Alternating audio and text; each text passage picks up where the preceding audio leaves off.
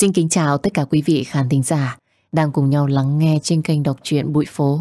Tâm An rất vui được gặp lại tất cả quý vị vào khung giờ phát sóng quen thuộc 11 giờ trưa hàng ngày.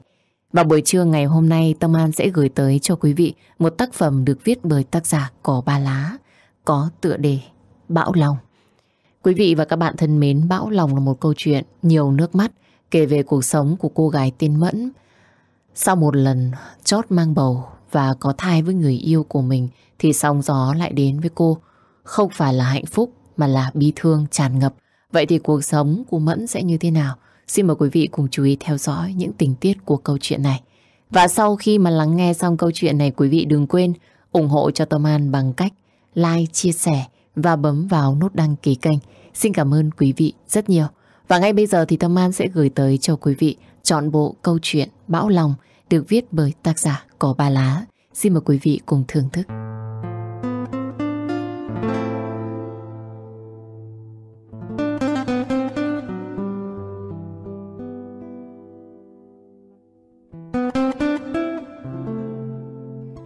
Tiếng chuông báo thức của chiếc điện thoại vang lên giữa không gian im ắng. Tôi cựa mình, quay sang nhấc lên để xem, rồi mới lật đật ngồi dậy thật nhanh và phi thẳng vào nhà vệ sinh. Hôm nay có tiết học của giáo sư gây mê, nên tôi mới bắt buộc phải dậy thật sớm để đến lớp học. Vì nơi chung cư của tôi ở cũng gần trường, nên chỉ cần cắp sách lên và chạy ra 5 phút là sẽ tới ngay. Vừa đi vào lớp, tôi đã thấy con Mai ngồi sẵn ở đấy. Thầy tôi thở hồn hển nên nó mới trêu ngay. Làm sao đấy?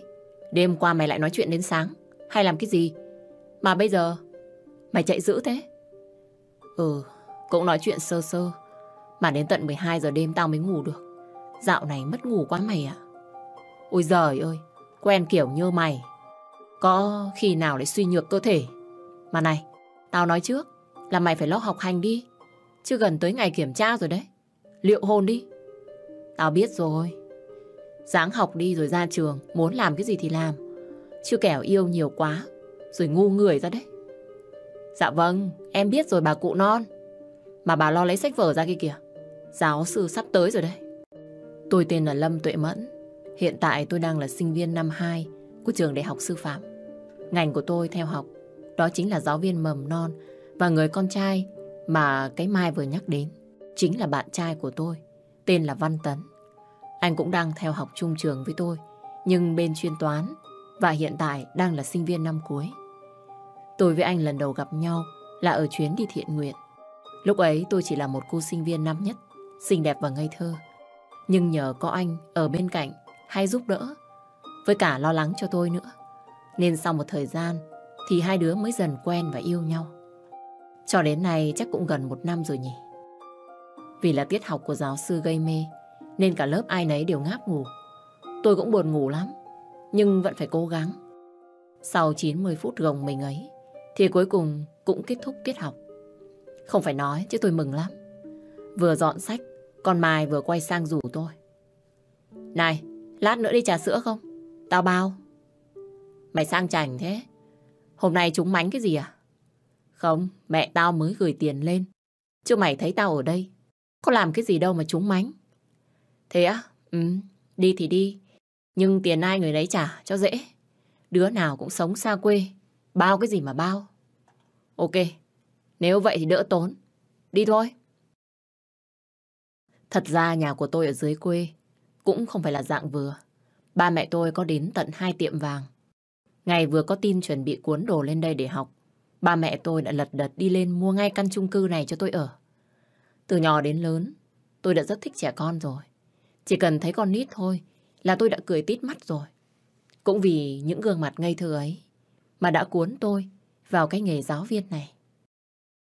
Gom hết đồ vào ba lô thì tôi với con Mai mới ra xe để đi đến quán trà sữa. View quán ở đây cũng khá đẹp mà cũng đông người nữa. Hai đứa vào ngồi cứ như vậy mà tám chuyện đến tận trưa. Đột nhiên lúc này nó quay sang hỏi tôi. Này, Hình như năm nay ra trường phải không nhỉ? Ông Tấn nhà mày ấy. Ừ, ông ấy đang học năm cuối rồi. Thế nữa ra trường rồi. Hai đứa bọn mày có gặp nhau thường xuyên được không? Mà mày có nghe ông ấy nói là sẽ về quê hay là ở lại đây xin việc không?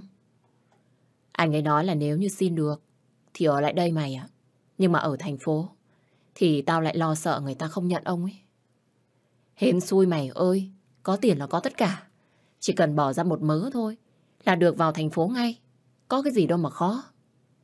Thế á? Vậy phải đợi xem như thế nào. Chứ tao cũng muốn dậy ở trên này. Sau này hai đứa mua lấy một căn nhà nhỏ cùng nhau ở là tốt lắm rồi. Chỉ cần thế thôi. Nghe tôi nói như thế thì còn Mai nó mới chề môi. Mày dở hơi à? Thời gian còn xa lắm. Chưa thể nói hết được những điều gì đâu. Lỡ may ông ấy ra trường, ông ấy bỏ mày. Theo một con giáo viên khác chung trường với ông ấy thì sao? Bớt mơ mộng lại đi. Mày bị điên đi à? Nói như thế cũng nói được. Thì tao nói như thế thôi. Ở đời, đâu ai biết được chuyện gì. Đúng không? Thôi thôi, mày dẹp đi. Tao đói lắm rồi, tao đi về đây. Về thì về. Thấy cái mồm của nó nói như thế, tôi không muốn nghe nữa. Nên mới lật đật đổi chủ đề để đi về ngay. Vừa về đến nhà tôi bỏ ngay cặp sách qua một bên, rồi nằm ình ra đấy, nhìn lên trần nhà và suy nghĩ về việc con Mai nói lúc nãy. Nên mới thuận tay lấy điện thoại nhắn tin cho anh. Anh đang làm gì đấy? Chiều nay có đi học không? Tin nhắn đã gửi đi rồi. Nhưng anh ấy không trả lời ngay. Mà phải đến tận một lát sau thì điện thoại tôi mới rung lên tin nhắn của anh. Xin lỗi em, anh đang bận học nên không thấy tin nhắn của em. Vậy à? Em mới đi trà sữa với con Mai về. Thôi anh cứ học đi, chiều về rồi nhắn tin cho em. Ok, vậy lát nữa anh về, anh ghé mua đồ ăn qua cho em nhé. Vâng ạ. Thấm thoát thời gian mà tôi với anh quen nhau cũng đã gần một năm rồi. Chắc còn một tuần nữa, hay gì ấy nhở? Mở tủ ra tôi lấy cuốn sổ nhật ký xem, thì đúng là như vậy. Để xem hôm đấy, mình tổ chức làm kỷ niệm như thế nào thì được đây ta. Cả ngày hôm đấy tôi cứ ngồi suy nghĩ. Về chuyện đấy đến chiều, thì anh cũng qua nhà. Vì anh là bạn trai của tôi, nên tôi mới dám đưa thẻ nhà cho anh giữ một cái, để thuận tiện qua chơi, hay là mang đồ ăn cho tôi. Bước vào nhà tôi thấy anh tay sách nách mang các hộp thức ăn đóng sẵn, rồi mỉm cười nhìn tôi, lên tiếng. Hello em yêu, xem anh mua gì cho em này. Anh mua cái gì đấy? Món ăn mà em yêu thích đấy. Hải sản à? Ôi giời ơi, anh cứ chiều em thế nhở? Người yêu của anh thì anh phải chiều thôi chứ. Nào qua đây ăn đi em, vẫn còn nóng hổi đây này. Vâng, em qua ngay đây. Tôi qua bàn ngồi đợi anh sắp đồ ăn ra đĩa sẵn, rồi cứ thế mà ăn thôi. Tấn thực sự rất yêu thương và cưng chiều người yêu mà. Cũng vì biết gia đình nhà anh không giàu có gì mấy, và anh còn phải đi làm thêm để có tiền trang trải cho việc học nữa. Nên tôi mới tranh thủ, lúc anh giữa chén thì mới lén gửi lại ít tiền vào ba lô cho anh.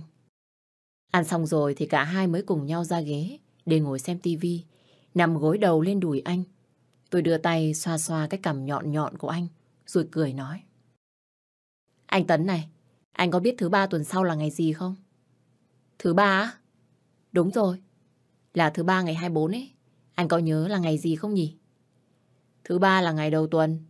Anh với em thì phải đi đến trường để học chứ. Đúng không nè? Nghe anh trả lời như thế tôi giận quá. Nên mới ngồi dậy thật nhanh và chẳng thèm trả lời lại anh luôn. Tấn thấy như thế thì mới bật cười và đưa tay lên xoa xoa hai cái má của tôi. Rồi nhẹ giọng nói. Anh đùa đấy. Bộ giận thật hay gì vậy? Không. Em mà thèm giận anh á. Thôi mà, anh nhớ rõ là ngày gì mà. Lúc nãy anh chỉ giả vờ nói như thế thôi. Đừng có giận anh nhá, cục cưng. Hứ, anh chẳng nhớ gì cả. Anh có quên đâu mà nhớ. Anh biết rõ ngày đấy là kỷ niệm một năm yêu nhau của chúng mình. Và lúc nãy, chỉ là anh giả vờ thôi. Chứ làm sao mà anh có thể quên được chứ? Đúng không em? Nghe Tần nói như thế, tự nhiên tôi lại thấy vui trong lòng hẳn ra. Cũng may là anh vẫn còn nhớ đấy. Chứ không là để tôi xem. Anh sẽ dỗ tôi kiểu gì đây? Tấn đỡ đầu tôi nằm xuống, rồi nói tiếp. Thế để tới thứ hai, rồi anh sẽ qua nhà rước em nhé. Nhớ là phải ăn mặc thật đẹp đẹp. Xấu xí. Anh bỏ ở nhà, đừng có trách anh đấy. Nói xàm. Em lúc nào chả đẹp. Mà anh định mình sẽ đi đâu? Bí mật không thể bật mí. Hãy đợi tôi đó, rồi em sẽ biết ngay ấy mà. Ôi, gì mà làm quá lên thế nhở? Em hơi bị tò mò rồi đấy nhá. Anh không trả lời lại, mà nhanh chóng nghiêng người xuống và đặt nhẹ lên môi tôi một nụ hôn. Dù chỉ là một nụ hôn phớt qua thôi, mà sao tôi cứ thấy vấn vương hoài thế nhỉ? Tấn thật sự rất đẹp trai. Anh có một chiếc răng khảnh, tại điểm nhấn cho nụ cười tươi của mình. Mỗi lần anh cười lại càng thu hút tôi thêm nữa. Thế nên bảo sao có khối đứa con gái nó không chết mê chết mệt anh cho được. Hi hi. Ngồi đợi thêm một tí nữa thì anh cũng ra về. Buổi tối hôm đấy đang nằm lướt lướt điện thoại thì đột nhiên mẹ tôi ở dưới quê gọi điện lên. Alo, con nghe đây thưa mẫu hậu. Mẫu hậu cái con khỉ. Mấy nay ăn học thế nào rồi? Sao không thấy mày về quê thăm ba mẹ vậy hả con kia? Vẫn bình thường thôi ạ. Tại dạo này con hơi bận, nên mới không thể về được đấy. Đợi hôm nào quẫn quẫn, rồi con nhất định sẽ về dưới mà. Quẫn là khi nào? Cả tháng nay chưa thấy mặt mũi gì rồi đấy nhá. Tới chừng mà chịu vác cái bản mặt về đây rồi, thì tao đuổi đi luôn. Không cho vào nhà đâu đấy. Liệu cơm mà gắp mắm đi. Eo ơi, chẳng nhẽ mẹ lại nhẫn tâm làm thế với con gái rượu của mình hay sao? Ở nhà thì cô quạnh, chỉ có một đứa con gái. Mẹ nỡ làm thế luôn sao à mẹ? Mày biết tính mẹ mà. Chuyện gì mẹ cũng có thể làm hết. Mà này, mẹ quên hỏi mày một chuyện này. Chuyện gì à mẹ? Hôm trước, tao có nghe ông bảo vệ nói là có ai hay lui đến chung cư nhà mình phải không? Còn lại là con trai nữa chứ. Tôi ngạc nhiên khi mẹ nói như thế. Cái ông bảo vệ chết tiệt này đúng là nhiều chuyện mà.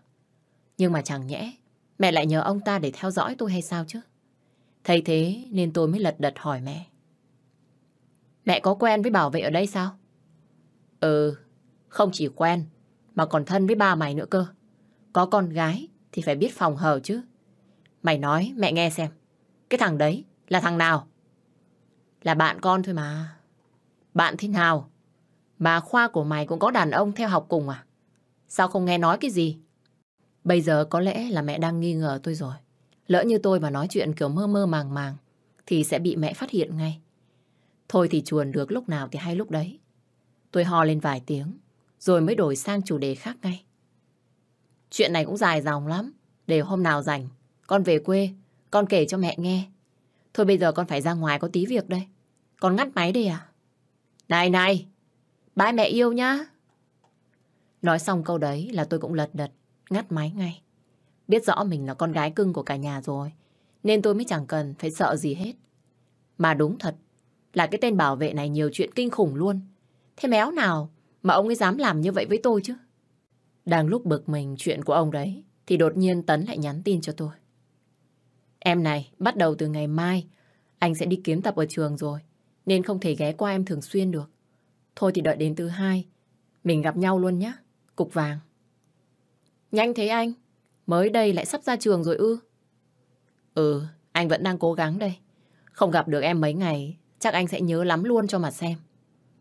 Nhớ thì anh phải gọi điện cho em đấy nhá. Không gặp anh, em cũng nhớ lắm luôn. Ok, anh biết rồi. Thôi, anh đi chuẩn bị bài đây. Em ngủ ngon nhé. Vâng, chúc anh may mắn ạ. Anh yêu. Nói thế rồi anh chẳng trả lời lại tôi thêm nữa. Chắc là đang bận soạn bài hay làm gì đó. Mà nghĩ cũng ngộ. Ông trời luôn sắp đặt các cặp đôi để bù trừ cho nhau hay sao đó. Anh đẹp trai mà lại học giỏi. Còn tôi thì đẹp gái nhưng lại lười biếng luôn. Đam mê với nghề thật đấy.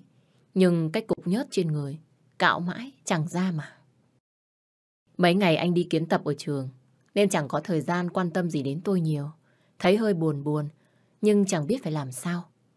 Tôi cứ thế mà chờ mòn mỏi. Cuối cùng cũng đến ngày kỷ niệm của chúng tôi. Cũng vì hôm đấy, anh đã hứa, nên bây giờ tôi mới vội vàng mở tủ ra và chọn cho mình một chiếc váy trắng thật là xinh đẹp. Và đi lại bàn trang điểm theo kiểu công chúa ngây thơ nữa cơ. Chuẩn bị xong thì tôi mới đi ra ghế sofa để ngồi đợi. Thời gian càng lúc càng dài ra, tôi ngồi đấy chờ anh mãi, mà chẳng thấy anh tới gì. Điện thoại gọi thì lại chẳng ai nghe. Tự nhiên tôi thấy thất vọng ghê gớm. Nếu như không tới, thì anh chỉ cần nói một tiếng thôi. Chứ có đâu để tôi leo cây thế này chứ. Ngồi chờ đến 11 giờ đêm rồi, mà tôi vẫn không thấy anh trả lời. Nên mới lũi thủi đi vào phòng và thay ra chiếc váy ngủ. Đang lúc chuẩn bị lên giường nằm thì lại nghe thấy tiếng mở cửa nên mới vội đứng dậy mà đi ra xem. Tới nơi tôi khá giật mình khi thấy Tấn đang đứng đấy và cầm trên tay một chiếc bánh kem kèm theo đấy là một bó hoa hồng màu đỏ rực rỡ. Thấy tôi, anh mới đi nhanh lại và nói Chúc mừng ngày kỷ niệm một năm bên nhau của chúng ta nhé em yêu. Tặng cho em này. Sao em gọi anh? Anh không nghe máy. Bây giờ anh còn đến làm gì nữa? Anh xin lỗi. Hôm nay đi làm về trễ. Với cả sợ em buồn. Nên anh mới phải ba, ba chân bốn cẳng. Chạy vội đi mua đồ tới đây đây. Nhưng mà vẫn còn chưa qua ngày mà. Đúng không? Thế tại sao anh không nói với em một tiếng? Làm em ngồi em chờ hoài. Bây giờ em cũng thay đồ ra luôn rồi. Quần áo thế nào cũng chẳng quan trọng nữa. Vì vốn dĩ em là người phụ nữ đẹp nhất trong lòng anh rồi. Cho dù em có ăn mặc thế nào thì anh vẫn yêu cơ. Cho nên em đừng để ý chuyện đó nữa nhé. Có thật không? Thì anh đã nói đùa với em bao giờ chưa? Thôi nào, lại đây ngồi thổi nến. Ăn bánh kem với anh đi cục vàng. Chỉ cần những lời nói xuất phát ra từ miệng của anh là tôi sẽ tin ngay. Tôi nũng nịu rồi mới lũi thủi, bước đi lại bàn và ngồi xuống đấy. Anh trao tặng cho tôi bó hoa hồng rồi hôn nhẹ lên chán và nói với tôi. Anh yêu em nhiều lắm, tuệ mẫn. Em cũng yêu anh. Hãy hứa với anh là chúng ta sẽ cùng nhau tận hưởng những kỷ niệm này mỗi năm nhé. Anh nhất định sẽ yêu em và bảo vệ em cho đến hết cuộc đời này. Hãy tin ở anh và chờ ngày chúng ta thành đôi nhé cục vàng. Vâng, em hứa. Tôi với anh ngồi cạnh nhau nhắc lại chuyện ngày xưa mà hai đứa cứ cười thoải mái vô tư luôn. Nhìn vào đồng hồ bây giờ cũng đã là giữa khuya rồi. Nên Tấn mới ngỏ lời, xin tôi, ở lại ngủ nhờ một đêm. Ban đầu tôi cũng đắn đo suy nghĩ lắm. Nhưng thấy giờ cũng trễ rồi. Sợ anh về một mình sẽ nguy hiểm. Với cả tin tưởng ở anh, nên tôi mới đồng ý gật đầu. Hôm đấy tôi qua dọn phòng bên cạnh cho Tấn nằm ngủ. Còn mình thì quay trở về phòng riêng. Đang ngủ đến lúc giữa hôm, thì đột nhiên tôi lại cảm thấy được người của mình như có thứ gì đó đang chạy dọc lên ấy nên mới vội xoay người lại thì phát hiện ra Tấn đang ở trong phòng mình và đang nằm cạnh mình nên mới vội vàng lắp bắp nói Anh, sao anh lại nằm ở đây? Anh nhớ em quá, nằm một mình ở bên đấy anh cứ suy nghĩ về em mãi nên mới qua đây để xem em đấy mà. Nhưng mà bây giờ đã khuya rồi còn gì. Thôi, anh mau về phòng bên kia đi ngủ đi. Em cho anh nằm ở đây để ôm em ngủ có được không? Anh hứa, anh sẽ không làm gì đi quá giới hạn đâu. Anh thề đấy. Nhưng mà... Em thật sự không tin tưởng anh à Mẫn. Chúng ta đã quen nhau một năm rồi đấy. Một năm rồi. Mà anh vẫn chưa chứng tỏ được lòng mình với em sao? Em không tin vào bạn trai của mình thật sao em? Em tin anh, nhưng mà em sợ. Hình như lần này Tấn có vẻ giận dữ hơn, nên mới ngồi dậy thật nhanh, rồi nhìn tôi không mặn không nhạt mà nói. Thôi, nếu thế, để anh về phòng bên kia ngủ vậy. Em ngủ ngon. Anh? Anh không sao đâu. Chắc là do bản thân của anh không được tốt. Nên em mới cảm thấy không an toàn. Anh đợi được mà. Thôi em ngủ đi. Anh đi đây. Nói thế rồi, Tấn cũng đứng dậy và bước đi. Từng câu nói của anh, nó cứ làm cho tôi thấy như mình là người có lỗi hay sao ấy. Cũng chẳng biết là khi đó tôi đã suy nghĩ gì mà bước xuống giường, rồi đi thật nhanh đến, ôm chặt lấy người anh từ phía sau, rồi nhẹ nhàng nói. Em xin lỗi, ý của em không phải như vậy đâu. Anh không sao thật mà. Thôi, em cứ ngủ sớm đi, ngày mai chúng ta còn đi học nữa. Em... Tấn không nói gì nữa, mà gỡ nhẹ tay tôi ra, rồi xoay người, đặt lên môi của tôi một nụ hôn và mỉm cười. Chẳng biết lúc đó ai đã nhập vào người tôi, mà tôi lại có thể can đảm để vòng tay qua ôm chặt lấy cổ anh và hôn lên đôi môi ấy. Tấn bất ngờ đến nỗi hai mắt mở to ra, nhưng cũng nhanh chóng đáp lại tôi ngay. Giữa những lúc như thế này, tôi thật sự chẳng biết là mình đang làm cái gì nữa. Ban đầu tôi chỉ nghĩ là hôn anh thế thôi. Nhưng đột nhiên, Tấn lại bế tôi lên và đi nhanh lại phía giường, đặt tôi xuống. Cứ thế mà nằm đè lên người của tôi. Lần này là đến lượt tôi bất ngờ, xen lẫn, sợ hãi. Anh hôn tôi ngấu nghiến, đến nỗi tôi chẳng còn thở nổi nữa, thì mới buông tôi ra. Bàn tay của anh lần mò, từ từ xuống và đặt gọt lên bộ ngực của tôi. Vì cảm giác lần đầu có người chạm đến, chạm đến cái nơi ấy, nên tôi mới phản ứng nhanh mà nắm tay anh lại rồi nói. Đừng anh. Sao thế? Chẳng phải lúc nãy em bật đèn xanh cho anh rồi sao? Nhưng em chưa sẵn sàng. Lúc nãy là em chỉ định hôn anh thôi. Chứ chưa từng nghĩ sẽ diễn ra như thế này đâu ạ. Anh rất yêu em. Và anh đã nhịn từ rất lâu rồi đấy. Tuệ mẫn à. Em cũng yêu anh. Nhưng chuyện này hãy để cho sau này có được không anh? Chúng ta vẫn đang còn đi học mà. Sao có thể làm như thế này được? Tình yêu phải đi đôi với tình dục. Và điều ấy là điều rất bình thường. Em không cần phải làm quá lên như thế. Anh thật sự không thể nhịn được rồi. Vừa nói dứt câu đấy là anh cũng tuột ngay dây áo của tôi xuống rồi đưa tay mạnh bạo nhào nặn ở phần ngực. Tôi thấy đau và hốt hoảng kinh khủng. Nói thật là nhìn anh bây giờ chẳng giống với anh lúc trước. Tôi hoảng sợ, cố đưa tay ra phía trước để đẩy anh ra, nhưng vẫn bất thành. Cơ thể của tôi chẳng mấy chốc đã bị bàn tay của anh chạy dọc khắp cơ thể. Đồ trên người cũng vì thế mà bay cả đi. Cảm giác hơi lạnh truyền đến, càng làm cho tôi thấy sợ hãi, nhưng lại không dám phản kháng thêm. Tấn xoay người tôi lại, nằm úp xuống, rồi bắt tôi phải chồng mông lên cao, để cho anh có thể nhẹ nhàng mà đưa cái cậu em nhỏ đấy vào.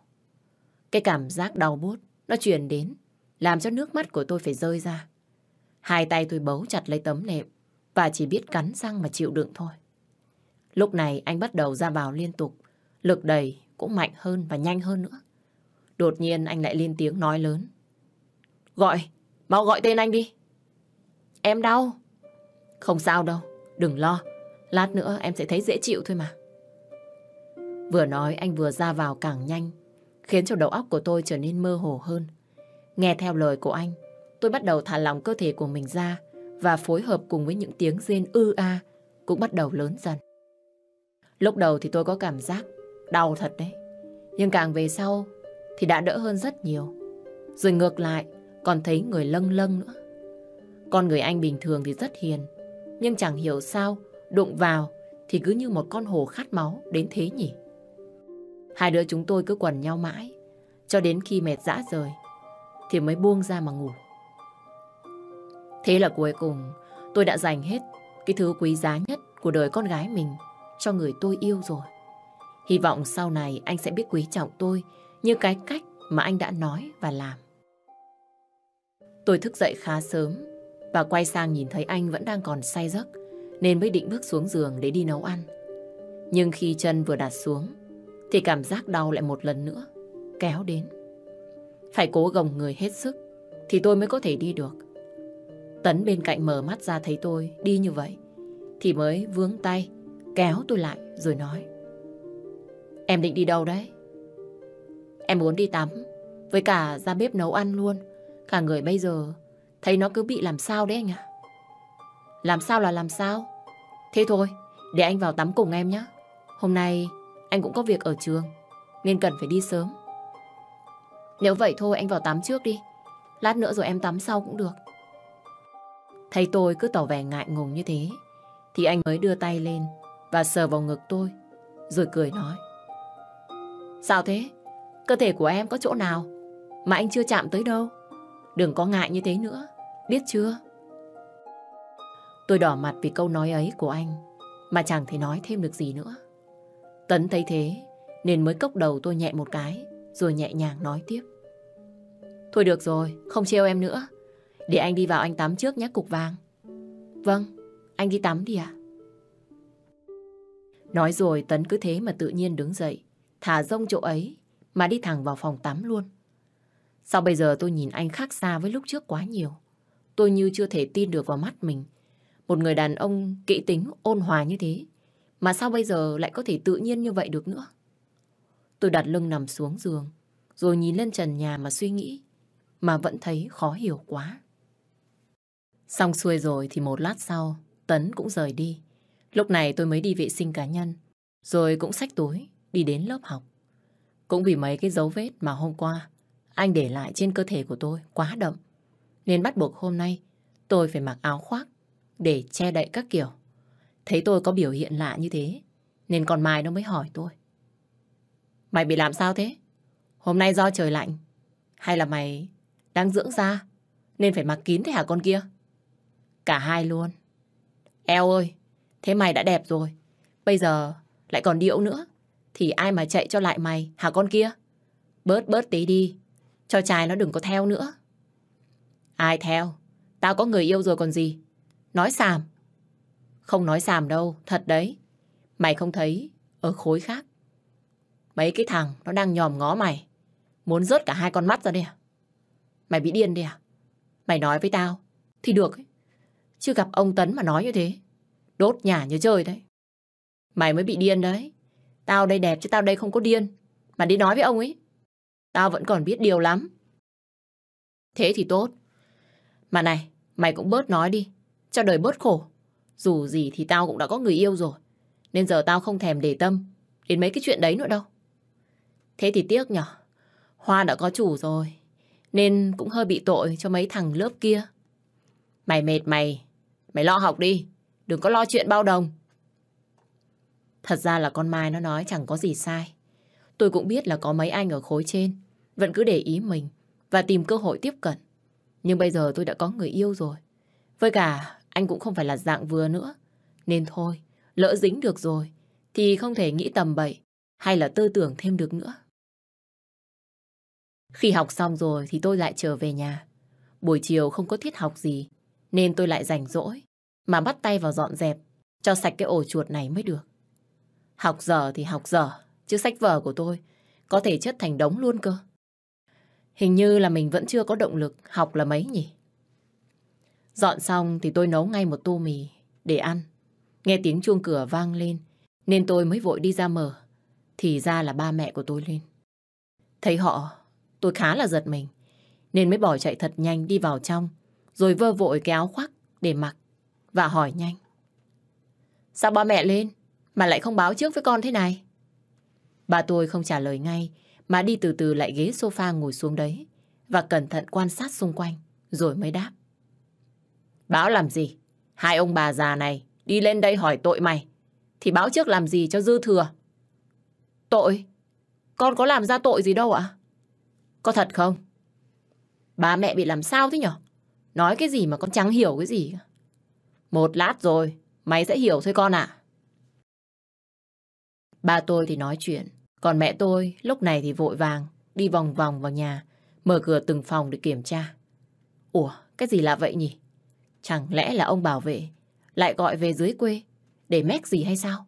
Mẹ tìm kiếm hoài cũng không thấy, nên mới đi ra ngồi xuống cạnh ba, rồi nhìn tôi mà gặng hỏi. Thằng đó đâu? Mẹ đang nói thằng nào à? Thì cái thằng mà hay ra vào tòa nhà này. Ông bảo vệ mới gọi cho tao lúc sáng. Bảo là thấy nó bước ra từ tầng của mày đấy con à? Mẹ, cái tầng của con thì người ta ở đầy ra đấy. Nhìn sơ qua thì làm sao mà biết được là đi từ phòng nào. Ông nội đấy đúng là dở hơi. Nên mẹ đừng có tin ông ta. Dở hơi cái gì mà dở hơi. Ông ấy còn giả vờ đi theo chân nó. Đến tận phòng của mày cơ mà. Nói mau, cái thằng đó là ai? Và tại sao nó lại qua đêm ở đây? Hả? Tôi đứng giật mình khi nghe ba tôi nói như thế. Kỳ này đúng thật là ông bảo vệ muốn giết chết tôi đây mà. Thấy tôi vẫn còn ấp úng, chưa nói được gì, thì ba lại đưa tay đập mạnh xuống bàn, rồi hỏi tiếp. Nói mau! Đang suy nghĩ không biết phải ăn nói làm sao, thì đột nhiên cánh cửa lại mở ra một lần nữa. Cả người tôi cứ như bị đứng hình. Khi người mở cửa ấy lại là anh Tấn. Trời ơi, tại sao anh đến mà lại không báo trước với tôi vậy chứ? Bây giờ rơi vào tình hình như thế này, thì tôi biết phải nói làm sao cho vừa với ba mẹ tôi đây. Thấy anh có thể vào nhà mà không cần người ra mở cửa như thế, thì càng làm cho ba mẹ tôi bất ngờ và nhăn mặt hơn nữa. Hai người vẫn im lặng và không hề nói gì thêm nữa. Anh Tấn thấy ba mẹ tôi ngồi ở đấy, thì vội vã đi vào và chào hỏi ngay. Con chào hai bác à? Cậu là ai? Mà tại sao cậu có thể vào nhà? Như thế? Dạ, con là bạn của Tuệ Mẫn. Cái Mẫn học bên sư phạm mầm non. Cậu là con trai. Chẳng nhẽ, cậu cũng học chung ngành với nó. Dạ không ạ, con học bên sư phạm toán. Lúc này đây tôi sợ ba mẹ mình sẽ hỏi thêm nhiều nữa, nên mới vội đỡ nói cho anh. Tấn này, hình như lát nữa anh có tiết dậy mà đúng không? Hay là anh cứ để đồ ở đấy, rồi đi đi, kẻo trễ đấy. À, ừ. Ba mẹ tôi nghe nói như thế, thì mới vội vàng lên tiếng. Nói chuyện thêm một chút rồi hãng đi. Tôi vẫn còn có chuyện cần nói với cậu đây. Vâng ạ. Rồi thấy cậu nói xem, cậu là bạn như thế nào với cái mẫn nhà tôi. Hình như hai đứa không phải là bạn bè bình thường. Tấn hít vào một hơi thật sâu, rồi mới bình tĩnh đáp. Thật ra con tên là Tấn. Hiện tại con đang là sinh viên năm cuối và chuẩn bị ra trường để đi dạy bác ạ. Và con chính là bạn trai của em Mẫn nhà bác nữa. Thế nhà cậu ở đâu? Nhà con ở trên Lâm Đồng. Con xuống đây thuê trọ để thuận tiện cho việc đi học à? Nếu vậy, bố mẹ cậu ở nhà làm nghề gì? Cậu còn có anh em gì nữa không? Bố con mất từ lúc con còn bé. Mẹ con ở vậy. Nuôi anh em tụi con ạ. Dưới con còn một người em nữa thưa bác. Ba mẹ tôi trầm ngâm suy nghĩ, nhưng lại chẳng hề lên tiếng hỏi thêm câu nào nữa. Anh Tấn thấy thế, thì mới vội vàng nói tiếp. Thưa hai bác, thật sự là con rất thật lòng với em Mẫn. Bây giờ chúng con sẽ đồng hành cùng nhau trong học tập. Và con hứa sau này khi ra trường đi làm, có tiền rồi, con sẽ về nhà nói với mẹ con qua thường chuyện với hai bác để con có thể lo cho em ấy suốt đời à? Thật ra tôi cũng biết rõ là khi con gái lớn rồi thì làm người làm ba làm mẹ như chúng tôi không thể cản được chuyện yêu đương của nó. Nhưng mà nhà tôi chỉ có mình nó là con gái thôi. Sợ ba tôi sẽ không đồng ý nên chưa đợi nói dứt câu thì anh đã vội vàng nói tiếp. Thật ra chúng con chỉ đơn thuần là yêu nhau theo cái cách an toàn nhất. Và còn hứa với bác, con sẽ không bao giờ đi quá giới hạn với em ấy đâu ạ. Con xin hai bác, hãy cho con một cơ hội được không ạ? Tôi ngồi bên cạnh thấy giọng nói của anh bắt đầu run run lên. Ánh mắt thì cầu xin ba mẹ, nhìn trông thật biết mấy.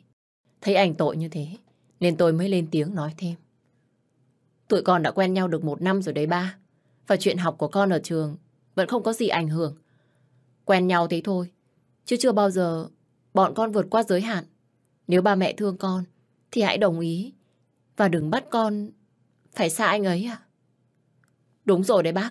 Con hứa sẽ yêu thương, giúp đỡ và bảo vệ cho em ấy hết mình luôn ạ. Coi như là con gái năn nỉ ba mẹ đấy ạ. Đồng ý cho tụi con yêu nhau nha ba mẹ. Thấy cả tôi với anh đều cầu xin như thế. Nên có vẻ ba mẹ tôi đã siêu lòng. Nên mới thở dài rồi nói. Thôi được rồi. Hai đứa muốn quen thì cứ quen. Ba không cản. Nhưng ba chỉ muốn hỏi là tại sao hôm qua cậu ta lại qua đêm ở đây? Tại lúc nửa đêm con than đói nên anh Tấn mới chạy đi mua thức ăn tới cho con. Cũng vì khuya quá, sợ về nhà nguy hiểm nên con mới bảo anh ấy là ngủ lại phòng bên cạnh bà.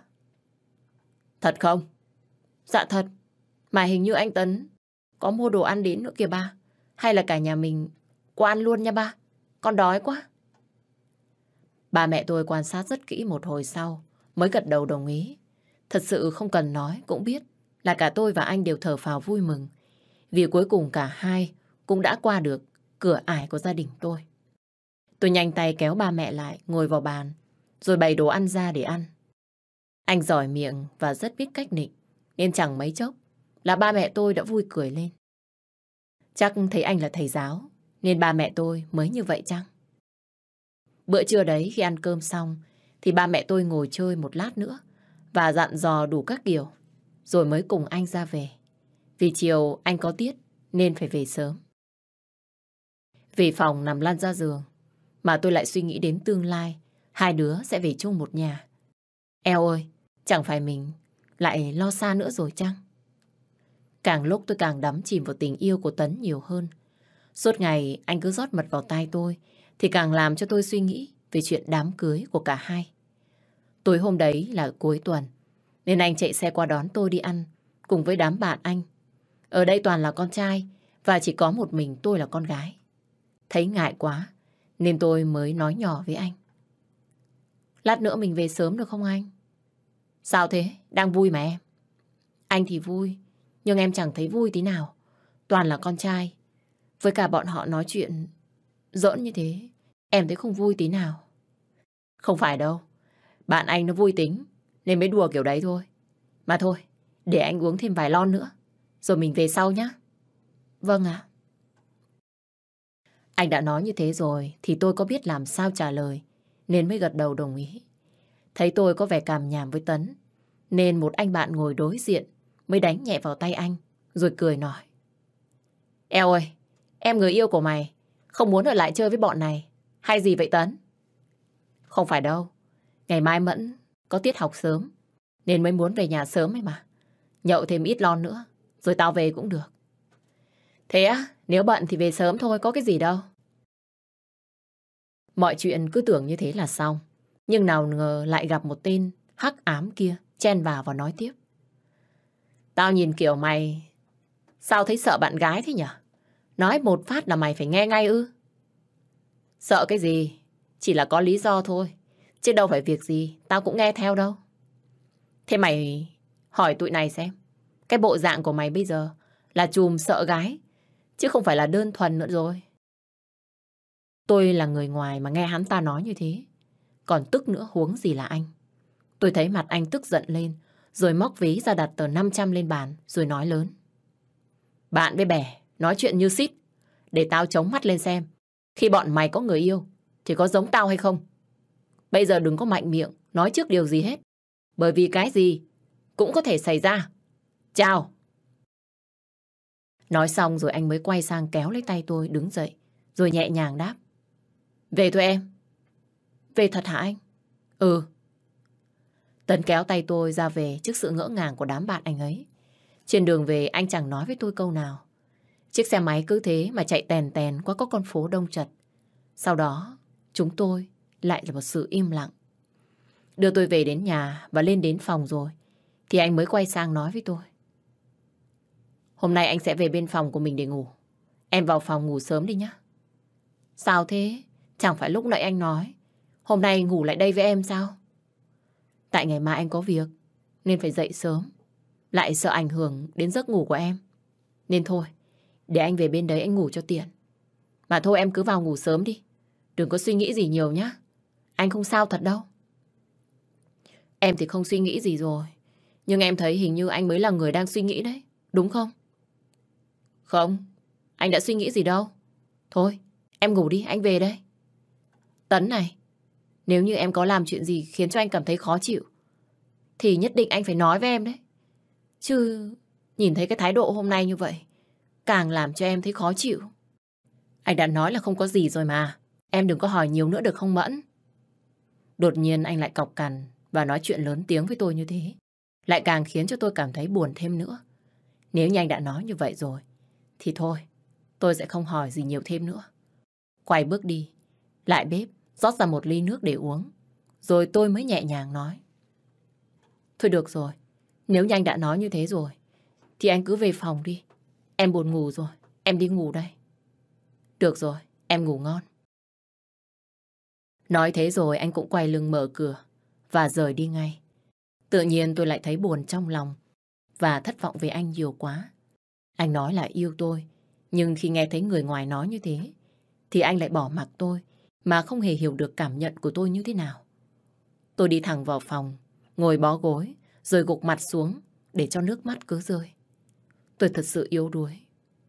Chỉ có những điều nhỏ nhặt như thế này thôi mà tôi đã cảm thấy khó chịu lắm rồi.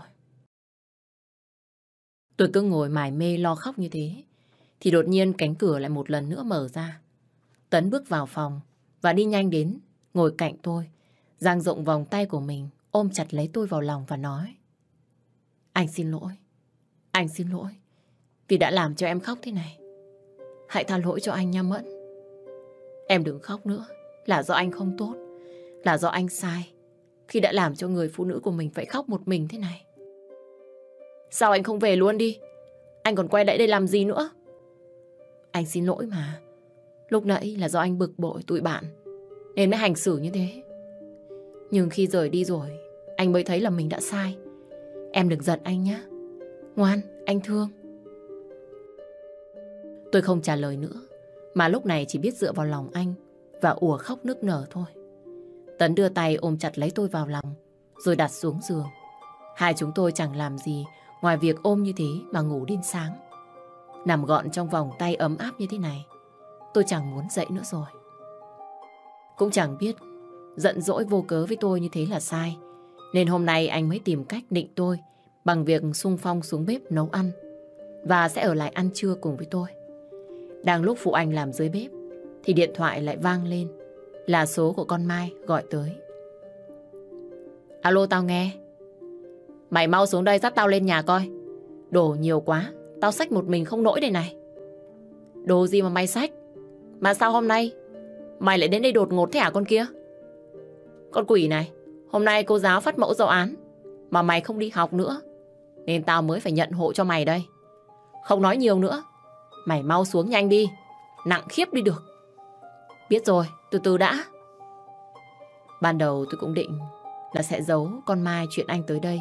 Nhưng vì bây giờ nó cũng biết hết cả rồi. Nên tôi không cần thiết phải rè chừng làm gì nữa.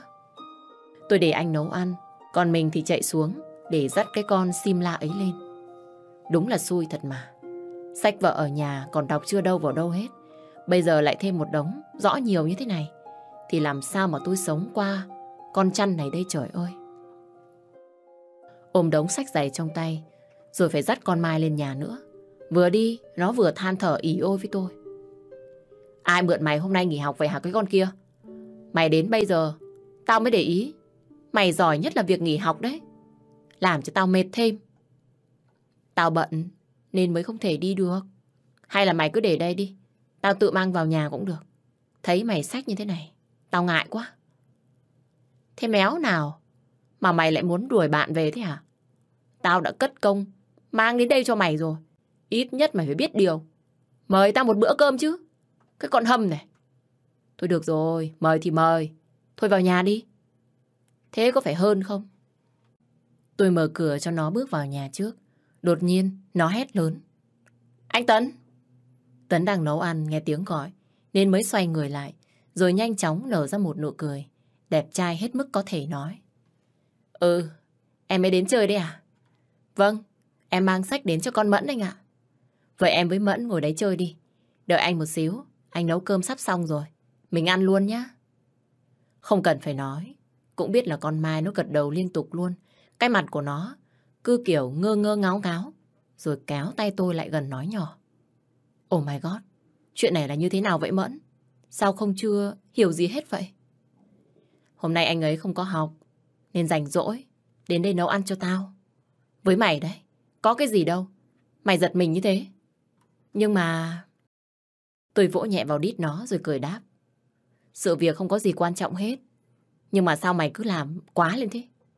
Mày chẳng phải là muốn đến đây để ăn cơm hay sao? Thôi vào ngồi đi.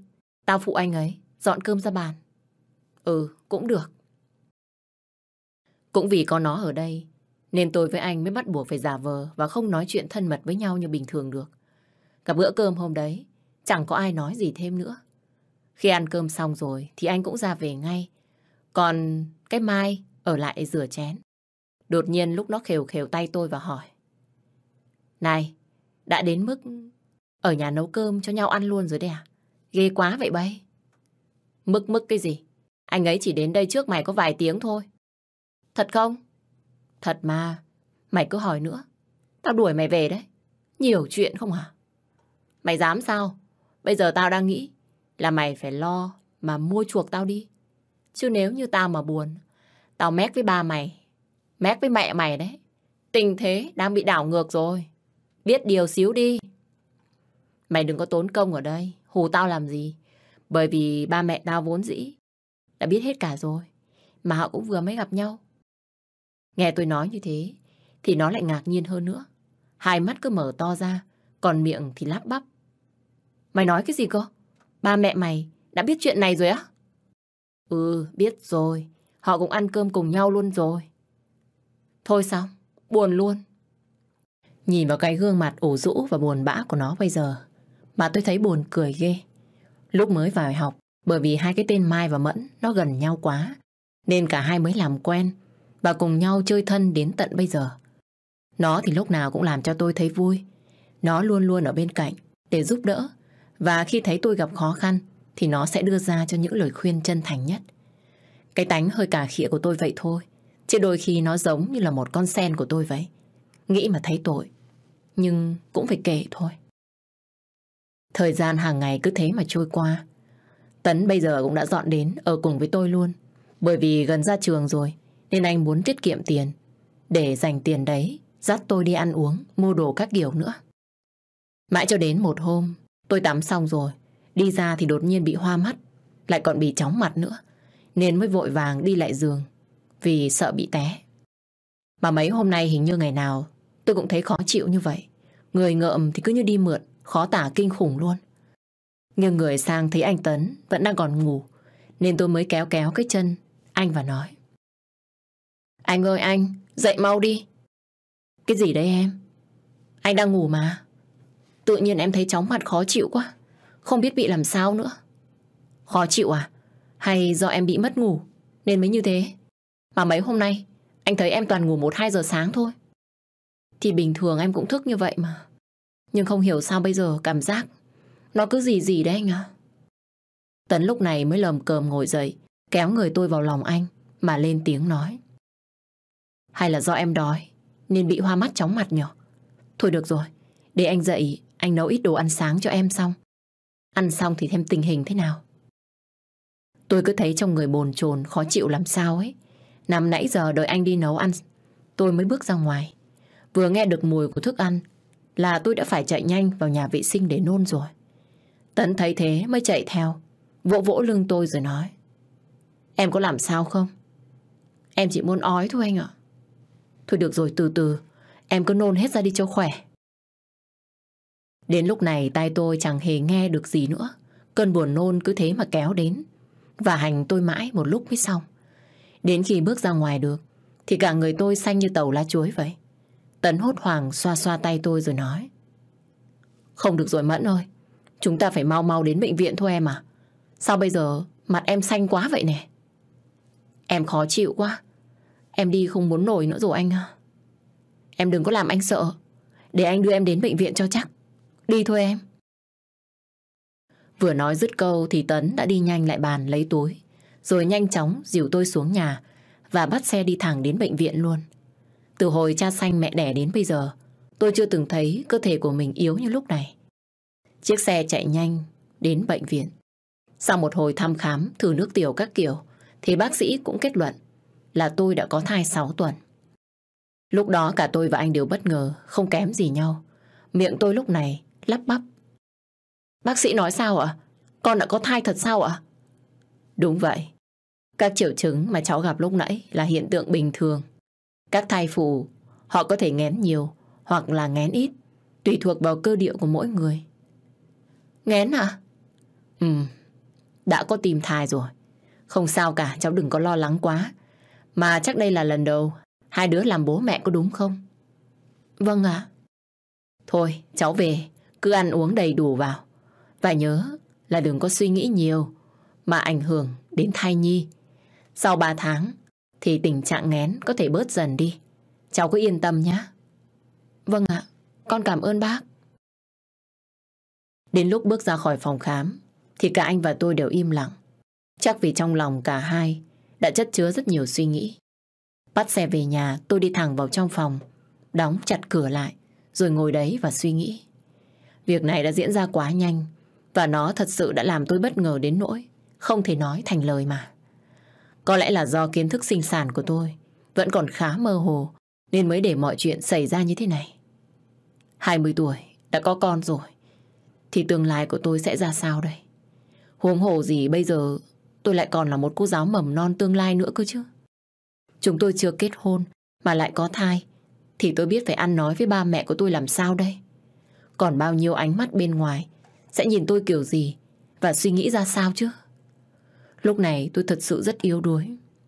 Tự nhiên một giọt nước mắt khẽ rơi. Tôi không biết bây giờ phải tính làm sao nữa. Nên cứ ngồi đấy và khóc một mình. Tôi nhốt mình trong phòng mãi. Cho đến khi trời tối rồi, thì mới bước chân ra. Điều đầu tiên mà tôi nhìn thấy chính là hình ảnh của anh ngồi dưới đất, tựa lưng vào sofa và ôm một lon bia uống. Xung quanh bấy giờ cũng đầy là vỏ lon bia rơi vãi. Nhìn những cảnh này tôi lại càng buồn thêm nữa. Thấy tôi ra, anh mới ngước đôi mắt. Sau đó nhìn tôi và nói. Em chịu ra rồi đấy à? Em... Anh hít vào một hơi thật sâu, sau đó đặt lon bia xuống và nói tiếp. Em lại ngồi ghế đi. Anh có chuyện này cần nói với em đây. Chuyện gì ạ? À? Em cứ ngồi xuống đi đã. Chuyện vẫn còn dài. Mà anh nói bao lâu cũng được. Nghe anh nói như thế, tôi mới bước lại ghế rồi ngồi xuống. Từ lúc về cho đến giờ, tôi lúc nào cũng thở dài. Và kể cả bây giờ cũng thế. Anh nhìn tôi một hồi lâu, rồi đứng dậy lên ghế ngồi. Không mặn không nhạt, nhìn đi hướng khác và nói. Mình bỏ đứa bé này đi, có được không em? Cái gì cơ? Anh nói rõ lại một lần nữa cho em nghe xem nào. Anh đã suy nghĩ kỹ rồi. Anh thật sự muốn em bỏ đứa bé này đi. Bởi vì bây giờ chúng ta còn quá trẻ. Thì làm sao có thể sinh nó ra được? Có đúng không em? Anh bị điên rồi. Tại sao anh có thể nghĩ ra được câu chuyện tàn ác như thế? Anh không điên. Em hãy thử nghĩ đi. Nếu như bây giờ em quyết định để lại, sinh đứa nhỏ này ra, thì cuộc sống của em sẽ thế nào? Chẳng phải là từ trước tới giờ, chúng ta vẫn sống rất thoải mái sao? Đừng làm mọi chuyện trở nên rắc rối thêm nữa có được không? Anh xin em đấy. Những lời mà anh nói bây giờ tôi thật sự chẳng thể nào nghe lọt tai được nữa. Mà ngược lại còn cảm thấy rất tức giận. Nên mới vội giơ cánh tay lên và đánh thẳng vào gương mặt của anh một cái. Sau đó nói trong nước mắt. Đồ khốn! Anh thật sự là một thằng khốn! Em hãy nghe theo lời của anh đi Mẫn. Hiện tại bây giờ con của chúng ta vẫn đang còn rất nhỏ. Nếu như em chịu bỏ nó, thì không ảnh hưởng gì đến em hết. Em yên tâm đi. Anh im đi. Tại sao anh có thể tàn nhẫn mà nói ra được như vậy? Nó là con của anh đấy. Nó được tạo ra từ anh. Và anh không có tư cách gì để nói như thế. Anh hiểu chưa? Em hãy bình tĩnh lại đi được không? Bản thân anh thật sự không muốn đứa bé này là gánh nặng lên đôi vai của em. Tại càng không muốn nó hủy hoại đi tương lai tươi sáng phía trước của em. Tương lai? Đúng thế. Anh là một giáo viên. Em cũng là một giáo viên. Và chúng ta nhất định phải là một tấm gương sáng cho bọn trẻ sau này.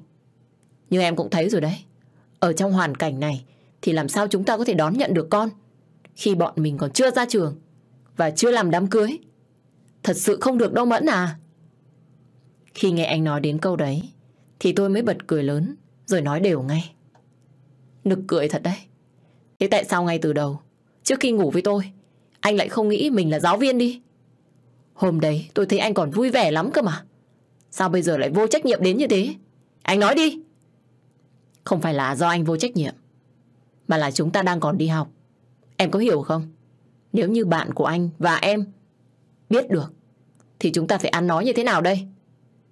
Anh tạo nó ra rồi bây giờ anh lại sợ người ta nói hả? Anh có còn là con người nữa không? Thì tại sao em cứ bướng bỉnh như thế mà em không chịu hiểu ra mọi vấn đề? Chuyện con cái thì bao giờ chúng ta sinh không được hả em?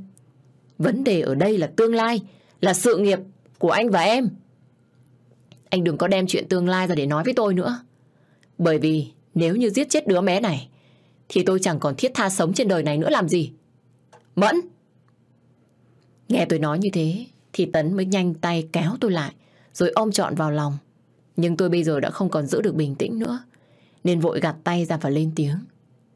Anh buông tôi ra, anh đừng ép tôi nữa có được không? Tôi sẽ không bao giờ tin anh nữa, hiểu chưa? Bây giờ em cứ mãi điên cuồng lên thế này Thì làm sao mà hiểu được những lời của anh nói? Anh hỏi em nhé. Em là tưởng tượng ra cái cảnh Mình làm mẹ chưa? Em đã bao giờ thử nuôi một đứa bé chưa? Nó thật sự rất là kinh khủng. Em có biết không? Tôi không cần biết Nhưng nếu như đó đã là con của tôi Thì nhất định tôi giữ lại Và sinh nó Và không cần tới một người ba như anh Anh thật sự không có tư cách để làm ba của đứa bé này và tất cả những người ba trên thế giới này đều cần con, nhưng riêng anh thì không. Anh rất cần con, nhưng không phải thời điểm này. Em có hiểu không? ok, thế thì anh biến đi. Và đừng bao giờ để tôi nhìn thấy, nghe thấy anh nói nữa. Cút! Tôi đứng dậy kéo mạnh tay anh đẩy ra khỏi nhà. Mặc dù Tấn có nói gì đi nữa, thì tôi vẫn không thể nghe lọt tai được. Tôi điên cuồng đẩy anh ta ra, rồi đóng chặt khóa cửa lại, ngồi xuống ôm lấy bụng mình mà bật khóc. Mẹ xin lỗi con, mẹ thật sự là một người mẹ không tốt. Mẹ đã sai lầm khi yêu một người đàn ông máu lạnh như thế. Cả đêm đấy tôi đã khóc hết cạn cả nước mắt. Tôi thật sự không hiểu là anh đã suy nghĩ cái gì ở trong đầu mà lại có thể nói ra những điều đó một cách nhẹ nhàng đến như vậy. Chẳng lẽ anh lại là một người vô trách nhiệm với con của mình như thế? Tại sao lúc trước anh lại có thể nói những lời ngon ngọt để dụ dỗ tôi? Nhưng bây giờ lại phủ bỏ ngay chính cả đứa con của mình. Càng suy nghĩ đến nước mắt, tôi lại càng rơi. Tôi cứ nằm khóc mãi, cho đến khi mệt người, thì mới lăn ra ngủ. Sáng hôm sau, đang lúc còn ngủ say, thì điện thoại của tôi lại vang lên. Tôi vừa vội tay, bấm nghe. Lúc này đầu dây bên kia là tiếng con Mai, nó cứ văng vẳng nói. Này, hôm nay mày lại định trốn học nữa à cái con kia? 8 giờ hơn rồi, mà vẫn chưa thấy cái mặt của mày ở đâu. Tao bận. Tao bận lắm mày à? Hay mày điểm danh hộ tao nhá? Bận bận. Bận cái gì gì? Mày hình như tao thấy mày. Dạo này cứ lo đắm chỉ một tình yêu nhiều quá. Nên mày quên luôn cả việc học hành rồi đấy. Không phải đâu. Tại tao bây giờ không được khỏe. Có cái gì... Tao gọi sau nhá. Này này. Tao thấy mày dạo này hay bệnh tật lắm đấy. Có chuyện gì đấy mày kể cho tao nghe xem nào. Có cái chuyện gì đâu. Thôi mày lo học đi. Để tao ngủ thêm. Tao đang mệt. Không đợi cho nó trả lời thêm câu gì nữa. Mà tôi đã ngắt máy ngay luôn. Ngay lúc này đây tôi thật sự đã không còn tâm trạng gì để nghĩ đến việc học hành. Hình như tôi đang dần đánh mất cái dáng vẻ ngây thơ của mình. Và tôi thật sự không biết rằng liệu mình quyết định như thế vào cái thời điểm nhạy cảm này là đúng hay là sai. Nhưng điều mà khiến cho tôi biết rõ nhất, đó chính là bỏ đi đứa bé này mới chính là tội ác và không bao giờ có thể tha thứ được. Buổi trưa hôm đấy tôi làm biếng nấu cơm, nên pha vội một gói mì để ăn. Đang lúc đợi mì chín, thì nghe tiếng cánh cửa mở ra. Không cần nói, tôi cũng biết là ai đang đi vào. Lần này tôi không đuổi nữa mà chẳng thèm nói tiếng nào với anh. Tôi cứ thế mà ngồi im ở đấy và ăn thôi. Lúc này Tấn mới bước nhanh lại gần tôi, đặt một hộp yến lên bàn và nhẹ giọng nói. Đang có thai, nên em ăn cái này nhiều vào cho nó bổ nhá. Đừng ăn mì nữa. Để anh ra ngoài mua cách khác cho em ăn. Không cần. Tôi có thể tự mình mua và ăn được. Em đừng giận anh như thế. Anh biết là anh sai rồi. Anh thật lòng xin lỗi em mà Mẫn. Tôi là thế đấy. Nếu như anh cảm thấy không muốn bị đuổi nữa thì anh mau về đi. Nhà tôi không hoan nghênh anh nữa. Tại vì hôm qua anh say quá nên anh mới nói những lời như thế. Nhưng để nói được những lời đấy anh cũng đau lòng lắm Mẫn à. Say sao? Nếu như say thì anh sẽ có quyền nói như thế với tôi à? Thôi thôi, anh hãy bớt nói lại đi, cho tôi yên. Anh biết là anh sai rồi, nên em đừng để bụng mấy cái chuyện đấy nữa có được không? Anh suy nghĩ kỹ rồi. Anh... anh sẽ cùng em nuôi dạy con của mình. Được không? Không cần. Đứa bé này, nó là con của một mình tôi. Nó không hề liên quan gì đến anh. Anh mau cầm cái hộp yến của mình về đi. Tôi không muốn ăn. Mẫn, anh xin lỗi em. Hôm qua là do anh sai. Là do anh ích kỷ. Nên mới nói như thế. Bây giờ, anh không hồ đồ như thế nữa. Em cho anh một cơ hội được không? Đến lúc này đây, tôi đã làm biếng nghe anh năn nỉ theo cái kiểu này lắm rồi. Nên mới bỏ luôn tô mì và đi vào phòng khóa cửa lại. Một lúc sau, tôi vẫn còn nghe thấy tiếng lục đục ở bên ngoài. Chắc là Tấn vẫn còn ở đây chăng? Tôi cứ ngồi đấy và suy nghĩ. Tôi nhất định phải bình tâm lại thì mới có thể quyết định được tương lai của mình. Tôi cứ nằm ở trong phòng, mà lăn lộn mãi như thế cho đến khi Tấn về rồi, thì mới dám bước ra. Thứ đầu tiên mà tôi cần làm, đấy chính là đội mật khẩu của căn nhà này. Bởi vì trong lòng tôi vẫn đang còn rất giận anh, nên càng không muốn gặp mặt anh làm gì nữa. Mỗi lần nghĩ đến những lời anh nói, là tôi thấy máu dồn đến não rồi. Tâm trạng thì cứ như bị chó cắn, Mà ở trên này thì tù túng quá. Mà tôi lại cứ mãi suy nghĩ về chuyện đó. Càng làm mệt mỏi thêm nữa. Nên mới quyết định cuốn khăn gói về quê vài hôm. Bao giờ thấy nhẹ lòng thì sẽ lên học tiếp. Nói thế là tôi bắt xe về quê ngay. Hôm nay chẳng biết làm gì. Nhà tôi có rất nhiều người đến để mua vàng. Thấy ba mẹ vẫn đang còn bận bịu bán. Nên tôi mới đi vào trong luôn. Nhưng khi thấy tôi xách túi đồ đi vào, thì ba tôi đã nói lớn. Mày về nhà rồi mà không định thưa trình gì với ba mẹ đấy à? Cứ như thế mà đi luôn thế hả cái con kia? Tại con thấy ba mẹ đang bận bán nên để lát nữa rồi con trình sau à? Lời của tôi vừa dứt thì có tiếng người phụ nữ bên ngoài hối hả vang lên. Đổi cho tôi cái nhẫn này đi ông chủ ơi. Rồi rồi, đợi, đợi tôi tí. Thấy bà đang bận như thế nên tôi mới đi thẳng vào trong. Nhà của tôi ở quê cũng giàu có lắm, hầu như cái gì cũng có. Thấy tôi về, bà Năm liền mừng rỡ hỏi tôi. Con mới về chơi đi hả Mẫn? Sao con không bảo với ông bà để họ cho người rước con về cho khỏe? Đi đường xa chắc mệt lắm hả con? Thế thì lại mắc công bà nữa à? Để con tự về có khỏe hơn. Đúng không bà? Thế này được nghỉ học à? Lâu lắm rồi bà Năm mới thấy con về. Dạ vâng ạ. Chắc con nghỉ tầm một tuần. Bà Năm ở nhà có khỏe không ạ? Bà khỏe. Thế thôi, để bà ra chợ. Mua thêm ít đồ về nấu cho con. Bà sẽ lựa những món mà con yêu thích nhất. Chịu không? Vâng, con cảm ơn bà. Nói thế rồi bà cũng xách giỏ và đi chợ. Tuy bà là người làm ở trong nhà, nhưng tôi chưa bao giờ coi bà là người ngoài hết. Lúc nào bà cũng yêu thương tôi như con cháu của mình vậy. Có những khi tôi về đây ở, bà cũng xin ở lại đây, ngủ với tôi, cho tôi vui nữa cơ. Đất nhà tôi cũng tương đối rộng, nên ba mẹ mới trồng rất nhiều loại cây ăn quả. Bây giờ chỉ cần cầm một cái rổ lên là có thể đi hái được rồi.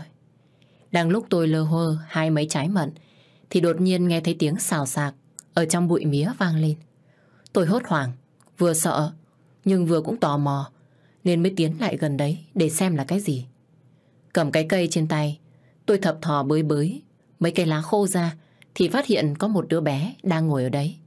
Vừa nhìn thấy tôi là nó mỉm cười ngay. Tôi thì thấy là lạ, nên mới lên tiếng nói. Em gái à? Em là con cái nhà ai vậy? Sao lại ngồi ở trong vườn nhà chị thế này? Em là con của mẹ ngoan ạ. Em định qua đây xin mấy quà mận. Nhưng lại gặp chị. Mà chị đừng có la em nhé. Em không phải ăn cắp đâu ạ. Không, chị có nói em ăn cắp đâu. Mà thôi, em đi ra đây. Ngồi ở trong đấy. Bị xét đấy. Em ra đây ạ. Nghe tôi nói như thế, đứa bé mới lui cui mà bỏ ra ngoài. Nhà cô ngoan thì tôi biết, nhưng tôi lại không nghĩ rằng cô có một đứa con nhỏ như thế này. Nhìn nó hơi đen đen một tí, nhưng ngược lại là rất là dễ thương.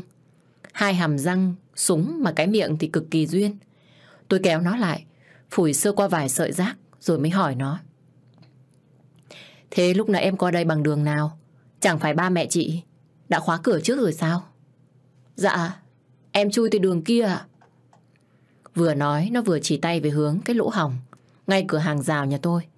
Đúng thật là trẻ con thường hay rất nghịch ngợm. Cái lỗ đấy ngày xưa người ta thường là gọi là lỗ chó. Thế mà với thân hình bây giờ của nó lại có thể chui qua. Thấy nó quá dễ thương nên tôi mới đưa hết cho nó số mận mà mình vừa mới hái được rồi nói với nó. Này, chị cho em hết đấy. Em cứ cầm về mà ăn. Mai mốt nếu như có muốn ăn thì em cứ đứng trước cổng mà hái nhá.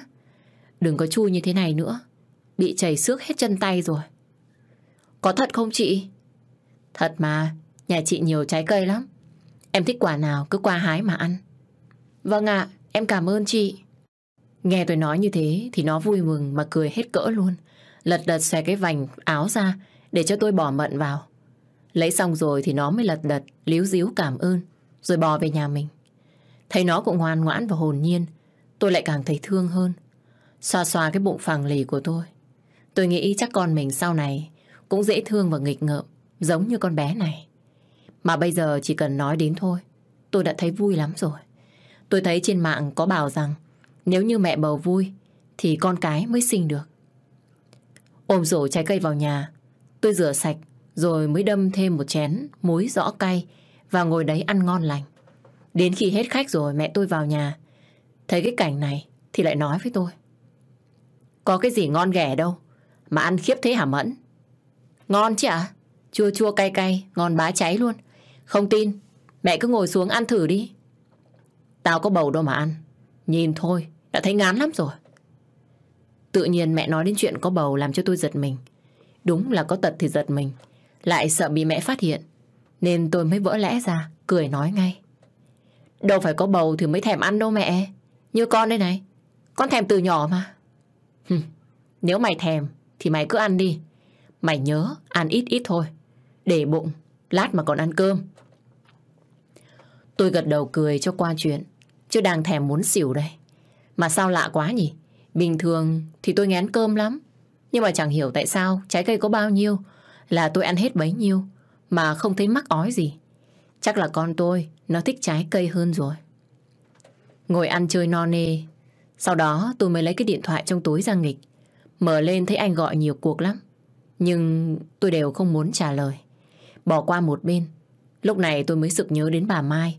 Nên vội vàng nhắn tin cho bà ấy. Đang làm gì đấy? Mới ăn cơm.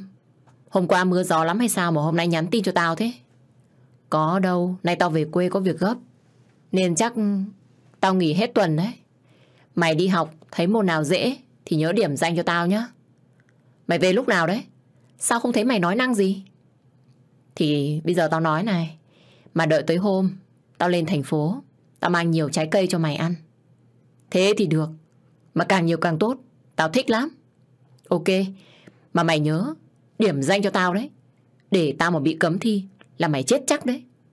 Rồi, em biết rồi, bà mẹ Việt Nam anh hùng. À, mà mày cho tao gửi lời hỏi thăm đến ba mẹ mày nhá. Thôi được rồi, biết rồi. Thế nhá, tao đi ăn cơm đây. Nó không trả lời tôi nữa, mà chỉ thả cho tôi một cái icon phẫn nộ. Cái con này đúng là dở hơi vui tính. Ở dưới quê thì tôi chả biết làm cái gì. Gia đình thì kinh doanh bán vàng, nhưng tôi lại không biết bán. Tính tiền thì lộn tới lộn lui, nên ba mẹ tôi cũng sợ, mà không dám cho tôi động vào. Nếu lỡ như để cho tôi bán, thì chắc là bay luôn cái nhà này quá. Chiều hôm đấy ba mẹ tôi đóng cửa tiệm sớm để đi về nhà bà nội chơi. Cũng ba mẹ bận bán, còn tôi thì bận học, nên lâu quá rồi không ghé thăm bà. Bà cứ nhắc hoài luôn. Bây giờ sẵn tiện tôi về quê, nên tôi phải ghé qua thăm bà ngay. Chiếc xe hơi dừng ở trước ngõ, rồi cả nhà mới tàn đi bộ vào trong. Vừa nghe tiếng bước chân, thì bà đã vọng ra hỏi ngay. Đứa nào đấy? Là con thế ạ? Con là đứa nào? Vào nhanh lên, tao xem mặt thử nào. Bà nội tôi năm nay cũng khá già rồi, nên nhìn xa thì bà chẳng nhận ra ai là ai. Thế nên tôi mới chạy nhanh vào, ôm chầm lấy bà mà nũng nịu. Con là Mẫn Mẫn đấy bà nội. Tổ cha nhà cô, thế tại sao bây giờ mới thấy cô về thăm cái bà già này? Con bận đi học bà. Với cả có mấy tháng thôi, mà bà nội cứ làm như cả năm ấy. Ai mà biết đâu. Thế cô về đây chơi có lâu không? Mà bao giờ thì lại lên đấy đi học? Con về chơi ít hôm thôi. Mà bà nội, bà khỏe không ạ? Nội mà khỏe cái gì? Bà già này đang muốn gần đất xa trời rồi. Cứ ngồi chờ mày lấy chồng. Bà nội đã già đi. Nghe cái mùi là biết bà nội đang mong ngóng cháu cố rồi đây. Suốt ngày, cứ mỗi lần gặp tôi là nội lại bàn tới chuyện kết hôn. Nhà thì ít con cháu, nên hối được đứa nào thì bà hối ngay. Thế nên tôi mới vội lên tiếng. 20 tuổi, mà đi lấy chồng thì hơi phí tuổi thanh xuân bà. Con đã tính hết cả rồi. 25 tuổi con mới lấy chồng. Bà nội nguyết dài một cái, không thèm trả lời tôi nữa, mà chỉ chăm chú nhìn sang bố mẹ tôi rồi nói. Ngày xưa bọn bay 15-16 tuổi, đã lấy nhau rồi. Nó còn, thì ở giá đến tận 25. Đợi đến ngày đấy, chắc bà già này chết rồi. Chứ còn nữa đâu mà bế cháu cố. Mẹ tôi nghe bà nội nói như thế, mới gượng cười một cái, rồi đáp lại ngay. Bọn trẻ bây giờ nó lấy chồng muộn lắm mẹ ơi. Mà làm cha làm mẹ như tụi con, thì làm sao có thể quyết định thay nó được đâu. Thôi, thì cứ để đấy. Nó tự kiếm cho vừa lòng nó mẹ. Tao bảo với bọn bay rồi. Tao thấy cái thằng con trai của ông Lâm ở kế bên nhà. Nó chưa có vợ. Thôi, từ cứ cả nó về bên đấy, cho gần cha gần mẹ. Với cả nhà người ta, cũng đâu có nghèo khổ gì đâu. Về đấy có khi lại sướng hơn bên này. Vấn đề ở đây là nó không chịu mẹ. Mẹ cũng biết cái con này. Nó bướng lắm. Dễ gì nó chịu lấy cậu ta. Bọn bay làm cha làm mẹ nó. Thì phải nói làm sao cho nó chịu chứ. Con gái con lứa 20 tuổi đầu rồi. Mà còn đợi thêm 5 năm nữa à? Đến lúc đấy, tao già rồi. Thế mẹ nói, nó thử xem. Chứ bọn con là bọn con bó tay rồi. Mà hình như thời đại bây giờ là con cái đặt đâu.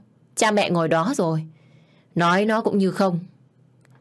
Tao tức cái mình gì đâu. Đã bảo là cưới gần nhà cho nó tiện. Mà cứ thích đi xa xôi làm gì. Rồi sau này cực khổ. Bà mẹ làm sao mà biết được. Thấy bà nội cứ tức giận và nhắc mãi một vấn đề như thế. Nên tôi mới vội chen ngang. Từ từ đã nội. Đã duyên nợ gì đâu mà phải cưới gấp thế. Với con thì phải đợi đúng người thì con mới lấy chứ. Còn không thì con ở giá luôn. Không cần nhìn cũng biết bà nội tôi tức giận đến nỗi đó. Thấy tôi cứ ỏng ẻo, nói ra nói hoài. Nên bà không thèm nói nữa. Chủ đề đấy không hợp là tôi phải có nhiệm vụ đổi ngay. Ngồi chơi, ăn cơm nước ở nhà nội xong, thì cả gia đình tôi mới trở về nhà mình. Mà hên sao là hôm nay, tôi ăn rất ngon, mà không hề ngén ngầm gì. Về đến nhà tắm rửa sạch sẽ xong xuôi, tôi mới leo lên giường nằm, định đi ngủ, thì nghe thấy tiếng chuông điện thoại vang lên. Thì ra là anh gọi tới. Tôi cứ để cho điện thoại vang, rồi lại tắt. Đến mãi một lúc sau mà anh vẫn còn gọi nữa. Bây giờ không nghe cũng không phải là cách. Nên tôi mới quyết định ấn nghe thử. Đầu dây bên kia tiếng anh hối hả vang lên. Alo Mẫn, em đang ở đâu? Sao anh bấm mật khẩu vào nhà em mà không được thế này? Tôi đổi mật khẩu rồi. Thế nên lần sau, anh đừng có tới nữa. Mắc công đi rồi mắc công về. Tại sao? Tại sao em lại làm đến mức như thế hả Mẫn? Anh đã nói rồi, hôm đó là anh say và anh cũng xin lỗi rồi cơ mà. Anh xin lỗi hay không đấy là chuyện của anh. Còn tôi đã đồng ý nhận lời xin lỗi bao giờ đâu. mà anh lại nói như thế. Nếu như anh không còn gì để nói nữa thì tôi tắt máy đây. Khoan, khoan đã. Còn chuyện gì? Anh biết là nếu như anh nói ra điều này chắc chắn em sẽ coi thường anh. Nhưng bây giờ anh hết cách rồi. Thế nên em có thể giúp anh một lần được không? Anh nói đi. Hiện tại mẹ anh đang bị bệnh rất nặng và phải nhập viện để điều trị. Mà anh thì lại không có nhiều tiền ở trong người. Thế nên em có thể cho anh vay một ít tiền được không Mẫn? Anh hứa sẽ trả lại cho em sớm nhất có thể. Tôi giật mình khi nghe anh nói như thế. Mẹ anh đang bị bệnh nặng. Bệnh gì đây? Mà sao lúc trước tôi lại không nghe thấy anh nói gì đến việc này? Tôi cũng biết rất rõ, nhà anh không giàu có gì mấy. Tiền mà anh đi học là anh phải tự đi làm để kiếm tiền. Thấy tôi im lặng thì anh mới lên tiếng nói tiếp. Nếu như em không có thì thôi. Để anh hỏi mượn người khác vậy. À, em nhớ ngủ sớm nhé. Đang có thai đấy. Đừng có thức khuya. Ảnh hưởng đến con. Thôi, anh ngắt máy đây. Chúc em và con ngủ ngon nhé. Nói thế rồi anh cũng ngắt máy luôn. Tôi chẳng biết là mình đang suy nghĩ cái gì mà lại im lặng đến như vậy. Nghe thấy anh nói mẹ anh bệnh mà tôi đây cũng cảm thấy rất lo lắng. Tiền thì tôi không thiếu thật nhưng ở trong cái hoàn cảnh này thì tôi lại không thể làm ngơ được. Vì dù gì anh cũng là ba của đứa bé và mẹ anh cũng chính là bà nội của nó. Suy nghĩ thêm một lúc nữa tôi mới lấy điện thoại ra và chuyển khoản ngay cho anh 20 triệu. Vài phút sau thì điện thoại tôi lại vang lên nhưng lần này tôi không bắt máy mà cứ để cho nó vang lên như thế rồi tự tắt. Bởi vì tôi không dám nói chuyện với anh ngay lúc này. Tắt đèn đi, tôi nhắm mắt và ngủ ngay. Sáng hôm sau tôi thức dậy khá sớm và bước xuống nhà để đi tập thể dục. Nhưng vừa bước ra thì đã gặp ngay cái anh chàng mà hôm qua bà nội tôi nhắc tới. Thấy mặt tôi, hắn ta cứ cười cười mà chẳng nói thêm câu gì. Hai tay cứ xe xe cái lai áo đến mãi một lát sau mới lên tiếng. Chào, chào em. Ôi trời ơi, nghe anh ta nói chuyện mà tôi muốn bật ngửa ra luôn. Hình như là anh ấy bị khờ hay sao ấy nhỉ? Eo ôi, đến tận bây giờ tôi thật sự không biết là bà nội đang có ý tốt hay ý xấu gì với tôi nữa. Tôi gượng cười một cái rồi mới đáp lại. Vâng, em chào anh. Thật tình mà nói, nhìn kỹ vào khuôn mặt của anh ta, rất là đẹp trai. Nhưng mà cái miệng thì lúc nào cũng cười cười. Còn tay chân thì cứ lơ hoa đủ hướng, lại càng khiến cho tôi thêm nghi ngờ. Tôi cứ đứng chờ cho anh ta nói tiếp câu nữa, nhưng lại không được. Thế nên tôi mới nói trước luôn. Anh này, nếu như không còn việc gì nữa, thì em đi trước nhá. Ờ, chào em. Mỗi lần mà anh ta mở miệng ra nói câu nào là tôi lại muốn cười câu đấy. Không phải là tôi khinh thường hay khi dễ gì anh ta, mà như là kiểu cách nói chuyện với cả tính cách cũng khá giống với con nít, nên mới buồn cười. Sau một hồi đi tập thể dục về, thì mẹ cũng gọi tôi vào ăn sáng. Đang ngồi ăn, thì đột nhiên bà ấy kéo kéo cái tay tôi, rồi hỏi ngay. Này Mẫn, lúc nãy cái thằng đấy, nó đứng trước nhà mình, nó nói cái gì với mày đấy? Mày có biết nó là ai không? Mà dám nói chuyện với nó hả? Con biết. Hồi đó con biết ảnh mà. Có phải anh ấy là con của ông Lâm mà bà nội bảo là con cưới anh ấy không? Ừ, nó đấy. Mà nay nó bị bệnh tâm thần rồi nên mẹ mới không đồng ý cho mày cưới nó. Chứ gia đình nhà nó giàu lắm. Tao cũng mê gần chết đây. Để mà bị tâm thần thì cũng hơi uổng mẹ nhỏ. Mà mẹ có biết tại sao anh ta lại bị bệnh không? Thì là do cái con mẹ kế phù thủy hại nó chứ còn làm sao. Cái con đó nó muốn một mình nó hưởng cái gia tài nhà ông ấy nên mới tìm cách đuổi chị hai đi lên Sài Gòn ở trước. Giờ tới lượt thằng này đang bình tĩnh, khôn ngoan thì đùng đùng một cái điên điên khùng khùng. Tội nghiệp. Cái gì mà ghê thế mẹ? Thế rồi, ba ông đấy đâu? Thế sao không nói gì à? Nói cái gì mà nói? Ngu ngục thì làm biết cái gì?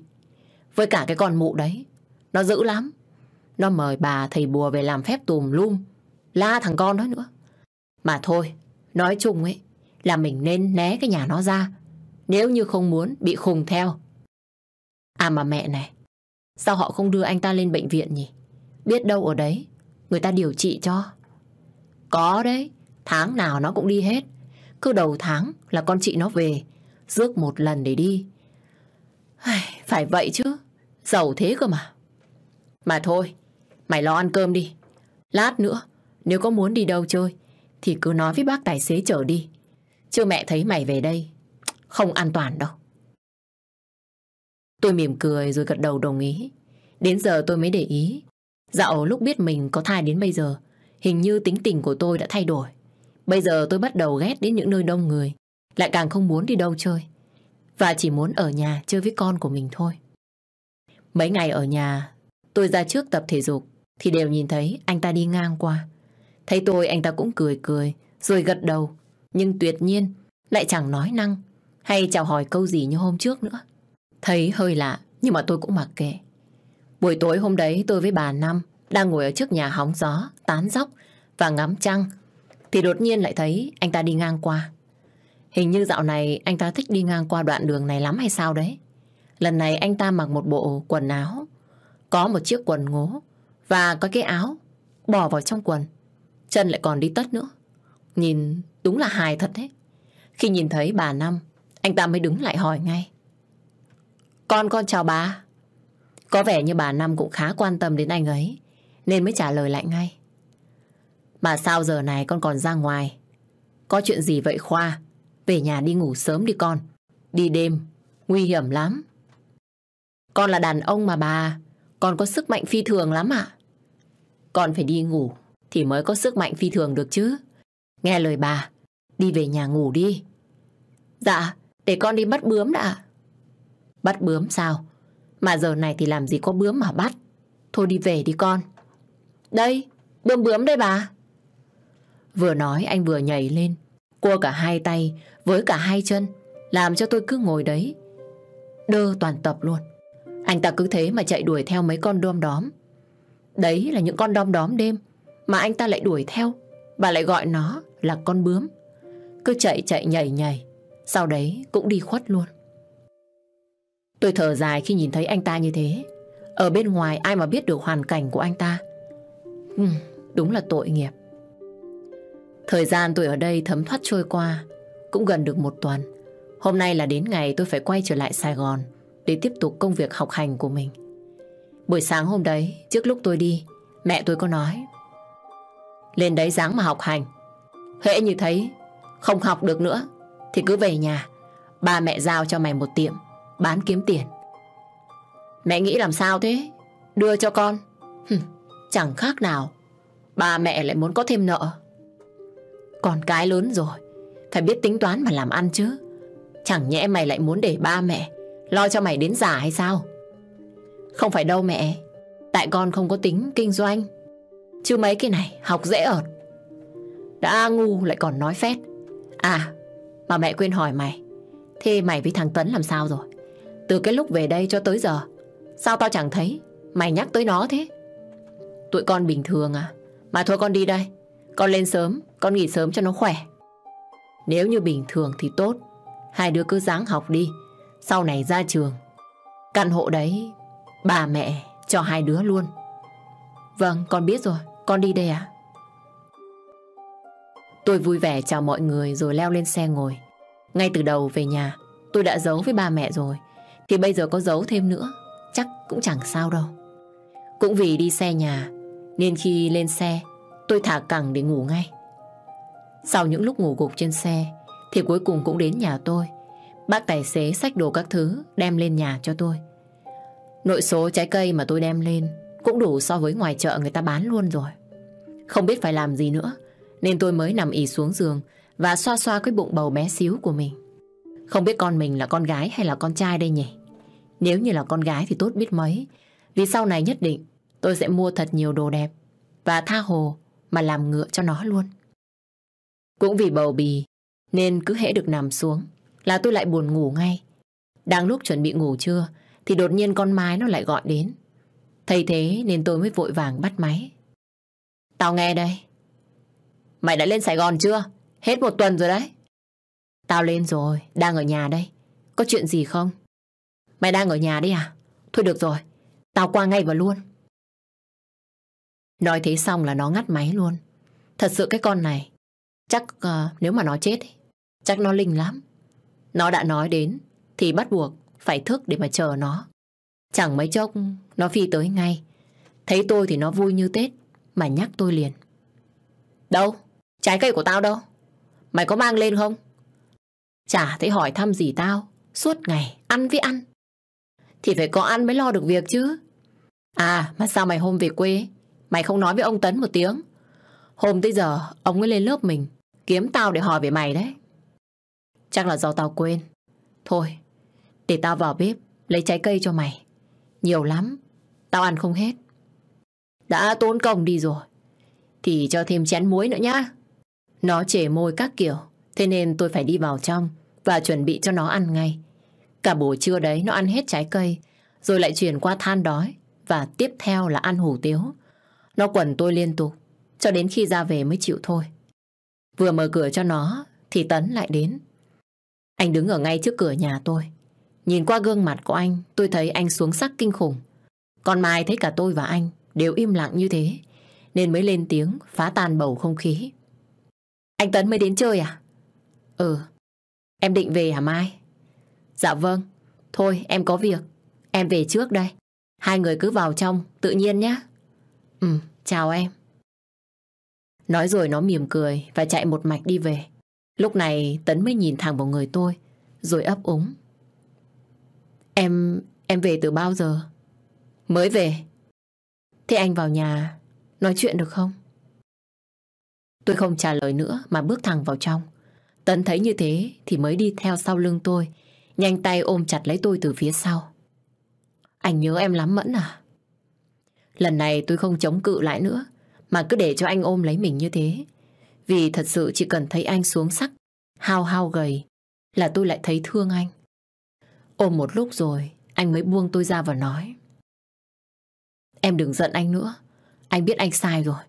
Mấy ngày nay, anh không được gặp em và con, Anh nhớ lắm. Em đừng trốn tránh anh như thế nữa Có được không? Anh thật sự yêu em lắm. Em bỏ qua cho anh lần này đi Nhá. Lúc này tôi hít vào một hơi thật sâu Để cảm thấy mình ổn Rồi mới từ từ lên tiếng nói. Tôi không muốn Anh ép tôi phải bỏ đi đứa bé này. Càng không muốn anh phải làm gì ảnh hưởng tới nó. Nếu như có một ngày anh nói anh không cần nó, thì tôi nhất định sẽ rời xa anh ngay lập tức. Vì nó chính là mạng sống của tôi. Tôi không muốn vì ai mà bỏ rơi nó. Anh có hiểu không? Anh cần, anh thật sự rất cần có em và con. Em bỏ qua cho anh thêm một lần nữa nhé. Anh hứa sẽ yêu thương và chăm sóc thật tốt cho hai mẹ con em. Anh không lừa tôi chứ. Anh thề đấy. Mấy ngày em bỏ về quê, anh sợ lắm rồi. Anh không muốn xa em nữa đâu. Thấy anh chân thành như thế, nên tôi mới nghĩ là anh đã hối hận. Thế nên tôi không giận dỗi nữa. Bởi vì tôi nghĩ, dù gì anh cũng là ba của đứa nhỏ. Bây giờ có nói cái gì đi nữa, cũng không thay đổi được sự thật này. ấy thế mà cho đến mãi sau này, tôi mới biết, lòng tin của mình lại một lần nữa đặt không đúng chỗ. Nó tổn thương gấp 10 lần như thế nữa. Tính tôi thì bình thường rất yếu đuối, mà kèm theo đấy là rất tin người nữa. Nên những lời anh nói là tôi đều tin vô điều kiện. Và thế là hôm đấy, Tấn ở lại nhà cùng với tôi luôn.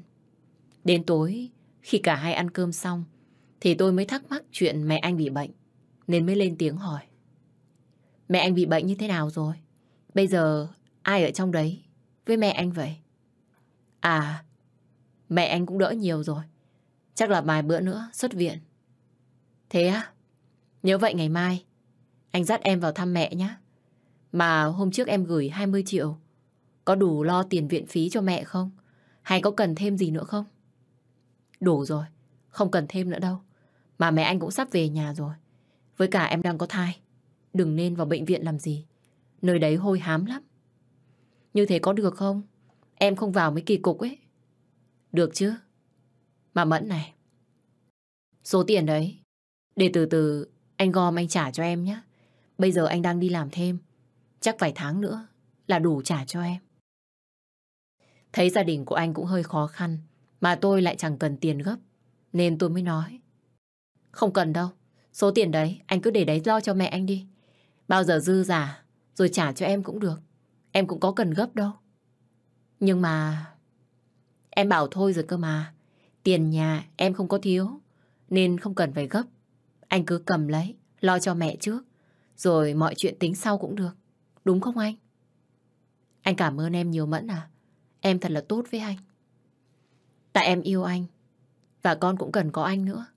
Chỉ cần anh hứa, anh ở bên cạnh hai mẹ con em, thì nhất định sẽ không để cho anh thiệt đâu. Yên tâm nhá. Nghe tôi nói như thế, thì gương mặt của anh tự nhiên đơ ra mấy phần, rồi cũng vội vàng nằm xuống đùi tôi, mà dối mặt vào bụng, nũng nịu. Chắc là do mấy hôm nay anh đã mệt mỏi lắm rồi. Tội nghiệp ba của con tôi. Tôi vốn dĩ rất tin tưởng ở anh, nên những lời anh nói ra, tôi đều nghe và tin hết lòng. Tôi thức dậy khá sớm để đi đến trường, vì tôi nghỉ cũng đã lâu rồi. Bây giờ cái bụng của tôi vẫn còn bé, nên tôi mới mặc vội một chiếc quần jean và áo thun để đến lớp cho gọn gàng. Vừa thấy tôi vào là mấy cái con nhiều chuyện trong lớp đã thắc mắc hỏi ngay. Mẫn này, sao bà nghỉ học lâu thế? Mới đi du lịch về đấy à? Không phải đâu, nhà tôi ở dưới quê có việc gấp, nên tôi mới phải về. Nhà tôi khổ gần chết, tiền đâu mà đi du lịch. Eo ơi, nhà bà mà khổ à? Chắc nhà bọn tôi đi ăn xin rồi. Tôi nói thật đấy, nhà tôi còn khổ hơn cả nhà Tô Ánh Nguyệt nữa cơ. Mới lên Sài Gòn học năm nhất, đã có chung cư ở rồi. Bà nói bà khổ ấy thì ai tin? Mấy cái con này đúng là sân si. Đã nói đến như vậy rồi, mà bọn nó vẫn cứ còn bới móc ra được. Thì thuê ở tháng thì mà, chứ tôi làm gì có tiền đâu mà mua. Mỗi tháng đóng tiền, muốn đổ nợ luôn. Thế à, mấy hôm bà nghỉ học, thấy con Mai nó có buồn buồn, chả chơi với ai. Dạo vừa vừa chứ, mới hôm qua, nó còn đến nhà tôi ăn cơm mà. Điêu thế. Con Nga vừa mới nói dứt câu, là con Mai cũng vào lớp ngay. Vừa vào tới là cái miệng của nó đã bô bô lên. Này Mẫn, công nhận, trái cây dưới nhà mày ngon thật đấy. Hôm qua tao về nhà, tao ăn xương xương, mà hết cả bọc rồi. Thì toàn trái cây sạch mà, nó mà không ngon thì tao cũng chịu. Nói thế rồi cả tôi và con Mai đều im lặng để lo vào tiết học. Nói là tập trung học vậy thôi. Chứ thật ra từ lúc mang thai đến giờ, tôi cứ toàn buồn ngủ.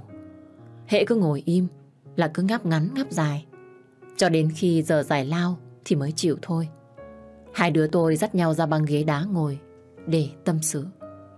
Đang lúc cười cười nói nói thì đột nhiên có một cái gì đấy lạnh lạnh áp vào má khiến cho tôi giật mình quay sang. Chưa kịp nói gì thì anh đã lên tiếng. Cho em này, anh vừa xuống căng tin mua sữa cho em đấy. Còn Mai ngồi bên cạnh thấy như vậy thì mới thở dài nói. Đi học mà suốt ngày, cứ xem phim tình cảm kiểu này. Chắc em nghỉ học sớm anh Tấn ạ. Hai người vừa vừa phải thải thôi chứ. Nếu không muốn xem phim nữa, thì em phải mau mau kiếm anh nào đấy chứ. Ở một mình hoài, không thấy ngán này sao? Em kiếm mà có được ai đâu. Kiểu như bọn nó nấp kỹ quá. Em tìm có thấy đâu. Tại em kén đấy chứ. Chứ anh thấy có khối anh theo em mà. Có đúng không? Thôi, nhắc tới. Em lại thấy buồn thêm. Mà này, hai người cứ tự nhiên đi. Em vào lớp đây. Nói thế xong nó lách cái xác đi vào trong luôn. Còn tôi thì ngồi đấy chơi với anh. Có mấy lần Tấn đưa tay lên, xoa xoa vào cái bụng, nhưng đều bị tôi đánh vào tay. Anh, đang ở trường đấy. Này, anh định thông báo cho người ta biết hết đi à? Tại anh nhớ con, có ai rảnh đâu để ý. Thôi, nếu muốn, thì lát nữa về nhà. Em cho anh sờ cả ngày. Còn bây giờ thì đi đi. Về lớp đi. Em cũng vào lớp đây. Đã nói đến thế rồi mà anh vẫn còn chưa chịu đi. Mãi cho đến khi tôi đứng dậy, đuổi, thì anh mới chịu về lớp. Đang lúc ngồi học thì Mai kéo tay của tôi. Mẫn ơi, lát nữa về, tao với mày đi xem bói nhá. Xem ở đâu? Mà sao tự nhiên hôm nay mày lại hứng lên? Đòi đi xem bói. Thì xem tình duyên chứ còn cái gì. Tao cũng ế quá lâu rồi. Tao có thấy lo lo.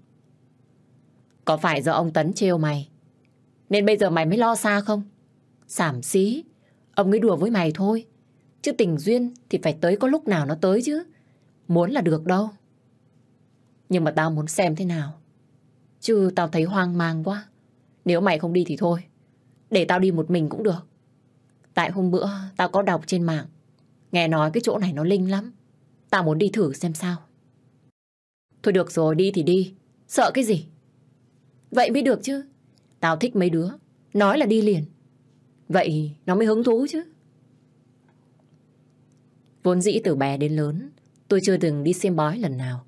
Tin vào cái chuyện tâm linh là thật, Nhưng tôi lại không dám đi xem, Vì sợ biết trước được mọi chuyện. Lại càng thêm buồn. Nhưng mà giờ nghe cái Mai nó rủ, Tự nhiên tôi lại thấy có hứng.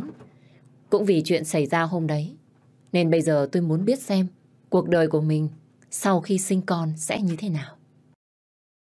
Thế là tan học, Cả hai đứa đèo nhau Đến chỗ mà nó nói. Xe cứ chạy càng lúc càng xa, Mà xung quanh tôi lại chẳng thấy có một bóng người nào. Ngay cả nhà cũng thưa thớt. Đi mãi đến cuối con đường chật hẹp thì cũng xuất hiện một căn nhà nhỏ. Bước xuống xe Tự nhiên tôi có cảm giác lạnh sống lưng. Tôi đi sau Mai. Này ơi, Mai Mai Tự nhiên Tao thấy sợ quá. Mày xem có đúng chỗ này không? Đúng mà Đúng cái địa chỉ Và căn nhà này mà. Vào thôi. Tao nổi hết da gà rồi Cảm giác cứ sợ sợ làm sao ấy. Mày cứ yên tâm đi Mày cứ vào trong xem thử. Nếu không được Thì tao mới mày về Nghe nó nói thế thôi Tôi mới gật đầu và đồng ý đi theo nó vào trong Tôi đã từng nghe người ta nói rằng Mấy cái chỗ coi bói thiêng Thường là rất bí ẩn và ma mị Bước vào trong thấy có thêm hai ba người phụ nữ. Họ cũng đang ngồi chờ. Ở đây có một bà lão khá lớn tuổi. Bà ấy mặc nguyên bộ đồ đen, ngồi ở trước bàn thờ. Xung quanh là mấy hình lá búa hay cái gì đó rơi khắp nơi. Càng lúc tôi càng thấy lạnh và sợ hơn. Hai chân như đứng không vững. Sau một hồi chờ đợi thì cũng đến lượt con Mai xem. Bà ấy bảo là nó phải giải hạn cái gì đó thì mới có thể tìm được ý trung nhân. Nghe cái mùi này tôi nghĩ chắc bà ta đang làm tiền rồi. Đột nhiên bà ấy trồm người tới gần, hỏi nhỏ vào tai nó. Còn có muốn lấy bùa yêu không? Bùa, bùa yêu là sao ạ bà? Bùa yêu là thứ khiến cho tất cả đàn ông xung quanh con đều chú ý đến con. Chỉ cần con mang theo ở bên người thì đảm bảo những điều mà con mong ước sẽ thành sự thật. Thế... thế nó có hại gì không bà? Còn con không biết mấy cái đấy à? Đương nhiên là không rồi. Nếu như con muốn, ta sẽ giúp con. Thấy có điều gì đó bất ổn, nên tôi mới kéo vào tay nó một cái, rồi lắc đầu. Con Mai biết ý, nên nó lắp bắp nói. À, à con không cần đâu à? Nó sẽ giúp con nhanh chóng tìm lấy một nửa của mình. Nếu như con bỏ lỡ, thì vận đem đấy sẽ theo con. Con, con không lấy đâu à? Thấy nó quả quyết như vậy, nên bà ta lắc đầu. Xem cho nó xong, rồi thì nó mới kéo tay tôi và nói. Mày, vào xem đi. Thôi, tao không xem đâu. Mình đi về đi. Không xem thật đi à? Nói đúng lắm đấy. Hay là mày cứ xem thử đi. Thôi, mày mau mau cúng tiền đi rồi về. Tôi không dám xem nên mới hối con Mai đi về nhanh. Đợi nó làm xong các thủ tục rồi hai đứa gật đầu chào hỏi và quay lưng đi. Đang quay lưng thì đột nhiên bà ấy lại nói lớn khiến cho bước chân của tôi phải khựng lại. Cô gái áo xanh sắp tới gia đình nhà cô, chắc chắn sẽ mất đi một người đấy. Ở đây chỉ có hai đứa tôi, mà tôi lại mặc áo xanh nữa. Nên bà ấy nói như vậy, chẳng khác nào chính là đang nói tôi. Mà thôi, tôi mặc kệ. Vào cái chỗ này, tôi đã thấy sợ lắm rồi. Nên tôi không muốn ở lại đây thêm một chút nào. Tôi không trả lời, mà quay ra sau gật đầu, rồi tiếp tục đi ra ngoài xe. Hai đứa đi thật nhanh về nhà mà không ngoái đầu lại. Về đến nhà tôi thở phào nhẹ nhõm. Tôi rót một ly nước đầy và uống hết một hơi rồi mới nói với con Mai. Mày đừng bao giờ rủ tao đi đến mấy cái chỗ như vậy nữa đấy. Lúc nãy tao sợ, muốn xỉu luôn. Ừ, công nhận sợ thật. Mà tao thấy bà ấy coi cũng đúng mày à. Đúng thì tao chả biết. Nhưng mà tao thấy sợ. Nhìn bà ấy cứ sợ sợ kiểu gì ấy. Mà lúc nãy bà ấy nói như thế. Có ý gì không nhỉ? Người mặc áo xanh chẳng phải là mày à? Mày làm sao mà nhà mày ai mất? Tao có biết đâu. Mà thôi bỏ qua đi. Càng nói, tao càng thấy lạnh người. Tôi giấu chuyện Tấn là tôi đi xem bói cùng với Mai vì sợ anh sẽ mắng một trận. Thời gian một tuần nữa cũng trôi qua, tôi vẫn còn ngén ngầm. Nhưng lần này anh lại chăm sóc cho tôi khá chu đáo, nên sức khỏe của tôi cũng ổn hơn. Hôm đấy đang ăn cơm, thì đột nhiên Tấn nói với tôi. Mẫn này, em có thể cho anh mượn thêm 20 triệu nữa được không? Mẹ, mẹ đang cần mua thêm thuốc. Sao hôm trước anh nói với em là mẹ chuẩn bị về nhà rồi? Mẹ ốm lại à anh? À, không phải, à, hình như mua thêm thuốc, uống thêm một đợt nữa. Ừm, thôi được rồi, anh ngồi đợi em một chút. Để em vào lấy tiền em đưa cho anh. Nói xong tôi đi ngay vào phòng, lấy tiền đưa cho anh. Mỗi lần như thế này, tôi lại thắc mắc vì không biết mẹ của anh đang mắc bệnh gì. Mấy hôm trước có hỏi, nhưng anh không trả lời gì, nên giờ tôi cũng không thèm hỏi thêm. Lấy tiền xong là anh cũng rời đi ngay luôn. Thế bây giờ anh về quê luôn nha. Chắc phải mấy ngày nữa anh mới lên được đấy. Hai mẹ con ở nhà, nhớ ăn uống đầy đủ nghe chưa? Em biết rồi. Anh cứ về chăm sóc cho mẹ đi. Thôi anh đi đây. Bye vợ nhá. Tôi mỉm cười gật đầu. Gia đình của anh đã ít người. Mẹ anh lại đổ bệnh thế kia. Tôi thấy rất tội nghiệp. Mà tôi thì chỉ biết giúp anh có thế thôi. Chứ ngoài ra tôi không thể nào làm gì khác được. Sau mấy ngày về quê, hôm đấy đột nhiên tôi thấy anh về nhà trong tình trạng say khướt. Tôi vội vàng dìu anh vào phòng tắm, rồi mới đi ra ngoài. Pha một ly nước ấm, sau đó lau người cho anh. Lúc này tự nhiên Tấn nắm chặt lấy tay của tôi, rồi kéo mạnh xuống và đè lên người tôi, khiến cho tôi hốt hoảng. Anh làm cái gì thế? Em đang có thai cơ mà. Anh muốn. Nhưng mà em đang có thai. Thôi, anh say rồi thì anh ngủ đi.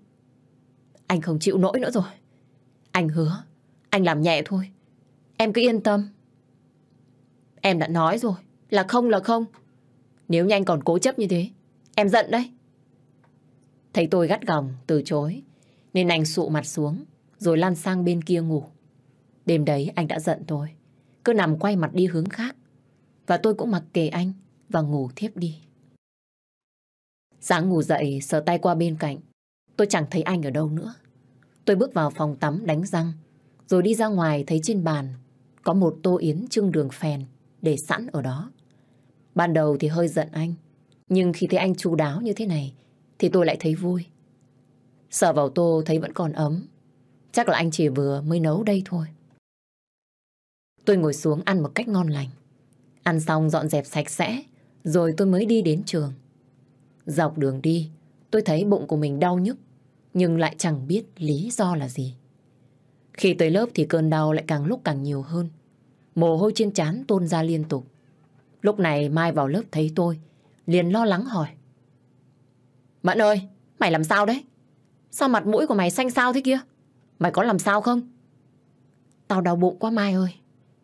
Đau bụng làm sao? Để tao đưa mày xuống phòng y tế. Không được. Mày... Mày đưa tao đến bệnh viện đi. Đừng xuống phòng y tế. Ừ, ừ được rồi, được rồi. Mày chờ tao một chút. Tao đưa mày đi ngay. Bây giờ vẫn còn sớm, nên trường không có nhiều người. Loay hoay mãi, mai mới tìm được một người. Phụ đưa tôi ra cổng để bắt taxi. Bụng của tôi cứ đau nhức liên hồi. Đến nỗi mắt của tôi cũng dần mở đi. Trước khi ngất đi tôi vẫn còn nghe được tiếng của Mai bên cạnh hét lớn. Máu! Trời ơi Mẫn ơi Mẫn ơi! Chân của mày! Tại sao chảy nhiều máu thế này? Mẫn ơi! Mẫn! Mãi đến khi tôi tỉnh dậy thì mùi thuốc sộc ngay vào mũi mình. Nhìn sang thấy Mai thất thần ngồi bên cạnh. Nó thấy tôi tỉnh, liền hỏi ngay. Mẫn, thế tại sao mày lại giấu tao? Tao xin lỗi. Tại vì chuyện không có gì tốt đẹp, nên tao mới im lặng. Mà bác sĩ nói tao bị làm sao? Đến bây giờ mà tao vẫn còn thấy đau bụng. Mất rồi. Bác sĩ hút em bé ra rồi. Chắc là mày phải nằm lại đây thêm mấy ngày nữa, để mà theo dõi thêm. Mày vừa nói cái gì? Tại sao bác sĩ lại hút con của tao ra? Nghe vậy tôi không còn giữ được bình tĩnh mà ngồi dậy. Nhưng cơn đau lại một lần nữa ập tới. Mai thấy như thế, liền nắm chặt lấy tay tôi và nói. Bác sĩ nói, mày đã uống thuốc phá thai, loại cực mạnh, nên mới không thể giữ được em bé. Bây giờ chỉ còn cách là hút ra cho sạch. Để sau này mày còn có khả năng có thai nữa. Thuốc phá thai á? Thế chẳng phải là mày đã uống thuốc hay sao? Không, tao không uống. Tôi bắt đầu cảm thấy hoang mang khi nghe Mai nói như vậy. Bởi vì từ sáng đến giờ tôi chả ăn uống gì ngoài tô yến của anh đã làm sẵn cho tôi. Đúng rồi, là tô yến ấy. Nhưng chẳng lẽ nào anh lại là người bỏ thuốc vào đấy hay sao? Trong đầu chẳng thể nghĩ thêm được gì nữa. Nên tôi mới ôm lấy đầu, ngồi khóc nức nở. Tại sao? Tại sao anh lại làm như thế với tôi hả Tấn? Mẫn, mày đang nói cái gì đấy? Có thật là ông Tấn đã làm thế này với mày không? Mày nói cho tao nghe. Đúng thế. Chính là anh ta. Tao nhất định phải đi gặp hắn. Hỏi cho rõ mới được. Vừa nói tôi vừa đưa tay lên, giật sợi dây chuyền nước ra, định bước đi. Thì Mai nó cản tôi lại. Mày bình tĩnh lại đã. Sức khỏe của mày vẫn còn đang yếu lắm. Có cái gì để về nhà rồi nói có được không? Nhưng mà tao... Được rồi, được rồi. Nếu như ông ấy dám làm như thế với mày, thì tao nhất định sẽ là người hỏi tội đầu tiên. Còn bây giờ mày phải nghỉ ngơi đi. Sức khỏe của mày là trên hết. Càng nói, tôi lại càng thấy tức giận hơn nữa. Giá mà như tôi, đừng có tin vào những lời anh nói và đừng ăn cái tô yến nghiệt ngã đấy thì có lẽ sẽ tốt biết mấy. Ôm lấy cái bụng, mà tôi bật khóc. Mẹ thật sự xin lỗi con. Mẹ đã sai rồi. Con ơi! Tôi bây giờ cứ như người mất hồn. Chẳng còn muốn ăn uống gì thêm nữa. Tôi nghỉ học hai hôm để quay trở lại bệnh viện. Những ngày này chỉ có Mai ở lại cùng và chăm sóc cho tôi. Ở trong này tâm trạng của tôi dối bời. Tôi đã lấy máy gọi cho Tấn rất nhiều cuộc, Nhưng anh không nghe máy. Tôi thật sự đã sai lầm khi nghe vào những cái lời mật ngọt của anh ta. Ngay cả đứa con ruột của mình mà anh ta cũng có thể giết được thì anh ta đã không còn là con người nữa rồi. Vì trong bệnh viện quá buồn nên tôi xin bác sĩ xuất viện về nhà. Thấy cơ thể của mình vẫn còn đang khá yếu nên tôi mới gọi về nhà cho mẹ. Alo mẹ à? Cái gì đấy? Lại thiếu tiền hay cái gì? Mà gọi về nhà sớm thế hả? Dạ không phải. Dạo này con chuẩn bị ôn thi. Với con thấy mệt. Hay là mẹ kêu bà Năm lên đây ở với con vài ngày có được không ạ? Thế tại sao lúc đầu mẹ bảo bà Năm lên, mày lại không chịu? Tại cái lúc đấy con học ít, nên con mới không cần bà lên. Giờ con học nhiều lắm nên con mới cần à. Thôi được rồi, để đấy, mẹ nói với bà Năm. Dạ vâng ạ. Tôi tắt máy, nằm nhìn lên trần nhà và đầu óc trống rỗng. Mất đi đứa con đầu lòng của mình, tôi thật sự rất đau lòng. Và đau gấp vạn lần khi biết người giết đi chính là ba của nó. Tôi gọi cho anh rất nhiều lần để làm cho ra nhẽ, nhưng anh vẫn bật vô âm tín. Tôi ở nhà nghỉ ngơi, dưỡng sức thêm vài ngày rồi mới dám tiến đến trường. Nhưng khi vừa bước vào lớp, tôi đã nghe cô giáo chủ nhiệm gọi mình lên văn phòng. Mẫn ơi, em lên văn phòng gặp cô. Cô có chút chuyện cần trao đổi riêng với em. Dạ vâng ạ, em lên ngay. Vừa bước chân vào phòng, cô giáo đã nói. Em cứ ngồi xuống đấy đi. Cô chỉ hỏi về tình hình sức khỏe của em thôi, chứ không có gì quan trọng. Dạ vâng ạ. Cô nghe nói là mấy hôm nay em bị bệnh, phải nằm bệnh viện điều trị. Thế nào rồi? Sức khỏe của em ổn hết chưa? Dạ vâng, em đỡ nhiều rồi ạ. Vậy thì cô yên tâm rồi. Mà dạo này cô thấy hình như em có vẻ lơ là việc học hành lắm đấy. Sắp đến kỳ thi kết thúc môn rồi. Em cần phải cố gắng nhiều hơn nữa. Dạ vâng, em biết rồi ạ. Em nhất định sẽ cố gắng học tốt. Nếu như em đã quyết tâm chọn vào ngành này, thì phải cố gắng gạt bỏ hết mọi thứ không tốt qua một bên và chuyên tâm vào học hành.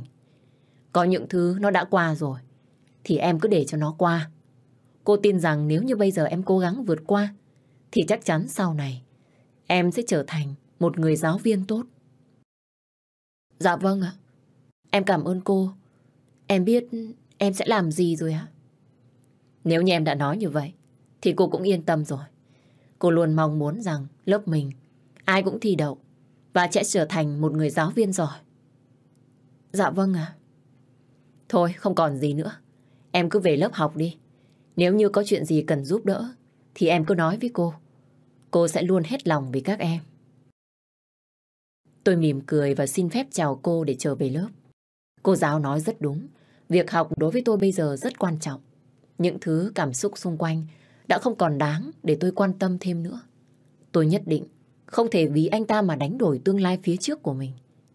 Trở về lớp, tôi bắt đầu học hành chăm chỉ, khiến cho ai nấy cũng đều rất ngỡ ngàng. Đến lúc tan trường đang đi bộ về cùng với mấy đứa bạn, thì đột nhiên tôi thấy Tấn. Anh ta đang nói chuyện vui vẻ và đi cùng với đám bạn, nên tôi mới chạy lại thật nhanh, kéo tay của anh ta nói lớn. Thằng khốn, anh còn dám vác cái bản mặt xấu xa của mình để đi học nữa à? Em nói cái gì vậy? Lúc này có rất nhiều người nhìn tôi và anh ta. Nhưng vì không kiềm chế được bản thân, nên tôi mới giơ cái tay lên và đánh vào người anh ta và nói lớn. Đồ xúc vật, đồ không có lương tâm. Anh ác độc đến mức hại chết ngay cả con của mình. Tôi nguyền rủa ba đời nhà anh, sẽ không bao giờ có con nối dõi. Tôi nguyền rủa anh, sẽ đau khổ cho đến chết. Anh hiểu chưa? Em bị điên đi à? Lá hét đánh đập gì ở đây? Buông tôi ra, đừng có làm phiền tôi thêm nữa. Tôi mệt cô rồi. Làm phiền sao? Hừm, thằng chó này, anh thật sự quá khốn nạn. Này, em có thôi không? Thế có quá nhiều người nhìn, nên Tấn mới tức giận, kéo tay tôi đi thật nhanh ra chỗ khác. Tôi hất mạnh tay của anh ta, rồi nói tiếp. Anh cũng biết xấu hổ sao? Anh sợ người ta biết chuyện xấu của mình gây ra, nên ảnh hưởng đến tương lai của anh chứ gì. Ăn bậy được, chứ đừng có nói bậy. Tôi đã làm cái gì sai chưa? Mà cô cứ bô bô cái mồm lên thế à? thì anh giải thích đi. Chuyện đứa con của tôi mất. Chuyện động trời. mà tôi chưa từng nghĩ là anh sẽ làm đấy. Anh nói đi. Tôi thật sự không hiểu ý của em là gì. Con của em, còn ở trong bụng của em rồi còn gì? Hay là em bị bệnh thần kinh à? Tôi bật cười khi nghe anh ta nói như vậy. Một giọt nước mắt trên mi tôi khẽ rơi. Tôi vội đưa tay quẹt rồi nói ngay. Tôi bị bệnh thật đấy. Nhưng mà anh có biết là tôi bị bệnh gì không? Bây giờ tôi không có thời gian để đôi co với cô. Mẹ tôi ở nhà vẫn còn đang bệnh nặng lắm kìa kìa. Thế nên, cô đừng có làm quá lên được không? Từ lúc nào mà cô lại điên điên khùng khùng và không biết sĩ diện vậy hả? Điên điên khùng khùng sao? Tôi như thế này là vì ai? Vì ai? Tôi vừa nói vừa đánh mạnh vào người của anh ta. Nhưng khác với những lần trước, lần này anh ta không để cho tôi đánh nữa, mà cố nắm chặt lấy tay tôi lại. Anh buông tôi ra. Được thôi, nếu như bây giờ cô đã biết được sự thật, thì tôi cũng không muốn giấu thêm làm gì nữa. Chẳng phải ngay từ đầu, tôi đã nói với cô rồi còn gì. Đứa bé đó không thể để cho nó ra đời được. Bởi vì nó làm ảnh hưởng đến cả tôi và cô. Cô cô có hiểu không? Tính ra trong cuộc tình này, chỉ có một mình tôi là ngu. Tôi ngu khi để một thằng khốn nhanh dắt mũi mà không hề hay biết. Tôi ngu khi đã trao hết những gì mình có cho anh. Và ngược lại, người đau khổ nhất vẫn là tôi. Này, cô đừng có kể lễ nữa. Mất đi đứa bé này, có khi lại còn tốt cho cô đấy. Tôi chỉ đã đang giúp đỡ cô thôi. Anh đúng là một thằng khốn nạn. Bây giờ con tôi cũng không còn nữa. Thì tốt nhất, anh biến đi cho khuất mắt. Biến! Được thôi, đấy là do cô nói đấy nhá. Chứ không phải là do tôi đấy nhá. Tôi đã cố gắng chịu đựng cô lâu lắm rồi. Giờ thì tốt thôi. Chẳng ai liên quan gì đến ai. Tạm biệt. Thằng chó, anh chết đi. Tôi lặng lẽ ngồi gục xuống đất khóc nước nở. Nhưng cũng may là trong đầu vẫn còn nhớ đến số tiền mà anh ta nợ mình. Nên mới đứng dậy gọi lớn. Này, anh đứng lại cho tôi. Chúng ta vẫn chưa xong chuyện. Còn chuyện gì? Đánh cũng đánh rồi. Chửi thì cũng chửi rồi. Còn thiếu cái gì? Đương nhiên là còn. Anh không nghe người ta nói à? Đồng tiền đi liền khúc ruột. Anh phải nhớ mà trả tiền lại cho tôi. Chia tay rồi bây giờ cô lại định đòi tiền á? Đúng thế. Nếu như đối với người khác thì tôi sẽ không đòi. Nhưng với một tên khốn nạn như anh thì một đồng tôi cũng phải lấy. Nghe tôi nói như thế thì mặt Tấn đơ ra. Chắc là anh không ngờ tôi lại tuyệt tình đến như vậy. Nhưng nói thế cũng chẳng đúng. Tất cả là do anh ta ác với tôi. Đối với tôi, những ai đã đến và làm cho mình đau đớn thì nhất định tôi phải trả gấp bội. Thấy anh ta vẫn còn im lặng nên tôi mới tiếp tục nói tiếp. Tôi cho anh một tháng để trả lại hết số tiền anh đã mượn của tôi. Nếu như sau một tháng anh không chịu trả, thì anh đừng bảo sao mà tôi ác. Tôi đảm bảo với anh rằng anh sẽ được nổi tiếng đấy. Nói dứt câu, tôi bỏ đi ngay. Đối với loại người như hắn, thì tôi đã không còn thiết tha gì thêm nữa. Tôi rất hối hận vì những điều không hay đó đã xảy ra. Chỉ là tội cho đứa con chưa được hình thành, thì đã bị ba nó giết chết. Tôi đi bộ về nhà thì chợt thấy bà Năm đang đứng trước cờ chờ nên tôi mới lật đật chạy lại hỏi. Bà Năm, bà lên lúc nào vậy ạ? Bà đứng chờ con có lâu không ạ? Bà mới lên một thôi. Con mới đi học về đi à? Dạ vâng, con mới đi học về. Thôi, mình xách đồ vào nhà đi bà. Bà Năm vui vẻ gật đầu chờ tôi mở cửa, rồi mang hết đồ đi vào trong. Thấy bà xách đủ thứ đồ, nên tôi mới hỏi. Sao bà mang cái gì mà nhiều thế à? Bữa trước con mang lên, con còn chưa ăn hết. Tại mẹ của con, cứ sợ con lo học mà quên ăn, nên mới kêu bà mang theo đồ.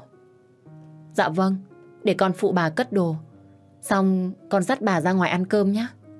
Ấy ấy, ở nhà nhiều đồ ăn lắm. Để bà nấu một chút là có ăn ngay. Ra ngoài ăn làm gì cho tốn kém. Bây giờ cũng quá trưa rồi. Mình ăn ở ngoài luôn cho tiện à. Thôi thế cũng được. Nhưng chiều nay bà phải nấu cơm đấy nhá. Những ngày ở trên này bà chăm sóc cho tôi rất chu đáo. Buổi tối bà thường hay nói chuyện và khuyên nhủ tôi rất nhiều điều. Cho nên thời gian ấy đối với tôi, tôi có thể vượt qua dễ dàng. Đã đến lúc tôi nên khép lại quá khứ và cố gắng học tập để thành công hơn. Và đúng như lời đã hứa, một tháng sau đó, Tấn có hẹn tôi ra ngoài để trả tiền. Nhưng tôi không muốn gặp nên mới nói. 40 triệu, anh cứ chuyển vào tài khoản ngay cho tôi. Không cần phải gặp mặt, làm cái gì cho mệt. Nhưng mà anh muốn gặp em để thương lượng. Chuyện này không thể nói qua điện thoại được. Tôi không rảnh. Có cái gì thì anh nói ngay đi. Nếu không tôi tắt máy đây. Anh ta thở dài ấp úng vài giây rồi nói tiếp. Thật ra bây giờ anh chỉ gom được 30 triệu thôi. Còn 10 triệu đấy, em cho anh nợ, rồi từ từ anh trả tiếp có được không? Không cần đâu. 10 triệu đấy, xem như tôi cúng chùa tích đức cho con. Anh... Tôi không muốn nghe thêm lời nào từ miệng của anh ta nói nữa, nên tôi mới vội vàng ngắt máy. Thật ra bây giờ tôi chẳng cần tiền là mấy. Với số tiền mà anh trả, tôi lấy 10 triệu cho bà Năm và 20 triệu còn lại thì tôi đem đi làm từ thiện. Coi như tôi làm việc thiện cho đứa con xấu số của mình. Ba năm sau, thời gian cứ thế nhẹ nhàng trôi qua. Cũng vì khoảng thời gian hai năm cố gắng ấy mà bây giờ tôi đã ra trường với kết quả thật đáng mong đợi và xin ngay được vào một trường mầm non quốc tế để dạy. Cuộc sống tự lập của tôi hàng ngày, buổi sáng đi dậy, còn buổi tối về nhà thư giãn. Đôi khi tụ tập với hội bạn thân, dòng chơi rồi về nhà ngủ. Chẳng cần phải có người yêu bên cạnh, mà tôi thấy lúc nào cũng hạnh phúc. Gia đình ở quê cũng đã biết chuyện tôi và Tấn chia tay. Ngay cả việc tôi mất đi đứa con đầu lòng, mẹ tôi cũng biết. Nhưng mẹ không trách mắng gì tôi, mà ngược lại còn an ủi động viên tôi nữa. Tối hôm đấy đang ngồi xếp những con hạc giấy để dành tặng cho con, thì đột nhiên tiếng chuông điện thoại của tôi vang lên. Thấy mẹ gọi giờ này tôi cũng hơi hoang mang, nên mới vội vàng bắt máy. Con nghe đây mẹ. Mày đang làm cái gì đây? Bà nội đang muốn nói chuyện với mày đây. Mẹ đang ở nhà bà Thế mẹ đưa máy cho con nói chuyện với nội đi. Đây mẹ, con Mẫn nó đang nghe đấy. Mẹ nói chuyện với nó đi. Chứ vợ chồng con bó tay hết cả rồi. Nghe mẹ tôi nói như thế là tôi biết bà nội đang chuẩn bị nói cái gì. Tôi vẫn còn chưa muốn lấy chồng. Tại sao ai cũng ép tôi như vậy? Bà nội nhìn vào điện thoại thấy tôi thì liền nói. Thế làm sao? Năm nay cô đã được bao nhiêu tuổi rồi? Cô định chờ đến bao giờ thì mới chịu đi lấy chồng đây? Nội, con chưa đủ 25 mà. Từ từ lấy chồng cũng được. Cần gì phải gấp đâu ạ? Cô thì không gấp. Nhưng mà cả họ nhà tôi đang gấp đây. Nội, nói thế, làm con cảm thấy có lỗi ghê. Chứ không phải sao. Nhà có một mình mày là con gái. Mày không chịu lấy chồng. Thì biết đến bao giờ. Bà nội ơi, chỉ cần bà nội giữ gìn sức khỏe, sống thật lâu bên con cháu, là con mừng lắm rồi. Chuyện lấy chồng của con, nội đừng nhắc đến nữa. Con hứa, con đủ 25 tuổi, con sẽ lấy chồng. Nội yên tâm nhá. Mệt mỏi quá. Nếu như cô ở trên đó mà không quen được ai, thì cứ về đây mà lấy. Còn khối thẳng đang chờ cô đây này. Nội, nội định nói đến con trai của ông Lâm đây à? Thôi thôi, cho con xin nhá. Con không muốn đâu. Nói chuyện với cái đứa cứng đầu như cô. Mệt quá. Thôi, tôi đi ngủ đây. Cô làm sao cho được thì làm. Nói thế bà nội quay đi chỗ khác và không thèm nói chuyện với tôi nữa. Vừa buồn cười lại vừa thấy thương nội. Nói chuyện với mẹ tôi thêm một lát nữa thì tôi đi ngủ. Vì ngày hôm sau tôi còn phải đi làm sớm. Thường thì tôi dậy khá sớm để tới trường đón trẻ. Cũng vì mình đã từng mất đi một đứa con, nên giờ tôi rất thương mấy đứa nhỏ trong lớp. Hôm nay cậu nhóc béo nhất lớp, lại đi sớm, nên ai thấy cũng trêu. Cô Quỳnh dạy cùng lớp với tôi, gọi thằng bé lại, rồi hỏi ngay. Hôm nay chắc trời sẽ mưa biên nhỉ? Sao ạ cô? Sao cô Quỳnh lại biết hôm nay trời mưa ạ? Thì Bin đi học sớm, nên ông trời bất ngờ mà mưa đấy. Cậu nhóc bánh bao lần đầu tiên đi học sớm nhất lớp còn gì. Thằng bé nghe cô ấy nói như vậy thì gãi đầu và trả lời ngay. Tại mẹ con hôm nay bận đi làm nên con mới đi học sớm cô ạ. Nhưng mà con vẫn còn muốn ngủ cơ. Bin đang tăng cân, mà lại còn đòi ngủ à? Nghe cô Quỳnh nha, Bin phải dậy sớm này, tập thể dục này, mới khỏe được. Dạ vâng ạ. Thấy thằng nhỏ đi học sớm vẫn còn buồn ngủ, nên tôi mới đi lại gần, đưa tay lên xoa đầu nó rồi nói. Thế bây giờ Bin có muốn ngủ thêm một lát nữa không? Để cô Mẫn đi lấy giường cho con nằm nhé. Dạ không cần ạ, con hết buồn ngủ rồi. Nhưng mà con đói, cô Mẫn ơi. Thế được rồi, Bin ra ngoài, ngồi vào bàn đi. Cô lấy thức ăn cho con nhé. Dạ vâng. Thật sự là ở lớp học có đến tận ba cô giáo. Nhưng mà nó lại là cái đứa thích tôi nhất. Cái này cô Mẫn lấy cho con. Cái kia cũng là cô Mẫn làm hộ cho con. Buồn cũng cô Mẫn. Mà vui, nó cũng gọi cô Mẫn. Nó cứ thế mà bám theo tôi suốt cả ngày. Nhìn nó đáng yêu, nên tôi lại càng thích. Với lại tính cách của nó cũng dễ chịu nữa. Hôm đấy đang giờ dỗ mấy đứa ngủ trưa, thì đột nhiên điện thoại của tôi lại vang lên. Đã rất lâu rồi không có người gọi cho tôi vào giờ này. Tôi chạy nhanh lại lấy điện thoại. Thì thấy số lạ, nên cứ chần chừ một lúc rồi nghe máy. Alo, tôi Mẫn nghe à? À, chào cô Mẫn. Chị là mẹ của Bin đây cô. Dạ, em chào chị. Chị gọi cho em có chuyện gì không ạ? Bin nó ngủ chưa cô? Hôm nay đi học, à, chắc là Bin nó quậy lắm hả cô? Dạ không, Bin ngủ rồi chị. Chị cứ yên tâm. Tại hôm nay chị về quê sớm, nên mới đưa nó đi sớm. Chiều nay cô cho chị gửi Bin hơi trễ một tí nhá. Chị đang ở dưới quê, nên sợ về không kịp. Nếu thế thì em đưa Bin về nhà trông. Khi nào chị xong việc, chị ghé qua nhà em đón cháu nhé. Em gửi địa chỉ nhà em cho chị à? Thế tôi cảm ơn cô. Đây, vừa thấy sinh lại còn tốt bụng nữa. Hèn gì thằng Bin nó về nhà. Nó cứ nhắc đến cô miết thôi. Dạ vâng, em cảm ơn chị đã quá khen. Thế chị nhờ cô nhá. Đến tháng, à, chị lại gửi quà cho cô. Bây giờ chị phải đi đây. Nói thế rồi chị ấy cũng ngắt máy luôn. Nói thật thì nhìn mẹ con của Bin mà tôi thấy ngưỡng mộ quá. Tuy là đã ngoài 40 tuổi nhưng vẫn còn rất trẻ trung, ăn mặc hợp thời trang. Nếu mà nhìn kỹ thì tôi thấy chị rất giống một người nhưng chẳng nhớ được là ai.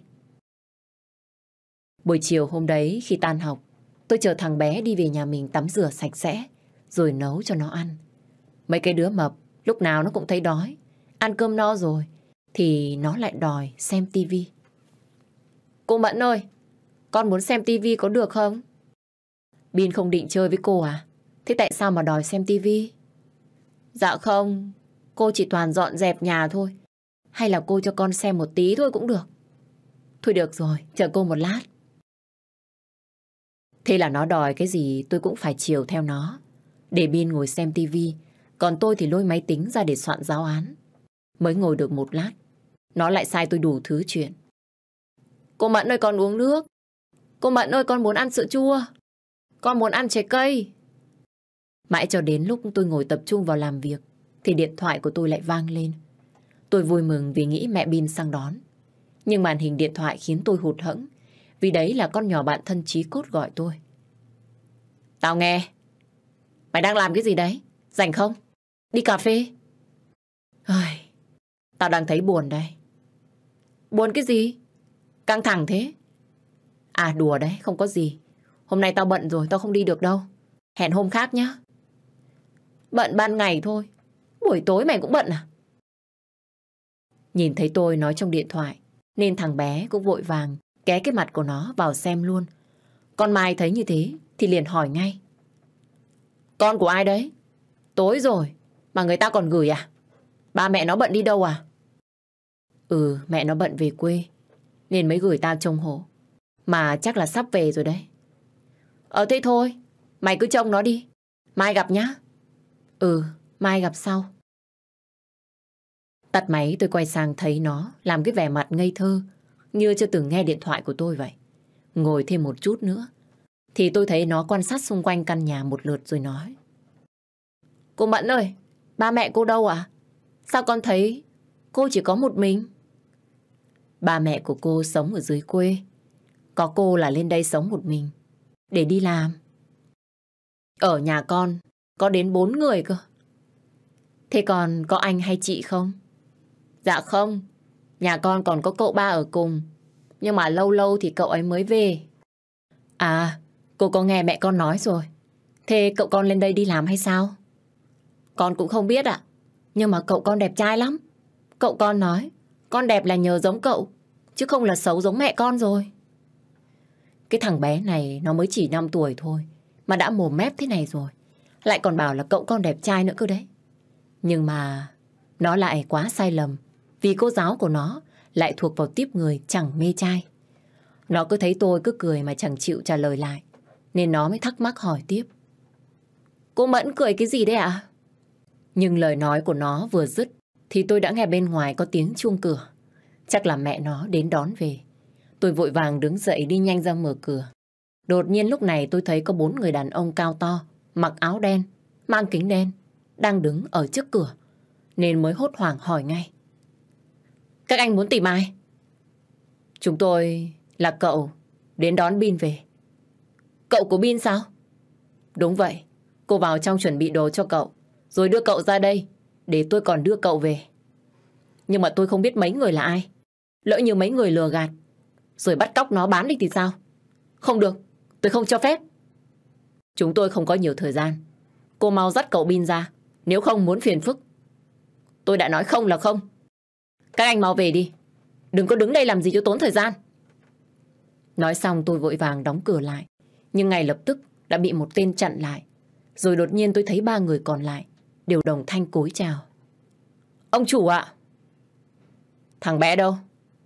Dạ thưa ông, cô gái này vẫn chưa chịu đưa Bin ra ngoài. Lúc này anh ta đi tới. Bỗng tôi đứng hình, như chưa hiểu được chuyện gì xảy ra. Tại sao, tại sao lại có thể giống người đó đến như vậy? Vẻ mặt ngạc nhiên của anh ta cũng chẳng khác gì tôi là mấy. Tuy là bất ngờ, nhưng tôi mau chóng lấy lại vẻ lạnh lùng. Miệng tôi lúc này mới lắp bắp, nói không nên lời. Anh... Tôi muốn rước thằng Bin về. Có phải anh là anh Khoa không? Không, tôi rất bận và không có nhiều thời gian. Nên cô hãy mau đưa thằng bé ra đây. Để tôi còn đưa nó về. Tôi không quen anh. Cũng không nghe mẹ Bin nói gì. Hay là nhờ ai rước. Thế nên anh với người của anh mau về đi. Tôi không giao thằng bé ra đâu. Anh ta nhìn tôi nhưng vẫn giữ nguyên cái mặt lạnh ấy và lấy điện thoại ra, bấm sau đó đưa cho tôi. Nghe đi. Tại sao tôi phải nghe? Có phải anh định dở trò gì không? Mẹ của Bin đấy. Chẳng phải là cô đang muốn nghe mẹ Bin nói hay sao? Vô va vô vẩn. Tôi nhìn điện thoại rồi nhìn lên mặt anh ta chần chờ thêm một lúc nữa. Rồi cũng đưa lên tai nghe. Vừa hay đầu dây bên kia, tiếng của mẹ Bin cũng vang lên. Đã dứt thằng nhỏ về chưa? Thế tại sao còn gọi điện cho chị thế này? Alo, em Mẫn đây à? À, cô giáo, em đang ở cùng với thằng Khoa đấy à Chị không biết, cứ tưởng là nó nghe máy chứ. Khoa? À dạ vâng, đúng là anh ta rồi à? Nó là em trai của chị đấy. Lúc nãy chị đi gấp quá, nên chị mới nhờ nó sang đón Bin.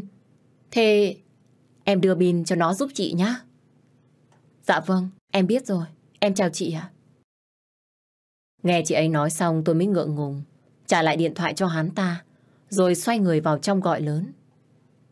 Bin ơi, có cậu đến đón về này. Dạ. Thằng bé nghe tôi gọi, thì hối hà lấy cặp, rồi chạy ra thật nhanh. Vừa nhìn thấy anh ta, nó đã mừng rỡ leo reo lên. Cậu ba! Ừ, ra đây đi về nhà thôi. Đón có một mình mày thôi. Mà cậu thấy mệt thật sự đấy.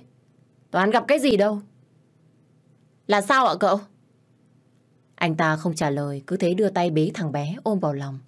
Khẽ liếc sang tôi một cái, rồi cũng đi thẳng về luôn. Tôi thật sự cứ như người mất hồn. Đứng đấy nhìn cho đến khi bọn họ đi khuất, rồi mới bước vào nhà. Vừa ngạc nhiên, lại vừa tò mò.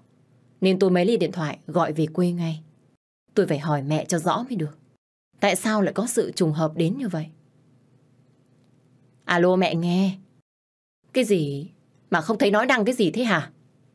Mẹ, mẹ ơi, con hỏi cái này với. Muốn hỏi cái gì thì nói nhanh đi. Hôm nay mày bị làm sao thế? Có chuyện gì? Mẹ ơi mẹ, mấy hôm nay mẹ có nhìn thấy cái anh khùng khùng, con của ông Lâm, hay đi ra ngoài đường không mẹ? Hay anh ta có biểu hiện gì lạ? Như là anh ta tỉnh lại không ạ?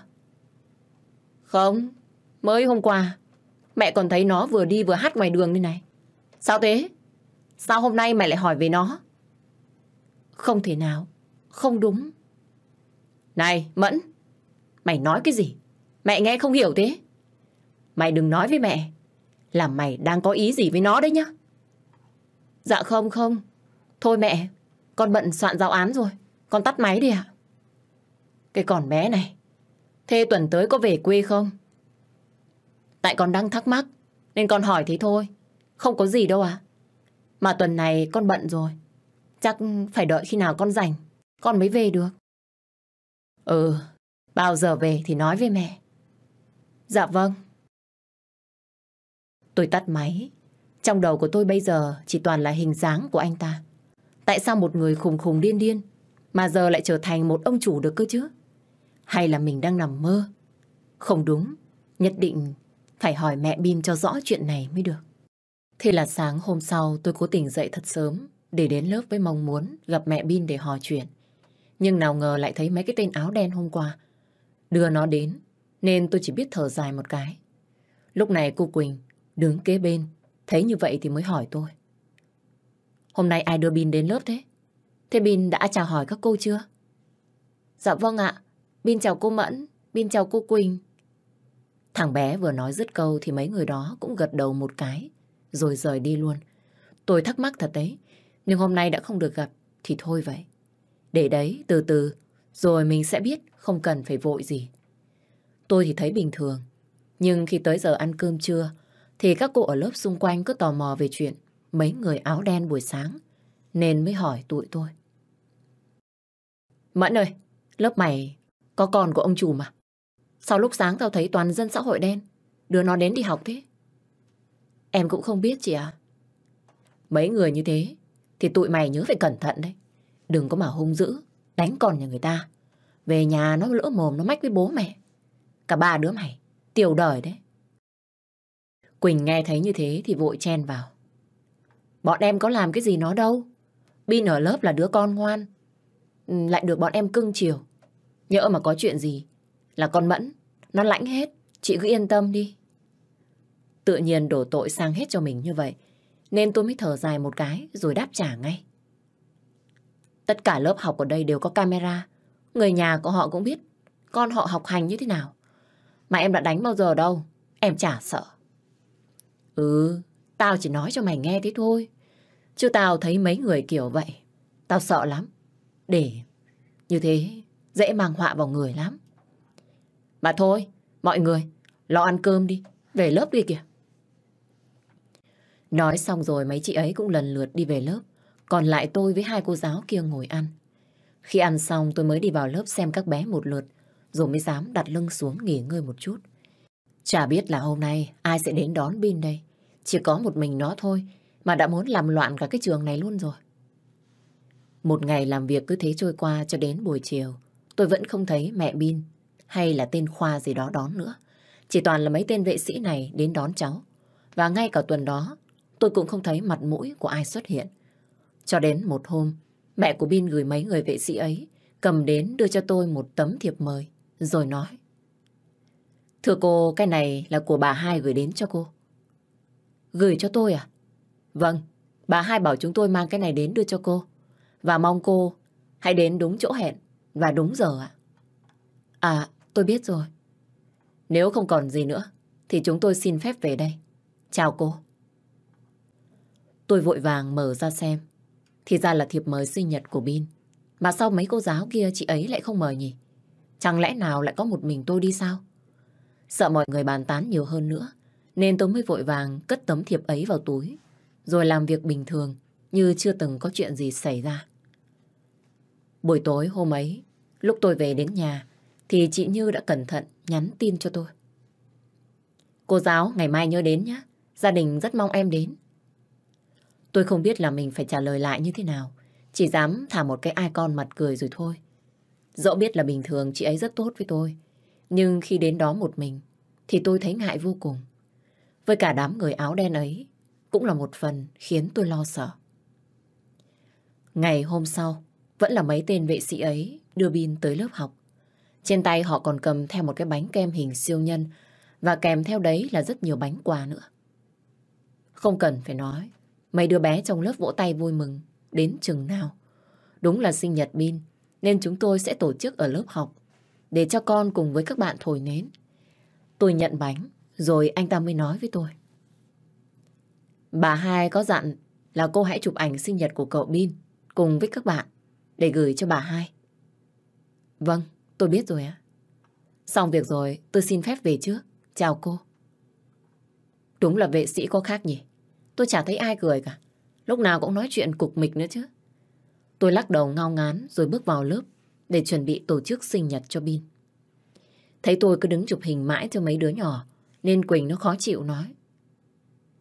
Này Mẫn, mày chụp vài tấm là được rồi. Có rảnh đâu mà chụp nhiều làm cái gì. Phụ huynh nhờ nên phải chụp mà mày. Chờ tao một tí nữa, sắp xong rồi đây. Nó nhìn thấy tôi vẫn còn chụp hình mà không có ý định dừng lại nên càng khó chịu hơn nữa mà gắt gỏng lên. Mẹ của nó cho mày nhiều tiền lắm à? Sao mày cưng nó thế? Sau sinh nhật của mấy đứa kia, tao có thấy mày làm quá lên như thế này đâu. Này này, mày ăn nói đàng hoàng chứ. Có bao giờ mày thấy tao không nhiệt tình với đứa nào chưa? Thì tao biết là mày nhiệt tình với tất cả. Nhưng mà mày vẫn đặc biệt với thằng Bin. Ừ. Ơ cái con này, mày nói chuyện lạ nhỉ? Đứa nào tao cũng thương hết. Chứ không phải là đứa thương đứa không. Còn với thằng Bin, mẹ nó đã nhờ. Nên tao mới làm thôi. Nếu vậy thì mày đừng chụp nữa. Mày cứ đứng chụp hoài thì bảo sao? Người ta lại không nói mày. Thôi được rồi, tao không chụp nữa. Tôi thật sự bực mình với con nhỏ này. Vì bình thường ngày trước tôi vẫn hay cưng chiều thằng Bin. Nhưng nó lại không nói cái gì. Nhưng kể từ khi nó thấy thằng Bin được vệ sĩ đưa đón đi học, nó lại ghen ăn tức ở với tôi ngay.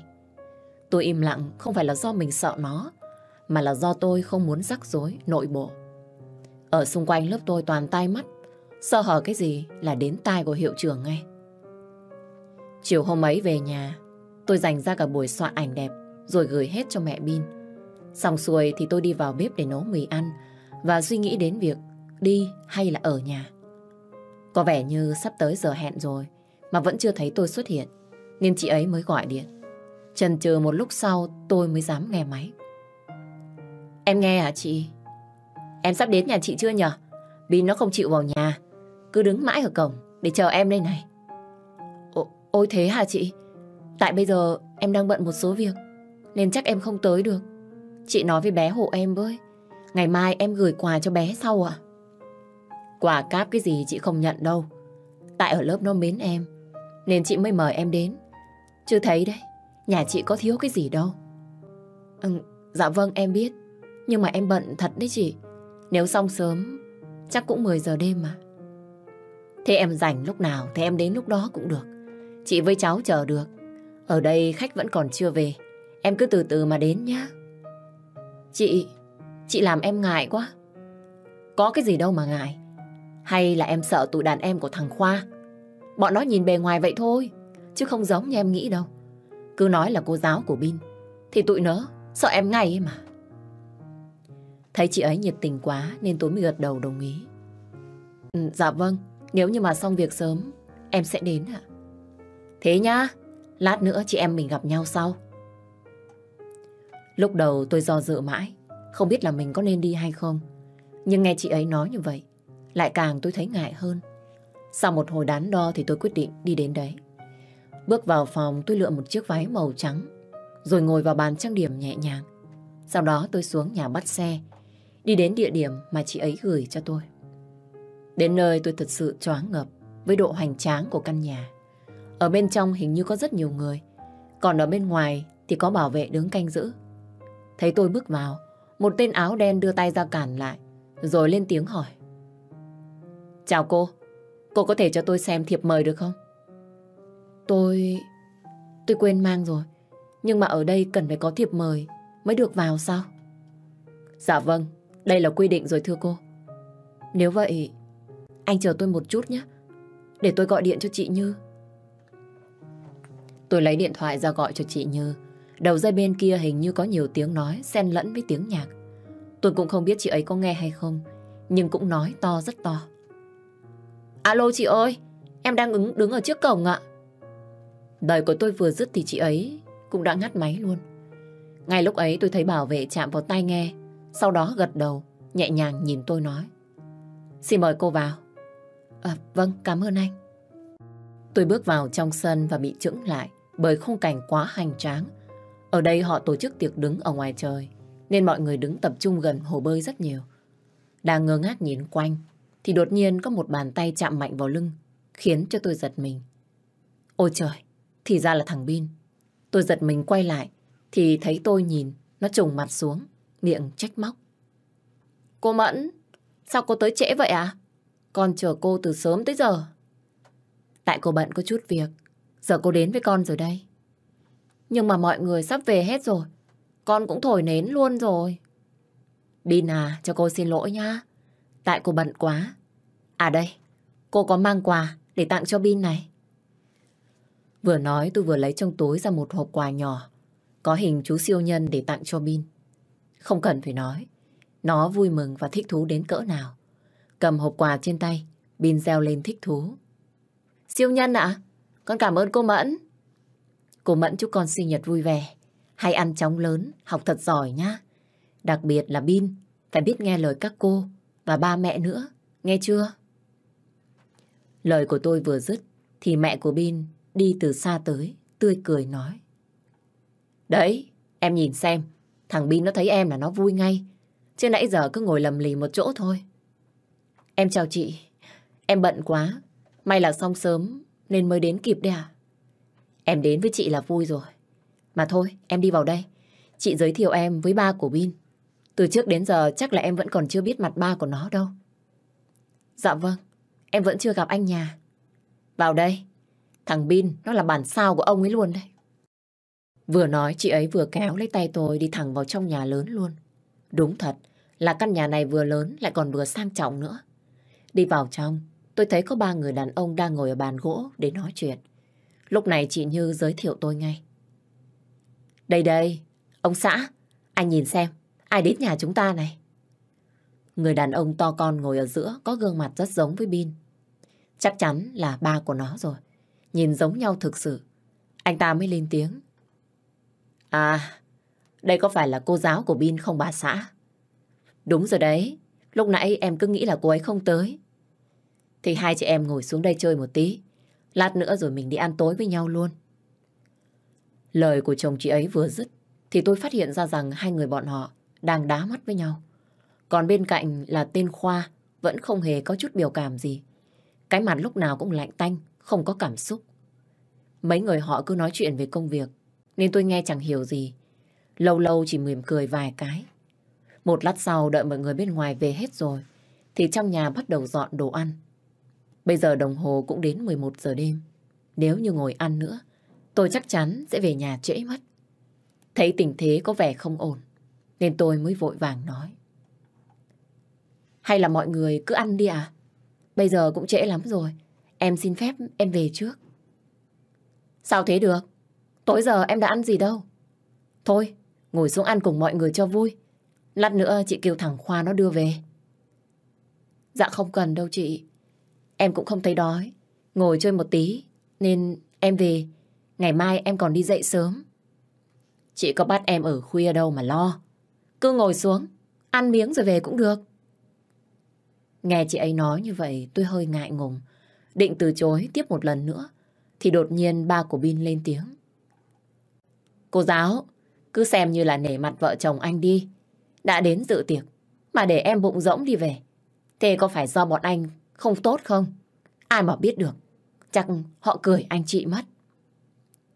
Dạ không phải đâu. Ý của em không phải như vậy đâu ạ. Tại... Một năm mới đến sinh nhật Bin một lần mà cô. Cô cứ làm như vợ chồng anh thấy khó xử quá. Tôi thật sự đã hết cách với hai vợ chồng nhà này. Vậy nên tôi mới ậm ừ đồng ý. Thôi được rồi, em ngồi chơi thêm một lát nữa. Em về cũng được à? Thế có phải là đúng không? Nào, ra bàn ngồi ăn đi cô. Đồ ăn dọn sẵn hết cả rồi đấy. Dạ vâng. Tất cả mọi người ở đây cũng đều đứng dậy để đi qua bàn ăn. Tự nhiên lúc này tôi lại nghe thấy tiếng của anh ta vang lên bên tai. Lắm chuyện. Tôi quay vội sang nhìn anh ta. Rõ ràng là có ý nói mình mà. Thấy tôi nhìn, nhưng anh ta chẳng có thái độ gì. Tôi dù trong lòng tức giận, nhưng vẫn cố tỏ ra vui vẻ, bước tới bàn ăn. Tôi chẳng biết họ đang suy nghĩ gì, mà để cho anh ta ngồi gần mình nữa. Suốt bữa ăn, bọn họ cứ uống rượu và nói chuyện rất vui. Còn tôi thì ngược lại, tôi không thấy vui một chút nào. Mãi cho đến khi chị Như cầm ly rượu vang lên, đưa cho tôi rồi nói. Chị mời em một ly nha Mẫn. Cảm ơn em đã đến dự sinh nhật của thằng Bin nhà chị. Xin lỗi chị, em thật sự không uống được à? Không uống được, nhưng mình cứ nhấp môi, có đúng không? Cái này là rượu nhẹ, nên chồng chị mới cho chị uống đấy. Nhưng em không uống được, em nói thật đấy. Em mà uống vào, em sợ em bị say ạ. Một tí thôi, có sao đâu. Say ấy, đã có người bên cạnh rồi còn gì. Nào, uống đi em. Tôi thật sự không biết uống rượu thật, nên mới từ chối. Nhưng chị nào có tha cho tôi đâu. Cứ nói qua nói lại mãi, cho đến khi bên kia giọng nói trầm ấm vang lên. Để đấy, em uống cho. Không được, mày cứ uống bên đó của mày đi. Ly này đặc biệt chị mời cô Mẫn. Mặc cho chị ấy có nói thế nào, anh ta vẫn dành ngay ly rượu trên tay và tu hết một hơi luôn. Ngay lúc này đây, cả tôi và chị Như, ai nấy đều đơ hết cả người.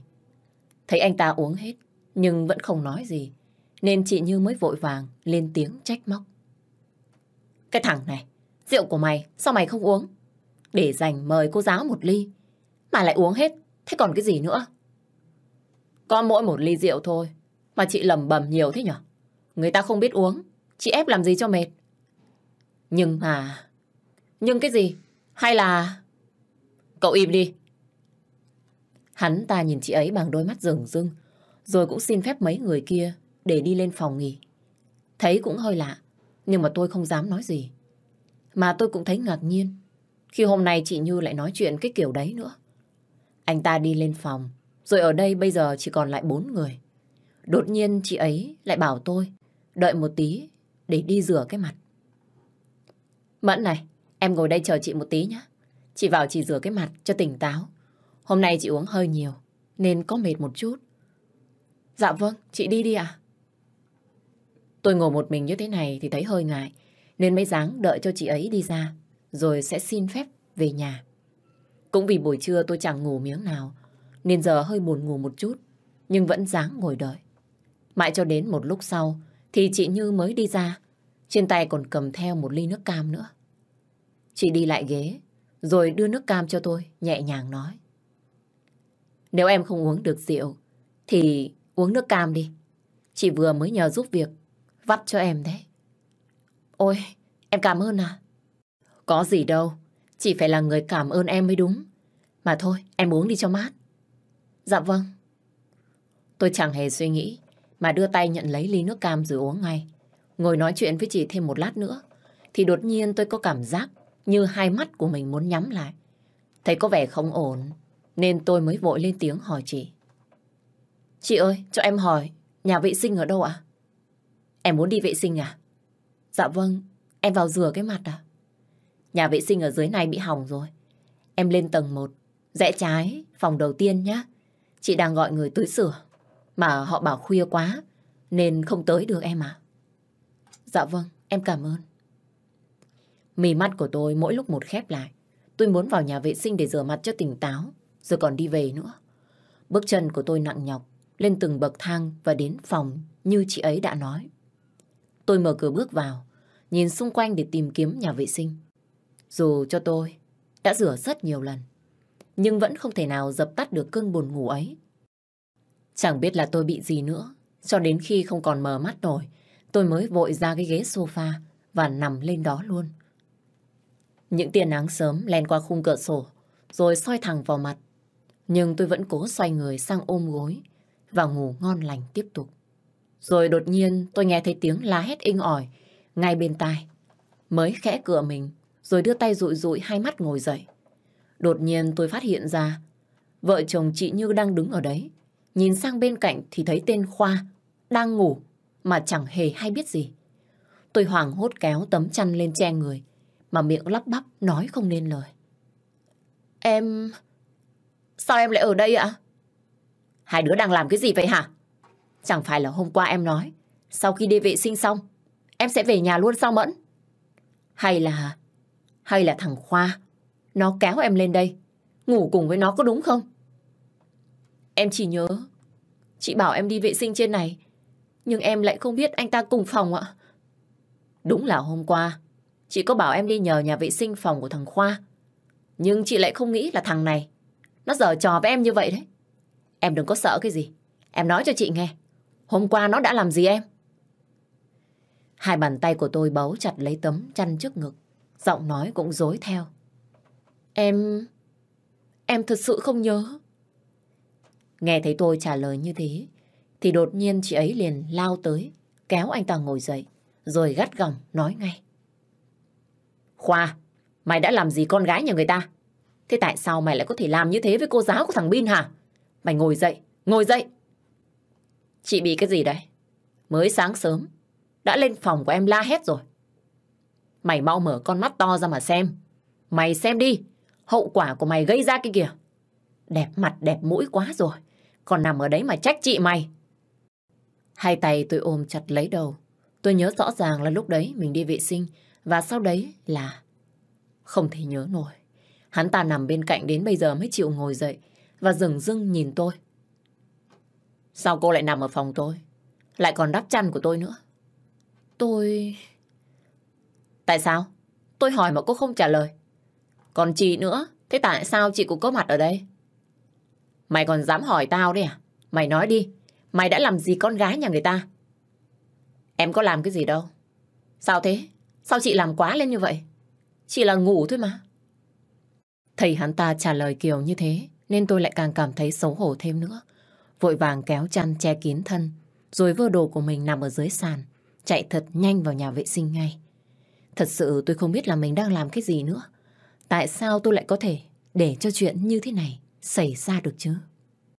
Không còn mặt mũi gì để nhìn họ nữa, nên tôi mới vội vàng lấy luôn cái túi sách rồi bỏ về ngay.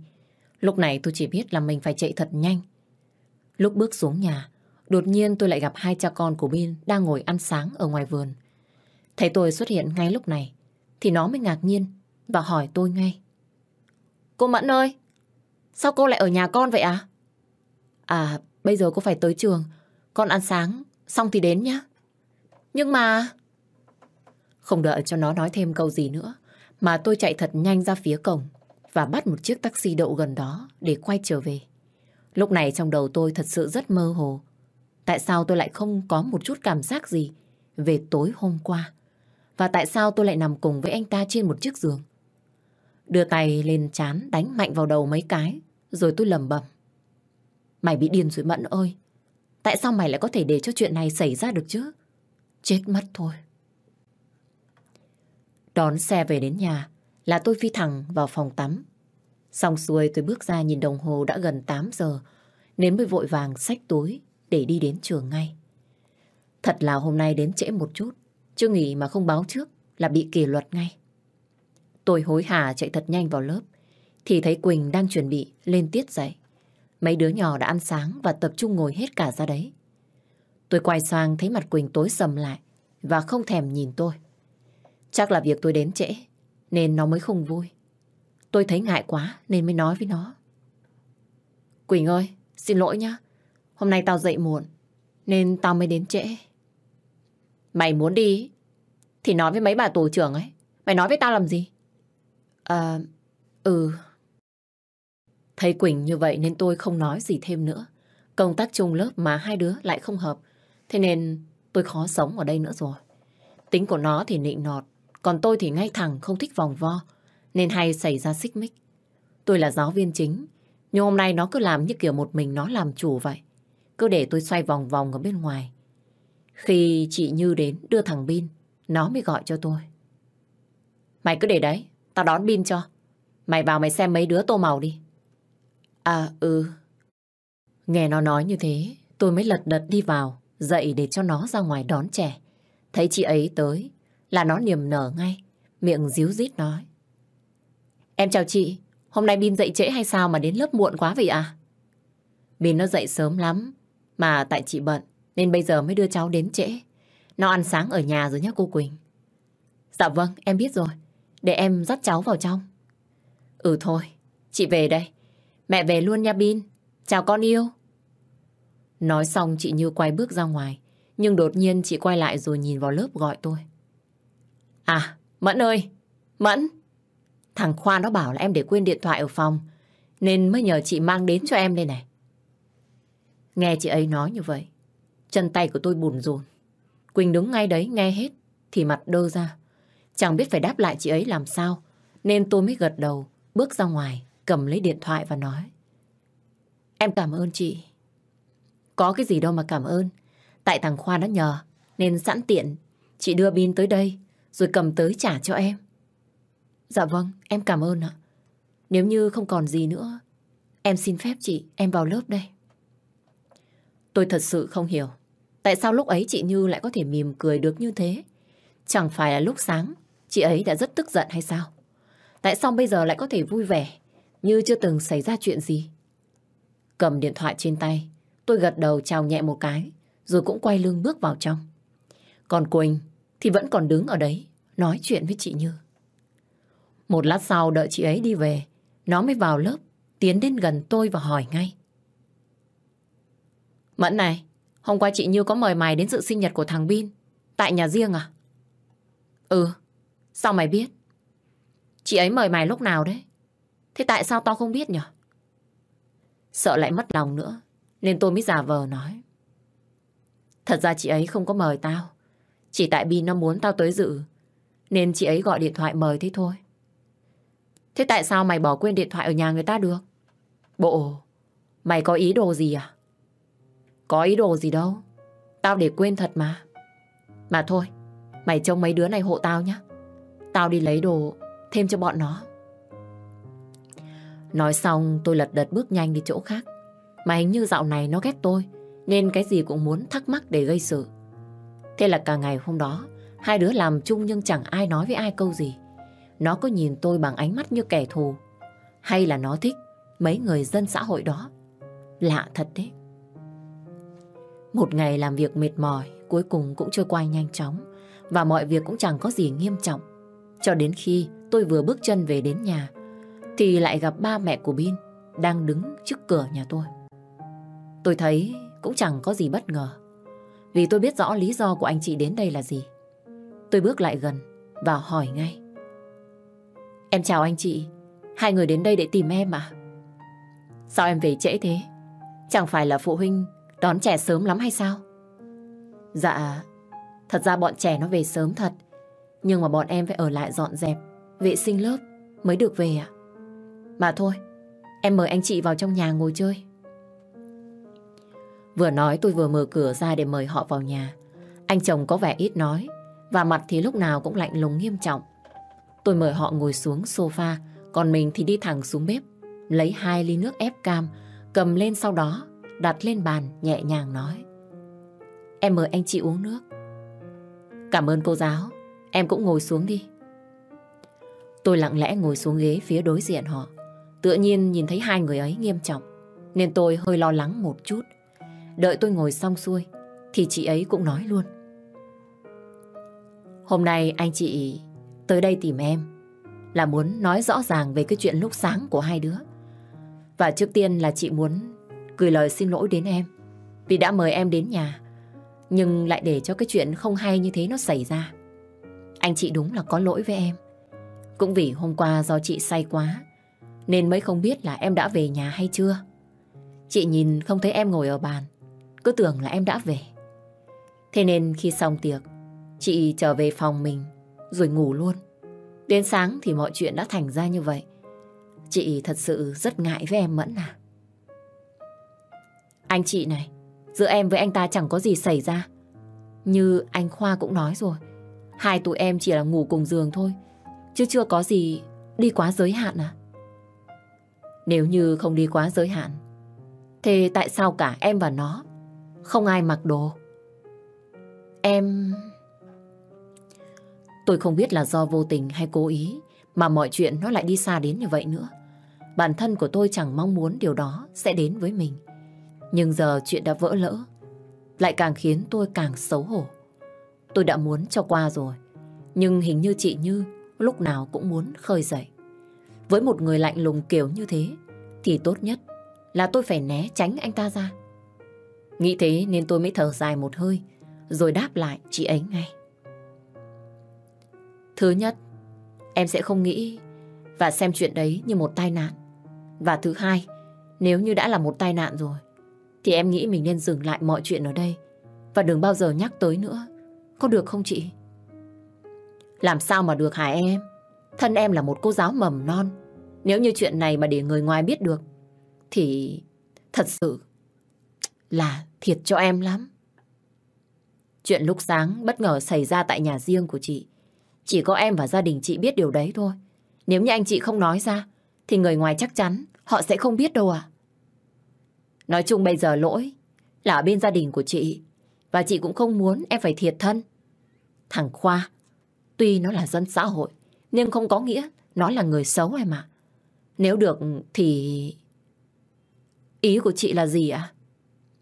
Thì ban đầu chị nói rồi đấy. Không muốn em thiệt thân. Thế nên chị muốn thằng Khoa nó phải có trách nhiệm với em. Có được không Mẫn? Tôi đứng hình khi nghe chị ấy nói như vậy. Thực sự tôi cũng không muốn mọi chuyện lại thành ra như thế này đâu. Cũng vì biết bản thân của mình đã không còn trong trắng. Nên tôi mới không chấp nhất chuyện đấy mà gạt sang một bên. Nhưng cỡ sao chị ấy lại cứ muốn làm lớn chuyện lên như thế. Tôi cảm thấy không thích lắm, nên mới nói ngay. Em không cần anh ta phải chịu trách nhiệm gì đâu chị. Nếu như đã xem đấy là một tai nạn, thì mình phải để cho nó qua một bên chứ ạ? Em cũng không trách gì ai. Em chỉ muốn sống một cuộc sống bình thường. Em sẽ xem như mọi chuyện chưa từng xảy ra. Và đừng ai nhắc đến nữa. Có được không chị?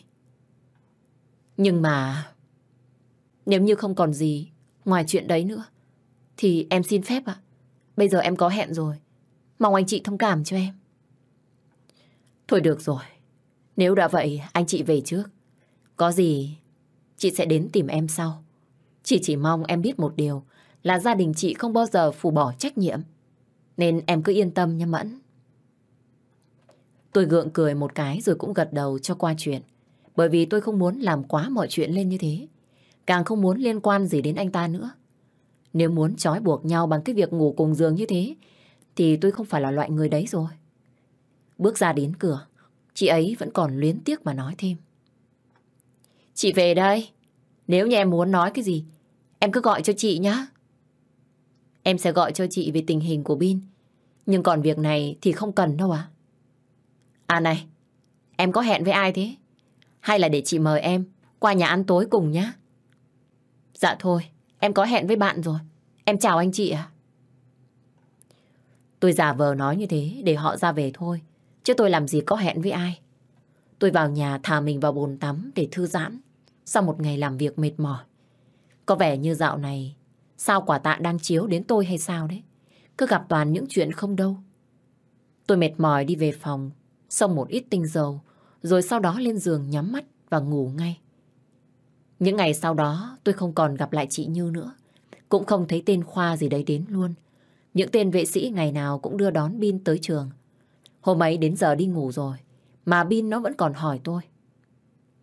Cô Mẫn ơi, cô gọi cho mẹ con thử xem có được không ạ? Sao thế? Mẹ của Bin đi đâu à? Vâng ạ, mẹ với cậu ba của con đều về quê. Chả biết là bao giờ mẹ sẽ về à? Về quê á? Dạ vâng, ba của con nói như thế. Mà đến giờ mẹ Như vẫn chưa chịu về với con. Thì chắc là mẹ con ở dưới quê có việc. Thôi, con dáng chờ thêm vài hôm nữa, Mẹ Như sẽ về ngay với con. Yên tâm nhá. Nghe xong, nó ngoan ngoãn lên giường nằm ngủ. Đợi mấy đứa ngủ hết rồi, Tôi mới nằm xuống và lấy điện thoại ra bấm. Vừa mở máy lên, Thì đã thấy có cuộc gọi nhỡ của mẹ từ một giờ trước. Tôi bấm gọi lại cho mẹ ngay. Phải đợi đến cuộc thứ ba, Thì mẹ tôi mới bắt máy và nói. Thế sao mẹ gọi mà không chịu nghe máy thì hả Mẫn? Con đang làm việc mà mẹ. Đến giờ mới được động tới cái điện thoại đây. Con gọi lại cho mẹ ngay đấy. Mẹ gọi con có chuyện gì không ạ? Có đây. Chuyện này quan trọng lắm. Là chuyện gì đấy mẹ? Mẹ đừng nói với con là ba mẹ định mở thêm chi nhánh bán vàng nữa đấy. Mày làm như tao với ba mày giàu lắm ấy. Ngày mai mày xin nghỉ ít hôm đi. Về quê. Về quê làm gì à mẹ? Đang yên lăng lành. Tự nhiên mẹ bảo con về. Con bận lắm. Thời gian đâu mà về. Về lấy chồng. Nhà người ta đã sang hỏi cưới mày rồi. Bà nội cũng đồng ý rồi. Bà mẹ chẳng biết tính phải làm sao đây. Cưới à? Cưới ai à mẹ? Sao con không biết chuyện gì thế này? Ôi, thì là cái thằng con trai của ông Lâm đấy. Sáng nay ba nó với chị nhỏ nó ở trên Sài Gòn sang đây nói chuyện rồi. Thôi thôi, mày tranh thủ về nhà xem đi. Chứ tính bà nội mày. Mày biết rồi đây. Giờ mẹ ra ngoài nói chuyện với họ tiếp đây. Mẹ! Mẹ! Nói thế rồi mẹ tôi ngắt máy ngay. Dù tôi có gọi lại mấy lần đi chăng nữa, thì mẹ không thèm nghe máy nữa. Trong người tôi lúc này khó chịu vô cùng, khi tất cả mọi người trong nhà không một ai thông báo trước với tôi. Tại sao việc cưới hỏi của mình mà tôi lại chẳng hề hay biết? Sao anh cũng muốn quyết định thay cho cuộc đời của tôi hết vậy? Từ lúc nghe mẹ báo tin thì tâm trạng của tôi chẳng còn vui gì thêm. Ngủ không được nữa, làm việc cũng chẳng xong. Mãi cho đến chiều khi tan làm, tôi mới xuống phòng của chị Hiểu Trường Trường để xin phép về việc mình xin nghỉ. Chị Hoa, chị cho em xin nghỉ phép ba hôm để em về quê ạ. Sao thế Mẫn? Ở quê có việc gì gấp hả em? Dạ vâng, mẹ em ở dưới nhà mới gọi lên, bảo em về gấp. Thế chị cho em xin nghỉ ít hôm nhé. Định về quê lấy chồng à? Chị nghi lắm. Không phải đâu chị, em không có lấy chồng. Chỉ là về quê có chút chuyện cần giải quyết thôi à. Chị trêu đấy, mà chị thấy tuổi của mày bây giờ, lo đi lấy chồng là vừa. Chứ suốt ngày cứ quấn quýt chăm lo cho con như người ta, thì biết bao giờ mới lấy chồng được. Em thấy từ từ vẫn còn được. Với cả em chưa muốn lấy chồng đâu. Ai, chị lúc ấy cũng giống như mày bây giờ. Nhưng mà nhờ có chị phụ huynh kia giới thiệu, Thê đã đi lấy chồng ngay đấy thôi. Thật à chị? Mà anh nhà hình như làm bên quân đội phải không chị? Khi đó ông ấy ế, mà chị cũng ế. Thế là hai đứa sáp lại, thành một cặp luôn. Cũng nhờ mai mối cả thôi. Chứ chị thấy mình đã theo cái nghề này rồi, thì tỷ lệ ế cao lắm. Lời nói của chị vừa dứt, thì bỗng nhiên điện thoại trong túi của tôi vang lên. Mở ra thấy mẹ gọi, nhưng tôi vẫn không nghe, mà cất điện thoại vào trong túi. Tôi ngước mắt nhìn chị ấy rồi nói tiếp. Thôi giờ em xin phép về trước à? Ba hôm nữa em sẽ lên dạy lại. Ừ, được rồi. Em cứ về quê đi. Để chị sắp xếp người xuống phụ lớp em. Vâng, em cảm ơn chị. Tôi mỉm cười chào chị ấy rồi bước ra khỏi phòng để đi về nhà ngay. Định là sẽ đi về dưới ba hôm nên tôi mang theo rất ít đồ. Chỉ là những bộ đồ đơn giản vì về dưới quê tôi có đi làm hay đi đâu đâu. Tôi đón xe tức tốc về ngay trong đêm ấy. Về đến nhà lúc ấy cũng đã hơn 10 giờ. Cửa nhà đóng chặt. Chắc là ba mẹ tôi đã đi ngủ hết rồi. Đứng nhấn chuông một hồi thì bà Năm cũng bước ra mở cửa. Thấy tôi về giờ này nên bà cũng hết hồn mà hỏi ngay. Ôi Mẫn, sao còn về trễ thế? Sao không để sáng hôm sau rồi hãng về? Ở trên đấy con chẳng làm gì nên con về luôn. Bà Năm, bà cũng ngủ trễ thế ạ? À? Ừ, bà già rồi. Thôi, đi vào nhà đi. Ông bà chủ chắc là ngủ hết rồi đấy. Tôi xách túi đồ đi vào trang nhà, rồi lên thẳng phòng của mình tắm rửa, thay bộ đồ ngủ, xuống dưới nhà để gặp bà Năm nói chuyện. Nhưng khi vừa xuống tới nơi, thì tôi đã thấy mẹ tôi ngồi ở bàn chờ sẵn. Thấy tôi, mẹ mới lên tiếng. Mẫn, này, não của mày đang có vấn đề đi à? Mẹ đang nói gì thế à? Con có bị làm sao đâu. Sao tự nhiên mẹ nói con như thế? Nếu như không có vấn đề gì, thế tại sao mày lại bật đèn xanh cho cái tên khủng nhà ông Lâm thế à? Mày nghĩ làm sao? Mày lại lên giường ngủ với nó. Mày không biết nó bị khủng hay sao? Mà còn lao đầu vào như thế hả con? Khoan đã mẹ. Mẹ vừa nói cái gì ạ? À? Ai bật đèn xanh cho ai ạ? À? Ai ngủ cùng với anh ta à mẹ?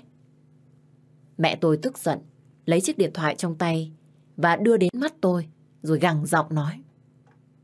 Mày nhìn đi. Mày hãy nhìn xem. Ai đang nằm ở đấy hả? Tao hết nói nổi với mày rồi. Tôi không trả lời lại mẹ, mà cầm lấy chiếc điện thoại lên xem.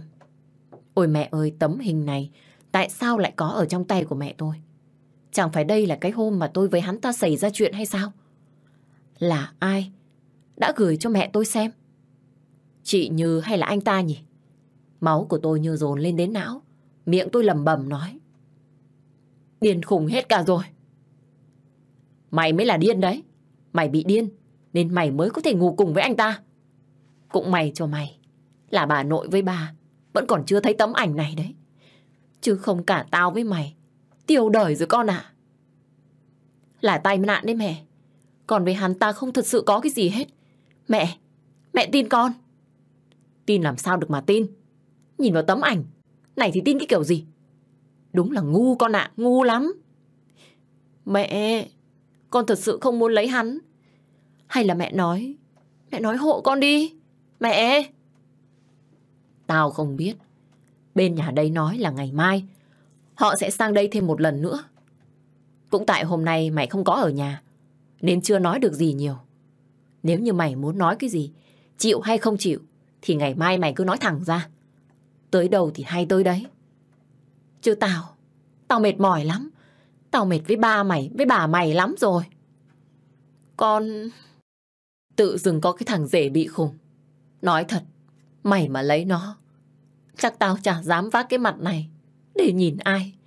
Tao sợ người ta cười vào cái mặt này, cười vào cả cái căn nhà này. Lấy đâu mà lấy, con đã đồng ý đâu, mà mẹ lại nói như thế. Mẹ xấu hổ, chắc con thì không à. Tao mệt mỏi lắm rồi, cả ngày hôm nay chả buôn bán được cái gì. Hào tâm tốn sức, toàn gặp mấy cái chuyện gì không ấy. Nói rồi mẹ tôi bỏ đi về phòng. Thật sự vì chuyện này mà làm cho tôi càng ngày càng thấy căng thẳng. Nhưng mà tôi vẫn đang còn thắc mắc là tại sao mẹ của mình lại có tấm ảnh hôm đó giữa tôi và anh ta. Nhất định là tôi phải hỏi chị Như cho rõ ràng. Không thể để cho tiếng xấu đồn xa như thế này được. Tôi quay trở lại phòng mình rồi lấy máy gọi điện ngay cho chị Như. Chẳng biết là bây giờ chị ấy đã ngủ chưa hay là vẫn còn thức. Thôi, cứ mặc kệ gọi trước đã. Đầu dây bên kia tốt mãi, cho đến gần hết thì mới có người bắt máy. Tiếng của chị ấy nhẹ giọng. Alo chị nghe. Chị Như này, có phải chị Lặn chụp ảnh và gửi cho mẹ em đúng không ạ? Ừ, chị gửi đấy. Tại sao? Tại sao chị phải làm đến mức như vậy à? Chẳng phải là chúng ta đã nói chuyện rõ ràng hết rồi sao? Mẫn này, ý của chị không phải là muốn hại đời em. Bây giờ chị chỉ muốn em đồng ý Em gả cho thằng Khoa Em cũng biết là chị rất quý mến em Bây giờ gặp được một người tốt như em Thì coi như số thằng Khoa nó có phước nhưng mà em không muốn Em không muốn bị ai dắt mũi Dứt lời chị ấy không trả lời tôi ngay Mà ngập ngừng thêm mấy giây Rồi thở dài lặng lẽ nói tiếp Thật ra chị cũng không muốn giấu gì em Bởi vì ngay từ đầu gặp em là chị đã muốn em về làm dâu của chị. Trùng hợp làm sao, nhà của chúng ta lại còn gần nhau nữa. Nói thật là chị không hề biết em ở gần nhà mình, vì chị đã lên thành phố từ rất sớm. Lúc đầu chị nhìn em, thấy em quen lắm, nhưng lại không nhớ ra em là ai. Cho đến tận bây giờ chị mới biết em. Em cứ coi như là em giúp chị, và thằng Khoa có được không Mẫn? Giúp à? Đúng rồi, Chắc em cũng nghe nói về mẹ kế của chị rồi. Cũng vì bà ta ác độc, nên thằng Khoa nó phải giả vờ điên điên khùng khùng để qua mắt bà ấy. Còn ba của chị thì không tin vào chị, không tin vào thằng Khoa, chỉ tin mỗi một mình bà ta nói.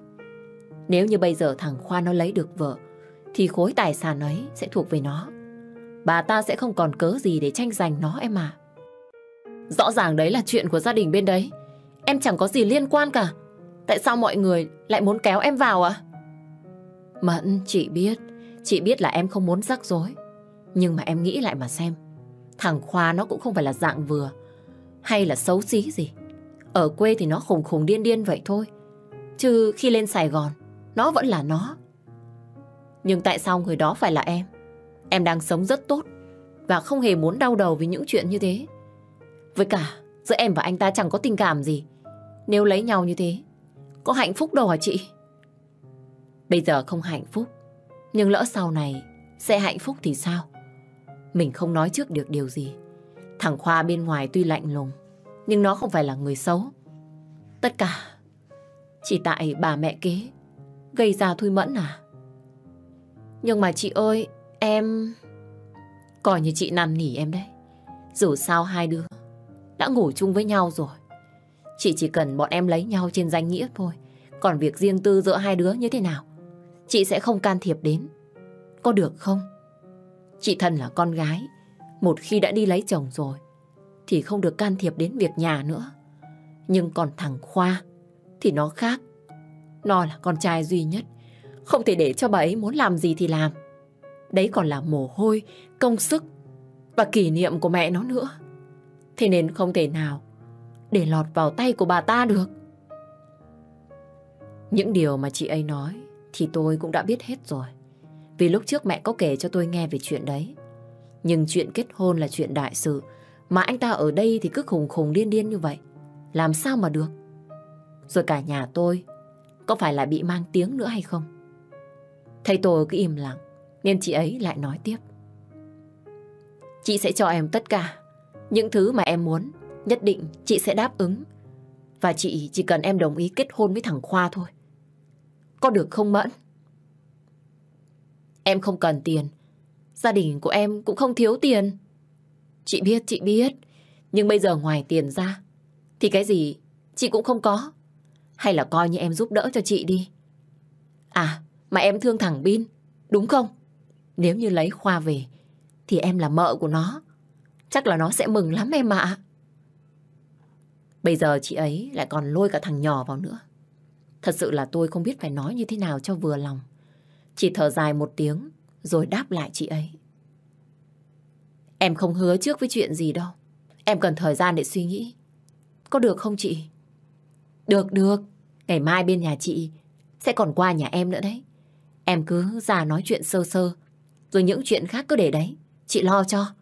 Nha, Mẫn nha. Dạ vâng. Thôi, em tắt máy đây. Em chào chị à. Đầu tôi mỗi lúc lại thêm đau. Chẳng nhẽ vào việc mà mình và anh ta nằm chung giường là một bước điểm để dẫn đến ngày hôm nay sao? Rõ ràng là chị ấy đã tính toán hết cả rồi. Và tôi chỉ là một con bài trong cuộc đấu này mà thôi. Đêm thức trắng để suy nghĩ về chuyện đấy đã khiến cho hai mắt của tôi trở nên thâm đen hơn nữa. Tôi dậy sửa soạn qua loa rồi mới bước xuống nhà. Hôm nay có vẻ bà nội đã đến đây từ rất sớm. Vừa bước xuống nhà tôi đã thấy bóng của nội tôi đang ngồi chờ ở phòng khách. Thấy tôi xuống, nội tôi mới lên tiếng ngay. Nào, Mẫn, đi lại đây. Nội bảo cái này. Tôi giả vờ là mặt giận dỗi, rồi tiến đến ngồi cạnh nội. Vâng, con đây ạ. Mày bị làm sao thế? Sao cái mặt bí xị thế này? Thật sự, con cười chẳng được nữa. Bởi vì lúc nào, nội cũng làm cho con đau lòng. Bà nội nghe tôi nói như thế thì đưa tay kéo đầu tôi sát lại và khẽ nói nhỏ vào tai của tôi. Nói cho mày nghe một tin nhá. Thật ra cái thằng đấy, nó không phải là người điên đâu. Mày cứ tin nội đi. Thấy ổn, nội mới dám gả mày cho nó chứ. Điều đấy thì con biết từ lâu rồi. Nhưng còn cái vấn đề ở đây là con không yêu anh ta. Làm sao mà lấy Hà Nội? Ngồi nghe tôi thản nhiên trả lời như thế thì nội tôi mới đánh mạnh một phát vào đùi của tôi. Mày biết từ bao giờ? Sao lại không nói cho nội nghe hả? Đột nhiên bà nội phản ứng mạnh như thế khiến cho tôi giật mình lắp bắp nói lại. Ừ, không phải đâu ạ. Là con, con nói nhầm đấy. Chứ chuyện này con chỉ mới nghe nội nói lần đầu tiên thôi. Vậy mà tao cứ tưởng mày biết và mày giấu tao đấy. Dạ không nội, mà anh ta không bị khùng Thật Hà Nội, làm sao nội lại biết à? Bí mật, đợi khi nào về bên đấy rồi, thì mày sẽ biết. Mà thôi, mày lo vào làm cho con mắt nó hết thầm đen đi. Tao nhìn mà tao còn thấy sợ. Vâng, mà nội này, bây giờ con không muốn lấy chồng đâu. Nội đừng có ép con. Bà nội quay sang đánh nhẹ vào tay của tôi một cái, rồi mới nói trách. Thế tại sao mày cứ thích cãi lời người lớn thế hả? Bấy lâu nay, mày đã không nghe theo lời nội rồi. Thì bây giờ mày nghe thử một lần đi. Nội đã bao giờ muốn cho mày lấy người xấu hay là người không tốt đâu. Nhưng mà vấn đề ở đây là con không thích anh ta và càng không muốn đi lấy chồng. Thế tao hỏi mày, cái thằng khốn nạn sở khanh mà mày yêu, còn người ngây thơ đàng hoàng mà mày lại không yêu là sao? Đột nhiên bà nội lại nhắc đến chuyện của Tuấn, làm cho tôi cảm thấy trột dạ vô cùng. Thời gian thấm thoát đã trôi qua mấy năm rồi, tôi thật sự muốn quên đi chuyện đấy và luôn tự hứa với lòng mình sẽ không bao giờ nhớ đến nữa. Bởi vì mỗi khi có ai đó nhắc đến anh ta thì tôi lại cảm thấy đau xót và thương tiếc cho đứa con xấu số của mình. Nắm chặt lấy đôi bàn tay, tôi lên tiếng. Con đi lên phòng trước đi ạ. Tao vẫn còn chưa nói hết câu cơ mà. Này, Mẫn, này! Tôi vội vàng bước đi mà chẳng hề quay đầu lại. Cho dù bà nội có gọi ở phía sau, nhưng tôi cứ giả vờ như không nghe thấy mà bước thẳng lên phòng của mình. Ngồi nghĩ đến chuyện đấy, tôi lại thấy buồn thực sự. Tôi không phải là thần thánh để biết được người nào tốt và người nào xấu. Cuộc đời của tôi đen tối nhất là khi vướng vào một kẻ sát nhân ấy. Vẫn đang còn ngồi thất thần thì đột nhiên điện thoại của tôi vang lên tin nhắn. Tôi vội vàng mở ra xem thì thấy là chị Như. Em đã suy nghĩ xong chưa? Gia đình chị đang trên đường sang nhà em đấy. Thấy tôi không trả lời, nên chị ấy lại tiếp tục nhắn tiếp. Chị biết em là một con người coi trọng sĩ diện, nên bản thân chị cũng không muốn cho mọi chuyện đi quá xa. Nếu như có cái gì đó ảnh hưởng đến em, thì em thông cảm cho chị nhé. Chị hết sự lựa chọn rồi. Chị muốn làm gì? Bây giờ trong ảnh của chị có hình ảnh của em và Khoa. Mà chắc là em cũng hiểu ý chị rồi chứ. Chị nói như thế là ý gì? Tại sao chị lại ép em đến thế hả? Lát nữa gặp rồi nói chuyện.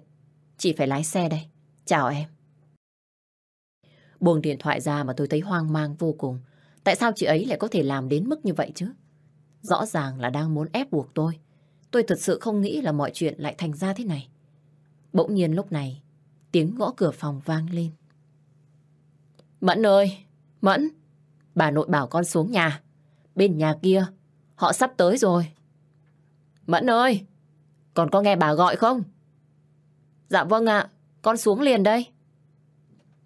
Gạt hết mọi chuyện qua một bên, tôi lặng lẽ đứng dậy, chỉnh sơ quần áo lại một chút, rồi mới bước xuống nhà.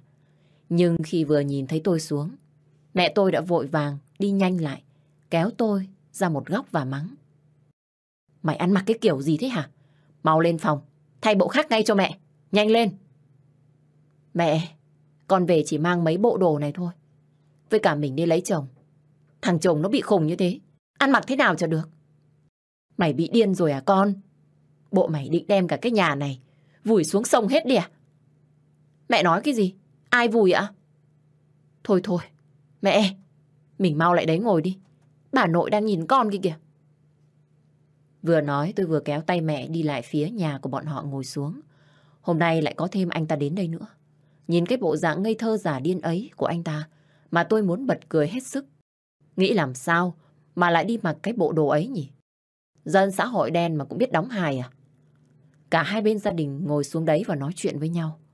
Anh ta cứ nhìn tôi mãi, miệng lúc nào cũng nở ra một nụ cười. Còn ánh mắt chớp lia chớp lịa càng làm cho tôi thấy khâm phục. Tôi vẫn cứ mặc kệ, mà dừng dưng, nghe chuyện. Lát sau tôi mới khẽ liếc sang nhìn chị Như, thì thấy chị ấy đang mỉm cười và nhìn tôi. Tự nhiên tôi lại thấy bản thân mình cao thượng. Chỉ vì mấy tin nhắn hăm dọa của chị ta mà tôi lại có thể hy sinh cả cuộc đời mình để giúp đỡ quá nhiều người. Sau một lúc nói chuyện giữa người lớn xong xuôi, thì ông Lâm mới nhìn sang tôi và nở một nụ cười. Cả hai bên gia đình đã nói chuyện xong hết rồi. Bây giờ ý của cháu thế nào nhỉ? Có đồng ý làm con dâu của nhà bác không? Đồng ý à? Câu trả lời vừa dứt thì cả ba và mẹ tôi đều kinh ngạc. Hai mắt mở to hết cỡ, miệng thì lắp bắp nói. Mẫn, con... con vẫn chưa suy nghĩ mà muốn lấy chồng luôn sao? Dạ vâng, con sẽ đồng ý lấy anh ta. Nhưng với một điều kiện được không ạ? Nghe tôi nói như thế thì ba của tên Khoa lúc này mới trả lời ngay. Được rồi, chỉ cần con đồng ý kết hôn với con của ta thì điều kiện gì ta cũng chịu. Lời ba của Khoa vừa dứt thì tôi cũng đã kịp quan sát được hết tất cả những người có mặt tại đây và thấy ai cũng căng nét mặt chờ đợi. Chỉ có riêng anh ta là cứ ngơ ngơ, còn tay thì kéo áo, kéo quần các kiểu. Có đôi lúc còn đưa mắt sang, liếc nhìn tôi nữa. Không thể để cho mọi người chờ lâu. Tôi khẽ cười gượng một cái và nói luôn. Con sẽ đồng ý kết hôn với anh Khoa, con của bác. Nhưng mọi người phải hứa với con là không được tổ chức đám cưới rình rang. Con chỉ cần ra mắt dòng họ hai bên nội ngoại và hạn chế số lượng người. Nếu như càng ít thì càng tốt. Thế làm sao mà được? Nhà bác chỉ duy nhất có mỗi một mình thằng Khoa là con trai. Tuy là nó không giống như người ta, nhưng chúng ta phải tôn trọng nó chứ con. Nhưng nhà con chỉ có một mình con là con gái. Nói thẳng ra, thì con sợ bị mọi người quở trách. Chứ sự thật là anh ấy bị bệnh. Nếu lỡ như có người biết con là cô giáo, mà lại đi lấy người bệnh về làm chồng, thì mọi người nghĩ con như thế nào ạ? Rồi cả gia đình nhà con, biết phải vác mặt đi đâu à bác? Như thế là không được. Nếu như con đã chấp nhận cưới rồi, thì phải công khai cho họ biết chứ. Con cũng biết, gia thế nhà bác như thế nào mà, có đúng không? Nếu như nói về gia thế, thì nhà con cũng đâu có thua kém gì nhà bác. Còn nếu như bác không đồng ý, thì con xin lỗi, con không kết hôn đâu ạ. Chị Như ngồi bên cạnh nghe thấy như thế, thì mới nhảy nhanh vào lên tiếng. Được, chị đồng ý. Thế nên em muốn làm gì cũng được. Yên tâm đi, mọi chuyện cứ để đấy chị lo. Dạ vâng. Nói xong thì chị Như cũng quay sang nói với ông Lâm. Chuyện này coi xong ở đây đi. Con sẽ về lo phần lễ cưới cho thằng Khoa. Ba cứ yên tâm. Chuyện này không phiền hay ảnh hưởng gì tới gì đâu à. Ông ta có vẻ sượng mặt khi nghe chị ấy nói như vậy. Và phải rất lâu sau đấy thì ông mới nhìn nội tôi và lên tiếng. Thế là hai bên gia đình đã đồng ý hết cả rồi. Con sẽ về bên đấy để xem ngày lành tháng tốt rồi tổ chức cho hai đứa nhỏ. Cụ nhé. Được rồi, con Mẫn nhà tôi. Nếu đã gả đi rồi, thì chăm sự nhờ hết vào nhà bên đấy. Cái thân già này cũng coi như là chút đi một phần gánh nặng. Dạ vâng, tuy rằng con của con nó hơi khờ khạo, nhưng nó chả làm hại ai. Cũng mong là cháu thông cảm. Hai cháu sống hòa thuận với nhau là con mừng lắm rồi cụ à. Thôi được rồi, mọi chuyện xong hết cả rồi. Thì tôi xin phép mời cả nhà ăn cơm với gia đình chúng tôi. Dù sớm hay muộn, thì chúng ta cũng trở thành thông gia mà thôi. Vâng, nếu cụ đã nói như thế, thì con xin nghe. Nói thế rồi cả nhà lại kéo tay nhau ra ngoài để ăn trưa. Cũng vì có nhiều người ở đây, nên hắn ta vẫn phải giả điên như thế. Lúc đi cạnh tôi, nhìn xung quanh thấy trống người, thì hắn ta mới lạnh lùng hỏi ngay. Thế tại sao cô lại đồng ý? Sao cơ? Gia đình anh đã sang đây hỏi cưới tôi mà. Tại sao tôi lại không đồng ý? Cô muốn cái gì? Rõ ràng cô biết là tôi ở đây giả vờ điên cơ mà. Sao cô lại có thể mặt dày đến nỗi muốn lấy một thằng điên như tôi làm chồng? Ừ, thì tôi bị điên nên mới phải lấy một kẻ điên như anh. Anh nhìn mà không thấy à? Lời tôi vừa dứt thì đột nhiên hắn ta nắm chặt lấy tay tôi rồi găng giọng nói. Cô nên nhớ tôi là ai. Tốt nhất, cô tránh xa tôi ra. Và đừng bao giờ có ý định đùa giỡn với tôi. Nghe rõ chưa?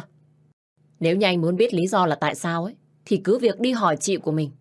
Tôi chẳng sợ anh, và tôi không dành để đứng đây đôi co với anh. Tôi trả lời xong rồi giật tay hắn ta ra, mà quay bước đi. Thật sự tôi đang bị điên thật rồi. Càng lúc tôi càng thấy mình không còn được bình thường nữa. Ra ngoài bàn ngồi ăn, hắn ta vẫn cứ giả ngơ đi đứng loạn xạ cả lên. Mà tôi phải công nhận, một điều là hắn ta giả điên giống y như thật. Bữa cơm ấy cuối cùng cũng xong. Tôi là thân con gái, nên mới phụ bà Năm dọn dẹp. Lúc này chị Như thấy như vậy, cũng chạy lại phụ cùng tôi. Lúc đi vào khuất người, thì chị ấy mới khều nhẹ tay của tôi rồi nói. Lúc nãy chị cứ sợ là em không đồng ý, nhưng giờ mọi việc đều ổn hết rồi. Chị mừng lắm vẫn à? Em làm đúng với ý chị còn gì? À, chị cảm ơn. Chị rất mong chờ đến ngày em với thằng Khoa kết hôn. Để làm gì ạ? Thì em trở thành em dâu của chị, chứ còn gì. Chỉ cần em chịu giúp hai chị em của chị, thì em cần cái gì, chị cũng đứng ra giúp đỡ hết. Em cứ yên tâm. Chị không bao giờ để cho em thiệt thòi. Kể cả thằng Khoa cũng vậy. Nó cũng không làm gì ảnh hưởng đến em đâu. Nếu được như thế thì tốt rồi. Em cứ yên tâm. Chị là người đứng sau lưng của bọn em mà. Tôi chỉ gật đầu rồi thôi, chứ không dám nói nhiều với chị ấy như trước nữa. Cả nhà đấy cũng chào hỏi gia đình của tôi rồi ra về. Lúc này thì mẹ tôi mới vui vẻ nói chuyện với họ. Nhưng khi họ đã về hết rồi, thì mặt của bà ấy bắt đầu xìu xuống, bỏ thẳng vào phòng. Bà tôi thấy như thế, thì mới lên tiếng nói. Còn cứ kệ đi, lát nữa bà ấy sẽ ra ngay thôi. Hay mẹ giận con hả ba? Không đúng đâu, chắc bà ấy bất ngờ quá nên mới thế.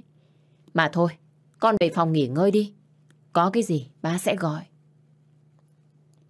Sau buổi gặp mặt ấy thì bà nội tôi cũng trở về nhà của mình. Hình như việc kết hôn này chỉ có một mình bà nội tôi là vui vẻ. Còn lại ai cũng lo lắng hết. Tôi trở về phòng với muôn vàn suy nghĩ. Chẳng biết là lựa chọn của mình bây giờ có đúng hay không. Gặp hắn ta rồi thì cuộc đời của tôi sẽ ra sao đây?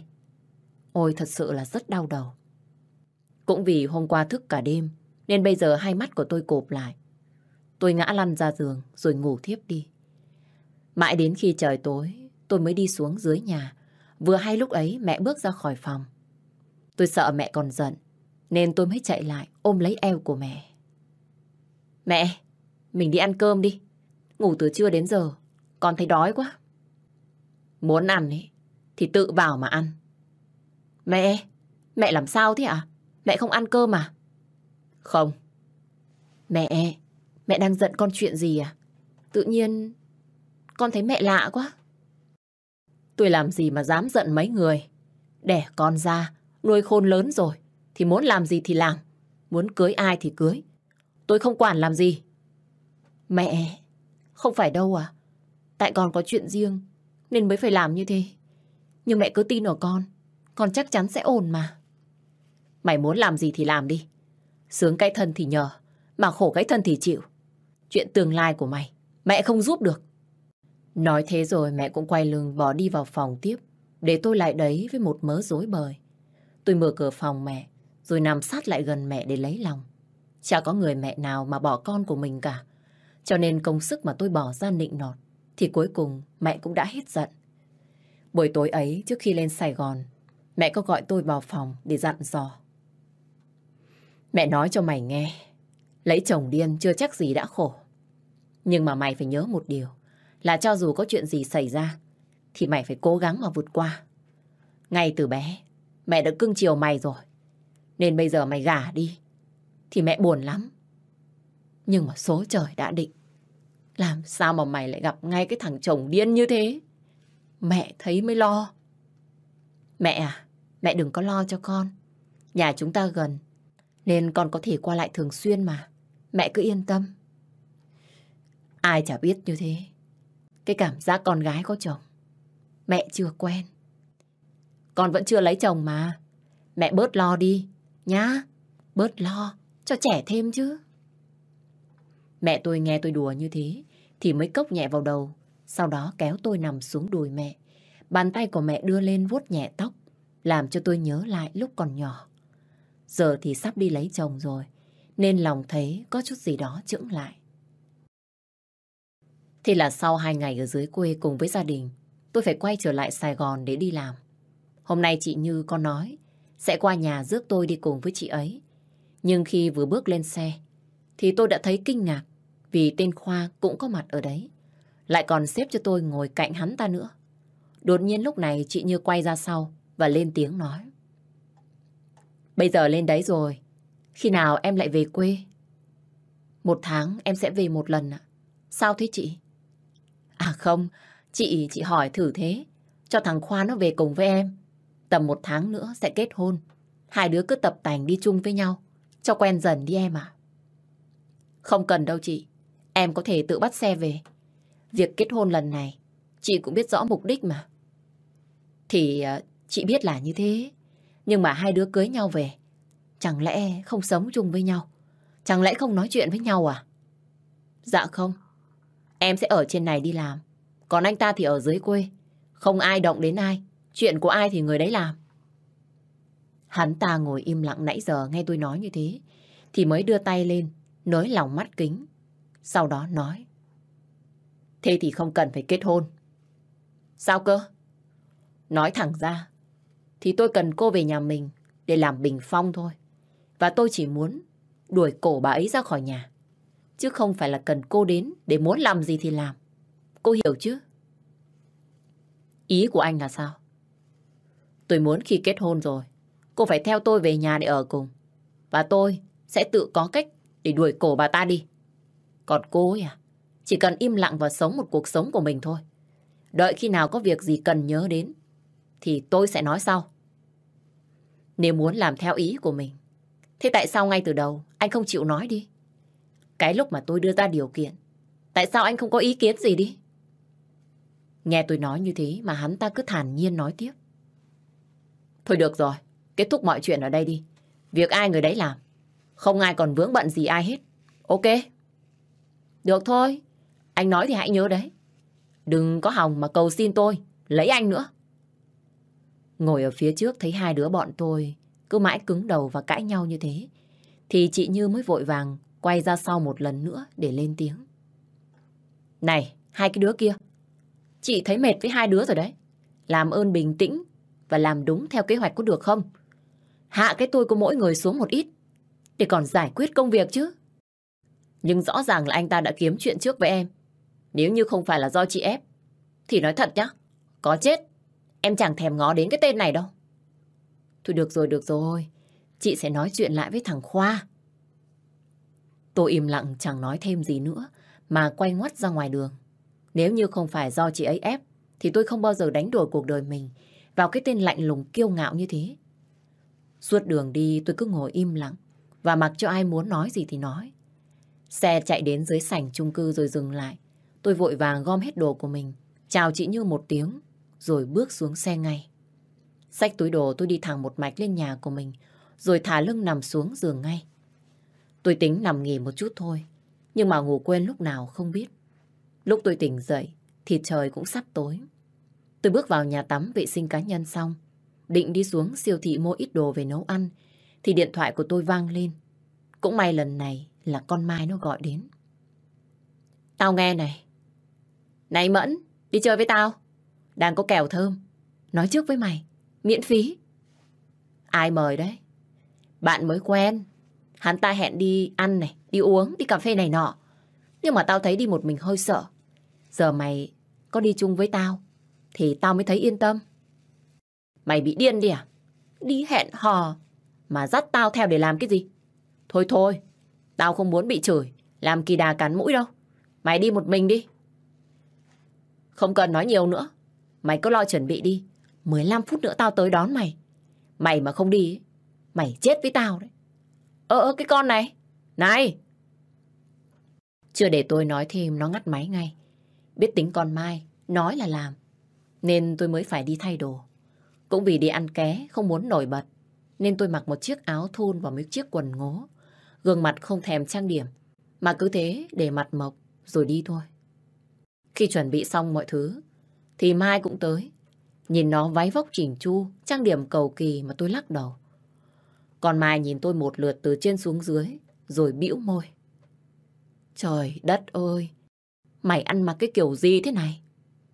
Thì mày là nhân vật chính mà. Quan trọng là ở mày thôi. Chứ quan tâm tới tao làm gì? Nhưng mà mày đi chung với tao, thì mày phải làm sao cho vừa chứ. Mệt quá, tao làm biếng thay đồ lắm. Có sao thì mặc như vậy. Đi thôi. Tôi kéo nó ra ngoài rồi khóa cửa lại đi luôn. Mai chở tôi đi đến một nhà hàng. Cũng không phải là sang trọng lắm. Bước vào trong tôi thấy có một người đàn ông đang ngồi ở đấy. Và nhìn nó cười. Nên tôi nghĩ chắc chắn là hắn ta đây rồi. Bước lại gần, anh ta còn lịch sự. Đứng dậy kéo ghế cho bọn tôi ngồi xuống. Quan sát tổng thể, thì tôi thấy cũng khá ok. Nhưng làm sao anh ta lại ít nói quá vậy nhỉ? Nhìn thấy tôi đi cùng với Mai, nên hắn ta mới lên tiếng nói. Chào em, em là bạn của Mai à? Dạ vâng, em chào anh ạ. Để anh xin tự giới thiệu nhé. Anh tên là Hoàng. Anh là bạn trai của Mai. À, rất vui được gặp em. Vâng ạ. Mai thấy vậy uống vội một ngụm nước rồi lên tiếng. Thôi được rồi, hai người không cần phải giới thiệu nữa. Vì sớm muộn gì, chúng ta còn gặp nhau dài dài. Mà, anh gọi món chưa? Em quên mất. Chưa, anh đợi em đến để gọi đấy. Em với bạn thích ăn cái gì thì cứ gọi nhé. Gì chứ, việc đi chợ là em giỏi lắm. Thế nên anh với Mẫn cứ giao cho em. Tôi hơi ngại nên mới mỉm cười gật đầu và cứ thế mà im lặng. Suốt bữa ăn đó anh ta cũng đều im lặng. Lâu lâu chỉ cười và gật đầu vài cái. Tuy vậy anh ta vẫn còn ga lăng chán, vẫn còn nhớ mà gắp thức ăn cho người yêu mình. Thấy mình làm kỳ đà càn mũi, tôi thấy hơi ngại. Nhưng đã đến rồi, nên không biết phải làm sao. Đến khi ăn xong thì Mai lại rủ đi tăng hai. Tôi không muốn đi chút nào, nên mới vội vàng nói. Thôi thôi, tao xin phép về trước. Nhà đang có việc bận, không đi được nữa đâu. Nên hai người cứ đi với nhau nhé. Sao đấy? Mày lại nói dối tao đi à? Nãy giờ, tao có thấy ai gọi điện cho mày đâu. Thì máy của tao làm sao mà mày biết được? Thôi, tao về trước đây. Không làm phiền hai người nữa. Đi chơi vui nhá. Này Mẫn, không được. Mày phải đi cùng với bọn tao cho vui chứ. Để tao đi một mình. Tao buồn đấy. Tao bận thật mà. Thôi mày đừng có níu kéo tao nữa. Tao đi về đây. Vốn dĩ ngay từ đầu tôi đã không muốn đi rồi. Nên giờ cứ giữ nguyên quyết định của mình. Nên tôi sẽ quay về. Nhưng trùng hợp thế nào mà lúc này tôi lại thấy bóng dáng của tên Khoa và đàn em đi ngang qua. Nên mới vội kêu lớn. Anh Khoa, em ở đây này. Hắn ta nghe thấy gọi tên của mình như thế thì mới vội quay sang nhìn. Nhưng khi vừa nhìn thấy chúng tôi thì mặt bỗng nhiên tối sầm lại rồi cũng quay bước đi bỏ vào trong. Chẳng cần nói cũng biết là tôi quê đến cỡ nào. Bây giờ không biết là phải giấu cái bản mặt của mình vào đâu nữa. Khi ở đây, ai cũng đang nhìn tôi. Còn Mai thấy như thế, thì vội vàng lên tiếng hỏi. Mày gọi ai đấy Mẫn? Mày quen với người đấy à? Anh ta là chồng sắp cưới của tao đấy. Cái gì? Anh ta là chồng của mày á? Ừ, thôi, để tao đi qua đấy đã. Có gì về nhà tao gọi cho mày nhá. Hai người đi chơi vui nhá. Tạm biệt. Nói xong tôi vội chạy đi thật nhanh. Nhưng vẫn phải giả vờ đi theo hướng của anh ta để đánh lừa Mai. Đi đến bức tường khuất rồi tôi mới dừng lại. Đợi cho nó đi rồi tôi mới dám đi ra. Nhưng đột nhiên lại gặp hắn ta đang đứng chắn trước mặt. Nên tôi mới giật mình. Đứng ở đây. Không nói. Làm tôi giật cả mình. Cô quen với hắn ta? À? Quen ai? Thì cái tên lúc nãy, đứng cùng với cô đấy. Quen nhau à? Không, anh ấy là bạn trai của bạn tôi. Chứ tôi làm gì mà quen với người như vậy. Thế thì tốt. Nhưng sau này tôi với cô cưới nhau về, thì nhất định phải né hắn ta ra. Hiểu chưa? Đừng có nói nhiều chuyện, mất công mang họa đấy. Ơ, là sao? Anh nói cái gì tôi nghe tôi chẳng hiểu cái gì cả. Anh có quen với hắn à? Không quen. Trả lời với tôi một câu ngắn gọn như thế. Rồi hắn ta bỏ tay vào túi quần mà quay bước đi. Thấy cái thái độ của tên này lạ như thế, thì tôi lại càng thêm nghi ngờ. Chẳng hiểu là hắn ta đang muốn giấu cái gì. Và cho đến mãi sau này thì tôi mới biết, bạn trai của Mai chính là cảnh sát, còn chồng của mình lại là dân xã hội đen. Hai thế lực như thế thì làm sao mà có thể hòa thuận với nhau được. Chắc cũng vì lý do ấy nên Khoa mới bảo tôi là phải tránh xa anh Hoàng ra. Tôi bắt xe về nhà mà trong đầu vẫn còn suy nghĩ đến việc mà hắn ta nói. Cái tên này đúng thật là một người khó hiểu. Sao những điều hắn ta nói ra luôn khiến cho người khác tò mò đến thế? Sáng hôm sau tôi quay trở lại lớp học sau 3 ngày nghỉ phép. Mấy đứa nhỏ vừa thấy tôi thì mừng rỡ, cứ bám theo, hỏi lý do tại sao tôi lại không đến lớp. Rồi nũng nịu nhớ nhớ thương thương. Đột nhiên lúc này, chị Như vừa đưa pin tới lớp. Thấy tôi đứng ở đấy thì liền lấy điện thoại trong túi ra, rồi nói ngay. Mẫn ơi, em xem cái áo cưới này có được không? Mấy đứa nhỏ mới đi tìm hộ chị đấy. Chị cũng thấy đẹp. Em xem thế nào? Cũng vì chị Như nói lớn, nên mấy người đứng gần đó mới đổ hết ánh mắt về phía của tôi. Thấy ngại quá nên tôi mới vội vàng đáp ngay. Em thì sao cũng được hết chị. Nhưng mà có cái gì mình về nhà mình nói chuyện được không chị? Ở đây là lớp học. Em nghĩ mình không tiện để nói chuyện đâu à? Nghe tôi nói như thế, chị ấy mới kéo tay tôi ra ngoài hành lang và nói tiếp. Chị quên mất. Nói ở đây không ai nghe thấy đâu mà lo. Nhưng mà... Nghe chị nói này, đám cưới của em, tuy là mình không tổ chức ở dưới quê, nhưng bù lại, mình phải làm ở trên này. Tới hôm đó chị mời khách cũng hơi đông đấy. Tôi nghe như vậy, vội vàng hỏi lại ngay. Cái gì hả chị? Ôi, em còn phải làm đám cưới ở trên này nữa à? Mà sao hôm trước em nói, chị không đề cập luôn? Thì cái bữa đấy chị quên. Mà em cũng biết rồi đấy. Vợ chồng chị với Khoa đều là dân làm ăn lớn. Bây giờ nó cưới vợ mà không mời. Người ta quả trách chết. Nhưng mà em... Thôi được rồi. Để hôm nào em rảnh. Chỉ gọi người qua rước. Tới đấy em thử vay cưới. Cưới trên này trước nên mình phải lo trước. Thế nhá. Thôi thôi, chị về đây. Có cái gì chị gọi cho em sau. Dạ vâng ạ. Từ lúc mà chị Như nói đến vụ kết hôn đến giờ, thì mấy người kia làm mặt lạnh với tôi. Tôi chả biết tại sao thái độ của họ lạnh như thế. Cho đến khi vừa đi vệ sinh, tôi đã nghe thấy Quỳnh hỏi Bin. Này Bin này, cô Mẫn sắp kết hôn với ai trong nhà của con đấy? Thằng bé nằm ở bên cạnh, nghe nó hỏi như thế, thì đáp lại ngay. Cô Quỳnh nói ai à? Con không biết. Lúc nãy cô có nghe mẹ con nói với cô Mẫn là sắp kết hôn. Thế trong nhà của con có người nào mà chưa kết hôn à? Hình như là cậu ba của con ạ. Cậu con chưa có vợ. Cậu ba con á? Thế cậu ba của Bin là người như thế nào? Sao cô chưa từng thấy cậu ấy đưa con đi học? Con nhỏ này đúng là nhiều chuyện. Thấy tôi không có ở đây, nên mới gặng hỏi thằng nhỏ chứ gì. Sợ thằng Bin nhiều chuyện hơn nữa, nên tôi mới giả vờ ho một tiếng rồi đi ra. Vừa thấy tôi là nó cũng im bặt ngay. Cuối tuần đấy cũng có người đến đưa tôi đi thử váy cưới. Nhưng khác với những cặp đôi ở đây là tôi chỉ đi có một mình. Ở bên ngoài thì có vài tên đàn em của Khoa đứng canh. Tâm trạng không vui vẻ gì nên tôi chỉ chọn đại một chiếc váy cưới màu trắng. Thử sơ qua rồi ra về ngay. Bây giờ tôi cảm thấy mọi thứ trước mắt mình đều vô vị. Và rồi ngày cưới cũng đã đến. Toàn bộ mọi thứ đều do một tay của chị Như sắp xếp. Tôi chỉ việc ngồi ở phòng và chờ gọi ra để làm lễ thôi. Hôn lễ được cử hành tại một nhà hàng khá sang trọng. Bên trong hội trường bây giờ cũng có đầy đủ các vị khách ngồi chờ sẵn. Tôi kết hôn mà không có ba mẹ mình bên cạnh. Cảm giác thật là tủi thân đến nhường nào. Vì gần tới giờ lành rồi, nên chị Như mới bước vào nói với tôi. Mẫn này, mình ra ngoài lễ đường. Đi em, đã tới giờ tốt rồi. Vâng ạ. Thế sao chị thấy mặt của em buồn quá vậy? Ngày cưới là mình phải vui, mình phải cười lên chứ. Nào, cười lên một cái cho chị xem nào.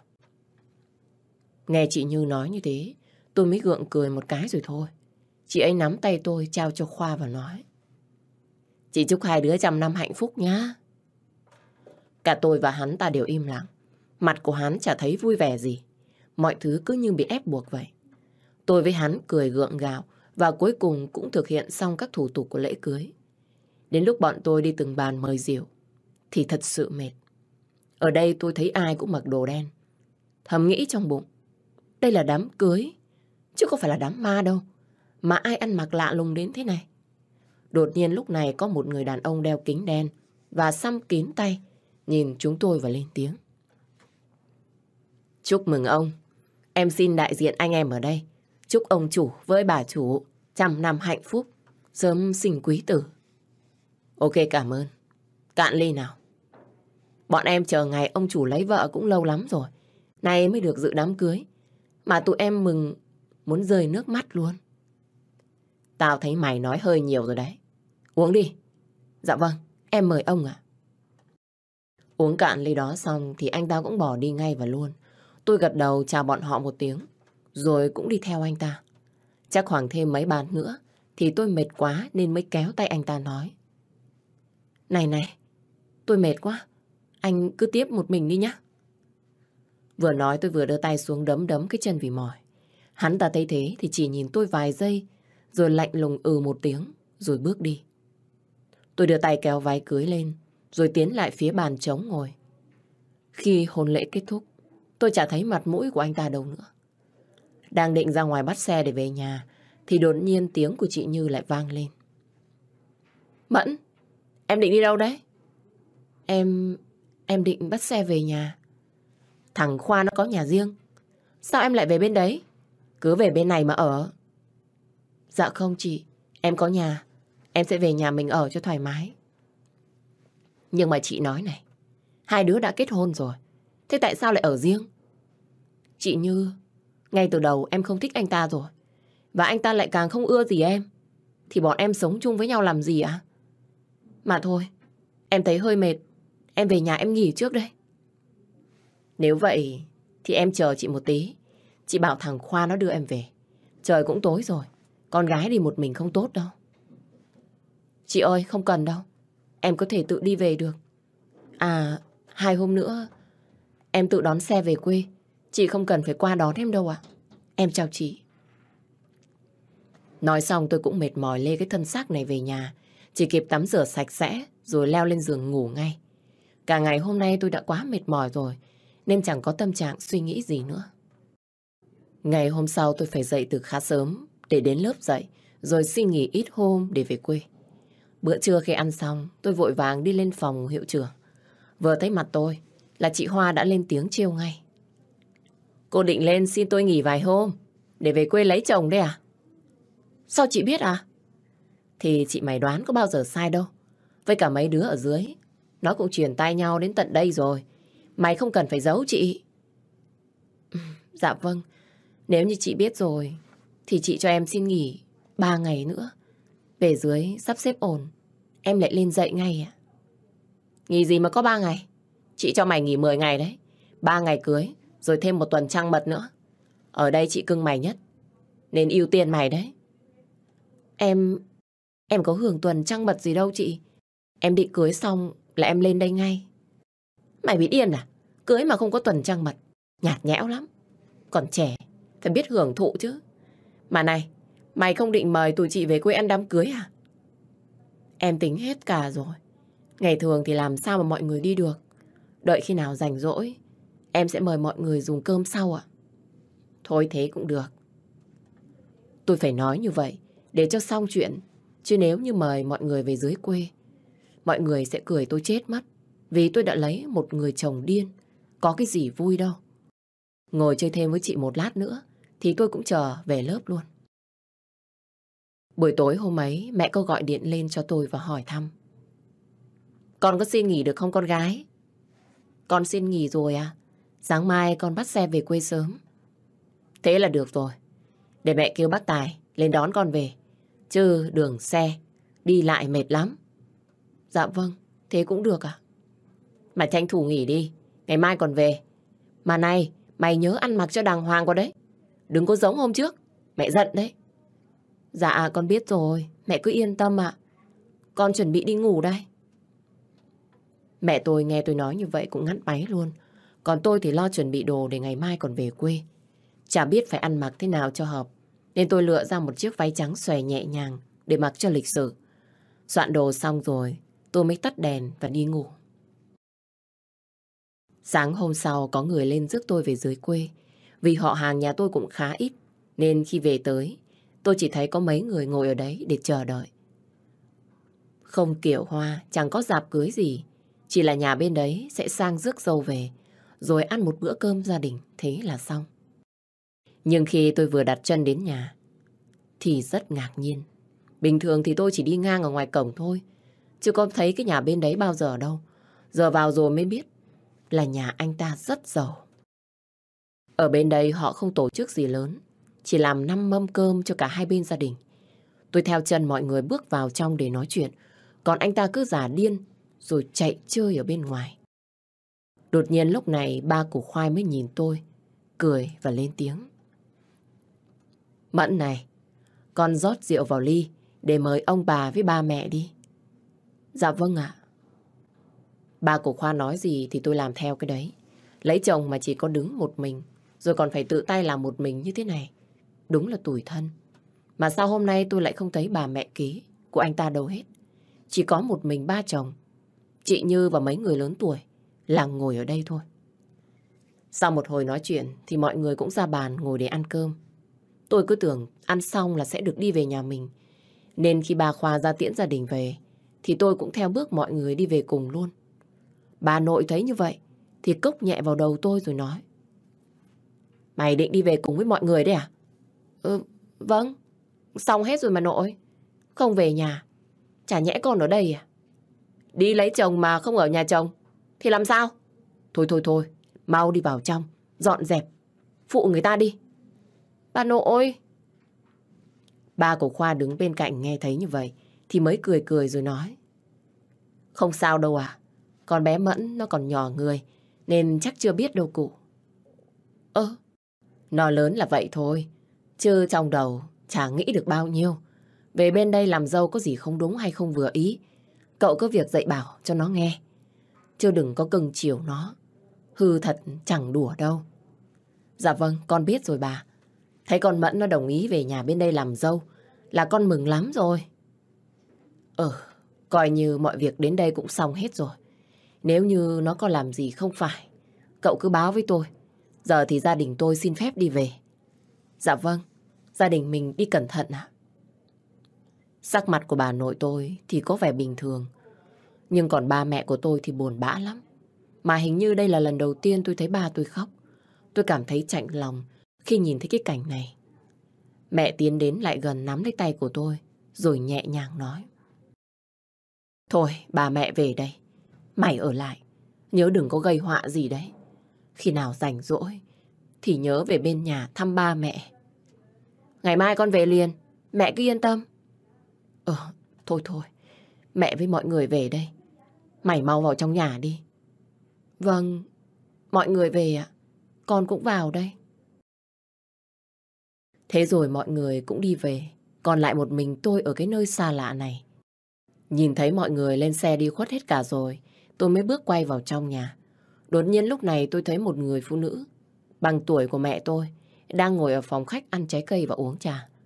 Vừa nhìn thấy tôi thì bà ấy mỉm cười một cái, chứ cũng không nói năng gì. Ba chồng nhìn thấy như vậy thì mới lên tiếng. Mẫn này, đây là dì Minh, là vợ sau của ba đó. Con chào hỏi dì ấy một tiếng đi. Dạ vâng ạ. Con chào dì Minh. Bà ta đúng là chảnh. Nghe thấy tôi chào hỏi như thế cũng không thèm đáp lời. Bà ta cầm ly trà lên uống, rồi ăn thêm một miếng quýt nữa, mới nhìn tôi. Ừ, chào con. Con giới thiệu với dì, con tên là Mẫn, con là vợ của anh Khoa. Con chỉ mới về đây thôi, nếu con có làm gì sai sót, mong dì rộng lòng bỏ qua cho con. Cái con bé này, con cứ làm như gì khó tính lắm không bằng. Là con người mà ai không có sai sót đâu. Với lại dì thấy thằng Khoa nó bệnh, nên dì cũng thương nó. Dì đã thương con của chồng rồi, thì phải thương luôn cả vợ của nó chứ. Con thấy có đúng không? Dạ vâng ạ, con thấy dì nói rất đúng ạ. Thôi được rồi, để dì dắt con về phòng của mình. Ở đây thằng Khoa nó không sống chung với nhà của ba nó. Mà con cũng biết rồi đấy. Thằng Khoa nó bị bệnh.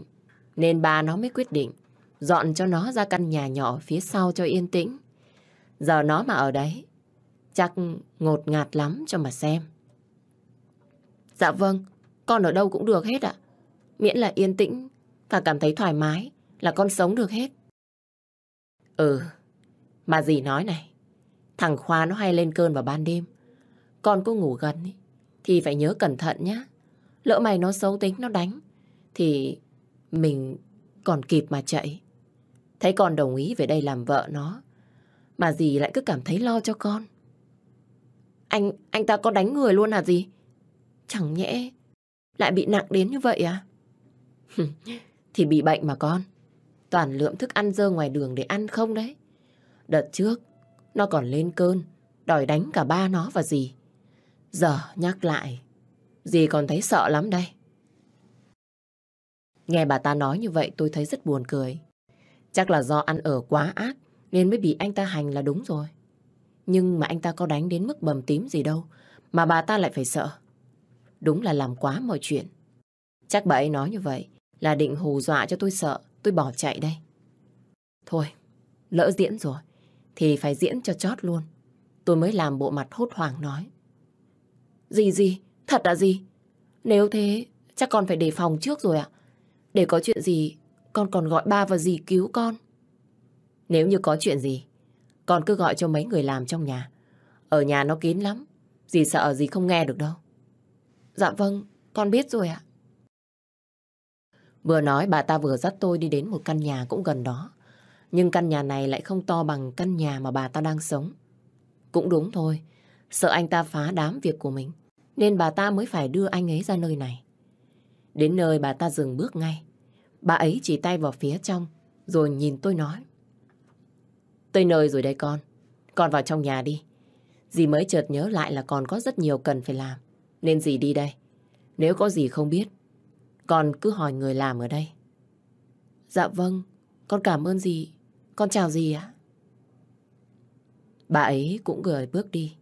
Tôi thì còn đang chần chừ ở phía trước cửa, chưa có ý định bước vào. Đột nhiên lúc này có một lực rất mạnh từ phía sau, tông vào vai của tôi, mở cửa xông thẳng đi vào trong. Tôi đứng loạn choạng chút nữa, thì nằm dưới đất. Vội vàng đưa mắt nhìn vào trong nhà, tôi thấy anh ta đang ngồi ở trên ghế, còn tay thì cầm quả táo ăn ngấu nghiến. Lúc này tôi mới đưa tay lên, vuốt ngực mấy cái rồi chửi thầm. Đồ điên, đi đứng không nhìn thấy người à? Anh ta đúng là thần kinh. Chửi xong tôi lặng lẽ bước vào trong. Nhìn căn nhà này tuy bên ngoài không to lắm, nhưng bên trong hầu như có đầy đủ tất cả các tiện nghi. Nhìn sang phải một chút, tôi thấy có một cái ban thờ. Người phụ nữ ấy trong tấm ảnh chắc là mẹ của anh ta. Thấy tôi bước vào nhà, anh ta mới đứng dậy đưa mắt nhìn xung quanh, rồi bỏ trái táo xuống mà nói. Lúc nãy bà ta nói gì với cô đấy?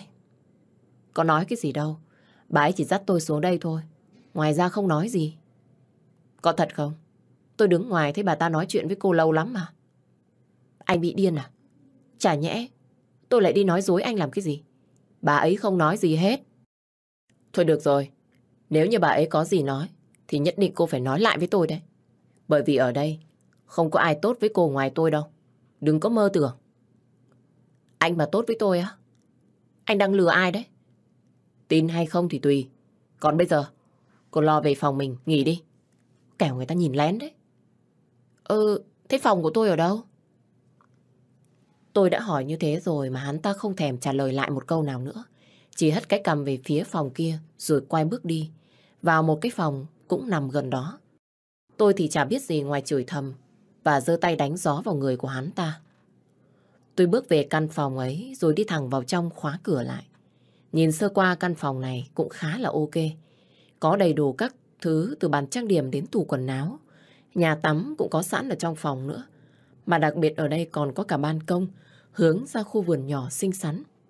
Tôi khá thích với kiểu kiến trúc ở đây. Vừa hài hòa với thiên nhiên, lại còn hợp với tôi nữa. Tôi dọn dẹp và cất hết đồ vào tủ, mới định bước ra ngoài. Ở đây chỉ có một mình nên tôi thấy hơi buồn. Với lại tôi cũng muốn ra ngoài xem xét tình hình một chút để đề phòng cho bản thân mình.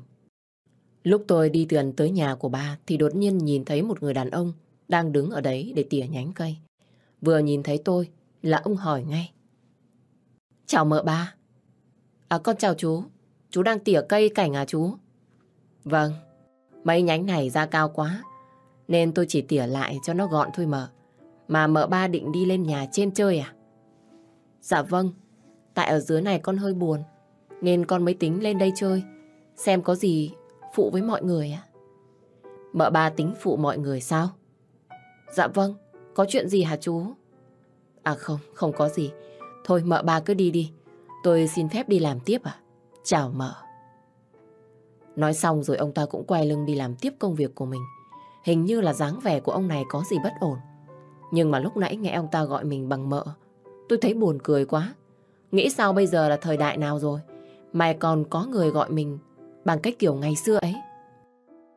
Tôi bước đi quanh quần trong căn nhà, rồi cuối cùng cũng xuống được dưới bếp.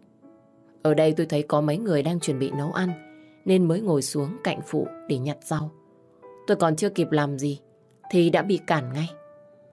Ấy ấy, mợ ba, cứ để đấy bọn tôi làm cho ạ. Nếu như để ai đấy nhìn thấy mợ làm mấy cái công việc này, thì bọn con bị phạt chết. Sao thế? Em chỉ định phụ mọi người nhặt rau thôi mà. Mợ biết là như thế, nhưng nếu như để ông bà chủ biết được, mợ ba xuống đây làm việc, nếu nhẹ thì bọn tôi bị chửi, còn nặng hơn nữa là bọn tôi bị đuổi việc đấy à? Ô, thế à chị? Em không biết chuyện này. Thấy mợ xuống dưới này là bọn tôi vui rồi. Mợ cứ ngồi chơi, sơi nước. Còn công việc này cứ để đấy bọn tôi làm. Một tí là xong. Thế mọi người cứ làm tiếp đi ạ. Để em đi lên nhà.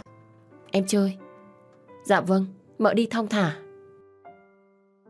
Tôi đi lên nhà trên. Thật sự tôi vẫn đang còn thắc mắc. Chẳng nhẽ ba vợ dì Minh lại khó tính đến như vậy. Tôi đang thấy là là tại sao trong gia đình này lại sống giống như thời xa xưa. Tôi nhớ là bà dì ghẻ này ăn mặc rất hiện đại lắm cơ mà. Sao bà ấy lại có thể chịu được cái cảnh sống phong kiến thế này? Mà sao họ lại phải sợ gì đến thế? Hay là gì ấy ác lắm? Một loạt câu hỏi vẫn chưa có hồi đáp, khiến tôi đau hết cả đầu. Lúc đi lên nhà thì gặp thêm một bé gái. Nhìn nó chắc tầm 15 tuổi và đang đứng lau mấy bộ bàn ghế. Thấy tôi nó vội vàng cúi xuống. Con chào mợ ba. Chào con, con đang lau bàn à? Dạ vâng mợ. Con bé này không nói nhiều với tôi như mấy người trước kia nữa. Nó lũi thủi bước đi. Tôi thở dài nhìn theo bóng lưng của nó rồi lắc đầu. Buổi chiều hôm đấy chỉ có tôi và dì Minh là ngồi ăn cơm cùng với nhau. Đang trong lúc ăn thì đột nhiên bà ấy nhìn tôi rồi nói.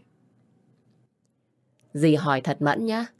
Dì thấy con xinh gái, học giỏi. Thế tại sao con phải cưới một thằng chồng như nó? Ờ, dạ thưa dì, chắc là do duyên số, nên con phải chịu như thế thôi à? Dì nhìn mà thấy tội cho con.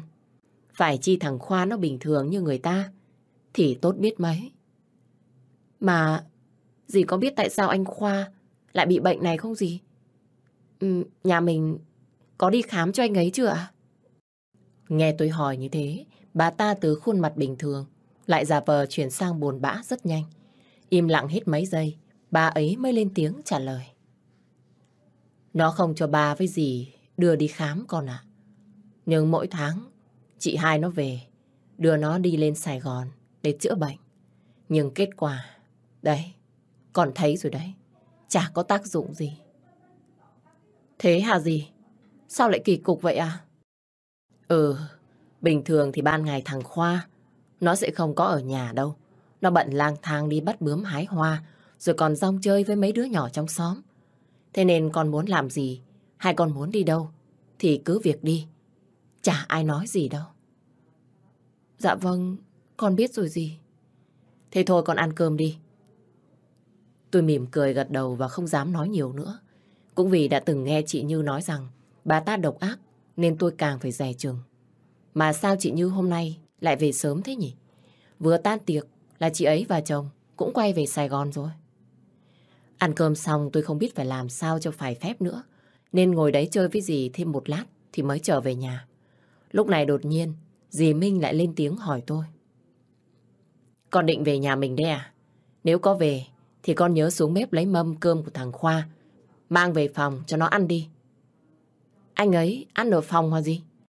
Ừ, giờ này chắc nó cũng về tới nhà rồi đấy. Dòng chơi cả ngày, ở ngoài đường, người nó bẩn lắm. Về đấy còn nhớ tắm sạch cho nó. Rồi cho nó ăn luôn, hộ gì. Lúc trước nó ở một mình, thì có người làm thay. Nhưng bây giờ có vợ rồi, thì phải để cho vợ nó làm. Có đúng không con? Ờ, vâng, con biết rồi. Con xin phép gì, con về đi ạ. Tôi xuống bếp lấy thức ăn, bưng mâm cơm trên tay mà tôi thật sự sốc. Chẳng có gì ngoài rau luộc và trứng, lại còn không có nước chấm nữa. Thì anh ta ăn kiểu gì đấy? Rõ ràng là lúc nãy tôi thấy cơm có rất nhiều đồ ăn ngon mà. Sao giờ đến lượt anh, anh lại không được ăn mấy cái món đó? Tôi nhìn qua thấy bà ta vẫn còn đang đứng nhìn mình, nên tôi mới vội bưng mâm cơm rồi trở về ngay. Đúng lúc tôi vừa đẩy cửa bước vào, thì hắn ta cũng trở về phòng. Thấy tay tôi vẫn còn bưng mâm cơm, hắn ta đứng ngó lơ một lát, rồi tiến đến khóa cửa lại. Đặt mâm cơm xuống bàn, Lúc này tôi mới lên tiếng hỏi. Anh mau qua ăn cơm này. Bà ấy vừa mới bảo tôi mang xuống cho anh đấy. Để đấy đi. Khi nào đói tôi sẽ ăn. Khoa này, tôi hỏi thật nhá. Bình thường bà ấy cũng cho anh ăn cơm như thế này à? Sao tôi chỉ thấy toàn rau với trứng thế này? Ừ. Anh nói thật đấy à? Tôi thấy lạ lùng thật đấy. Lúc nãy dọn cơm ra, tôi thấy rất nhiều đồ ăn. Không có ba ở nhà, nên tôi với bà ta ăn làm sao hết được. Sao họ không để phần cho anh? Tôi không ăn cơm nhà, nên đồ ăn có ngon hay không, tôi đều không quan tâm. Thế anh ăn cơm ở đâu? Lỡ như có người đó nhìn thấy, thì làm sao? Đấy là việc của tôi, cô không cần quan tâm. Hết việc rồi, cô mau về phòng của mình đi. Cái tên này đúng là thô lỗ. Tôi nhìn thấy mà rất tức. Tôi cũng nhanh chóng trở về phòng của mình. Nằm trên giường, sau đó tôi nhìn trần nhà lại suy nghĩ. Suy nghĩ về tương lai của mình. Không biết sẽ ra sao đây. Tất cả mọi thứ xung quanh tôi đều xa lạ. Tôi đã từng sống rất hạnh phúc bên cạnh gia đình của mình. Nhưng giờ đây, đâu đâu cũng là giả dối. Mẹ kế con chồng, người làm gia chủ, thật là mệt mỏi. Sáng hôm sau tôi dậy từ rất sớm. Cũng vì đã giữ lời hứa với mẹ là hôm nay tôi sẽ về bên đấy chơi. Nên mới bước sang gõ cửa phòng của anh ta. Tôi gõ mãi, chẳng thấy ai trả lời. Nên tôi mới vội vàng lên tiếng hỏi. Này, Khoa, Khoa ơi, anh đã dậy chưa? Anh có ở trong đấy không? Nhưng gọi mãi không thấy ai hồi âm. Nên tôi mới thử đưa tay lên vặn cửa.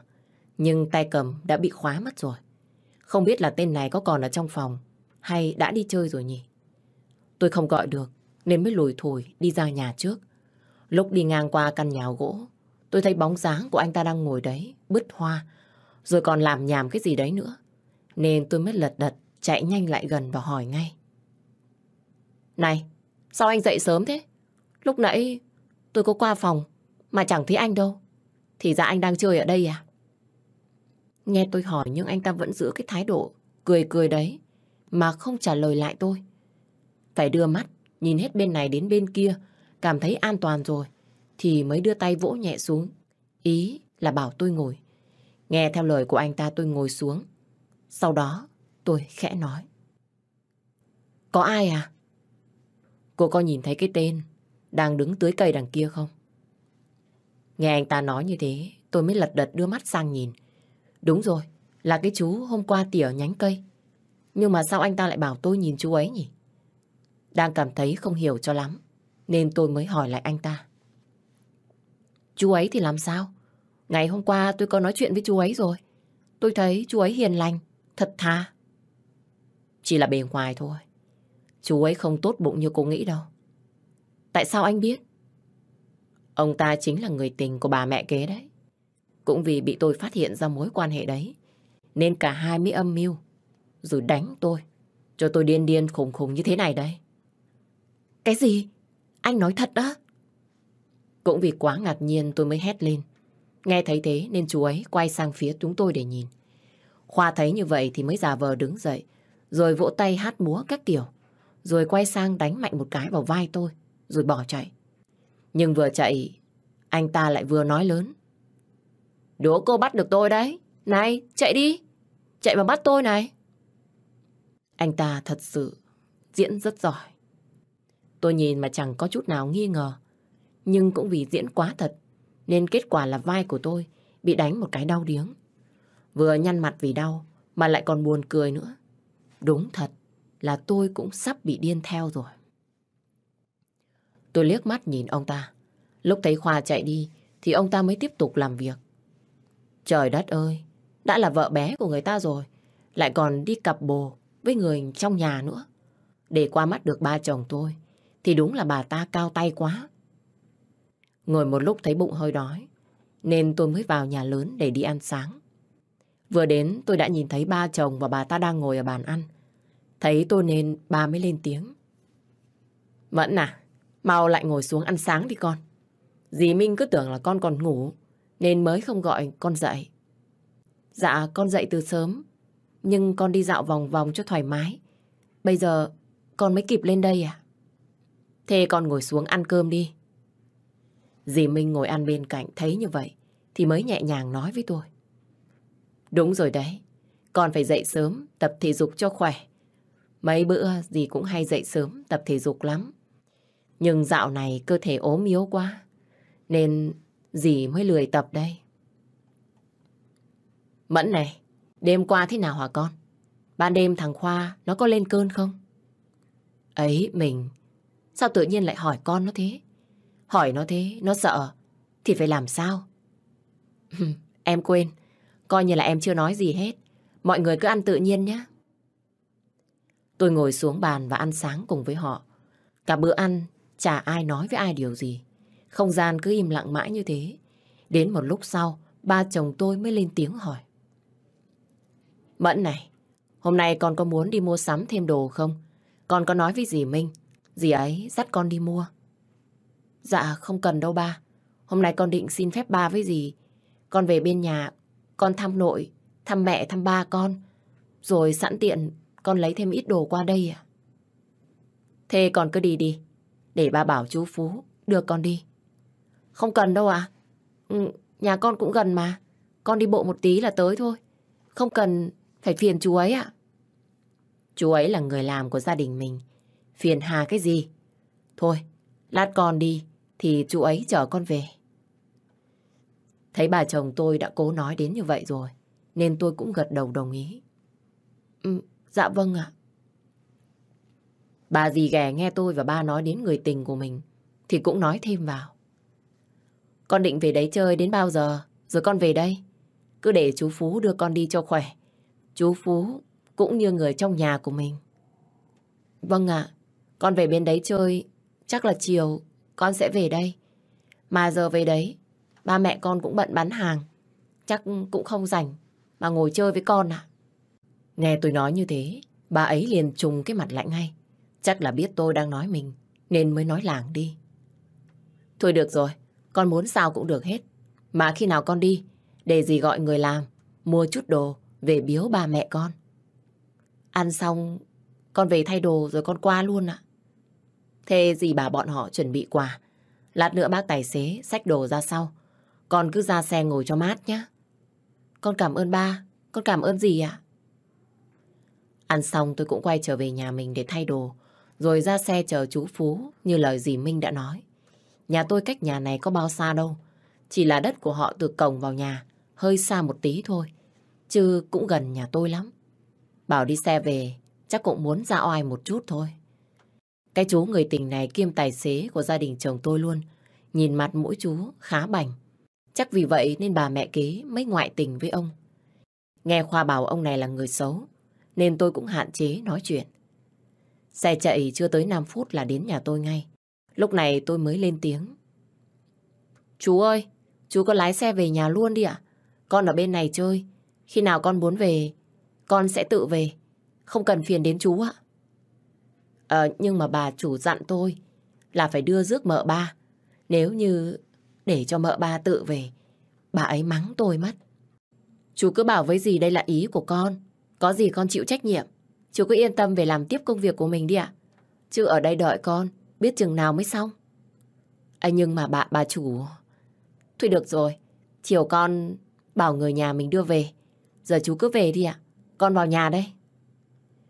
Vừa nói tôi vừa mở cửa xe bước xuống. Còn ông ta thì mang cái túi đồ vào trong rồi ra xe đi về. Bà mẹ thấy tôi về thì chạy vội vàng ra đón. Còn bà Năm thì nhanh tay xách đồ vào. Mẹ tôi liền đưa mắt kiểm tra từ trên xuống dưới rồi nhanh chóng hỏi tôi. Này, có bị thương ở đâu không con? Cái tên khủng khủng điên đấy, nó có đánh đập hay chửi bới gì mày không? Mẹ, ở đây có nhiều người nhìn lắm. Thôi, mình vào trong nhà nói chuyện. Ừ ừ nhỉ, vào đi con. Tôi đi vào trong nhà cùng với mọi người. Tôi chỉ mới đi lấy chồng có một ngày, mà ở nhà lại thay đổi nhanh quá. Thấy ở ngoài cửa hàng có hai ba người đang đứng bán hộ, nên tôi mới thắc mắc, hỏi ba. Nhà mình mới thuê người bán phụ à ba?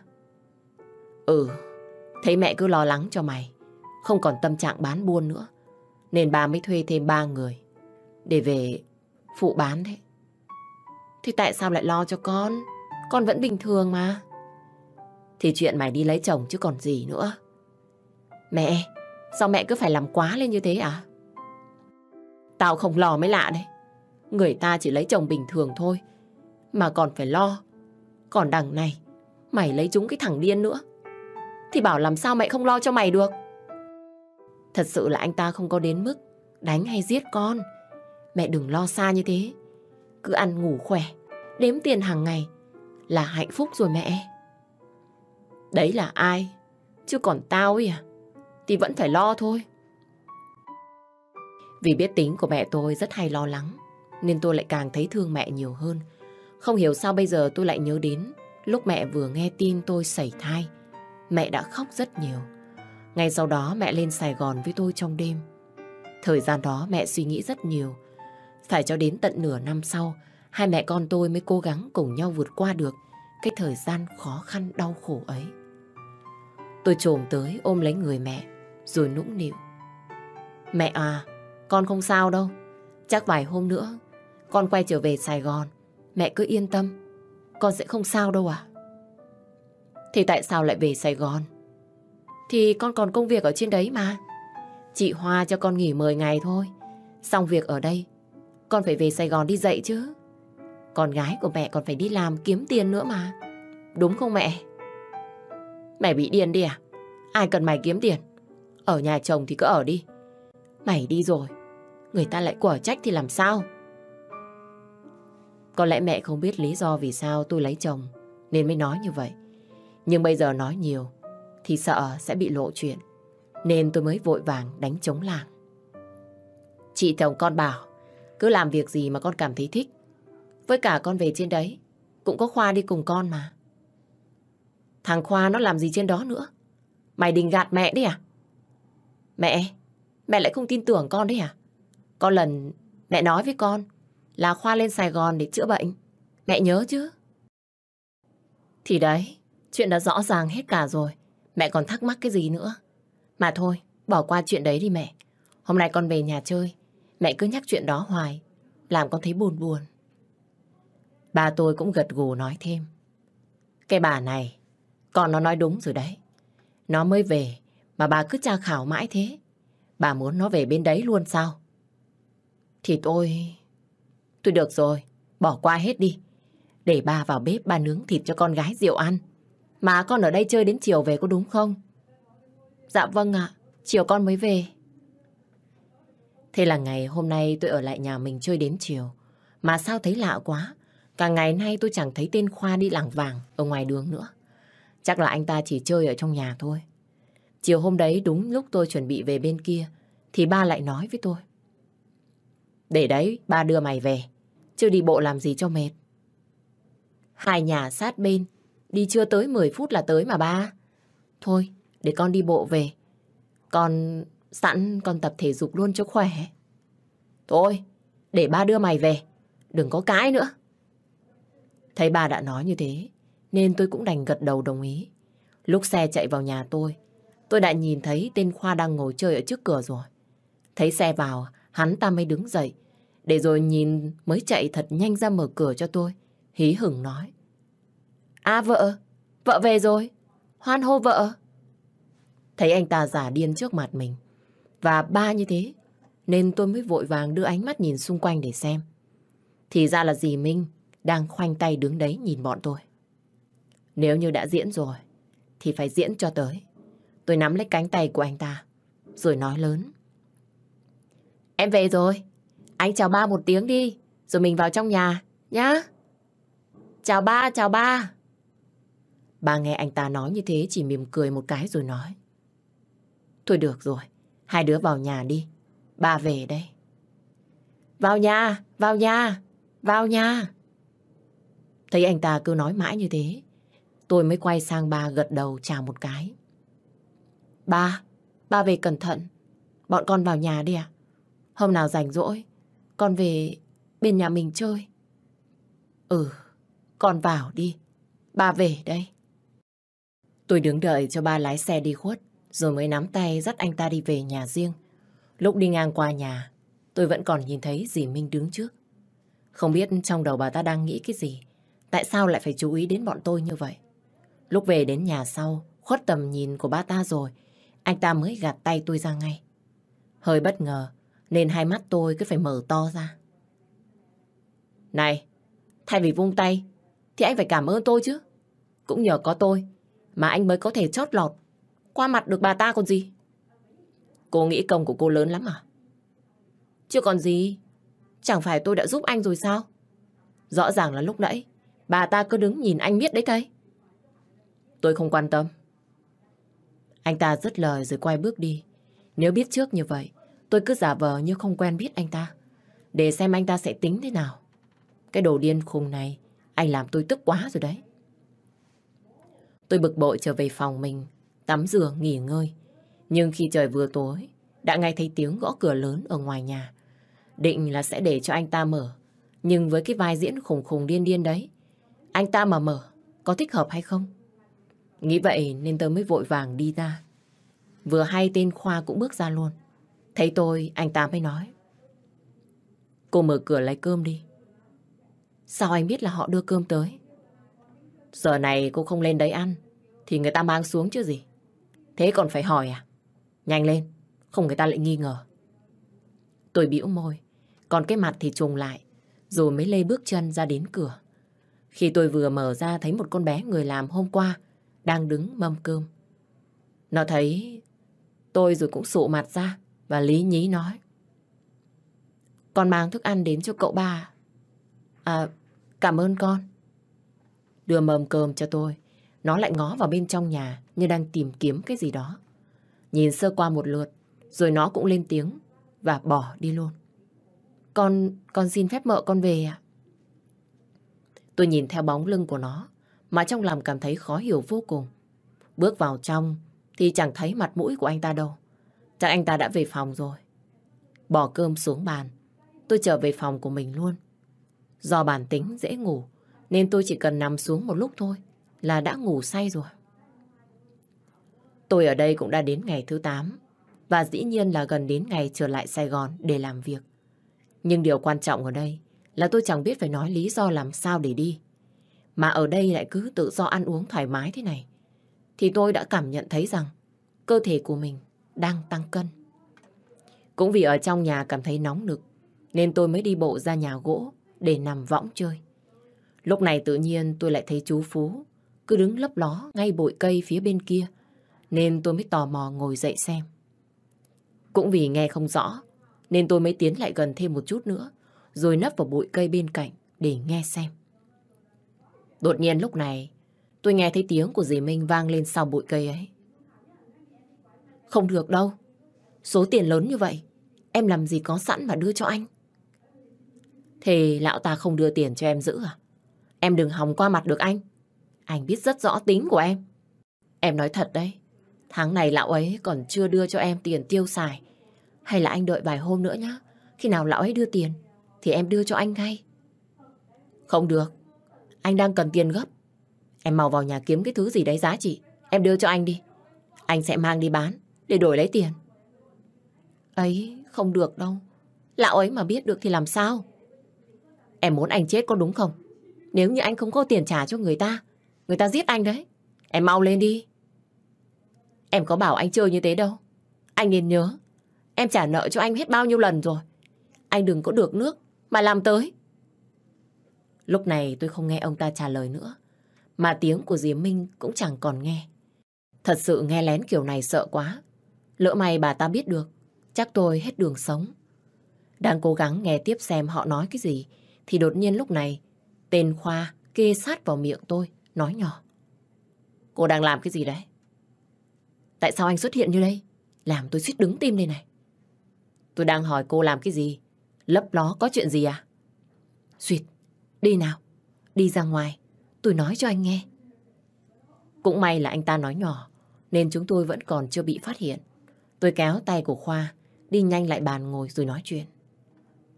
Tôi đang đứng nghe lén hai người đấy nói chuyện. Tự nhiên anh ở đâu tới, làm tôi giật cả mình. Thế sao? Cô đã nghe được gì rồi? Mau kể lại cho tôi nghe. Tôi lấy ly nước trên bàn, uống một ngụm, rồi nhìn anh ta trả lời. Lúc nãy tôi có nghe, Hình như là ông ta đang xin tiền dì Minh. Mà này, anh có biết ông ta chơi bời cái gì không? Cờ bạc đấy. Bà ta suốt ngày moi tiền của ba tôi. Cho hắn chơi bời. Ồ, hèn gì. Ông ta còn nói là có người dọa giết. Tôi nghe xong muốn rụng rời cái chân tay đây này. Giết chết cả hắn ta. Và bà ấy cũng còn được. Mà bây giờ chắc dì Minh đang chạy tiền cho ông ta đấy. Anh không đến. Chắc tôi còn nghe được nhiều hơn nữa. Anh ta im lặng không trả lời tôi. Ánh mắt nhìn về phía xa xăm kia. Tôi cũng không biết là mình có nói cái gì sai không. Nhưng thấy hắn im lặng, tôi cũng không nói gì nữa. Đột nhiên hắn quay lưng bỏ đi mất hút. Ở lại một mình cũng thấy buồn. Nên tôi cũng đứng dậy và trở về nhà luôn. Dạo này qua đây ở, tâm trạng của tôi thất thường lắm. Cả ngày đấy tôi cứ nhốt mình trong phòng. Đến chiều thì mới lên trên nhà trên để ăn cơm. Vừa thấy tôi, dì Minh đã gắt gỏng lên tiếng. Mẫn này, nếu như hôm nào con không ăn cơm, thì cứ báo với nhà bếp là không ăn. Để họ còn biết mà giảm đi một phần ăn nữa chứ. Nhà này không giàu có gì đâu, nên cái gì cũng phải tiết kiệm. Vâng, con biết rồi thưa gì. Bao nhiêu người ngoài kia, họ còn đang đói kia kìa. Còn cái nhà này, cứ làm dư rồi bỏ đi. Con nước tội ngập đầu. Tự nhiên vừa gặp đã bị mắng xối xả rồi. Nên tôi mới xị mặt xuống mà nhẹ giọng nói. Vâng, con biết rồi. Lần sau con nhất định sẽ thông báo với bên nhà bếp à? Ây, dì chỉ dặn con mấy câu như vậy thôi. Chứ cũng không có ác ý gì. Con nghe rồi thì đừng có để bụng nhá. Vâng ạ, con hiểu mà gì. Lời tôi vừa dứt thì đột nhiên lại nghe thấy tiếng hát của Khoa vang lên. Bỗng nhiên anh ta xuất hiện ngay bên cạnh, khiến cho tôi giật mình. Anh ta đưa tay lên, ôm chặt lấy cánh tay của tôi, vừa cười vừa nói. Vợ vợ, tôi tôi muốn ăn cơm. Anh muốn ăn cơm ở đây luôn à? Ăn cơm, ăn cơm, tôi đói. Thôi được rồi, để em lấy chén, rồi anh cùng ăn với mọi người nhé. Tôi lấy chén cho anh ta ngồi ở bên cạnh để cùng ăn với mọi người. Tên Khoa này phải công nhận là giả khùng giả điên không sai một tí nào. Suốt cả bữa ăn, anh ta cứ đưa tay bóc hết cái này đến cái kia, cắn rồi bỏ thức ăn lại vào đĩa. Không cần phải nói cũng biết, bà dì ghẻ đang tức giận đến thế nào. Đột nhiên lúc này, bà đặt mạnh đôi đũa xuống bàn, khiến cho mọi người ở đây đều giật mình. Tên Khoa thấy như thế, mới bỏ hết đồ ăn trên tay xuống, rồi kéo áo lên, lau tay và ôm chặt lấy cánh tay của tôi. Nhìn bà ta nói. Người xấu, người xấu, bà ta là người xấu kìa vợ. Sợ quá. Được rồi, không sao đâu, có em ở đây. Anh đừng lo. Sợ, sợ lắm, yêu quái. Phù thủy. Ngoan nào, không sao hết.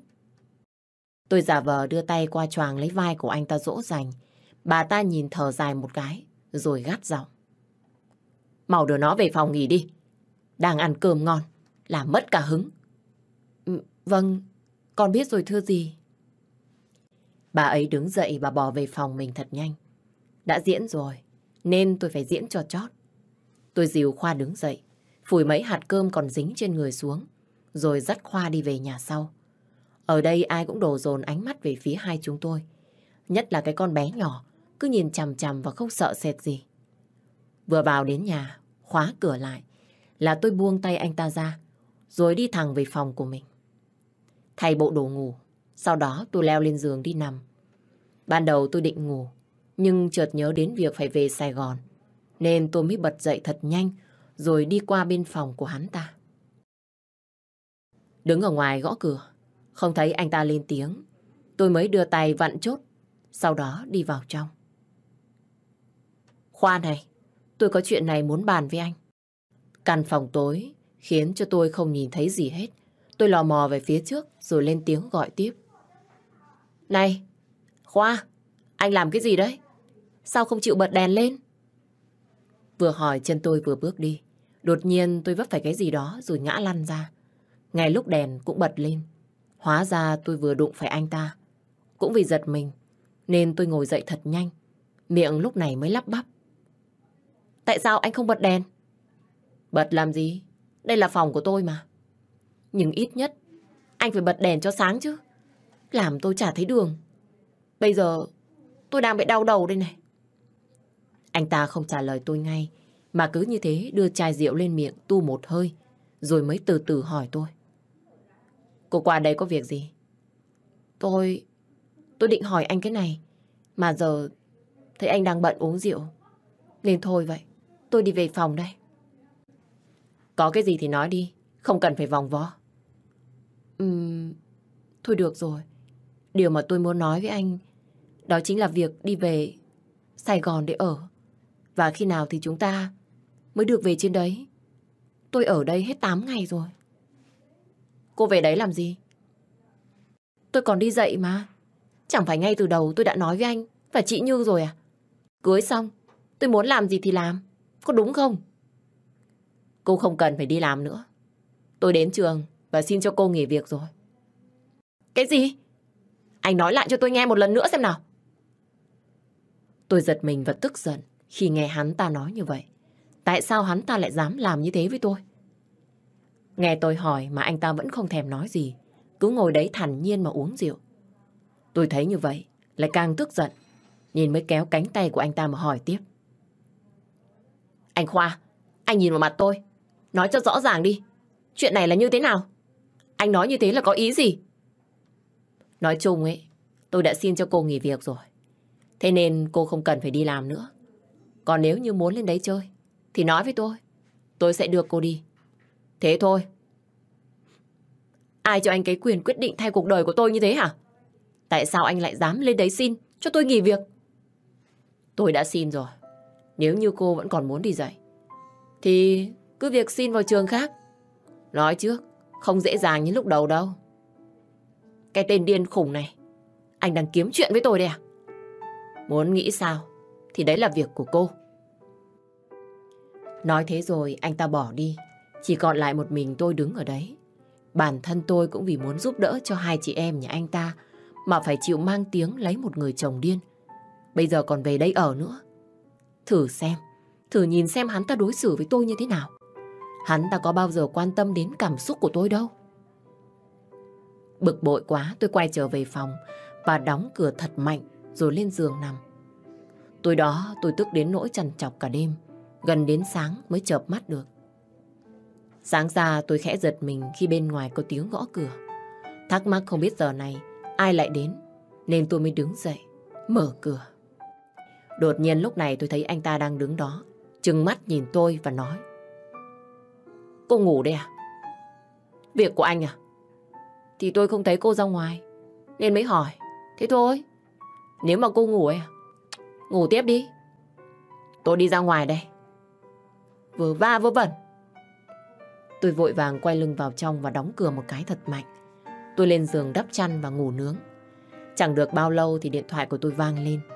Nhìn qua tôi thấy là số của chị Như. Tôi không muốn nghe máy, nhưng chị ấy cứ gọi mãi, nên tôi đành bấm nghe. Chưa kịp nói gì, thì chị ấy đã nói trước.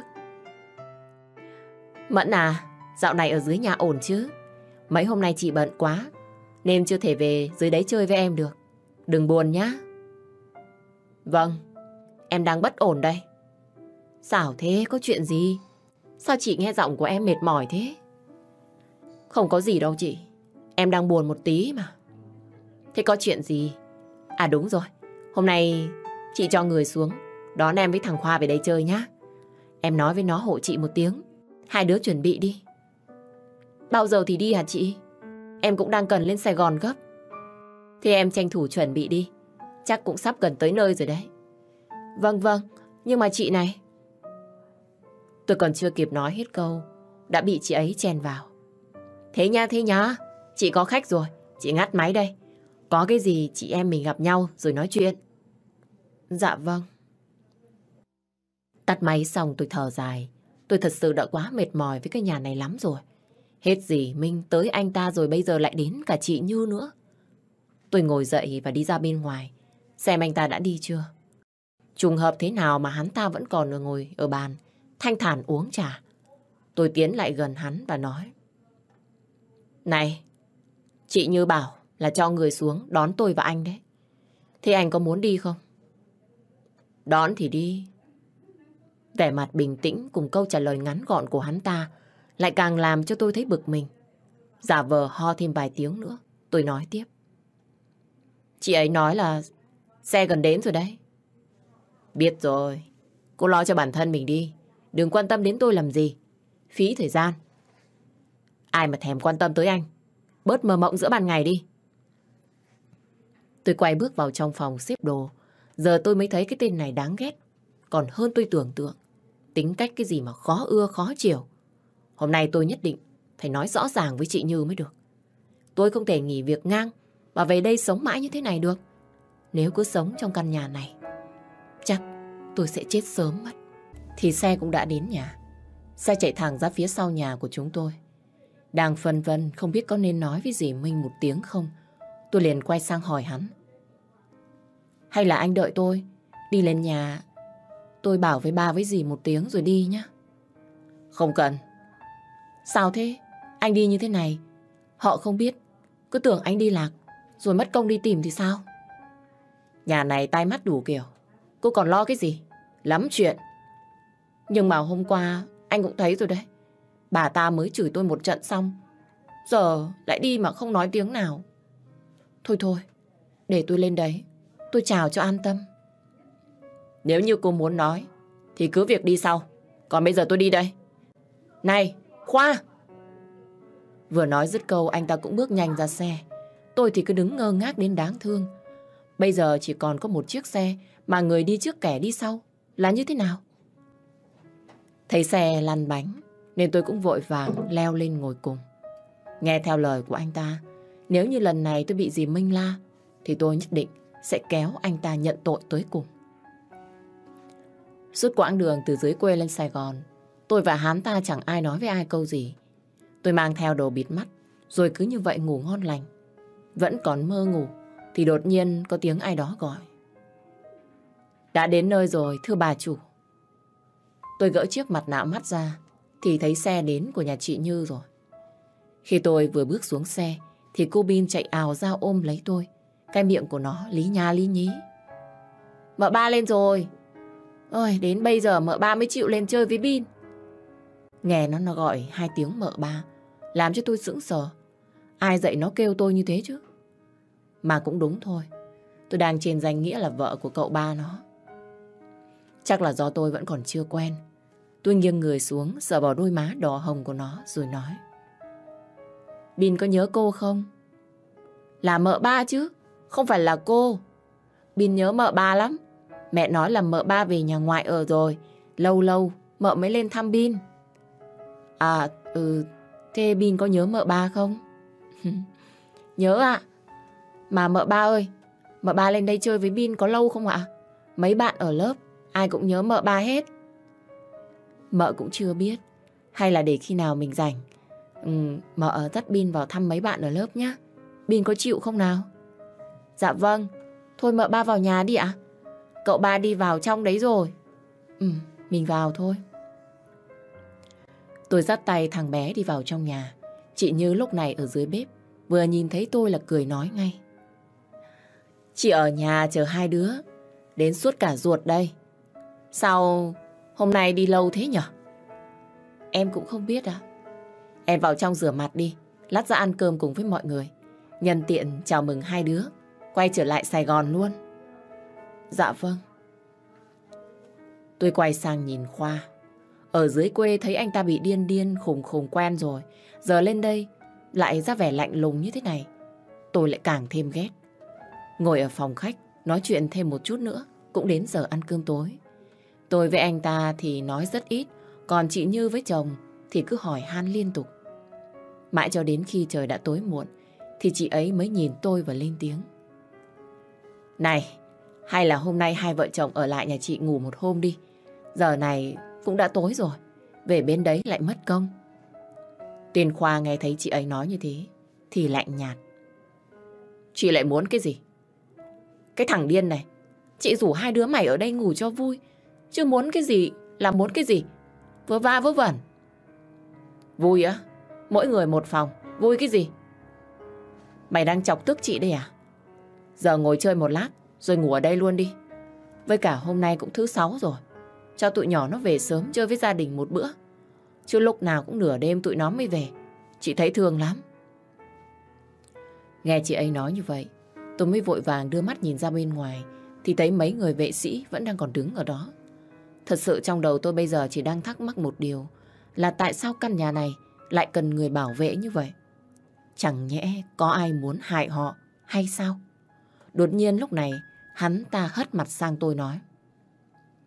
Chị muốn thì cứ hỏi cô ta. Lúc này chị Như nở ra một nụ cười rồi nhìn sang tôi hỏi ngay. Mẫn này, ở lại đây chơi nhá. Lâu lâu lên có một bữa. Chị em mình còn phải hàn huyên tâm sự. Có đúng không em? Ừ, dạ vâng. Sao cũng được à? Thế thì tốt rồi. Thôi, để chị gọi bà Vú chuẩn bị thêm ít đồ ăn. Thấy chị ta nói như vậy thì tôi cũng gật đầu. Một phần vì thấy tội cho mấy người ở ngoài kia nên tôi mới đồng ý. Lúc này chị Như cũng ra lệnh cho bọn họ về nhà sớm. Nghe thấy như vậy, sắc mặt của ai cũng vui vẻ hẳn ra. Ngồi chơi thêm một lát nữa thì tên Khoa cũng nhăn mặt khó chịu mà trở về phòng của mình. Còn tôi thì lại thấy trong lòng có chút lo lắng bởi vì không biết sẽ ngủ ở đâu. Đợi hắn đi rồi, lúc này chị Như mới đi xuống bếp lấy thêm một ít trái cây và nước uống. Cũng vì tin tưởng chị ta nên tôi mới không hề nghĩ đến cái việc hôm đó mình bị bỏ thuốc. Khi chị ấy đưa ly nước, tôi vui vẻ nhận và uống ngay. Đột nhiên lúc này tôi lại cảm thấy cơ thể của mình nóng bừng lên. Đến bây giờ tôi mới thầm nghĩ. Thôi chết rồi. Chẳng nhẽ mình lại bị chị ấy gài nữa. Sao mày ngu quá vậy Mẫn? Thật là khó chịu. Cảm thấy bứt rứt và nóng gian ở trong người, nên tôi mới nhăn mặt nhìn chị ấy hỏi. Chị Như, chị bỏ cái gì vào nước của em vậy? Chị có bỏ cái gì đâu. Sao em lại hỏi chị thế? Em... Cổ họng tôi bắt đầu nóng khát. Đưa tay lên tôi xoa cổ và muốn tắm thật sự. Cảm thấy không ổn nên tôi mới bỏ lên phòng rồi đi thẳng vào nhà tắm. Đứng dưới vòi nước lạnh cũng không làm cho tôi đỡ hơn chút nào. Hai mắt cứ lờ mờ, còn cả người thì nóng bừng lên. Và đặc biệt, tôi lại cảm thấy ham muốn làm chuyện ấy. Cũng vì cơ thể cứ khó chịu mãi như vậy, nên tôi mới ngâm mình vào nước lạnh thật lâu. Nhưng nào không ngờ cũng không đỡ chút nào. Chẳng biết bây giờ phải làm sao. Cứ như thế này chắc tôi sống khó chịu mà chết mất. Cảm thấy khát nước quá nên tôi mới vội vàng choàng áo tắm vào bước ra ngoài uống nước ngay. Khoa đang ngồi trên giường bấm điện thoại. Thấy tôi thì dừng lại và nói. Cô nằm xuống đây ngủ đi. Tôi sang chỗ khác. Này, sao anh... Anh dám ăn mặc cái kiểu đấy trước mặt tôi hả? Kiểu gì? Có phải cô đang bị điên không? Tắm rồi không mặc đồ ngủ. Chẳng nhẽ tôi đi mặc vét à? Anh... Anh anh cái gì? Lo ngủ đi. Trong người của tôi bây giờ khó chịu đến mức mà tôi không thèm đôi co với hắn ta nữa. Tôi vội lao lên giường, chùm kín chăn lại. Chắc là không thấy tôi có biểu hiện khác lạ, nên Khoa mới kéo mạnh chăn ra và đưa tay xoay người tôi lại hỏi. Này, cô bị làm sao đấy? Sao tự nhiên đắp chăn kín thế kia? Không giống với cô hàng ngày. Anh mặc kệ tôi. Anh mau né tôi ra đi. Đừng có chạm vào người của tôi. Chị Như nói cái gì cho cô à? Này, Thật sự bây giờ tôi đã không còn tâm trạng để trả lời anh ta nữa rồi. Bởi vì bàn tay của anh ta mát lạnh đang động vào vai của tôi. Cái cảm giác này khó chịu quá.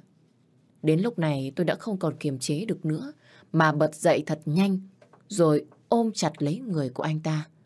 Miệng cũng vô thức mà đặt lên môi của hắn một nụ hôn. Bị mất kiểm soát nhưng tôi vẫn còn cảm nhận được cơ thể của anh ta cũng đang bị đơ ra. Bất ngờ quá, anh ta mới nhanh tay đẩy tôi ra rồi quát. Cô bị điên rồi à? Sao cô... Tôi... Tôi muốn anh. Tôi muốn cả cơ thể của anh. Cái gì cơ? Chẳng để cho anh ta nói thêm một lời nào nữa. Tôi đã vật anh ta ra giường.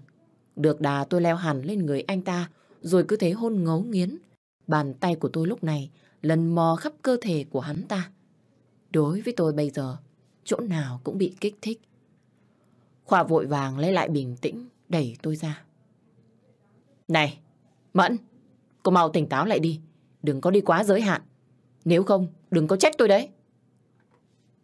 Tôi mặc kệ lời nói của anh ta. Bàn tay của tôi vẫn cứ thế mà ôm chặt lấy cơ thể của hắn, mà đáp lại. Khoa, anh mau làm gì tôi đi. Anh đưa tay của mình chạm vào người của tôi đi.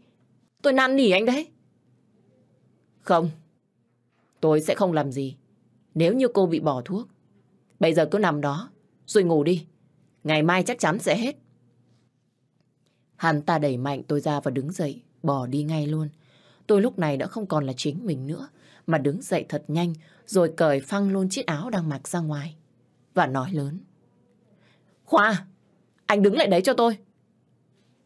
Khoa nghe thấy tôi gọi, thì dừng bước và xoay người lại. Trên miệng anh ta đang định nói câu gì đấy. Nhưng khi thấy tôi không có một mảnh áo che thân, thì anh ta im lặng mất mấy giây. Sau đó mới lên tiếng. Đủ rồi đấy. Cô nên nhớ tôi là đàn ông. Nếu như cô đã muốn đến như vậy, thì tôi... Tôi không từ chối đâu. Anh ta vừa nói dứt câu, thì cũng nhanh chân đi, đến bế gọn tôi vào lòng, rồi tiến lại phía giường, mà thả mạnh tôi xuống. Đôi mắt của anh ta bắt đầu hằn lên những tia đỏ và nhanh chóng đè lên người tôi, hồn ngấu nghiến. Bàn tay anh ta truyền đi khắp cơ thể của tôi. Tôi cảm nhận như có một dòng điện chạy qua người. Anh ta cứ động đến đâu là tôi lại thấy nổi da gà đến vậy. Đến khi anh ta đụng tới phần dưới của tôi, cái cảm giác đau lại truyền đến, khiến tôi phải nhăn mặt. Dẫu biết rằng đây không phải là lần đầu tiên, nhưng cũng khiến tôi nhíu mày. Khoa cứ như vậy, làm tình với tôi. Cả hai đứa quấn lấy nhau đến mãi gần sáng, mới có thể kết thúc được. Chỉ cần vừa lấy lại sức, là hắn lại lôi tôi ngồi dậy để trả bài ngay. Thật là không ngờ, loại thuốc này nó lại có cái tác dụng mạnh đến như vậy. Sáng hôm sau tôi thức dậy, cũng đã giữa trưa. Khẽ nghiêng người sang bên cạnh, tôi lại thấy mình đang nằm trên cánh tay rắn chắc của anh ta. Tay tôi còn choàng qua ôm lấy người của hắn nữa. Thật đúng là xấu hổ. Nhớ lại những chuyện đã xảy ra ngày hôm qua mà tôi không biết phải giấu mặt của mình vào đâu. Cũng vì ngại quá nên tôi mới lén lấy cái chăn sang một bên để ngồi dậy. Nhưng khi chân vừa chạm xuống mặt đất thì đã bị hắn ta kéo ngã nhào lên người. Miệng lúc này của tôi mới lắp bắp. Tôi... tôi muốn đi tắm. Vẫn còn sớm chán. Nằm xuống ngủ thêm một tí nữa, rồi đi cũng được. Nhưng mà tôi... Tôi muốn ngủ. Anh muốn ngủ thì anh cứ ngủ đi. Tôi đi tắm, rồi xuống nhà đợi anh cũng được. Tôi không thích. Hắn ta vừa nói dứt câu, thì tay cũng đưa ra kéo tôi lại vị trí cũ. Chuyện này là như thế nào chứ? Tại sao hắn ta lại cư xử với tôi khác với bình thường quá vậy? Thấy Khoa im lặng, nên tôi chẳng dám động đậy gì nữa, mà cũng nằm im luôn cho hắn ta ngủ. Mãi cho đến một lúc sau thì chúng tôi mới xuống dưới nhà. Thật sự trên người tôi bây giờ có rất nhiều vết đỏ tím in hẳn, và đó chính là kết quả của cuộc ân ái ngày hôm qua. Sợ mọi người thấy sẽ trêu, nên tôi mới phải ăn mặc thật kín đáo để che đậy đi cái chuyện đáng xấu hổ của mình. Nhưng làm sao tôi có thể che được mắt của người sành sỏi như chị Như? Vừa nhìn thấy tôi, chị ấy đã trêu ngay. Sao hôm nay hai đứa dậy muộn thế? Dạ, chắc hôm qua em say xe, tối em không ngủ được. Mãi đến gần sáng em mới chợp mắt được một tí, nên em dậy trễ à? thế hả? Vậy mà chị cứ tưởng hôm qua hai đứa làm việc nhiều quá, nên mệt sáng dậy trễ chứ. Khoa nghe chị Như nói như vậy, nhưng không có ý định trả lời, mà quay sang nhìn tôi nói. Không định đi ăn à? Ờ, sao cơ? Đi ăn? À, tôi đi ngay. Tôi gật đầu chào chị Như một cái, rồi bước theo anh ta ra xe ngồi. Trên đường đi anh ta chẳng nói gì với tôi cả. Mà tôi thấy trên xe lại có thêm hai người nữa. Chắc là anh ta ngại nên mới không mở lời. Tôi quay ra nhìn cửa ngắm nhìn xung quanh, không thèm để ý đến anh ta nữa. Chiếc xe chẳng mấy chốc cũng đến một nhà hàng ngay gần đó. Tôi với anh ta bây giờ cứ thấy ngượng ngượng làm sao. Vào ăn cũng không biết nói gì cho phù hợp. Hai đứa cứ thế im lặng và chỉ tập trung vào ăn. Đột nhiên lúc này có một tên vệ sĩ mở cửa xe vào, nói cái gì đó vào tai của anh ta. Nghe xong tên Khoa cũng gật đầu và lên tiếng trả lời ngay. Tôi biết rồi. Cậu đi ra ngoài đi. Tên vệ sĩ gật đầu chào một cái rồi bước ra ngoài luôn. Khoa cũng tranh thủ ăn một chút rồi ngước lên nhìn tôi. Này, tôi có việc cần phải đi trước. Cô cứ ở lại ăn. Lát sẽ có người đưa cô về nhà. Anh đi đâu đấy? Đó là việc của tôi. Không cần cô phải quan tâm. Tốt nhất là cô không nên xen vào. Sẽ an toàn hơn cho cô đấy. Cái gì mà an toàn hơn? Ăn tiếp đi. Tôi đi đây. Nói rồi hắn ta bỏ đi ngay và luôn. Một mình tôi ngồi ăn, chẳng thể nào nuốt được, nên tôi mới đi ra ngoài và trở về. Lúc này tôi thấy bóng dáng của anh ta ở trước, rồi còn có một đám vệ sĩ đi theo sau. Rốt cuộc anh ta làm cái nghề gì mà lại có nhiều người theo để bảo vệ quá vậy? Thấy tôi cứ đứng nhìn như thế, thì một tên vệ sĩ tiến lại gần và nói với tôi. Mình về chưa bà chủ? À, về thôi anh. Vâng, mời bà lên xe à? Hắn ta nhanh tay mở cửa xe cho tôi, rồi mới cẩn thận lái xe đi. Cảm thấy thắc mắc về chuyện công việc của Khoa, nên tôi mới hỏi người này. Này, anh ơi, anh cho tôi hỏi cái này có được không? Vâng, bà chủ cứ hỏi đi. Nếu biết gì, tôi sẽ trả lời ạ. Anh có biết anh Khoa làm công việc gì không? Tôi thấy anh ấy bận bịu như vậy, nên tôi hơi thắc mắc. Xin lỗi bà, tôi không thể tiết lộ việc này. Mong bà thông cảm à Nghe anh nói kiểu đấy, tôi thấy bí mật quá nhở. Tôi nghe tôi lại càng thấy tò mò. Nếu như ông chủ đã không nói, thì tôi cũng xin phép không tiết lộ. Có việc gì không rõ, bà cứ hỏi ông giúp tôi ạ. Nhưng mà anh... Mong bà chủ thông cảm mà. Vừa nói dứt câu thì hắn ta cũng quay mặt về phía trước. Chỉ là nói về công việc thôi. Có cái gì mà khó khăn như vậy? Ôm một cục tức trở về nhà. Nhưng khác ở đây, không phải là nhà của chị Như, mà là một căn nhà cũng giống với nhà của chị ấy. Tên lính nhìn tôi rồi lên tiếng. Ông chủ bảo là bà cứ ở nhà này, khi nào xong việc thì ông sẽ về à? Tôi biết rồi, cảm ơn anh. Nếu như bà cần gì, thì cứ gọi cho bọn tôi. Còn bây giờ tôi xin phép. Nói xong anh ta bỏ ra phía ngoài, còn tôi thì quay bước đi lên trên nhà. Chẳng biết là mình sẽ ở phòng nào, nên tôi cứ mở từng phòng để xem. Nhưng ở đây phòng nào cũng khóa, chỉ có một phòng là được mở ra thôi. Cũng hơi thắc mắc, nhưng tôi vẫn đi vào đấy. Nằm ra giường tôi mới lấy điện thoại ra nghịch. Vừa lướt vào bảng tin của Facebook, thì đập vào mắt tôi đó chính là con Mai đăng một bức ảnh có hai chiếc nhẫn cặp. Không lẽ nó sắp lấy chồng ư? Cũng vì tò mò quá nên tôi mới điện thoại cho nó để hỏi ngay. Đầu dây bên kia reo gần hết chuông thì tôi mới thấy nó bắt máy. Chẳng để cho nó nói trước, tôi đã nói ngay. Này, mày đi lấy chồng mà mày dám giấu tao đi à? Mai nghe tôi nói như vậy thì liền trách móc. Mày đi đâu cả tuần nay đấy? Sao đến bây giờ mày mới chịu xuất hiện? À, tao về quê thăm ba mẹ. Còn mày nữa, thế tại sao mày sắp kết hôn mà mày không nói với tao một tiếng thế à? Mày mất tích thì làm sao mà tao nói được? Tao bận về dưới nhà, không có thời gian gọi cho mày. Giờ tao lên rồi đây. Tao rảnh, tao gọi cho mày đây này. Mày nói gì thì cứ nói đi. Chứ tao thấy mày cũng được đấy. Sắp lấy chồng rồi. Được cái gì mà được. Chờ một tí, tao tan làm. Tao sang tao kể cho mày nghe. Tao không gặp mày có mấy hôm, mà tao bực bội quá. Ai làm cái gì mày mà mày bực? Tao về rồi, tao cũng lên lại còn gì. Giờ vắng mày nên tao thấy bực đấy. Có được không? Lát nữa gặp, tao xử lý mày sau. Mày cứ chờ đấy. Thế lát gặp mày ở chỗ cũ nha. Ok.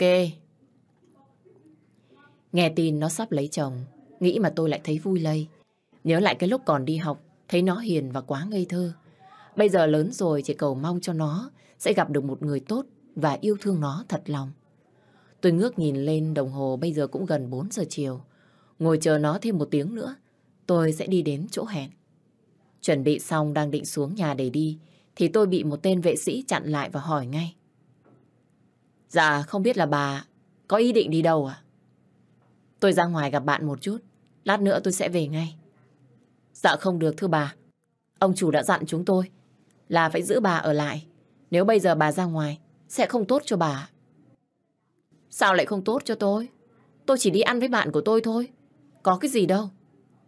Nhưng đây là mệnh lệnh của ông chủ. Chúng tôi không thể nào làm khác được thưa bà.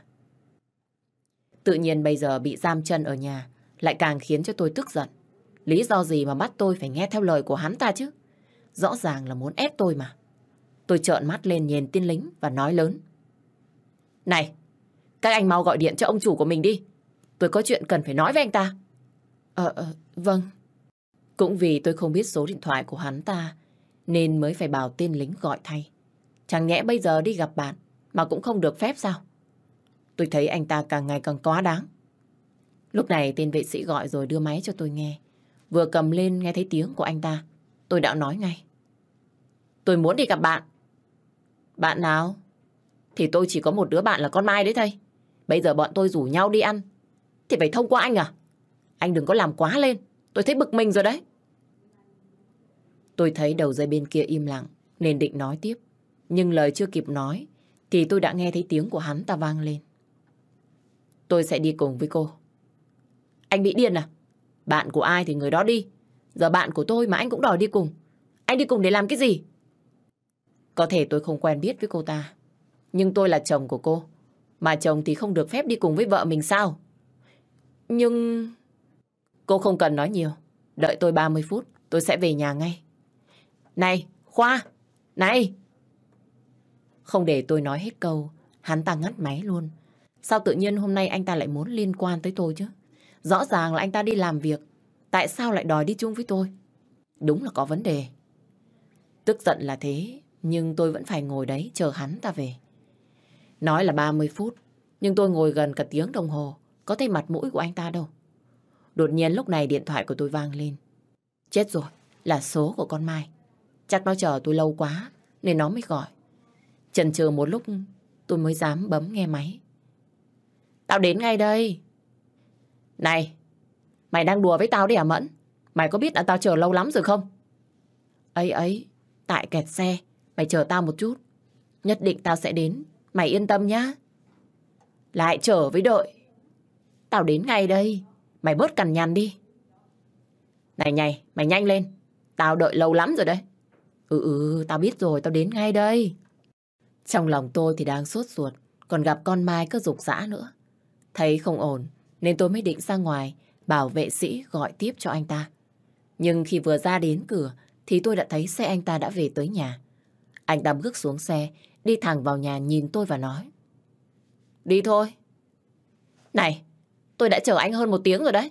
Nếu như biết về muộn thế này, thì tại sao lại không cho tôi đi trước thế à? Đừng có nói nhiều nữa. Đi. Đi thì đi. Còn câu nào dư thừa hơn để hỏi à? Anh ta không trả lời lại tôi nữa, mà quay bước chờ ra ngoài xe. Nhìn theo dáng vẻ bây giờ của anh ta hình như có vẻ mệt mỏi. Mặt của anh ta có phần u tối hơn bình thường. Xe chạy đi rồi, mà tôi vẫn còn thắc mắc, nên mới quay sang hỏi anh ta. Anh làm sao đấy? Anh mệt à? Không. Thế tại sao tôi thấy anh có vẻ mệt mỏi thế? Nếu như mệt, thì về nhà nghỉ ngơi. Không cần phải đi theo tôi đâu. Tôi đã nói là tôi không sao rồi cơ mà. Cô ngồi im lặng một chút có được không? Hiểu rồi. Tôi không làm phiền anh nữa, được chưa? Vốn dĩ ban đầu là tôi đang quan tâm đến hắn ta nên tôi mới hỏi như thế. Nhưng đâu ngờ, lại bị cho là làm phiền. Thấy bực mình nên tôi im lặng, quay ra phía ngoài đường để ngắm nghía. Và rồi chiếc xe cũng đến điểm hẹn. Tôi quen chỗ này nên đi vào trước, còn Khoa thì lẽo đẽo đi phía sau lưng tôi. Vào đến nơi tôi đã bị giật mình khi thấy anh Hoàng cũng đang ngồi bên cạnh nó. Không nằm ngoài dự đoán. Vừa nhìn thấy tôi, Mai đã lên tiếng trách móc. Chờ mày đến, bọn tao muốn mọc rễ ra luôn rồi đây. Ờ, ai đây Mẫn? Vừa nói nó vừa quay sang nhìn Khoa. Cũng vì tôi sợ nó sẽ nói nhiều hơn nữa, nên mới vội vàng trả lời ngay. À, ờ, anh ta là bạn của tao. Lúc nãy tao không có xe đến đây, nên mới nhờ đưa tới. Thôi mình ngồi xuống gọi món đi. Tao đói quá. Là bạn á? Sao? Tao thấy nghi ngờ lắm nha Mẫn. Mau bỏ chuyện đó sang một bên đi. Mày không thấy đói hay sao mà cứ hỏi hoài thế? Tôi đã giới thiệu là bạn rồi. Thì cứ ngồi xuống cho xong chuyện đi. Tự nhiên lúc này hắn ta còn lên tiếng. Tôi là chồng của Mẫn, chứ không phải là bạn của cô ấy. Ờ, sao, sao cơ? Tôi biết là cô đã nghe thấy rồi, nên cô đừng có hỏi lại nữa. Trời đất, cái tên này đang muốn làm cái gì vậy? Tự nhiên nói như thế rồi lại còn khó chịu khi người ta hỏi lại một lần nữa. Anh Hoàng ngồi bên kia hơi cau mày, rồi lên tiếng nói thay. Chuyện của gia đình người ta, tốt nhất là mình không nên quan tâm đến. Được rồi, mọi người cứ ngồi xuống ghế đi. Mai, em đi chợ nhé. vâng ạ, em biết rồi. Mặt con Mai bây giờ cứ ngơ ngác, thỉnh thoảng lại liếc nhìn sang Khoa. Lâu lâu gặp lại bạn thân, mà cái tên Khoa này cứ làm cho người khác phải dè chừng. Tối nay về đến nhà, chắc chắn con Mai sẽ trao khảo tôi đến cùng cho mà xem, cũng vì cái tội lấy chồng mà không báo cho nó. Suốt cả bữa ăn đấy, Khoa không thèm nói năng cái gì, mặt cứ khó chịu lạnh lùng, rồi chăm chú vào xem điện thoại. Nhìn thấy cái thái độ của hắn ta trướng mắt, nên tôi mới đưa chân, đạp lên chân của hắn một cái rồi nói nhỏ. Này, anh có thể vui lên một tí được không? Việc gì tôi phải nghe theo lời của cô? Nếu cảm thấy không vui, thì tại sao anh không ở nhà? Anh đến đây làm gì cho chật chỗ thế hả? Tôi chả muốn đến đây đâu. Nhàm chán vô vị. Anh... Hắn ta không thèm nói chuyện với tôi nữa, mà đưa tay nâng ly rượu lên và uống hết. Tôi thì cảm thấy rất ức chế, nhưng không làm gì được. Ở trong bàn có bốn người, nhưng chỉ có tôi và Mai nói chuyện với nhau. Còn hai tên kia thì cứ nằm mặt lạnh. Rốt cuộc bữa ăn này, tôi không thấy vui gì hết. Biết vậy, ngay lúc đầu, hai đứa gọi điện phích tham cho nhau còn vui hơn bây giờ. Và cuối cùng bữa ăn đó cũng kết thúc trong không khí tẻ nhạt. Lúc ra về tôi thấy anh Hoàng đưa tay ra trước mặt Khoa, cười một cái và lên tiếng. Rất vui được gặp cậu trong tình huống như thế này. Cậu Khoa. Chúng ta quen biết gì nhau sao? À, chúng ta là những người xa lạ. Tên Khoa không bắt tay, mà ngược lại còn đưa tay cho vào túi quần. Miệng anh ta lúc này còn cười đều một cái rồi nói. Tôi không hề mong muốn chúng ta gặp lại nhau một chút nào. Chào anh.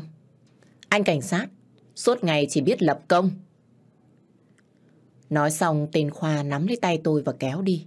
Tại sao anh ta lại nói chuyện như thế nhỉ? Câu nói ấy là có ý nghĩa gì? Tôi lủi thủi theo hắn ta về đến nhà. Vừa vào phòng, tôi đã vội vàng kéo tay của hắn ta để hỏi ngay chuyện. Này, hôm nay cái thái độ như vậy là có ý gì hả? À... Anh ta tự dưng nhăn nhó khuôn mặt kêu đau, thì tôi mới lật đật vội buông anh ta ra. Cũng vì tôi khá tò mò, nên mới tiến lại trước mặt anh ta và hỏi. Này, anh bị làm sao đấy? Không sao. Không sao á? Thế tại sao mặt của anh nhăn nhó thế kia? Anh nói cho tôi biết đi, anh bị làm sao đấy? Tôi nói với cô là tôi không bị làm sao rồi cơ mà. Cô đừng có hỏi nhiều nữa có được không? Anh ta cáu gắt với tôi, rồi bước nhanh đi vào trong nhà tắm. Tự nhiên lúc này trong lòng tôi lại cảm thấy lo lắng đến lạ thường. Hắn ta thì tắm ở trong đấy, còn tôi thì cứ đi qua đi lại. Mãi đến một lát sau, cánh cửa nhà tắm mới mở ra. Tôi thấy như vậy, nên mới lật đật chạy lại hỏi ngay. Sao anh tắm lâu thế? Anh có chuyện gì đấy Tôi tắm lâu cũng không được à? Ừ, không phải. Ý tôi là nhà của anh. Anh muốn tắm bao lâu cũng được. Lắm chuyện. Lúc này tôi để ý, sắc mặt của Khoa hình như là tái hơn so với bình thường.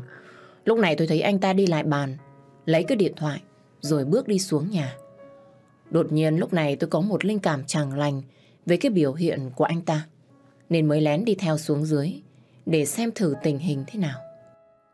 Đứng nép vào bức tường, tôi nghe thấy anh ta đang nói chuyện điện thoại với ai đó, nhưng lại để loa ngoài.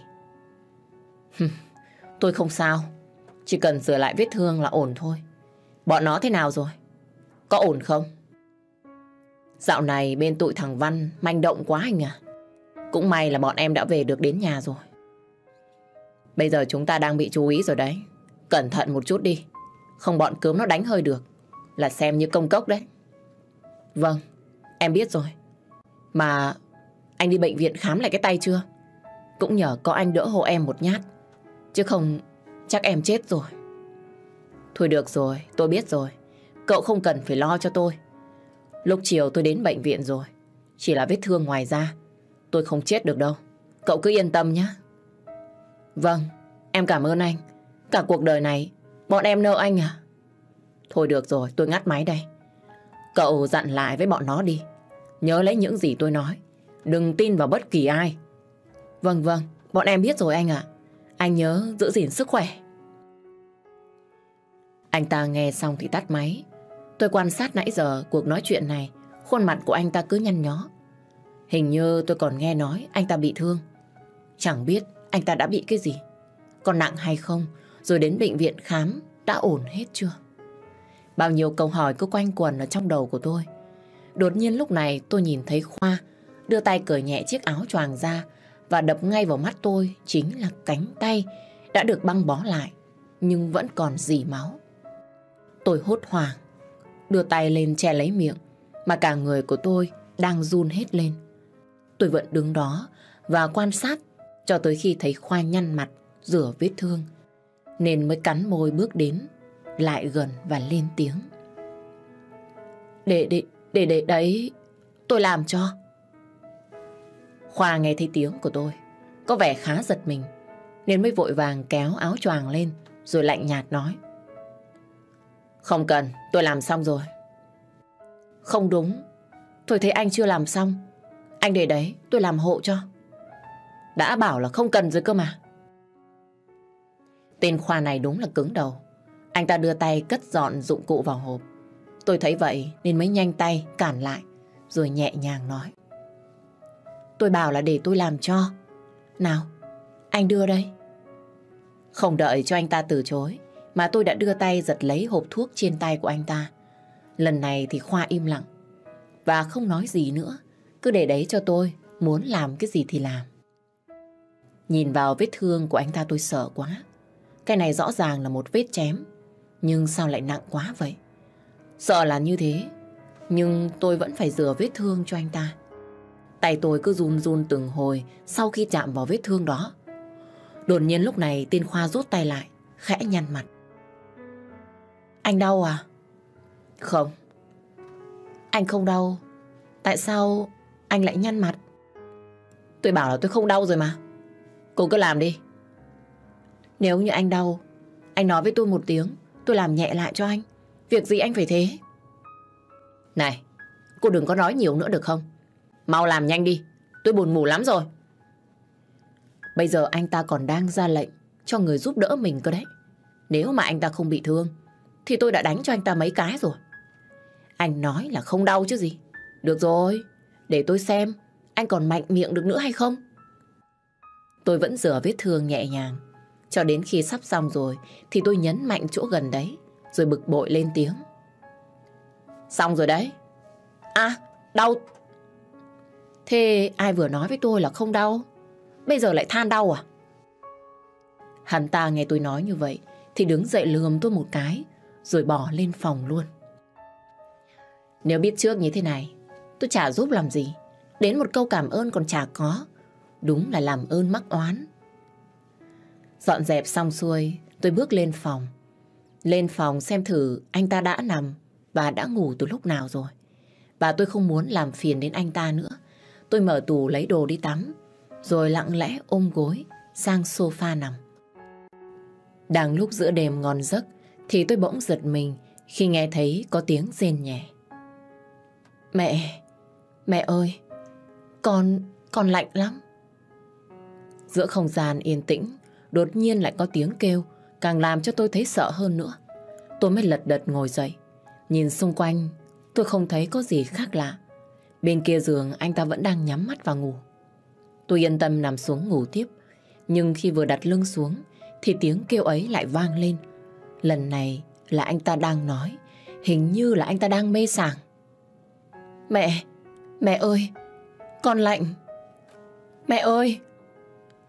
Nghe anh ta gọi như thế, tôi mới lật đật ngồi dậy thật nhanh và lại đấy xem tình hình thế nào. Nhìn khuôn mặt của Khoa lúc này, mồ hôi tứa ra ướt đẫm. Hai mắt nhắm chặt, nhưng miệng thì cứ run lên. Cũng vì lo lắng, nên tôi mới đưa tay lên, lay lay vào má của anh ta. Anh Khoa, Khoa ơi, Khoa, anh làm sao thế? Mẹ ơi, mẹ ơi con lạnh. Tôi, tôi không phải là mẹ của anh. Nhưng mà anh lạnh lắm mà. Khoa ơi! Khoa không trả lời tôi nữa, mà cứ thế nhắm chặt lấy bàn tay của tôi và áp vào má của mình để ngủ. Ban đầu tôi định rút tay ra, nhưng thấy anh ta ngủ say, nên tôi không đành lòng. Cứ như thế ngồi dưới đất, để anh ta nắm lấy tay của mình mà ngủ. Lúc đó tôi chẳng biết là tôi đã ngủ quên từ lúc nào. Cho đến khi trời sáng, những tia nắng chiếu vào khung cửa, thì tôi mới tỉnh giấc. Đột nhiên lúc này tôi lại thấy mình nằm trọn trong vòng tay của anh ta. Đây là lần thứ hai tôi nằm cạnh anh như thế này. Thấy tôi động đậy, Khoa mở mắt ra và nhìn tôi. Dậy rồi đây à? Ừm, tôi dậy rồi. Tay, tay của anh làm sao rồi? Ổn chưa? Hết đau rồi. Chỉ thấy hơi tê tê một chút thôi. Tôi giật mình khi nghe anh ta nói như vậy. Tôi mới vội vàng ngồi dậy thật nhanh, bởi vì tôi biết mình đang nằm lên tay của anh ta. Tôi cứ luống ca luống cuống, nên Khoa mới cong môi lên, nở ra một nụ cười và nói với tôi. Anh đùa đấy. Tôi mở tròn mắt và rất ngạc nhiên khi nghe hắn ta xưng anh với mình. Chưa kịp định hình lại, thì đã bị Khoa búng vào trán tôi một cái, rõ đau. Được rồi, dậy thôi. Hôm nay chúng ta có hẹn. Có hẹn? Hẹn với ai? Bạn của anh. Nói rồi hắn ta ngồi dậy, kéo tay tôi đi vào nhà vệ sinh để đánh răng rửa mặt. Tay tôi vẫn làm theo, nhưng đầu thì không khỏi suy nghĩ. Chẳng lẽ hôm qua vì bị bệnh mà giờ đầu óc của hắn ta lại thay đổi nhanh đến thế sao? Sửa soạn xong xuôi, Khoa đưa tôi đến một nhà hàng để ăn sáng. Tôi thấy có mấy người đã ngồi sẵn ở đó. Vừa thấy chúng tôi đến, một trong mấy người đó lên tiếng ngay. Chờ mãi mới thấy anh chị xuất hiện. Thế mà bọn em cứ tưởng là bị cho leo cây rồi chứ. Thế mày có thấy anh thất hứa với ai bao giờ chưa? Cái tên vừa lên tiếng nói chuyện với Khoa cũng quay sang nhìn tôi. Hôm nay đúng là một ngày đẹp trời. Chị dâu cũng đến đây ăn nữa cơ đấy. Ờ, ờ, vâng. Chào các anh ạ. Vâng, em chào chị dâu. Từ hôm đám cưới tới giờ, em mới thấy chị lần hai. Mà thôi, em mời hai người ngồi xuống ăn sáng. Ờ, vâng, cảm ơn anh. Lần này Khoa có vẻ ga lăng hơn khi đã nhanh tay kéo ghế ra cho tôi ngồi.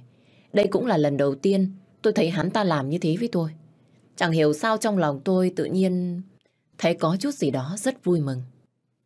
Trong lúc ăn, họ vẫn không hề đả động gì đến công việc. Chỉ toàn bàn về xe cộ. Tôi ngồi ăn và im lặng lắng nghe. Đột nhiên lúc này điện thoại của tôi vang lên. Mở ra xem thì thấy chị Như đang gọi. Không biết có chuyện gì, nên tôi vội vàng bắt máy. Em nghe đây chị. Ở đầu dây bên kia, chị Như nói với giọng nói run run. Này, này Mẫn ơi, em với thằng Khoa đang ở đâu đấy? Bọn em đang đi ăn sáng. Có chuyện gì à chị? Em, em mau gọi thằng Khoa về ngay cho chị có được không? Chỉ gọi cho nó mãi mà không được. Ờ, dạ vâng. Em bảo anh ấy ngay ạ. Hai đứa, hai đứa về nhanh nhá. Hay hay, hai đứa về quê đi. Về thẳng quê luôn. Chị với anh đang chuẩn bị về rồi đây. Nghe thấy giọng của chị Như hốt hoảng. Lại còn nói phải về quê gấp nữa. Nên tôi cũng hơi lo lắng. Có linh cảm chẳng lành. Nên tôi vội vàng nói nhỏ vào tai của Khoa. Chị Như gọi nói. Mình về quê gấp kìa. Khoa không trả lời tôi nữa. Mà chỉ gật đầu một cái. Rồi quay sang nói với mấy người kia. Thôi mấy đứa này. Anh có việc gấp. Cần phải đi giải quyết. Mọi người cứ ăn tự nhiên. Bữa này anh sẽ mời. Anh Khoa, anh bận à? Vậy anh cứ về giải quyết công việc đi. Bọn em ngồi chơi thêm tí nữa, rồi bọn em về à? Ừ, anh về đây. Khoa đứng dậy dắt tay tôi ra về. Tôi thấy sắc mặt của anh ta có vẻ căng thẳng. Ngồi vào xe, tài xế hỏi. Mình đi đâu đây thưa ông? Về quê đi. Dạ vâng ạ. Chiếc xe cứ vậy chạy thẳng về quê. Trên xe lúc này nhìn mặt của Khoa đang suy nghĩ cái gì đấy mà tôi không thể nào đoán được. Đột nhiên lúc này cửa chắn giữa xe đóng lại. Khoa cứ thế cởi đồ ngay trước mặt tôi. Tôi thấy anh ta tự nhiên như thế nên mới vội vàng đưa hai tay lên che mắt lại rồi nhìn ra phía bên ngoài. Khoa thấy tôi giả lơ liền lên tiếng. Đây có phải lần đầu tiên Em nhìn thấy cơ thể của tôi đâu. Việc gì mà phải ngại chứ? Tôi... Tôi thế nào? Xong rồi, mở mắt ra đi. Nghe nói đã xong, nên tôi mới mở mắt ra xem, thì phát hiện hắn ta còn chưa mặc áo vào. Đúng là lừa gạt người khác, cái tên thần kinh này. Tôi yên lặng giả vờ nhắm mắt lại ngủ. Chiếc xe chẳng máy chốc cũng về đến nhà. Lúc này Khoa mới nhìn tôi và gọi. Dậy đi, chúng ta đã về tới nhà rồi. Đến rồi à? Bước xuống xe bây giờ, Khoa đang đóng vai một người điên. Thấy thế nên tôi mới dắt tay anh ta vào trong nhà. Lúc này tự nhiên đập vào mắt tôi có rất nhiều người đứng ở đấy.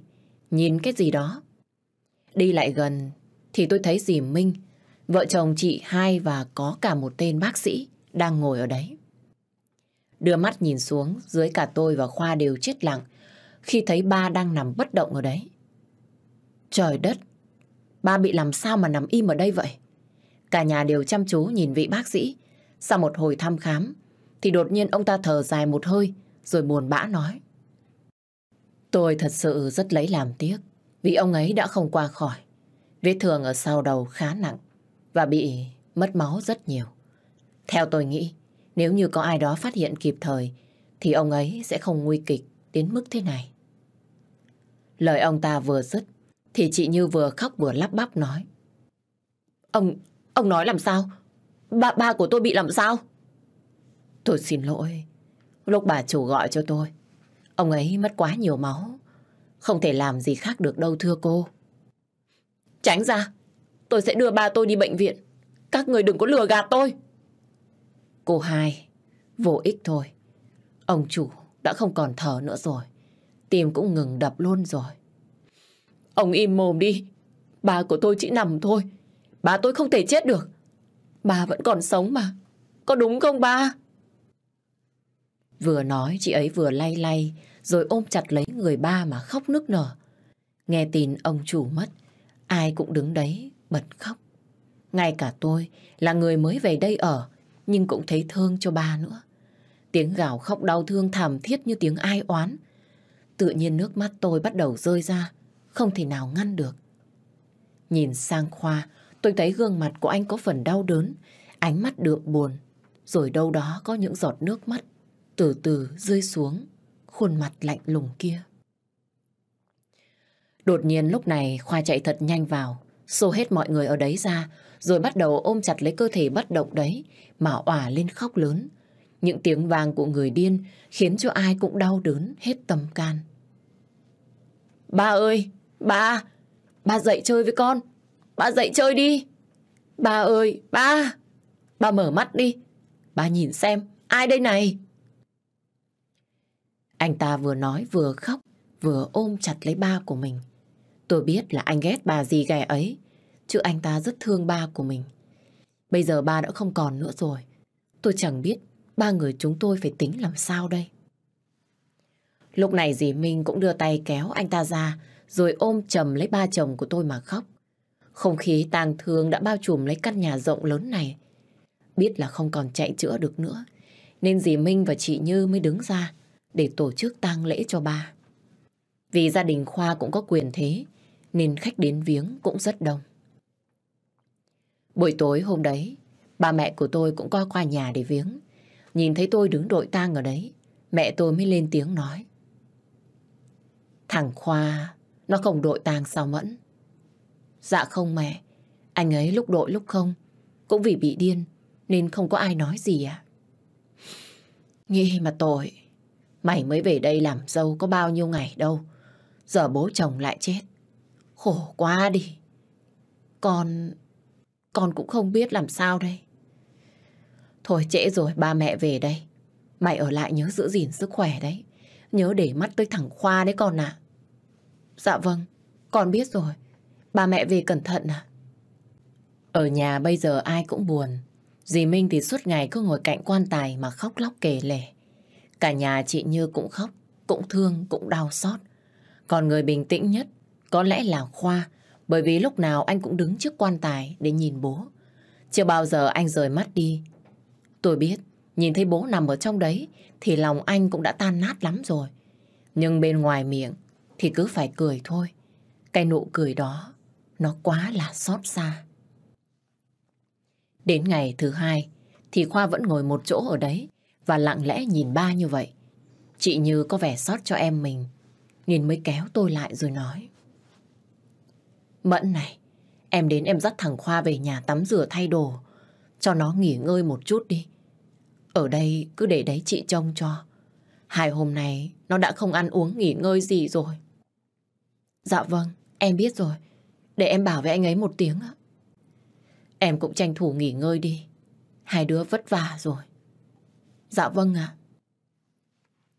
Nghe chị Như bảo như vậy, tôi cũng lật đật đi ra ngoài, nắm lấy tay của anh và nói nhỏ, chỉ đủ để anh nghe thôi. Mình về nhà nghỉ ngơi một tí, chắc anh cũng mệt lắm rồi. Khoa im lặng không nói gì, mắt vẫn hướng về phía quan tài. Tôi liền nói tiếp. Anh nghe em một lần đi được không? Anh cứ đứng thế này, lỡ anh bệnh tật, thì phải làm sao? Anh muốn ở đây với ba thêm một chút. Ngày mai mình lại ra, có phải là mình không đến nữa đâu. Nhá, đi, nghe em. Khoa à? Lúc này Khoa đưa mắt nhìn tôi, rồi mới lặng lẽ đứng dậy theo tôi đi về nhà. Tôi biết là lòng của anh đang rất buồn, nhưng miệng cứ phải nở ra một nụ cười khờ khạo. Khi vừa về đến nhà, Khoa đi thẳng vào nhà vệ sinh và nôn. Tôi nghe thấy tiếng nước chảy, kèm theo tiếng khóc nức nở của anh. Anh cố tỏ ra mạnh mẽ trước mặt tôi, nhưng thực ra trong lòng của anh lại đang rất đau. Ngồi chờ mãi, chờ mãi, mãi một lúc sau Khoa mới bước ra. Thấy anh định đi thẳng ra ngoài, tôi mới vội vàng gọi anh. Anh định đi lên nhà trên đấy à? Ừ, anh đi đây. Em cứ nằm nghỉ ngơi một chút đi. Khoa à? Thật sự không biết điều gì lại thúc đẩy tâm trí của tôi và hai chân của tôi cứ thế bước nhanh lại, sau đó ôm chầm lấy anh. Cảm giác người anh nóng gian. Có lẽ vết thương chưa lành, cộng thêm việc lo lắng thức đêm nên anh mới như vậy. Nếu như đêm nay anh trắng đêm nữa thì tôi nghĩ chắc chắn anh sẽ bệnh. Tôi ôm lấy anh, tôi thì thầm nói nhỏ. Nghỉ ngơi một chút đi anh. Em biết là anh đã đau buồn, anh rất mệt mỏi. Đừng cố gắng gượng nữa. Được không anh? Anh sợ nếu như ba không nhìn thấy anh, nhất định ba anh sẽ rất buồn. Em cứ ngủ đi. Lát nữa anh sẽ về ngay. Không được. Em không cho anh đi đâu. Anh thức hai ngày liền rồi. Anh sắp đổ bệnh rồi. Anh nghe em, anh nghỉ ngơi một tí thôi. Có được không? Thấy tôi cứ nằm năn nỉ như vậy, thì Khoa có vẻ mềm lòng, nên mới chịu nằm yên xuống. Tôi sợ anh sẽ lén bỏ đi, nên cũng vội vàng nằm cạnh đấy luôn. Vừa nói tôi vừa kéo tay Khoa đi lại phía giường ngồi. Đến bây giờ tôi mới thấy thương anh thật lòng. Tôi thương cho cuộc đời của anh khi phải mất mẹ. Và bây giờ đến ba cũng chẳng còn nữa. Thấy tôi cứ ngồi năn nỉ như vậy, thì Khoa có vẻ mềm lòng, nên mới chịu nằm yên xuống. Tôi sợ anh sẽ lén bỏ đi, nên cũng vội vàng nằm cạnh đấy luôn. Ánh mắt của Khoa mệt mỏi, hẳn lên những tia đỏ. Cánh tay của anh giang ra, làm chiếc gối cho tôi tựa đầu vào. Tôi cũng không rõ là lý trí của mình đang nghĩ cái gì. Nhưng sao con tim lại cứ hướng về anh. Đến bây giờ tôi cũng đã không còn ngại ngùng gì nữa, mà đưa cánh tay ôm lấy người anh. Anh đừng buồn nữa, cho dù có chuyện gì xảy ra. Còn em, em sẽ luôn ở bên cạnh anh. Cảm ơn em. Anh đừng cảm ơn em, bởi vì khi nhìn thấy anh buồn, lòng em chẳng vui vẻ gì. Anh biết rồi. Bây giờ anh ngủ một giấc nhá. Tỉnh dậy, hai đứa mình sẽ lên trên nhà. Sau đó, Khoa chẳng trả lời nữa, mà cứ thế ôm chặt tôi vào lòng. Tôi biết bây giờ anh rất buồn. Tôi muốn mình làm chỗ dựa cho anh. Tôi muốn mình có thể giúp anh vượt qua được cú sốc này. Nằm im một lúc nữa, thì Khoa cũng chợp mắt ngủ. Nhìn từng đường nét trên khuôn mặt của anh mà tôi thấy thương anh quá. Không còn lạnh lùng kiêu ngạo mà thay vào đó là một màu đau thương. Ngày hôm sau lúc tôi tỉnh dậy đã không còn nhìn thấy anh đâu. Chắc là Khoa đã lên nhà trước. Vệ sinh cá nhân xong tôi cũng đi lên nhà. Hôm nay là ngày chôn cất bố nên mọi người đến viếng lần cuối cũng rất đông. Không khí ảm đạm, tiếng khóc thảm thương của chị Như cứ vang lên, làm cho những ai có mặt ở đây đều phải nghẹn lòng mà rơi nước mắt. Cuối cùng thì ba cũng đã nắm lấy bàn tay của mẹ, đi về thế giới bên kia. Và tôi cũng chẳng mong gì ngoài việc ba sẽ cảm thấy vui và hạnh phúc khi ở đấy. Buổi chiều sau khi chôn cất ba xong, thì dì Minh bảo mọi người tập trung ở nhà lớn, bởi vì dì ấy có chuyện cần nói. Lúc này tôi thầm nghĩ, không lẽ bà ấy lại muốn chia tài sản sao? Nhưng mà ba của tôi chỉ vừa mới chôn cất thôi mà. Nếu làm như thế thì ai chịu được? Thấy cả nhà đã tập trung đông đủ lại thì dì Minh mới hít vào một hơi sâu, buồn bã nói. Hôm nay dì họp mặt mọi người lại là vì muốn xin lỗi mấy đứa một tiếng. Cũng tại lúc đấy tâm trí của dì dối nên mới thông báo muộn như vậy. Bà dì cũng không ngờ rằng bố của tụi con lại ra đi nhanh đến thế. Dì... Chị Như lúc này mới tức giận nói lớn. Bà thật sự không ngờ hay là chính tay của bà đã sắp đặt từ trước? Như à, con nói như vậy là oan cho gì? Dì thật sự không biết là ông ấy bị ngã. Mãi cho đến khi con bé Sen nó vào nó la làng thì mọi người mới biết. Chị Như cười nhếch miệng một cái và đưa mắt nhìn lên ban thờ của ba, rồi nhìn sang bà ấy nói. bà nghĩ những lời bà nói ra thì tôi sẽ tin à? Bà nghĩ tôi là đứa con nít lên ba đấy à? Dì không bảo con là con nít, nhưng dì chỉ muốn con biết là những lời gì nói ra đều là sự thật. Tôi lại nghĩ sự thật ở đây chính là ba tôi từ một con người khỏe mạnh đùng một cái ra đi đột ngột như vậy. Lý do là tại sao? Như à, con vừa vừa phải phải thôi. Nếu như con không tin thì con cứ hỏi mấy người làm xem. Hôm đấy, họ cũng có mặt ở đó. Nực cười thật đấy. Tất cả những người làm ở cái nhà này đều do một tay bà dắt vào. Thì bà nghĩ họ sẽ nói sự thật à? Bà nên nhớ rằng là tôi, chứ không phải là thằng Khoa. Tôi không có điên như nó, mà không biết là trái với phải. Con... Như à, con... Con làm sao? Con thế nào? Mà này, bà có biết vì sao chị em chúng tôi không chấp nhận bà không? Đó vì là vì cái lòng dạ độc ác của bà. Những chuyện bà làm ở căn nhà này tôi đã nắm hết trong lòng bàn tay rồi. Tôi biết là ba tôi không phải tự nhiên mà chết. Tôi sẽ cho người điều tra việc này. Đến lúc đó thì bà đừng nói rằng tôi ác. Còn nói như thế là có ý gì? Bà biết tính của tôi mà, có đúng không? Tiền thì tôi không thiếu. Và để lấy cái mạng của bà cũng không khó. tôi nói thật đấy. Đừng để tôi biết là cái chết của ba có liên quan đến bà. Nếu không, bà cũng tự hiểu đi. Vừa nói xong câu đấy, thì chị Như cũng quay sang dắt tay Khoa bỏ đi. Ở đây giờ chỉ còn lại có một mình tôi và dì. Mà phải công nhận, bà ấy diễn cũng hay đấy. Khóc lóc rồi gương mặt buồn bã, không khác gì mất đi người thân thật sự. Sợ bà ấy lại kể lể, nên tôi mới vội nói ngay. Thôi, con nghĩ chắc dì cũng mệt. Hay dì vào nhà nghỉ ngơi một tí đi ạ? Dì không sao. Dì chỉ hơi buồn một chút thôi. còn biết là ba mất đi. Ai cũng buồn.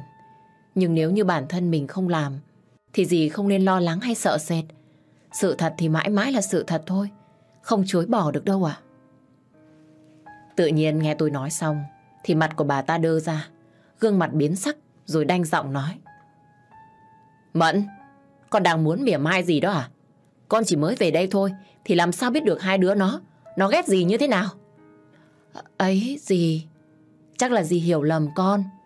Con không có nói như thế, con không có ý mỉa mai gì. Thôi được rồi, có thể người ta không tin gì, nhưng dì tin chắc rằng ba của tụi nhỏ sẽ tin gì.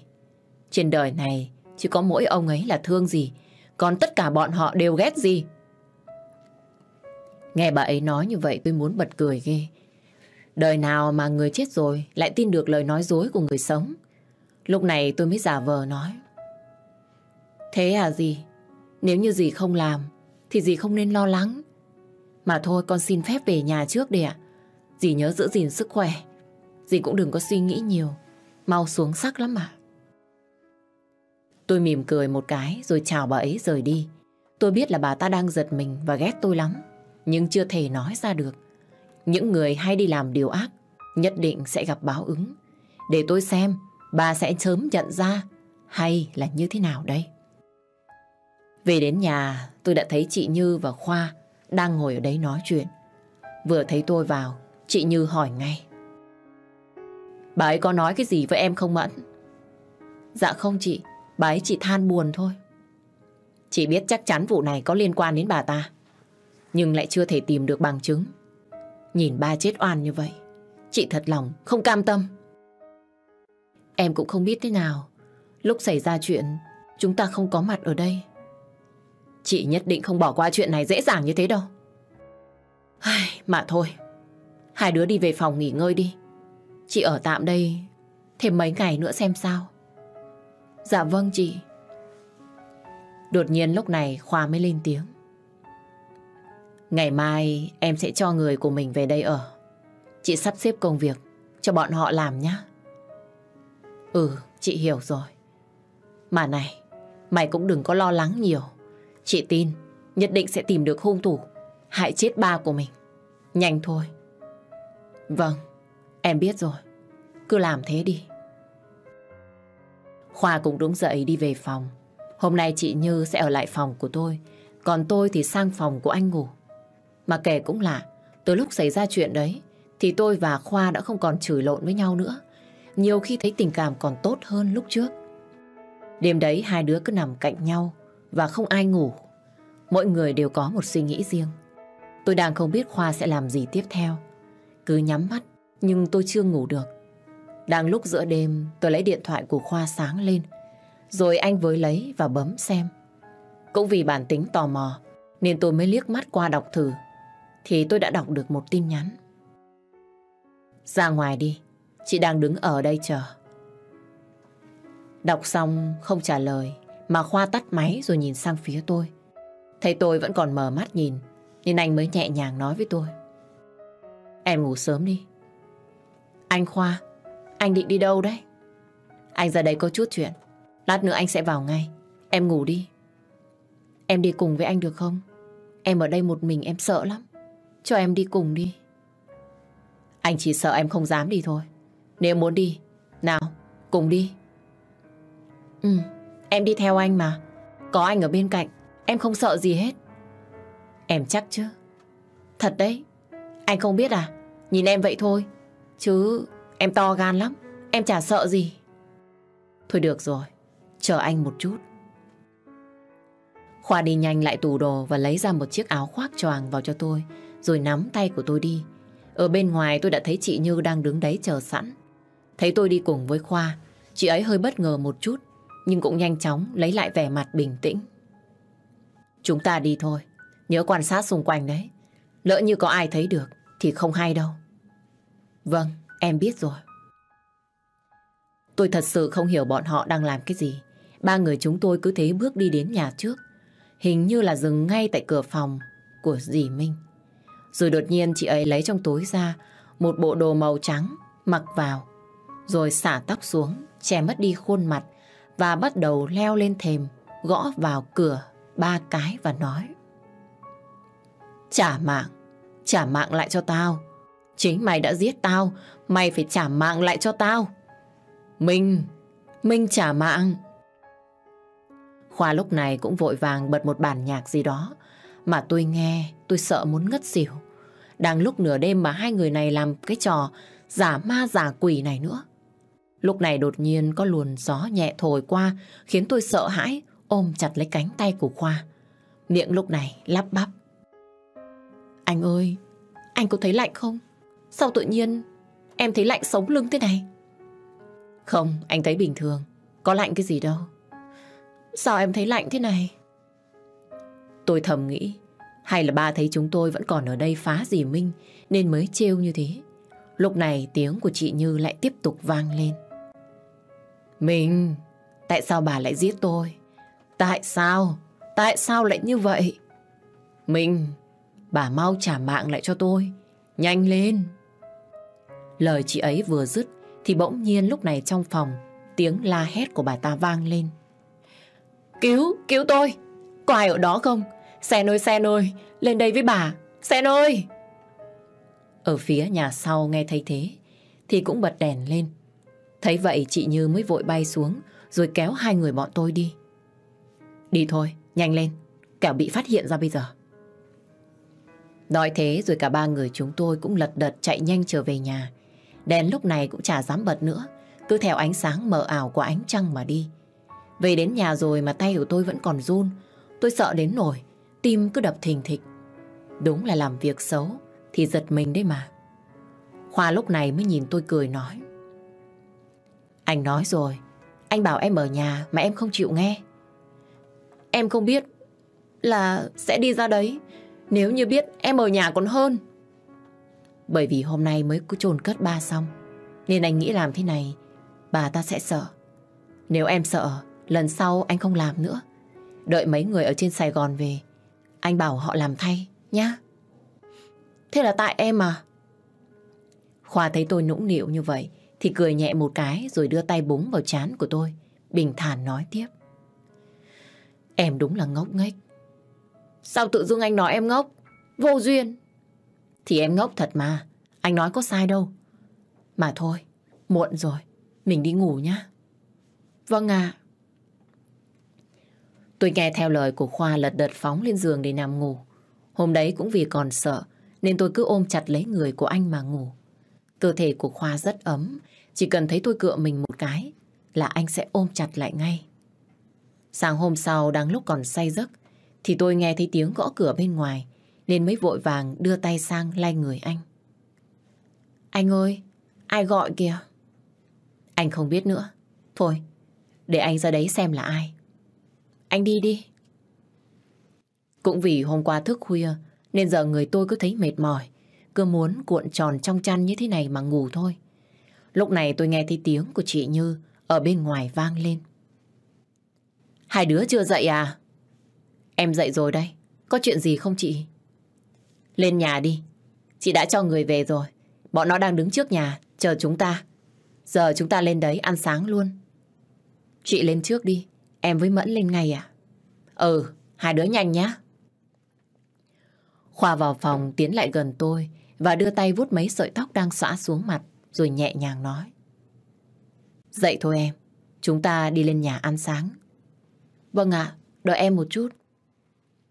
Khoa chỉ mỉm cười rồi gật đầu nhìn tôi. Nụ cười của anh sao lại mê hoặc quá như vậy? Tại sao ngay từ đầu tôi lại không tìm thấy điểm tốt của anh? Tôi sửa soạn xong xuôi rồi theo Khoa lên nhà trên. Vừa đến nơi tôi đã nghe tiếng của dì Minh. Con muốn làm cái gì thế hả? Thế tại sao con không hỏi qua ý kiến của dì? Như à, nhà này người ăn kẻ ở đông lắm rồi.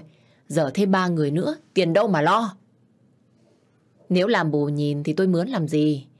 Với cả đây cũng là người mà tôi mướn về để chăm sóc cho thằng Khoa, phụ con Mẫn. Nếu như muốn chăm sóc cho thằng Khoa thì cứ để đấy, dì kêu con sen nó làm. Thuê đến tận bà miệng ăn thì có ngày sạt nghiệp à? Người trả tiền là tôi chứ đâu phải là bà. Mà tôi cũng đâu có điên khi để con sen nó lại gần thằng Khoa. Còn sen nó ở nhà ta lâu rồi, quen hết việc trong lẫn việc ngoài. Nó lại càng biết tính của thằng Khoa. Nếu như con để cho người ngoài vào... Lỡ họ đánh nó thì sao? Đánh á? Có phải bà suy nghĩ ai cũng giống như mình không? Chắc bà đã quên. Ngày xưa bà từng gài thằng Khoa như thế nào rồi có đúng không? Bà Minh. Tôi bất ngờ khi nghe chị Như nói như vậy. Khoa nghe đến tên của mình thì bỏ chạy đi ra ngoài. Lúc này tôi mới đi thẳng vào bàn, ngồi và lên tiếng. Con chào gì? Em chào chị hai à? Đứng nghe nãy giờ mà tôi chẳng hiểu được câu chuyện đấy là như thế nào. Bà ta gài anh chuyện gì nhỉ? Sao tôi chẳng nghe thấy ai kể hết vậy? Tôi đưa mắt quan sát thái độ của bà ta và con sen. Nhưng không ai có biểu hiện gì. Tôi cứ thế ngồi im lặng, nghe cuộc hội thoại giữa hai người ấy. Lúc này dì Minh mới nhẹ nhàng nói. Con muốn làm thế nào thì tùy con. Miễn không ảnh hưởng đến gì là được. Tôi vẫn đang thắc mắc chuyện của Khoa và Sen. Nên mới lên tiếng hỏi ngay. Chị Như, chuyện của anh Khoa với Sen là như thế nào ạ chị? Có cái gì liên quan đến anh Khoa nhà em à? Ừ, có một chút đấy, nhưng qua rồi. Em muốn biết rõ được không chị? Mọi người làm em tò mò quá. Sẵn tiện bây giờ không có mặt Khoa ở đây, nên tôi mới hỏi tới luôn. Với cả bản thân, tôi có tính tò mò nên tôi rất khó chịu. Nếu không có câu trả lời, chắc tôi sẽ ôm một bụng tức. Chị Như lúc này có vẻ ngại ngùng, nhưng thấy cái thái độ kiên quyết, nên chị ấy mới nói với tôi. Hồi đó dì Minh có bảo với ba là cưới con sen cho thằng Khoa. Nhưng nhà chẳng ai chịu hết. Và cuối cùng, nó lại cưới em đấy. Tôi nghe chị Như nói mà giật mình. Thật không ngờ bà ta lại dám mặt dày như vậy. Mở tròn mắt, tôi nói bằng cái giọng ngạc nhiên. Chị Như, chị nói thật chứ ạ? ừ mà thôi, chuyện này cũng qua lâu rồi. Giờ mình cho qua luôn đi. Nhắc lại chị càng thêm bực. Nghe chị Như nói như vậy thì mặt của ta đưa hẳn ra. Bà ta để Khoa cưới con nhỏ đó làm vợ để cùng nhau âm mưu chiếm cái nhà này luôn. Kinh khủng thật. Biết được chuyện này tôi lại càng thấy ghét bà ta thêm nữa. Khoa nãy giờ giả vờ chạy ra bên ngoài chơi, bây giờ cũng vào ăn cùng. Anh cứ làm dối tung mọi chuyện, khiến cho dì Minh không nuốt nổi cơm. Nếu như bình thường, dì ấy sẽ bảo tôi dắt anh đi về. Nhưng hôm nay có chị Như ở đây, nên bà ta không dám lên tiếng. Lúc sau bà ấy bỏ đũa, và sau đó bực bội nói. Cứ ăn tiếp đi, dì no rồi. Những ngày sau đó, mọi chuyện vẫn cứ thế diễn ra. Hệ tối xuống là người của chị Như lại thay phiên nhau ra nhát ma bà ấy. Kết quả là đêm nào, bà ta cũng la, cũng hét om sòm. Sáng nào cũng thấy mặt mũi của bà ta phờ phạc. Có hôm con sen qua ngủ cùng, nhưng nó cũng bị hù, cũng sợ, mà bỏ chạy, không dám sang nữa. Sáng hôm ấy là ngày mở cửa mà của ba. Vừa ra mộ thấy bà ta xuất hiện, là chị Như đã cười đều và trêu ghẹo ngay. Sao này xuống sắc quá vậy gì? Không có. Sao thế? Mấy hôm nay ba tôi có về thăm hỏi gì không? Tối gì ngủ? Dì có thấy ba tôi không? Không thấy. Thật á? Nếu như dì mà có gặp ba, thì dì nhớ nói lại cho bọn tôi là bọn tôi sắp tìm được hung thủ rồi. Nói với ba tôi rằng ba tôi đừng có lo lắng. Vì sớm muộn gì, người đấy cũng sẽ đi cùng với ba tôi thôi. Còn... Chị Như mỉm cười một cái rồi đi ra chỗ khác. Tôi nghĩ vụ nhát ma này, bà ta có tật nên mới giật mình. Chứ bình thường ba chồng tôi thương bà ta nhiều lắm. Làm gì có chuyện sợ ở đây. Sắp xếp xong xuôi hết mọi việc ở đây rồi, thì chị Như mới chịu quay về lại Sài Gòn. Nhìn thấy Khoa vẫn còn đang đứng chơi ở ngoài đấy, nên chị ấy có dặn dò với tôi. Mụ ấy sắp sập bẫy của chúng ta rồi. Chị nghĩ là không còn bao lâu nữa đâu. Dạ vâng, em không làm gì, nhưng em nghe em vẫn thấy sợ. Còn bà ấy chắc là phải kiềm chế lắm. Đúng rồi, mấy hôm bà chết, sao chị không thấy mặt mũi của ông Phú đâu hết nhỉ? Ông ấy có nói là đi đâu không em? Em nghe mọi người nói là mẹ của chú ấy ở quê đang bị bệnh, nên mới xin nghỉ về dưới đấy mấy ngày chị ạ. Bị bệnh sao? Dạ vâng ạ. Chị nghĩ là không phải mẹ ông ta bị bệnh đâu. Chắc chắn là ông ta có liên quan đến việc này. Nên tốt nhất là hãy chú ý một chút. Nếu như không phải lần này công việc của Khoa gặp chút vấn đề, thì chắc là chị ở đây thêm mấy ngày nữa. Chị nói thế là sao ạ chị? Công việc của anh Khoa làm sao ạ? Thì chuyện làm ăn của nó đang bị công an để ý, nên chị mới phải đứng ra đây để giải quyết. Mà này, em đừng có nói cho nó về chuyện này đấy. Nếu như nó mà biết xảy ra chuyện, thì nó lại làm anh hùng nữa cho mà xem. Tôi nghe chị Như nói như vậy, thì lại nghĩ đến lần gặp gỡ với anh Hoàng, bạn trai con Mai. Chẳng nhẽ công việc của anh là phạm pháp hay sao mà công an lại để ý. Tôi đang mãi suy nghĩ, thì chị Như mới vỗ nhẹ vào vai của tôi. Em đang nghĩ cái gì đấy? À, dạ không có gì. Em đừng có suy nghĩ nhiều. Những việc khác, chị nhất định sẽ lo hết. Còn em ấy, chỉ việc lo cho thằng Khoa hộ chị. Mà thôi chị về đây. Thằng Bin nhớ mẹ. Nó gọi mẹ suốt. Dạ vâng ạ, chị đi cẩn thận. Chị Như lên xe đi Sài Gòn. Khoa thì vẫn còn chạy ở ngoài đường. Nhưng chắc rằng anh cũng biết chị ấy đã về. Tôi bây giờ chẳng biết phải làm gì tiếp theo. Bởi ở đây tất cả mọi việc đã có người làm hết. Đầu óc của tôi bây giờ chỉ mãi suy nghĩ về công việc của anh. Nhưng lại không dám hỏi. Tôi sợ anh sẽ không nói. Hoặc nghĩ là tôi nhiều chuyện. Nên thôi, tôi đành im lặng vậy. Một tháng sau đó, từ lúc biết được có người theo dõi mình, nên dì Minh rất cẩn trọng, làm cái gì cũng nhìn trước ngó sau. Buổi tối hôm đấy đang lúc ngồi ăn cơm thì đột nhiên tôi thấy bụng mình khó chịu, rồi có cảm giác buồn nôn, nên mới chạy vội vào nhà vệ sinh. Khoa thấy tôi như thế thì cũng hốt hoảng, nhưng không dám bước theo mà chỉ nhìn rồi cười suốt. Cho dù ngồi ở khoảng cách khá xa, nhưng tôi vẫn nghe thấy tiếng của dì Minh bực bội. Cái nhà này, toàn là gặp cái chuyện gì không? Hết thằng chồng điên phá phách, tới con vợ mất lịch sự. Đang ăn cơm ngon mà nôn với ẹ gì không biết. Người xấu, người xấu. Mày nói ai là người xấu? Nếu như tao là người xấu ấy, thì chắc bọn mày thành quỷ hết rồi. Nếu như không phải vì con chị của mày, thì tao tống cổ hết ra ngoài đường rồi. Người xấu, bà là người xấu. Mày có im đi không? Mày có câm họng không? Đừng làm cho tao điên lên. Tôi nghe thấy bà ta chửi Khoa. Nhưng lúc này tôi đang ở trong nhà nhà vệ sinh nên không thể bênh anh ta được. Nhìn thấy bà ta mắng mình như thế nên Khoa mới lấy cớ sợ hãi mà chạy ra phía sau với tôi ngay. Thấy tôi vẫn còn ói nên anh mới nhìn trước nhìn sau một lượt rồi vỗ nhẹ vào lưng tôi nói nhỏ. Mẫn, em làm sao đấy? Em có ổn không? Tôi lại tiếp tục uể uể. Em có làm sao không? Nào nào, từ từ. Có anh ở đây rồi. Tôi mệt đến nỗi không thể trả lời được anh. Bởi cứ vừa ngước lên là cơn buồn nôn lại ập đến. Chẳng hiểu hôm nay tôi đã ăn phải cái gì. Ngồi một lúc thì thấy cơn đau nó hết đi. Nên tôi mới đi về nhà. Tôi nằm trên giường đưa tay ôm lấy bụng. Khoa vội đi lấy một chiếc khăn, nhúng vào chậu nước ấm, rồi kéo áo tôi lên và đặt chiếc khăn vào bụng và nói. Anh nghe nói làm như thế này sẽ đỡ hơn nhiều. Tại sao lại đỡ hơn ạ? Thì chẳng phải em đang đến tháng sao?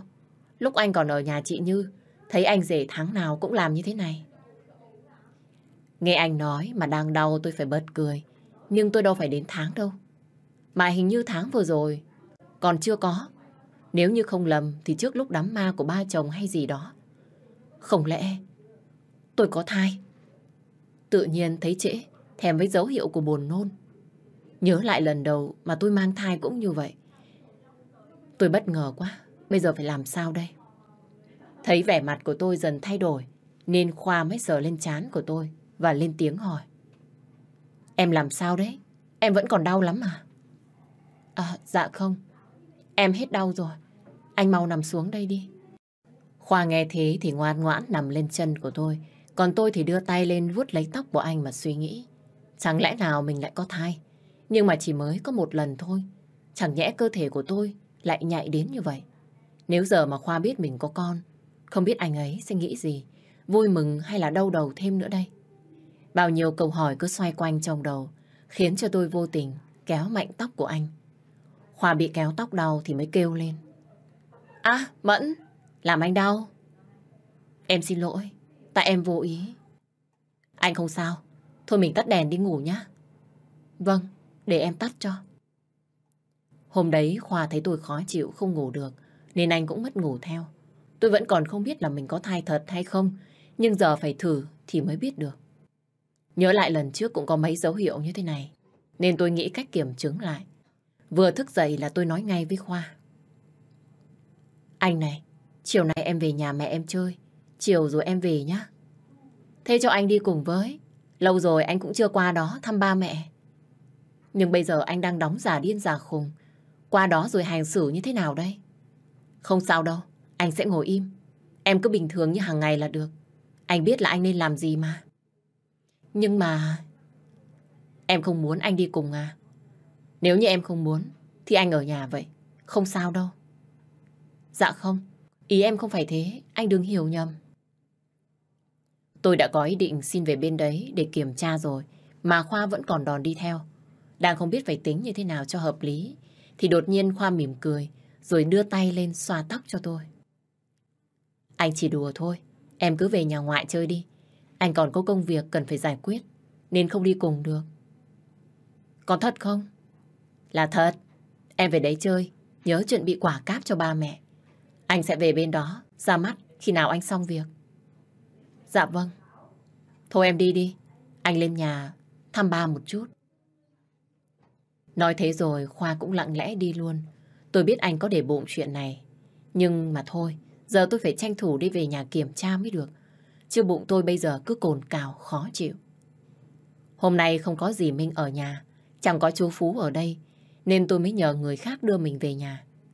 Vừa về đến nhà thấy tôi mọi người, ai cũng vui mừng ra mặt. Hôm nay thật là trùng hợp, khi bà nội cũng đến nhà tôi chơi. Vừa thấy tôi là bà nội đã xa vào lòng ngay. Lại đây với bà.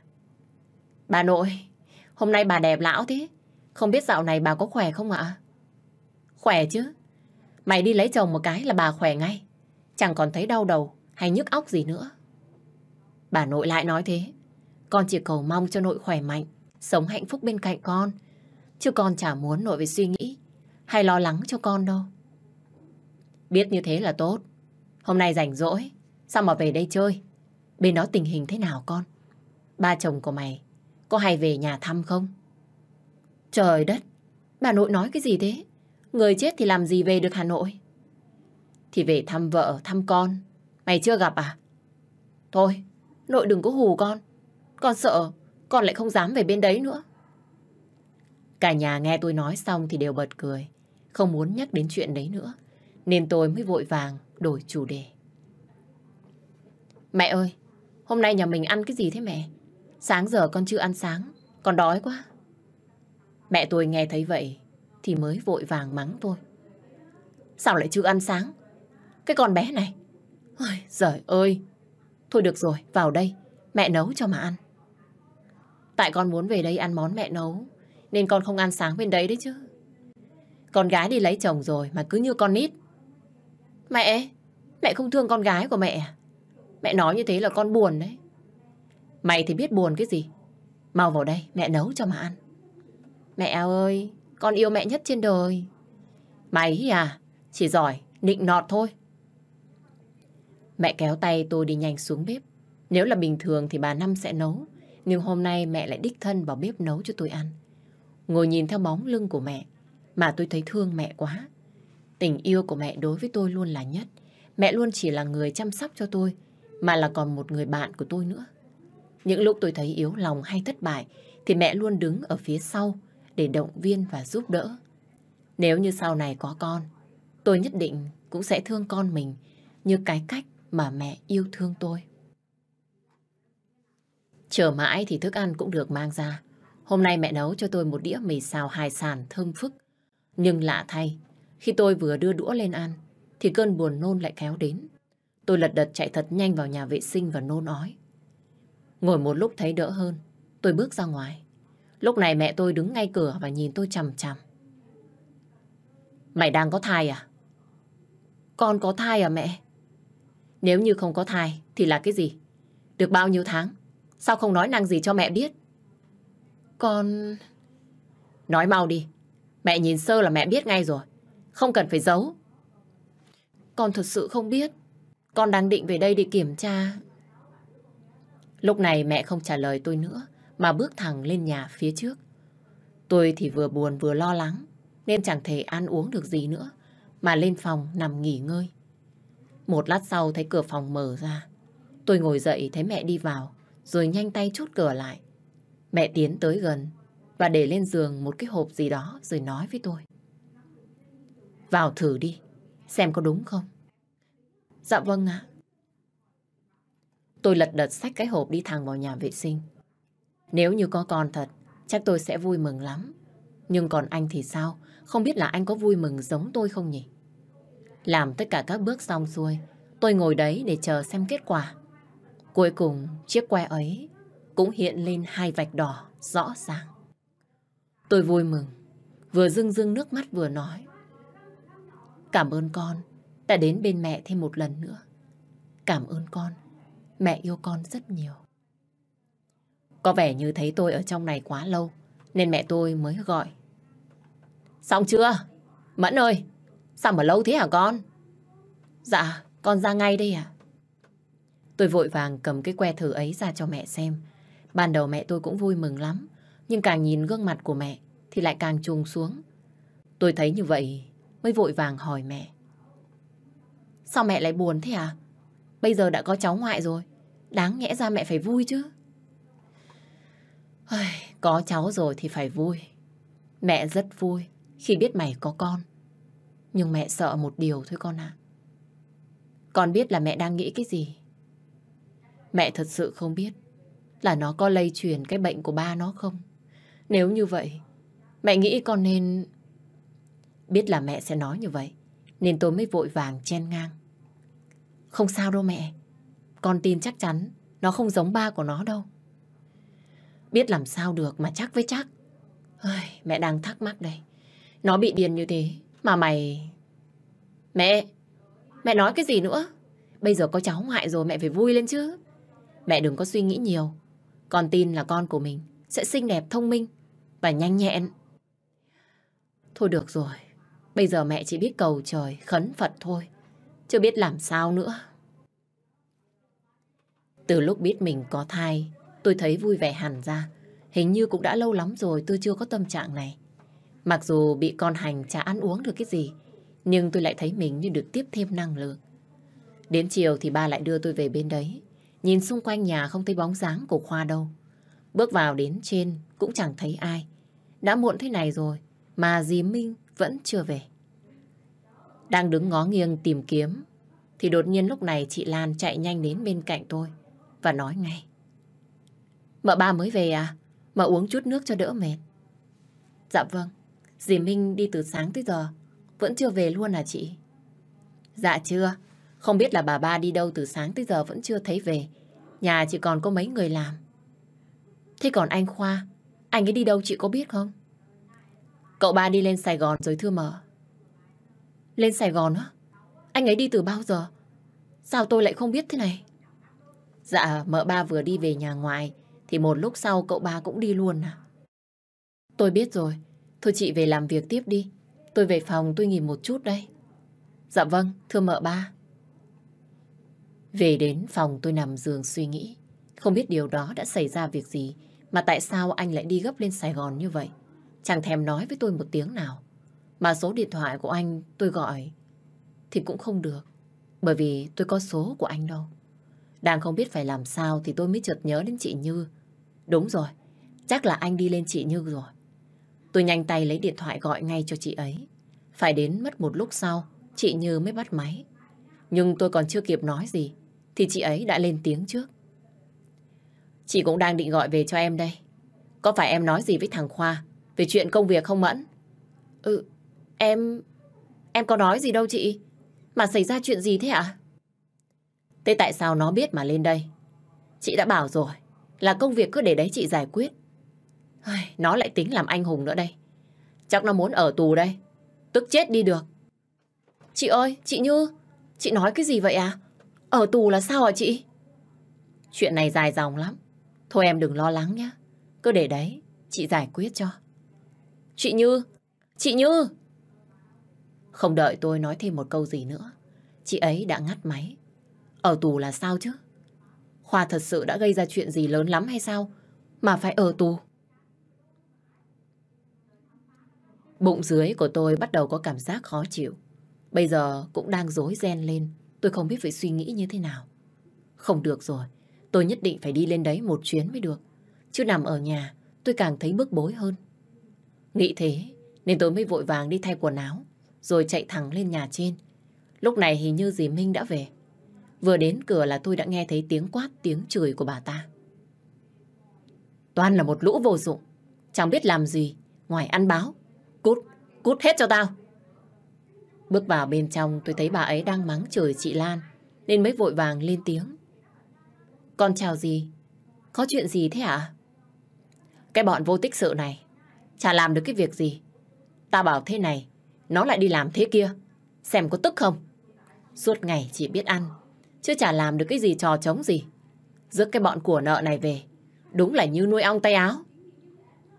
Tôi liếc mắt sang ý bảo chị Lan lùi xuống, rồi rót một ly trà đưa đến chỗ bà ta. Dì uống miếng trà cho hạ hỏa. Chắc tại chị ấy không hiểu ý của dì, nên mới xảy ra chuyện đấy. Mà dì cũng đừng để tâm, kẻo xuống sắc cái gì. Nếu không phải là con Như, thì chắc tao tống cổ hết đi rồi. Đúng là một lũ vô dụng, cứng đầu. Thôi gì, mình đừng nhắc đến chuyện này nữa, bỏ qua một bên đi ạ. Bà nghe tôi nói những lời nhẹ nhàng như vậy, cũng giãn cơ mặt ra một phần. Còn tay thì với lấy ly trà lên, uống tiếp rồi nói. Sao thế? Có chuyện gì mà lên đây một mình? Thằng Khoa đâu? Hôm nay không lên cùng à? Hôm nay anh Khoa lên Sài Gòn để khám bệnh rồi gì à? Thế tại sao mày còn ở nhà? Mày không đi cùng với nó? Con đang định lên chào gì một tiếng, rồi con đi đây. Tại chiều giờ con chờ, mà không thấy gì về. Nghe thấy tôi nói mình chuẩn bị đi, thì bà ta thay đổi sắc mặt ngay. Từ vẻ mặt bực bội nhăn nhó, giờ lại chuyển qua vui mừng ra mặt, rồi lại vội vàng lên tiếng. Hôm nay tao bận chút việc nên bây giờ mới về. Bây giờ mày mau đi đi. Lên trên đấy xem tình hình của nó như thế nào. Dạ vâng. Thế để con đi ngay. Con xin phép gì con đi à? Thôi được rồi. Để tao kêu ông Sáu, ông ấy chở mày đi cho nhanh. Dạ vâng, con cảm ơn gì. Lúc tôi đi ra nhà xe thì ngạc nhiên khi thấy hình bóng của chú Phú lướt qua rất nhanh. Cũng vì quá tò mò nên tôi quay lại nhìn thì đã không còn thấy chú ấy nữa. Chẳng nhẽ chú ấy về đây rồi sao? Nhưng tại sao phải lén lút như vậy? Cả tháng nay chú ấy không phải về quê sao? Tôi lại thở dài và mặc kệ chuyện ấy qua một bên. Bây giờ tôi phải tranh thủ lên trên Sài Gòn để xem tình hình của Khoa như thế nào. Ngồi trên xe tôi không ngừng suy nghĩ về Khoa. Bụng thì đã cồn cào vì cả ngày hôm nay tôi chưa ăn được cái gì. Ngồi hơn một tiếng thì cuối cùng tôi cũng đến nhà chị Như. Lúc này ở nhà chả có ai ngoài bà Vú và cô Bin. Cũng vì thắc mắc nên tôi mới vội vàng hỏi bà ấy ngay. Vú ơi, Vú có biết là anh chị hai đi đâu không ạ? Không còn ơi, lúc chiều Vú có thấy ông chủ với bà chủ đi gấp gáp lắm, nhưng lại không biết là đi đâu. Dạ vâng, vậy con ngồi đây con đợi họ à? Rốt cuộc là hai người đấy đã đi đâu, còn Khoa thì đang ở đâu? Tôi cứ ngồi ở phòng khách và chờ mãi, cho đến 12 giờ đêm, thì nghe thấy tiếng xe về. Tôi lật đật ngồi dậy thật nhanh và đi thẳng ra ngoài. Chị Như mệt mỏi đi vào. Vừa thấy tôi, chị Như đã rất ngạc nhiên và hỏi ngay. Mẫn, em lên hồi nào thế? Sao không nói với chị một tiếng? Em lên hồi tối. Anh Khoa đâu chị? Anh ấy có về cùng với anh chị không ạ? Không em. Thế anh ấy đi đâu ạ chị? Anh Khoa có nói gì với chị là đi đâu không? Nghe tôi hỏi gấp như vậy, thì Như lưỡng lự một chút rồi kéo tay tôi, đi lại ghế ngồi. Thật ra, nó đang bị giam giữ để lấy lời khai. Còn bao giờ về, thì chị không biết. Sao cơ? Bị giam giữ là sao hả chị? Chuyện này rốt cuộc là thế nào ạ? Tại nó sợ bọn đàn em bị thiệt thòi, bị oan. Nên nó mới đứng ra lãnh án. Đã bảo là trên này, để đấy chị giải quyết cho. Bạn cứ thích lao đầu vào. Cứng đầu cứng cổ. Chẳng biết là nó giống ai. Liệu anh ấy có bị ở tù không ạ? Chị đang lo liệu rồi. Tất cả bây giờ còn chờ vào lời khai của nó. Nếu như nó khôn ấy, thì nó sẽ về với gia đình. Còn mà nó làm anh hùng ấy, thì thôi, bỏ đi. Chị Như, chị nhất định phải lo cho anh ấy. Anh Khoa không thể ở tù được đâu à? Chị đang lo đây. Muốn nổ tung cái đầu rồi đây. Nhưng mà cái tính thằng này, em cũng biết rồi đây. Lúc nào nó cũng nghĩ cho người khác. Có bao giờ nó quan tâm đến bản thân nó đâu. Tôi sợ anh sẽ gặp chuyện. Tôi sợ anh sẽ bị người ta kết tội và ở tù. Tôi sợ anh sẽ ở luôn trong đấy và bỏ rơi hai mẹ con của tôi. Bây giờ tâm trí của tôi đang rất rối và không biết phải làm gì. Liệu rằng một mình tôi có thể mạnh mẽ mà nuôi con lớn khôn được không? Chỉ cần nghĩ tới thôi là nước mắt của tôi bắt đầu rơi. Chị Như vỗ vào vai của tôi an ủi. Được rồi, em đừng lo lắng. Chị sẽ tìm cách giải quyết êm đẹp cái vụ này. Yên tâm. Em... Em muốn đi thăm anh ấy có được không chị? Thôi được rồi, ngày mai chị đưa em đi. Bây giờ em lo nghỉ ngơi đi. Đừng có suy nghĩ gì nhiều. Mọi chuyện rồi sẽ có cách giải quyết. Nhưng mà em... Mẫn này, em nghe lời chị. Em lên phòng em ngủ một giấc đi. Ngày mai chị đưa em đi. Đi đường rồi. Chắc cũng mệt đúng không? Dạ vâng ạ. Thật sự tâm trí của tôi bây giờ đã không còn nghĩ ngợi được gì. Nước mắt vô thức rơi mà không thể ngừng lại được. Tôi lo lắng cho anh, không biết một mình anh ở trong đó sẽ ra sao nữa. Cả đêm hôm đó, tôi không tài nào mà ngủ được. Sáng ra tôi lật đật đi xuống nhà và dục dã chị Như ngay. Chị ơi, mình đi chưa chị? Mình vào ăn sáng đi, rồi đi em. Vừa nói chị ấy vừa kéo tay tôi ngồi vào bàn ăn. Cả đêm hôm qua tôi đã không ăn gì, nên bây giờ cũng rất đói. Nhưng vừa gắp đồ ăn lên, thì ôi thôi, tôi phải ôm miệng lại vì buồn nôn. Chị Như thấy như vậy, thì mới nhìn tôi dò xét. Mẫn, em đang có thai à? Em... Không cần phải giấu. Em chỉ cần trả lời chị là có hay không thôi. Nếu như có, thì việc của Khoa dễ dàng xử lý hơn. Nghe chị ấy nói như vậy, nên tôi không chần chừ mà vội vàng gật đầu luôn. Em chỉ mới biết là mình có thôi, chứ không biết là con được bao nhiêu ngày rồi ạ. Ừ, được rồi, mình đi thôi. Tôi theo chị Như ra xe và đi đến chỗ của Khoa. Nếu là người bình thường thì sẽ không được vào. Nhưng nhờ chị Như có quen biết nên chúng tôi mới dễ dàng vào trong. Tôi với chị ngồi chờ một lúc thì Khoa cũng bước ra. Nhìn thấy tôi thì anh hơi ngạc nhiên nhưng cũng nhanh chóng lấy lại vẻ mặt tươi vui. Mẫn, em lên đây từ bao giờ thế? Tôi nhìn anh không nói gì, nước mắt thì nhau rơi xuống. Khoa thấy thế thì mới lúng túng nói. Sao thế? Em đừng khóc. Anh không sao đâu. Sao anh ở đây? Sao anh đi mà không nói với em một tiếng? Anh có biết em rất lo lắng cho anh không? Anh xin lỗi. Đừng có khóc. Em khóc anh đau lòng lắm. Chị Như ngồi bên cạnh lúc này đang tức giận, nhìn anh rồi nói. Chị bảo là để chị lo rồi. Mà tại sao mày cứ cứng đầu thế à? Nếu như mày mà khai sai cái gì, thì mày bị bỏ tù đấy. Chuyện này không đùa được đâu. Nhận tội thay thế, không khiến cho nó mang ơn mày. Mày có hiểu không hả? Chị Như thấy anh cứ im lặng, lại tức giận nói tiếp. Đúng, chính nó là cánh tay phải của mày. Nhưng nếu như đó đã làm sai, thì nó phải đứng ra mà chịu tội. Rõ ràng biết đấy là nguyên tắc trong làm ăn. Nhưng nó vẫn cố tình làm sai, rồi lại còn ôm hết tiền để bỏ trốn. Mọi chuyện bây giờ rõ như ban ngày. Bản chất của một thằng đều thì cớ sao mày lại ngồi đây thay cho nó làm cái gì hả? Mày thấy có đáng không? Khi vào đây ngồi, bỏ vợ bỏ con của mình ở nhà. Mày có thấy ân hận khi không làm tốt được nghĩa vụ của người chồng, người cha không? Chị vừa nói cái gì? Vợ con cái gì? Mày làm ơn đi. Mày đã có gia đình rồi, chứ không phải là con nít mà muốn nhận tội thay thì nhận. Anh hùng ở xã hội này có bao nhiêu là đủ. Chị xin mày đấy. Chị, chị nói em có con à? Đúng rồi, con Mẫn nó có thai rồi đấy. Giờ mày tính làm sao đây? Ánh mắt của Khoa ngạc nhiên, xen lẫn bất ngờ quay sang nhìn tôi. Và rồi anh cũng im lặng chẳng nói câu gì, càng làm cho tôi thấy hụt hẫng hơn. Nước mắt cũng vì thế mà rơi nhiều hơn. Chắc có lẽ anh không cần đến đứa con này. Tôi cố gắng kiềm chế cảm xúc của mình, đưa tay lên, lau vội những giọt nước mắt, rồi hít vào một hơi thật sâu. Hai người ở lại nói chuyện.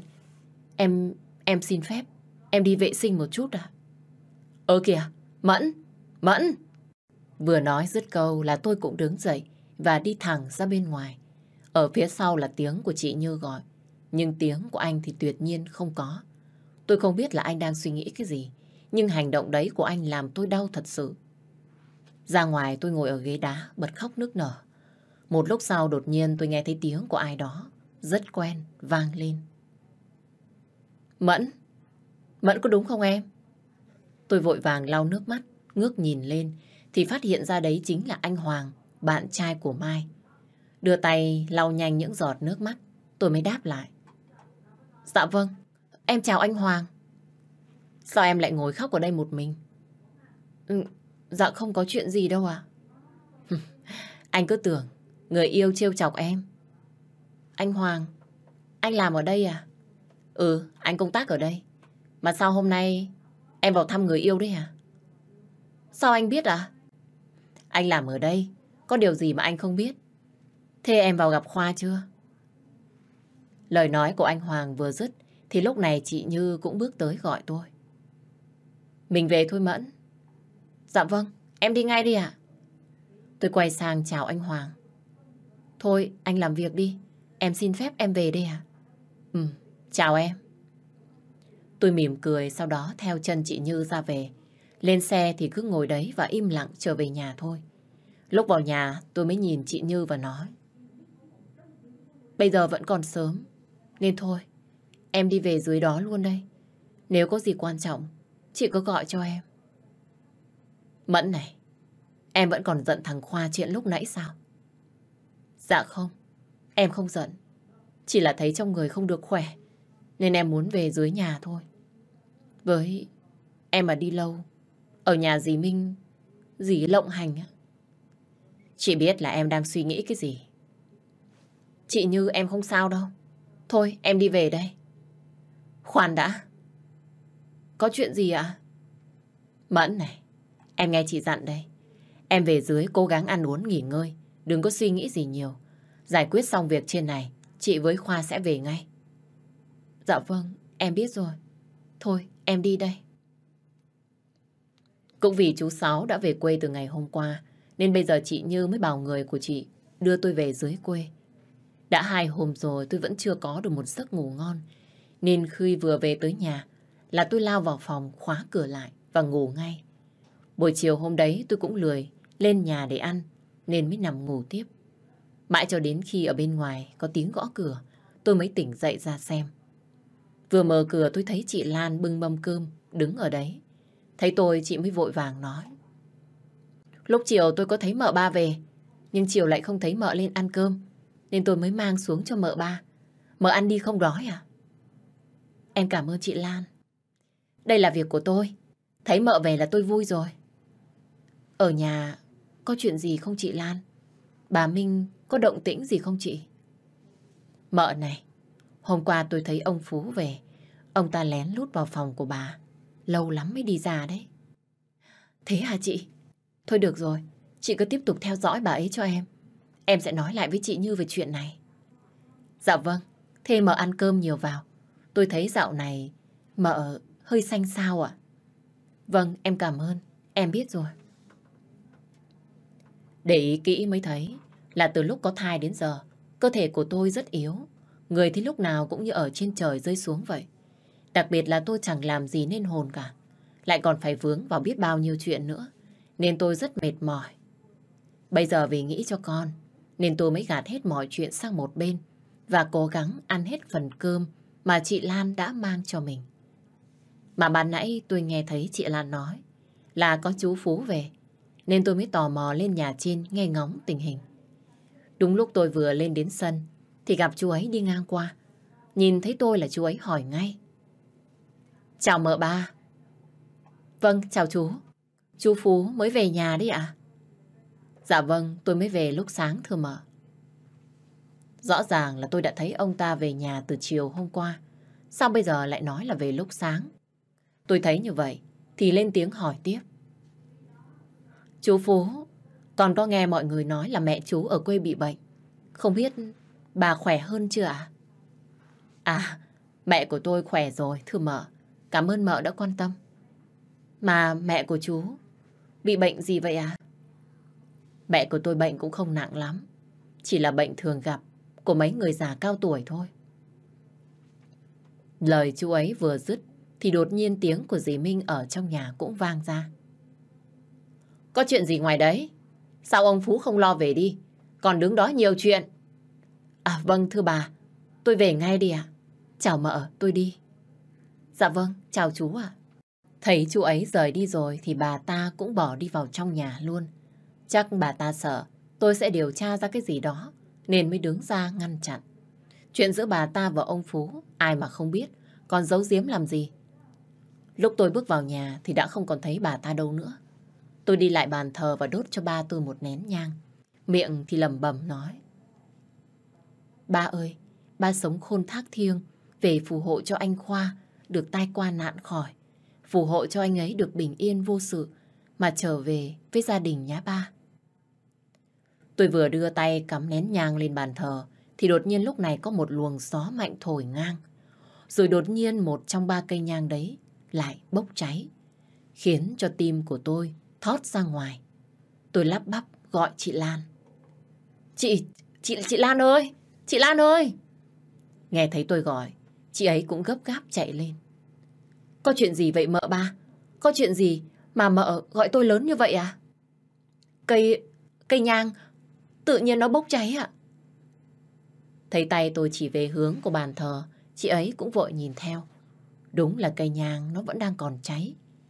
Thấy tôi sợ hãi quá, nên chị Lan mới nhanh chân, đi tới, dùng tay quạt lửa cho tắt, rồi dìu tôi ngồi xuống ghế. Mợ đừng có sợ, chắc là có gió, nên nó mới cháy thế thôi. Chuyện không có gì đâu à. Chẳng biết đây có phải là điềm báo gì không, mà lại xảy ra hiện tượng như vậy. Tôi vừa sợ vừa run, vì đây là lần đầu tiên tôi thấy cảnh tượng như thế. Nghe bên ngoài có tiếng nói chuyện lớn, nên bà ta mở cửa phòng đi ra, rồi bực mình nói. Thế có cái chuyện gì? Trời tối rồi, không chịu ngủ đi.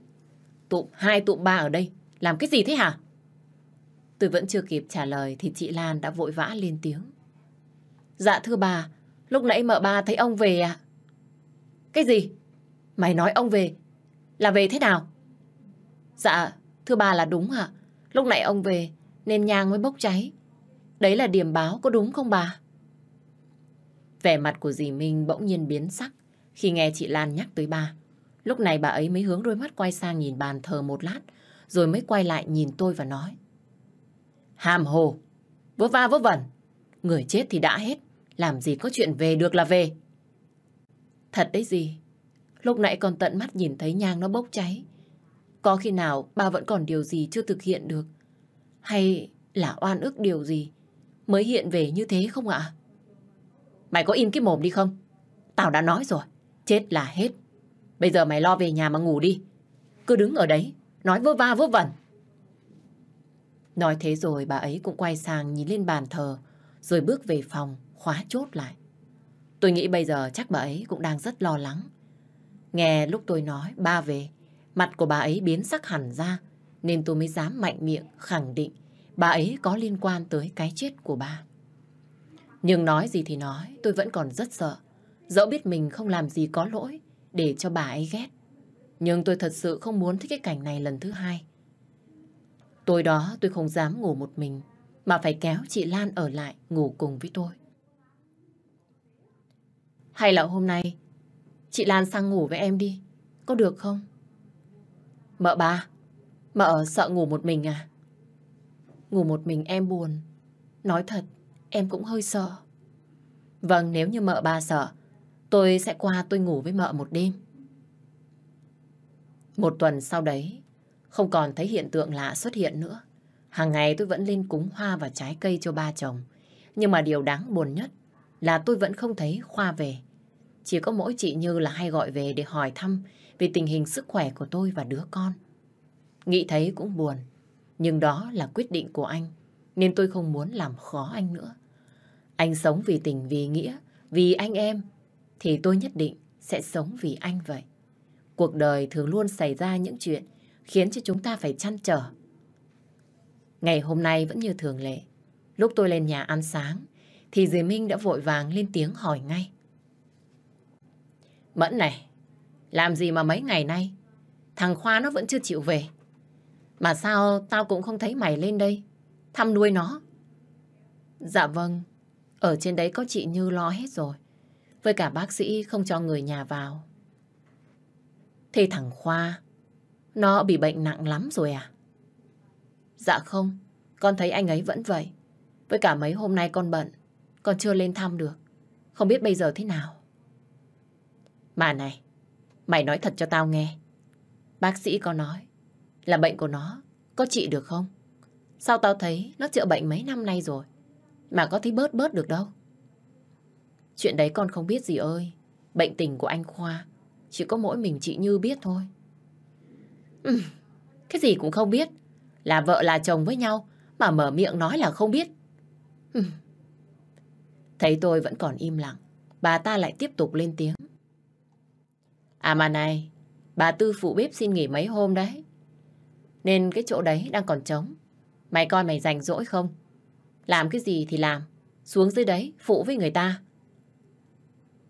Bây giờ bà ta lại còn định chèn ép, sai bảo tôi. Không có chị Như và Khoa ở nhà, nên bà ta mới giao oai với tôi. Nhưng mà nghĩ cũng tốt thôi. Bây giờ tôi lên đây làm việc, cho đầu óc thoải mái. Chứ nằm một mình ở trong phòng, chắc tôi cũng buồn chết mất.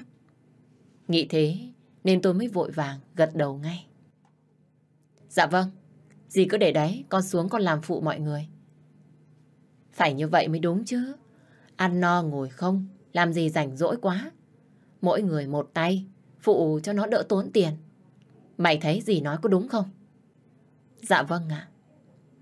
Thôi được rồi. Thôi, mày xuống phụ với người ta. Làm cơm trưa đi. Nói thế rồi bà ta cũng quay người bỏ đi về phòng luôn. Nhìn bộ dạng của bà ta này khác xưa nhiều quá.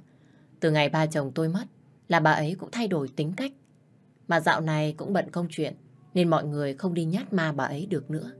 Chắc bà ấy tưởng êm xuôi rồi nên giờ lại dám lên mặt dậy đời chăng? Mà nghĩ lại, giờ tôi ở đây chỉ có một thân một mình nên cũng chẳng thèm gây sự nữa. Tôi bước xuống bếp thấy mọi người đang phụ nhau nấu nướng. Thấy tôi con sen bưng ngay một rổ rau đến đặt mạnh xuống và nói Mợ nhặt rau đi, lấy lá bỏ cọng, phần nào non thì lấy, phần nào già thì bỏ đi. Đừng có lấy hết, ăn không được, bà lại la cho. Việc nhặt rau đối với tôi không có gì là khó khăn. Càng nhặt, sao tôi thấy rổ rau này nó càng nhiều. Bình thường tôi với dì có ăn nhiều thế này đâu. Lúc này chị Lan ở ngoài vào thấy tôi ngồi, thì mới lật đật nói. Ơ kìa mợ, sao mợ lại xuống đây? Lại còn ngồi nhặt rau nữa. Thôi mợ ơi, mợ đi đi, để đấy tôi làm cho. Có một chút rau thôi mà chị. Cứ để đấy tôi nhặt cho. Cũng sắp xong rồi. Đâu được mợ ơi.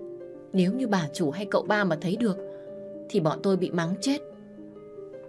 Lời của chị Lan vừa dứt thì bên kia con sen nó cũng đáp lại ngay. Cho dù bà chủ có thấy cũng không thèm nói đâu. Vì bà bảo mợ xuống đây làm mà. Mà tôi thấy chị đừng có lo chuyện bao đồng nữa. Lo mà làm việc của mình đi. Cái gì? Bà chủ nói, mợ ba làm mấy công việc ở dưới bếp này á? Ừ, bà chủ nói đấy. Nếu chị không tin, ấy, cứ lên hỏi bà đấy rồi biết. Đúng là nhiều chuyện. Mày nói ai nhiều chuyện hả con kia? Tôi nói chị đấy. Chị xía vào chuyện của mợ. Chẳng phải là nhiều chuyện thì là cái gì? Thấy chị Lan và con Sen cãi nhau nên tôi mới vội vàng ngăn lại. Thôi được rồi hai người, chỉ là việc nhặt rau thôi mà. Mọi người đừng tranh cãi nữa. Ai làm việc nấy đi. Nhưng mà... Chị Lan, đừng... Được rồi, chị đi làm việc đi. Dạ vâng, thưa mợ ba. Con sen thấy tôi nói như vậy, cũng bỏ đi chỗ khác. Con nhỏ này đúng là được nước làm tới. Ban đầu tôi đã định nhịn vì không muốn làm lớn chuyện. Nhưng mà nó cứ bảo tôi hết nhặt rau xong lại đến rửa bát rồi còn nấu canh, nấu cơm nữa. Hình như nó đang xem tôi, đúng là con ở trong cái nhà này. Cũng vì tức giận quá, nên tôi mới gọi nó lại. Sen, lại đây, mợ có chuyện cần nói với mày. Gì vậy mợ? Con còn phải đi lên nhà lấy đồ cho bà chủ nữa. Đi lại đây, mau lên. Thấy tôi gần giọng như thế, nên nó mới sụ mặt xuống, rồi miễn cưỡng đi lại gần tôi. Tôi nhìn thái độ của nó rồi quát. Mày nói đi, mày đang xem mợ là người làm, người ở trong cái nhà này đúng không? Mày to giọng bảo mợ làm hết cái này đến cái kia trong khi đó. Mày làm cái gì? Ơ, sao mợ lại nói thế hả? Chẳng phải mợ bảo với bà là làm được hết mấy công việc này sao? Mợ bảo là làm được, chứ mợ không bảo là mày sai mợ làm. Mày hiểu chưa? Mày đừng có được nước làm tới. Bà gọi cô hai về, xử lý ngay đấy. Nhưng con chỉ nghe bà nói thôi. Chứ con đã biết gì đâu. Với cả ngay từ đầu, mợ cũng chịu làm rồi còn gì. Mợ chịu lên, thì mợ chịu xuống đó thôi. Mợ làm nhưng mày phải biết, kẻ trên người dưới. Hay bây giờ mày định lên làm chủ của tao, rồi sai bảo tao thế này thế kia. Con không biết, con chỉ làm theo lời bà nói thôi. Nếu muốn nói gì, mợ cứ lên trên đấy mà nói với bà. Này, thái độ của mày là thế nào? xem Nghe lớn tiếng ở phía sau nên dì Minh mới xuống xem. Vừa nhìn thấy tôi bà ta đã mỉa mai ngay. Làm sao? Làm không được đấy à? Không phải là con không làm được. Mà vấn đề ở đây là con sen. Nó đang muốn leo lên đầu con nó ngồi. Leo lên đầu ngồi á? Là thế nào? Nếu dì muốn biết ý, thì dì tự mà hỏi nó đi. Con mệt rồi. Con đi về nhà mình đây. Này, Mẫn! Tôi không thèm nghe bà ấy gọi nữa, mà đi nhanh về phòng của mình. Cả ngày nay ở dưới bếp, tôi đã cảm thấy rất mệt lắm rồi. Về đến phòng tôi nằm ngay lên giường. Mang thai đã mệt mỏi rồi, giờ lại còn gặp cái cảnh thế này nữa, lại càng mệt thêm. Cũng vì buồn chuyện của Khoa, nên tôi không hỏi thăm gì đến anh. Giờ chẳng biết phải tâm sự cùng ai, nên mới tôi mới gọi điện về cho mẹ. Mẹ ơi! Làm sao đấy? Sao lại gọi cho mẹ với cái giọng như vậy? Có chuyện gì? Con không sao. Con chỉ thấy hơi mệt à? Con nó hành à? Ngày xưa mẹ mang thai mày dễ lắm. Chẳng ốm ngén hay mệt mỏi gì đâu. Suốt ngày chỉ toàn ăn với ngủ thôi. Thế con đã ăn uống gì chưa? Con ăn rồi. Mà thôi con ngủ đây. Lúc nào rảnh, con sẽ về chơi à? Ừ. Nhớ ăn uống đầy đủ vào đấy. Dạ vâng. Chiều hôm đấy, tôi không ăn cơm ở nhà trước, mà chỉ đợi chị Lan mang cơm xuống. Ở ngôi nhà này tôi cảm thấy rất buồn. Tôi không muốn ở đây một chút nào nữa. Nhưng tôi lại không còn có sự lựa chọn nào hơn. Bởi vì tôi còn có anh và con. Tôi cố nhẫn nhịn để chờ anh về, về với gia đình nhỏ của chúng tôi. Đêm qua tôi ngủ rất ngon, nên hôm nay mới có tâm trạng đi lên nhà trên. Lúc đi ngang qua phòng dì Minh, đột nhiên tôi lại nghe thấy tiếng cười ở bên trong. Hơi thắc mắc, tôi mới dừng lại nghe. Đập vào tai của tôi là tiếng thở gấp, kèm theo những âm thanh nhạy cảm vang lên. Tôi đưa tay lên gõ cửa phòng và hỏi vọng vào. Dì Minh ơi! Dì Minh! Dì dậy chưa? Dì có ở trong phòng không ạ? Còn có chuyện này cần hỏi gì? Dì Minh ơi! Tôi cố tình gọi lớn như thế để xem dì chờ tay thế nào cho kịp. Nhưng đáp lại chỉ là tiếng im lặng. Mà phải công nhận, bà to gan thật đấy. Dám làm cái chuyện đó ở trong căn nhà này. Lại còn là ban ngày nữa chứ. Thật là bà ta không thèm trả lời nữa. Nên tôi mới bước lại, lau dọn bàn thờ cúng cho ba. Rồi tôi mới bước xuống nhà. Mà hình như dạo này con tôi đã lớn hơn một chút. Mọi thứ thay đổi trong người tôi, đều cảm nhận được rất rõ. Hôm nay tôi cũng không xuống bếp phụ với mọi người nữa. Cứ ngồi ở ngoài vườn chơi và hóng gió. Tới giờ cơm trưa, thì chị Lan mang cơm ra đây cho tôi. Đặt mâm cơm lên bàn. Chị ấy vội vàng nói ngay. Mợ ba, mợ ăn cơm đi. Tôi mang cơm ra cho mợ rồi này. Sao chị không để đấy? Tôi vào ăn cùng với bà ta luôn. Lỡ chị mang ra đây, bà ta lại thấy thêm nhiều chuyện. Không sao đâu mợ ơi. Bà ta đến giờ vẫn chưa chịu ra khỏi phòng.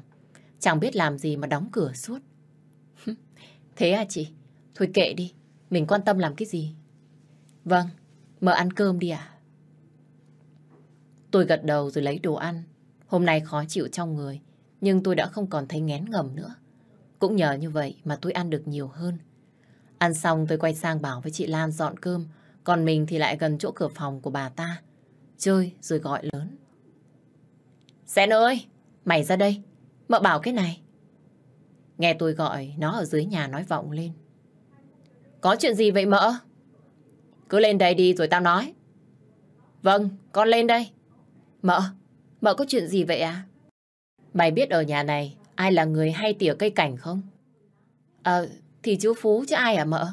Có chuyện gì à mợ? Tôi đưa tay chỉ vào mấy cái nhánh cây trên đầu rồi nói. Mày nhìn xem, cái nhánh cây kia nó dài ra rồi. Mợ đang định bảo chú Phú. Chú ấy cắt bớt đi. Chứ để nó bám vào phòng của bà. Rồi bị mắng đấy. Mợ cứ để đấy. Lát nữa chú ấy sẽ đi cắt thôi. Thế tại sao sáng giờ tao không thấy mặt mũi của chú ấy đâu nhỉ? Mày có biết là chú ấy đi đâu không? Mợ hỏi con để con biết hỏi ai. Con cũng đâu có dành với chú ấy đâu. Không biết đi, thì mày lo mà đi kiếm đi. Ở cái nhà này, mày là đứa nhiều chuyện nhất cơ mà. Con, con có nhiều chuyện đâu. Mà chắc chú ấy đang bận rồi. Để lát nữa thấy, con bảo với chú ấy ngay. Vậy thì khi nào gặp chú ấy thì mày nói lại giúp tao. Nhà cửa thì phải dòm phải ngó một chút chứ. Cứ trốn hoài thì làm sao mà trả lương được. Dạ vâng ạ, để con đi kiếm chú ấy. Rõ ràng là tôi biết ông ta đang ở đâu, nhưng giả vờ nói lớn như thế để đánh đồng đôi gian phu dâm phụ ở trong cái phòng kia.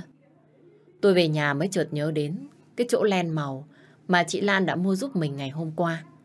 Lật đật ngồi dậy, tôi lấy chúng ra rồi bắt đầu tập tành đan áo cho con. Cũng vì lần đầu nên tôi chẳng đan được gì. Toàn để kim đâm vào tay thôi. Ở dưới này cứ buồn là tôi đã đi lên nhà trên chơi và dò thám tình hình. Không biết ông ta đi ra vào lúc nào. Giờ lên nhà tôi chỉ thấy một mình bà ta ngồi đó. Vừa thấy tôi, bà ta đã gắt gỏng. Lúc chưa có chuyện gì mà mày làm ầm ầm lên thế hả? Con có làm ầm ầm cái gì đâu. Tại con kiếm chú Phú không được. Nên con mới hỏi con sen đấy chứ. Chuyện của mày đấy à? Có mấy nhành cây, thì kệ nó đi. Mắc mớ cái gì mà la lối om sòm. Chú Phú là người làm mà gì. Con kiếm chú Phú chỉ vì công việc. Chứ còn có kiếm vì chuyện riêng tư gì đâu ạ. Tao có bảo mày riêng tư mờ ám bao giờ chưa? Thế tại sao mày làm quá lên như thế? Con đâu có làm quá đâu gì. Con vốn dĩ rất bình thường. Chỉ có gì mới là người làm quá thôi. Ừ, Mày... Thấy bà ta tức giận, nên tôi mới nở ra một nụ cười và kề vào tai của bà ta nói nhỏ. Dì ơi, người ta đang nhìn vào con và dì đấy. Kiềm chế lại một chút, kẻo người ta là cười đấy dì à. Mày im ngay. Dì cứ yên tâm, con sẽ không nói cho ai biết về mối quan hệ mập mờ giữa dì và chú Phú đâu. Mày... Bị tôi nói trúng tim đen, bà ta cứng họng không nói lại được nữa. Tôi đứng dậy chỉnh lại áo và cười nhạt. Hôm nay con hơi no, nên dì cứ thong thả ăn đi ạ. Chúc dì ăn ngon miệng. Nói xong tôi quay lưng bỏ đi. Chuyện này rõ ràng là tôi không muốn nói ra. Nhưng chẳng biết lúc nãy tôi nghĩ cái gì mà tôi lại chỉ muốn nói để chọc tức bà ta. Kiểu này chắc chắn bà ấy sẽ đề phòng vì tôi đã nắm được thóp. Có khi lại tìm cách hãm hại tôi cũng nên. Quay bước trở về phòng, tôi khóa chặt cửa lại, rồi lấy máy gọi cho chị Như. Alo chị Như? Chị Như? Chị có đang nghe máy không ạ? Đầu dây bên kia vẫn không có một lời hồi đáp. Tôi thở dài một hơi và lên giọng nói. Nếu như chị đang bận thì em tắt máy đây. Khi nào rảnh, chị gọi lại cho em nhé. Em kể chuyện này cho chị nghe. Tôi định tắt máy thì đột nhiên nghe tiếng ai đó gọi tên mình. Mẫn. Nghe giọng nói quen thuộc của anh vang lên, tôi mới lật đật đáp lại ngay. Alo? Alo? Anh Khoa à? Có đúng là anh Khoa không? Anh vừa gọi tên em đúng không? Ừ, là anh đây. Anh về rồi à? Anh về từ lúc nào? Sao anh không nói với em một tiếng? Tại sao đến hôm nay anh mới chịu gọi cho em? Anh có biết là em nhớ anh nhiều lắm không? Tại anh đang bận một số chuyện cần phải giải quyết. Đợi xong việc rồi, anh sẽ về thăm em. Vâng, em biết rồi. Thế anh có khỏe không? Hay em lên em thăm anh nhé? Không cần đâu. Anh hứa vài hôm anh sẽ về. Em đừng lo lắng cho anh. Nghe anh nói như vậy, tôi im lặng không trả lời được nữa vì cổ họng của tôi đã nghẹn đắng. Khoa thở dài một tiếng rồi nhẹ nhàng nói tiếp với tôi. Vợ, vợ của anh ngoan, anh thương. Anh hứa không bao giờ làm cho vợ buồn hay đau lòng nữa. Tin anh nhé. Vâng, em biết rồi. Nếu như anh không muốn em lo lắng, anh phải nhớ giữ gìn sức khỏe. Làm việc gì phải nhớ đến em và con. Em luôn mong anh về. Anh biết rồi. Thôi em nghỉ ngơi đi. Khi nào rảnh, anh gọi về cho hai mẹ con. Khoa nói xong cũng tắt máy. Nếu như anh đã nói như vậy, thì tôi cũng yên tâm được một phần nào. Mà hình như đây là lần đầu tiên tôi nói chuyện với anh từ khi bỏ về dưới này. Gần 10 ngày rồi, tôi mới nghe lại giọng nói của anh, nên trong lòng thấy rất vui. Nghe điện thoại xong, tự nhiên tôi thấy yêu đời hẳn ra. Tôi nằm lên giường, ôm bụng, cười hạnh phúc. Cũng vì ghét chạm mặt với bà ấy, nên giờ tôi cũng không muốn đi lên nhà nữa. Tôi ngồi ăn hết trái cây, rồi đan áo cho con. Mọi chuyện chẳng có gì thay đổi, tới khi ngoài cửa có người gõ mạnh. Tôi hơi nghi ngờ một chút, nhưng rồi cũng đi ra mở cửa. Cửa vừa mở ra, thì tôi đã tròn mắt khi nhìn thấy người đứng ngoài, chính là dì Minh. Lần này không cần đợi tôi mời, bà ta cũng tự nhiên mà bước vào trong. Tôi chạy vội lại bàn, cất gọn đống len vào hộp rồi nói. Dì kiếm con có việc gì không à? Sao dì lại đến đây muộn thế à? Mới có 8 giờ, muộn cái gì mà muộn? Mày đang làm cái gì đấy? Sao mua len về nhiều thế? Sắp vào mùa lạnh, nên con định đan ít vớ để dùng. Bà ấy nghiêng đầu, nhìn vào hộp đồ rồi nghi ngờ hỏi lại tôi. Mày đan cho ai? Con đan cho con dùng chứ cho ai à gì? Hôm nay sao gì lại hỏi lạ thế à? Đan cho mày dùng. mày lại nhỏ thế à? Mày cứ tưởng tao là con nít lên bà. Dì ơi, dì bớt suy diễn lại đi có được không? Con làm gì? Con làm cho ai? Đấy là việc của con. Mà dì đến đây kiếm con. Có chuyện gì à? Ờ, thì tao chỉ thấy đèn còn sáng. Nên tao tới, tao xem thôi. Nếu như mày bận thì làm tiếp đi. Tao đi về tao ngủ đây. Dạ vâng, con chào gì Lúc đi ra, bà ta còn quay lại nhìn vào chiếc hộp ấy một lần nữa. Chẳng có lý do nào mà thấy đèn sáng, thì bà ta đi vào đây cả. Bởi vì tôi biết, đấy không phải là tính của bà ta. Chắc chắn bà ấy muốn nói gì với tôi, nhưng giờ lại bận tâm về đôi vớ, nên mới rời đi như vậy. Bây giờ cũng trễ rồi, nên tôi chẳng thèm quan tâm tới nữa. Gom đồ cất vào tủ, tôi mới lên giường đi ngủ. Mới ngả lưng được một chút, thì đột nhiên tin nhắn hiện lên. Hai mẹ con ngủ ngon nhé. Đây là số điện thoại lạ, nhưng lại nhắn với nội dung như vậy, thì tôi cũng biết là ai rồi. Nhìn vào màn hình điện thoại, miệng của tôi vô thức nở ra một nụ cười hạnh phúc. Ngày hôm sau tôi thức dậy, thấy tâm trạng rất thoải mái. Vệ sinh cá nhân xong, tôi lên nhà trên ăn sáng. Phải công nhận hôm nay nhìn chỗ nào trong ngôi nhà này, tôi cũng thấy đẹp. Đặc biệt là lúc nào tôi cũng mỉm cười thật tươi. Thấy tôi cứ cười mãi, nên chị Lan mới ngạc nhiên hỏi tôi. Mợ ba, hôm nay có chuyện gì mà mợ vui thế? Mợ cứ cười suốt đấy nhỉ? không, không có chuyện gì đâu ạ. Tôi thấy mợ cứ cười, tôi cứ tưởng là mợ đang vui. Dạ vâng, thì em cũng vui một chút. Mà sáng nay, ăn món gì thế chị? Hôm nay mình ăn bún bò đó mợ. Mợ ngồi đi, để tôi xuống bếp tôi làm. Tôi ngồi vào bàn đợi. Đợi chị Lan đi khuất, tôi lấy điện thoại ra xem lại cái tin nhắn hôm qua của anh. Hay bây giờ mình gọi cho anh nhỉ? Mà không được. Nếu như anh đang bận, thì mình gọi sẽ làm phiền anh. Đang mãi mơ màng suy nghĩ, thì đột nhiên có ai đó vỗ mạnh vào lưng, khiến cho tôi giật mình la lên. Ôi giật cả mình! Ai mà chơi cái trò đấy thế hả? Ban đầu tôi cứ tưởng là con sen, nên mới định quay lại chửi.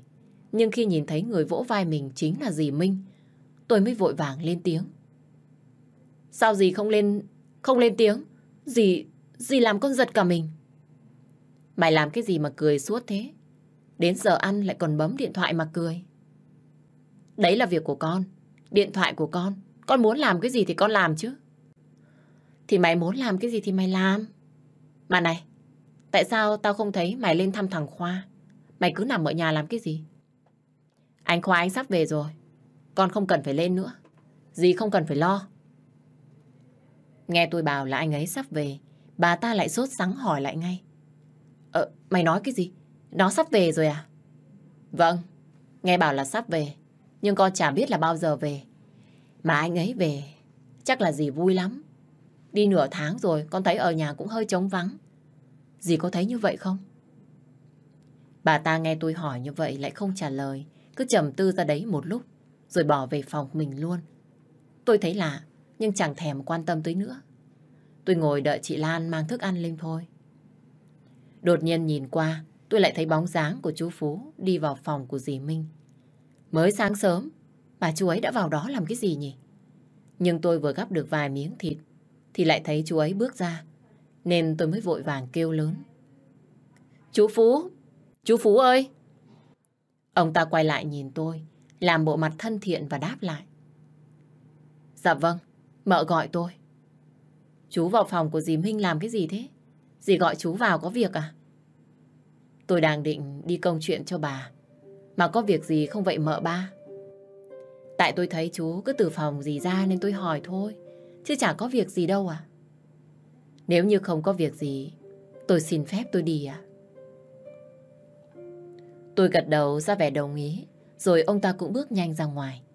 Lúc này tôi còn thấy trên tay ông ta cầm cái tờ giấy gì đó, nhưng lại không biết là giấy gì. Mà nhìn sơ qua thì thấy có vẻ hơi gấp gáp. Tôi nhìn quanh nhà không có ai, nên bước ra ngoài vườn đi dạo. Một lát sau tự nhiên con sen lại mang ra cho tôi một ly nước ép cam, mà lúng túng. mà mà mà ơi, mà uống ly nước cam, cho khỏe à? Lạ nhỉ, sao hôm nay mày lại mang nước cam cho mợ? Bình thường, mợ có thấy mày tốt với mợ đâu. Dạ dạ, tại tại bà chủ kêu con ép cho mợ uống.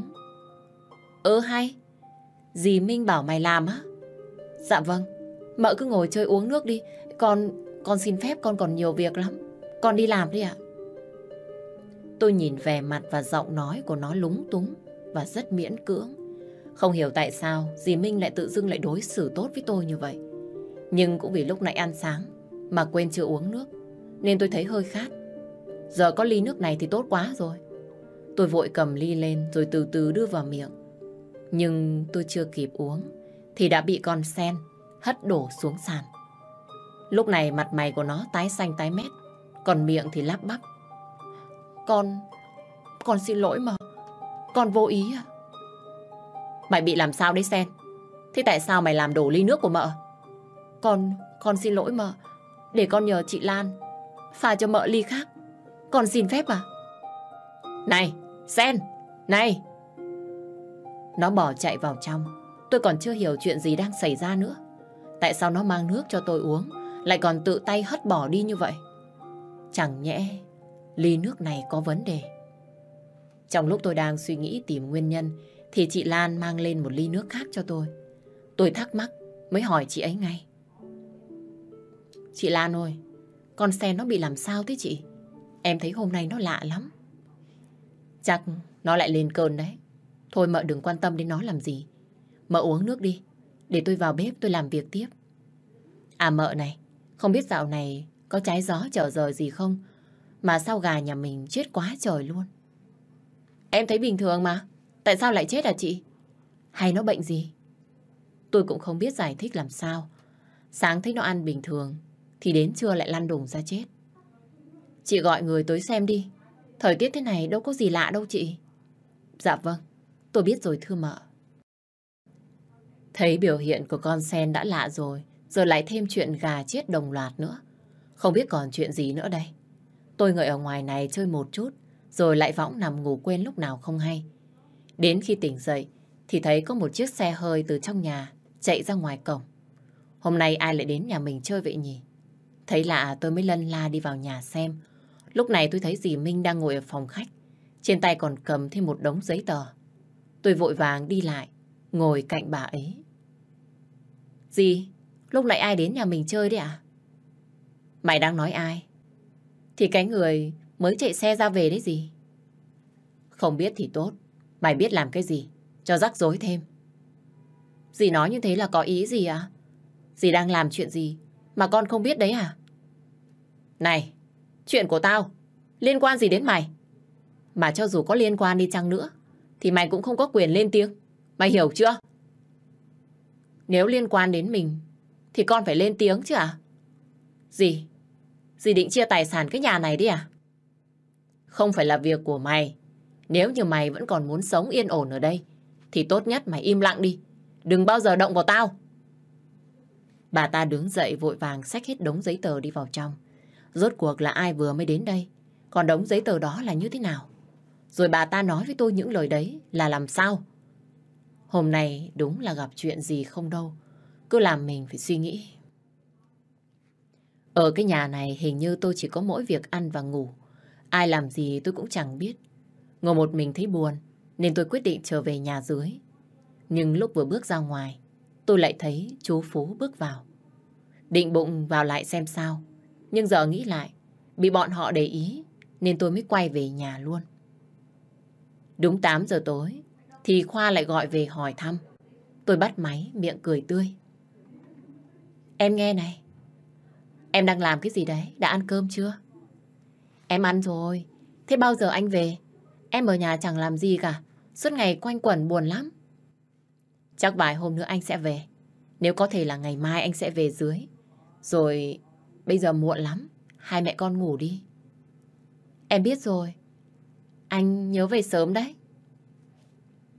Mỗi lần nghe điện thoại của anh xong, tôi lại thấy vui vẻ hẳn ra. Nghe anh nói ngày mai sẽ về dưới này, nên tôi cũng rất mừng. Nhìn vào đồng hồ cũng đã thấy khuya lắm rồi. Tôi mới tắt đèn mà đi ngủ ngay. Đột nhiên tôi lại nghe thấy tiếng lục đục đào bới ở bên ngoài, nên mới giật mình ngồi dậy xem. Nhìn trong phòng mọi thứ đều bình thường, nhưng sao tôi vẫn còn nghe cái âm thanh đấy? Nghĩ thế nên tôi đứng dậy, vén nhẹ rèm cửa ra xem có chuyện gì. Đột nhiên lúc này tôi thấy có hai ánh đèn mập mờ ở ngay bên cạnh cửa sổ phòng mình. Cảm giác hơi lo sợ, nên tôi với tay bật hết công tắc đèn ở trong nhà lên, rồi lấy hết can đảm, kéo mạnh rèm ra và nhìn về hướng đó. Ai làm gì đấy? Có phải là chú Phú không? Hay là con sen? Có ai ở đó không? Tôi cứ hỏi như vậy nhưng không thấy ai trả lời. Và tôi không còn nhìn thấy hai bóng đèn đấy nữa. Chẳng biết là nó đã biến mất từ lúc nào. Trong lòng tôi lúc này lại nghi ngờ. Chẳng nhẽ hai cái bóng đó chính là dì Minh và chú Phú. Mà chẳng nhẽ bà ấy lại gan đến mức dám đi đến nhà tôi vào ban đêm. Tôi cứ thế ngồi đấy canh chừng và bật điện sáng cả đêm. Kết quả của một đêm nơm nớp lo sợ là hôm sau tôi dậy khá trễ. Đến gần sáng tôi mới chợp mắt được. Đang lúc còn mơ màng thì đột nhiên tôi nghe thấy tiếng gọi của chị Lan. Tôi mệt mỏi đứng dậy đi ra mở cửa. Vừa thấy tôi, chị ấy đã nói ngay. Mợ, có chuyện này quan trọng lắm. Sao đấy chị? Chị cứ bình tĩnh, kể lại cho em nghe xem có chuyện gì. Lúc nãy tôi có nghe nói là bà ta gọi thầy Pháp về đây đó mợ. Họ còn nói là nghi ngờ ở nhà mợ nữa cơ. Thầy Pháp á? Bà nhà em có cái gì đâu mà nghi ngờ. Tôi chỉ nghe bọn kia nó kể lại thôi. Nói là sáng sớm dậy, bà ta kể lại là đêm qua đã nằm mơ thấy ông về. Ông bảo là có người yểm đất, nên ông mới không thể vào nhà được. Ở dưới, ông chẳng có cái gì để mặc. Bà ấy còn nói là hôm nay đúng vào ngày rằm, nên ông mới có thể về để báo mộng cho bà ấy. Nghe chị Lan nói như vậy, tôi thấy hơi lạ, nên mới vội vàng hỏi lại ngay. Yểm đất đi à? Sao bà ta có thể nghĩ ra cái chuyện điên khùng thế nhở? Tôi cũng không biết. Ông ta đang dắt mọi người đi tìm trước nhà mợ đấy. Lát nữa tôi nghĩ chắc là tới nhà của mợ cho mặt xem. Thôi cứ kệ đi, tôi có làm gì đâu mà sợ. Muốn kiếm thì cho kiếm. Để tôi xem, bà ta diễn tới đâu. Vâng, tôi xuống báo với mợ một tiếng. Giờ tôi phải chạy lên nhà, xem tình hình thế nào đây. Dạ vâng, chị cứ đi đi. Việc này có vẻ như trùng hợp quá. Hôm qua tôi thấy hai bóng đèn ở gần phòng mình. Giờ lại thêm cái chuyện ông thầy Pháp này vào nhà để gỡ bùa. Chuyện hai việc này có liên quan gì đến nhau không? Tôi quay vào vệ sinh cá nhân, xong mới đi lên nhà trên. Đi được nửa đường thì tôi thấy dì Minh, ông ta và còn rất nhiều người làm ở trong nhà cũng đi theo sau phía họ. Cả đám người láo liếc nhìn xung quanh như đang tìm kiếm một cái thứ gì đó. Thấy vậy nên tôi mới đi nhanh lại hỏi. Mọi người đang tìm kiếm cái gì thế ạ? À? Sao con nhìn thấy đông vui quá vậy? Dì Minh nghe thấy tôi nói như thế thì gạt qua một bên rồi nói với tôi. Mày né ra một bên đi để người ta còn làm câu chuyện. Chuyện gì mà quan trọng thế hả gì? Lát nữa rồi mày sẽ biết. Bây giờ mày cứ im lặng đi. Đi theo phía sau kia kìa. Bà ta đúng là diễn như thật. Tôi lặng lẽ đi theo phía sau quan sát xem bọn họ sẽ làm cái gì. Mãi cho đến khi tới phòng của tôi, thì ông ta lại lên tiếng nói lớn. Đây rồi, nó nằm ở đây rồi. Dì mình nghe vậy thì tròn mắt hỏi. Cái gì vậy thầy? Ở đây có gì hả thầy? Có đấy. Bà mau gọi người đến. Đào cái chỗ này lên hộ tôi. Vâng vâng. Mấy đứa đâu? Mau đào cái chỗ này lên cho thầy. Nhanh lên. Mấy người làm trong nhà nghe thấy thế thì vội chạy nhanh tới và đào bới ngay. Một lát sau thì ông ấy cầm lên một tờ giấy gì đó có màu đỏ và nói lớn. Đây chính là thứ mà khiến cho ông chủ không thể vào nhà được. Có nhà mà lại sống vất vưởng tàm bỡ ở bên ngoài lạnh lẽo. Cũng may là nhờ tôi phát hiện. Nếu không, ông không có nơi để về. Ông nói rất đúng. Hèn gì đêm qua ông ấy về, báo mộng cho tôi biết. Loại bùa này không phải ai cũng có thể làm. Mà người làm bùa này chắc chắn không phải là dạng vừa. Chỉ có thầy cao tay mới có thể yểm nặng như thế này được. Lời của ông ta vừa dứt, thì bà ấy cũng vội quay nhanh về hướng tôi, nhìn bằng ánh mắt đầy tức giận. Tại sao vậy Mẫn? Lúc còn sống, ông ấy đối xử tốt với mày cơ mà. Thế tại sao bây giờ mày lại có thể đối xử với ba chồng của mình như thế hả? Mày nói đi. Dì... Dì đang nói cái gì thế ạ? Con nghe con không hiểu ạ. Mày lại đang giả ngây giả ngô đấy à? Lá bùa này được tìm thấy ngay sau phòng của mày. Mày giải thích đi. Chuyện này là như thế nào? Con... Con làm sao mà biết được? Tự nhiên gì bày trò ra. Thì làm sao mà con đỡ được? Mày bị điên đấy à? Tao đâu có rảnh mà bày ra cái chuyện tâm linh để mà vu khống cho mày. Ăn nói cho đàng hoàng. Còn nói chuyện đàng hoàng hay không là do gì? Chúng ta đều lớn hết cả rồi. Thế nên làm gì? Để người ta nể mình, thì gì hãng làm. Mày không cần phải nói đạo lý gì với tao. Bởi vì tất cả mọi người ở đây ai cũng thấy cả rồi. Chứ không phải là riêng gì một mình tao thấy. Gì? Dì có cần con kể lại chuyện đêm qua cho mọi người cùng nghe không? Chuyện tối qua, ở trước phòng của con. Thấy mọi người ở đây đều chăm chú nhìn mình, nên bà ta mới quay sang nhìn ông thầy. Không để bà ta nói thêm câu gì nữa. Tôi mới quay sang ông thầy và nói luôn. Dì Minh đã cho ông bao nhiêu tiền để dựng lên câu chuyện này? Cứ nói thật ra. Ờ, tôi không làm vì tiền. Mong cô cẩn thận với lời ăn tiếng nói của mình. Không vì tiền. Thì là vì cái gì? Vì vàng à? Đột nhiên vẻ mặt của ông ta tái đi. Nhưng sau đó nhanh chóng lấy lại tinh thần. Miệng ông ta định mấp máy nói cái gì đó. Thì bị một giọng nói khác ở phía sau lưng chặn lại. Tôi sẽ trả cho ông gấp 10 lần. Nếu như ông chịu khai ra, ai là người đứng sau sai bảo ông làm những chuyện này.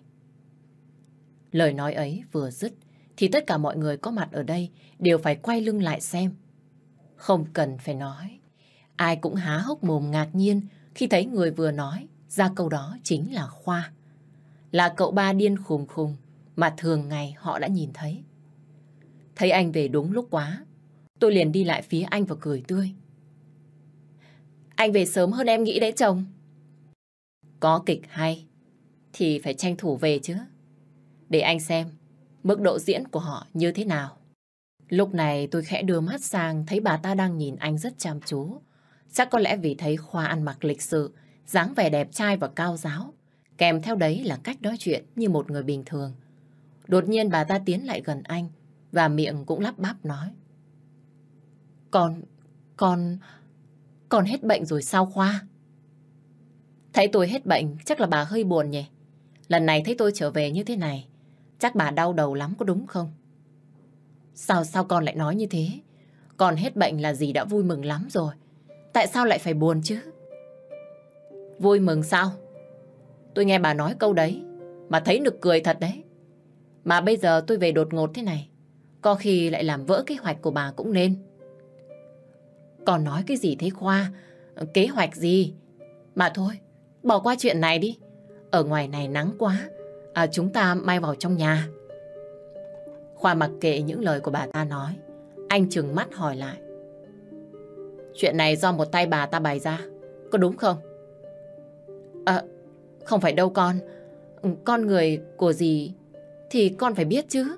Đây là dì mời về, Ngoài ra dì không biết chuyện gì hết. Mà dì chẳng làm cái gì sai cả. Ông ta kiếm được lá bùa ở đây. Rất nhiều người theo dõi và chứng kiến. Con không thấy sao? Bà đúng là bày trò mà. Dì không hiểu con nói cái gì. Nếu như bây giờ con không vào nhà, thì thôi, à, dì đi vào đây. Giải tán đi, mấy đứa lo làm việc đi. Bà ta nhanh chân chạy vào trong nhà. Chẳng hiểu sao lần này Khoa lại không cản nữa, mà để cho bà ấy đi luôn. Mặt anh lạnh lùng đầy sát khí, khiến cho mọi người ở đây cũng bỏ đi. Khoa kéo tôi vào phòng, còn tên thầy Pháp kia cũng bị vệ sĩ của anh ta dắt đi. Vào nhà Khoa mới ôm tôi vào lòng và vỗ về. Anh xin lỗi hai mẹ con, anh đã về hơi muộn. Anh về là tốt rồi, em cứ tưởng là tối nay anh mới về. Giải quyết xong hết việc, là anh về ngay đây. Giờ anh về để chăm sóc cho em và con nhé. Ừ, anh chỉ giỏi mỗi cái việc nịnh nọt. Anh nói thật đấy. Đâu, đưa anh xem con của chúng ta nào. Ở trên đấy, anh mong gặp con quá. Khoa vừa nói vừa đưa tay xoa bụng tôi. Tôi vuốt nhẹ mái tóc của anh nói. Mà anh ơi, bây giờ anh về anh khỏe mạnh thế này rồi. Chắc chắn bà ấy chưa dám làm gì đâu nhở. Lúc nãy bà ấy nói chuyện, mà giọng cứ run run. Có tật giật mình đấy. Lúc đầu anh cũng chưa định đặt tỉnh lại đâu. Nhưng thấy họ làm hại em, nên anh mới phải làm như vậy. Đã là chuyện tâm linh, thì chúng ta không thể đùa được. Nhưng đằng này là do bà ấy tạo ra. Anh nghĩ chắc chắn bà ấy sẽ lãnh nghiệp thôi em ạ. Nghe anh nói như thế, tôi hạnh phúc ôm chặt lấy anh. Cảm ơn anh nhiều lắm. Ngốc này, anh mới là người phải cảm ơn em. Cảm ơn em đã đồng ý kết hôn với anh. Cảm ơn em đã chịu khổ ở đây khi không có anh bên cạnh. Anh yêu em. Khoa nói xong liền đặt nhẹ lên môi của tôi một nụ hôn. Một tuần xa anh đối với tôi dài thật dài. Chỉ cần không có anh ở bên cạnh là tôi đã thấy rất buồn. Đến bây giờ tôi mới biết là tôi thật sự cần anh đến mức nào. Hai đứa cứ thế nằm ở trong phòng mà hàn huyên tâm sự. Mãi cho đến trưa thì chúng tôi mới dậy và đi ăn.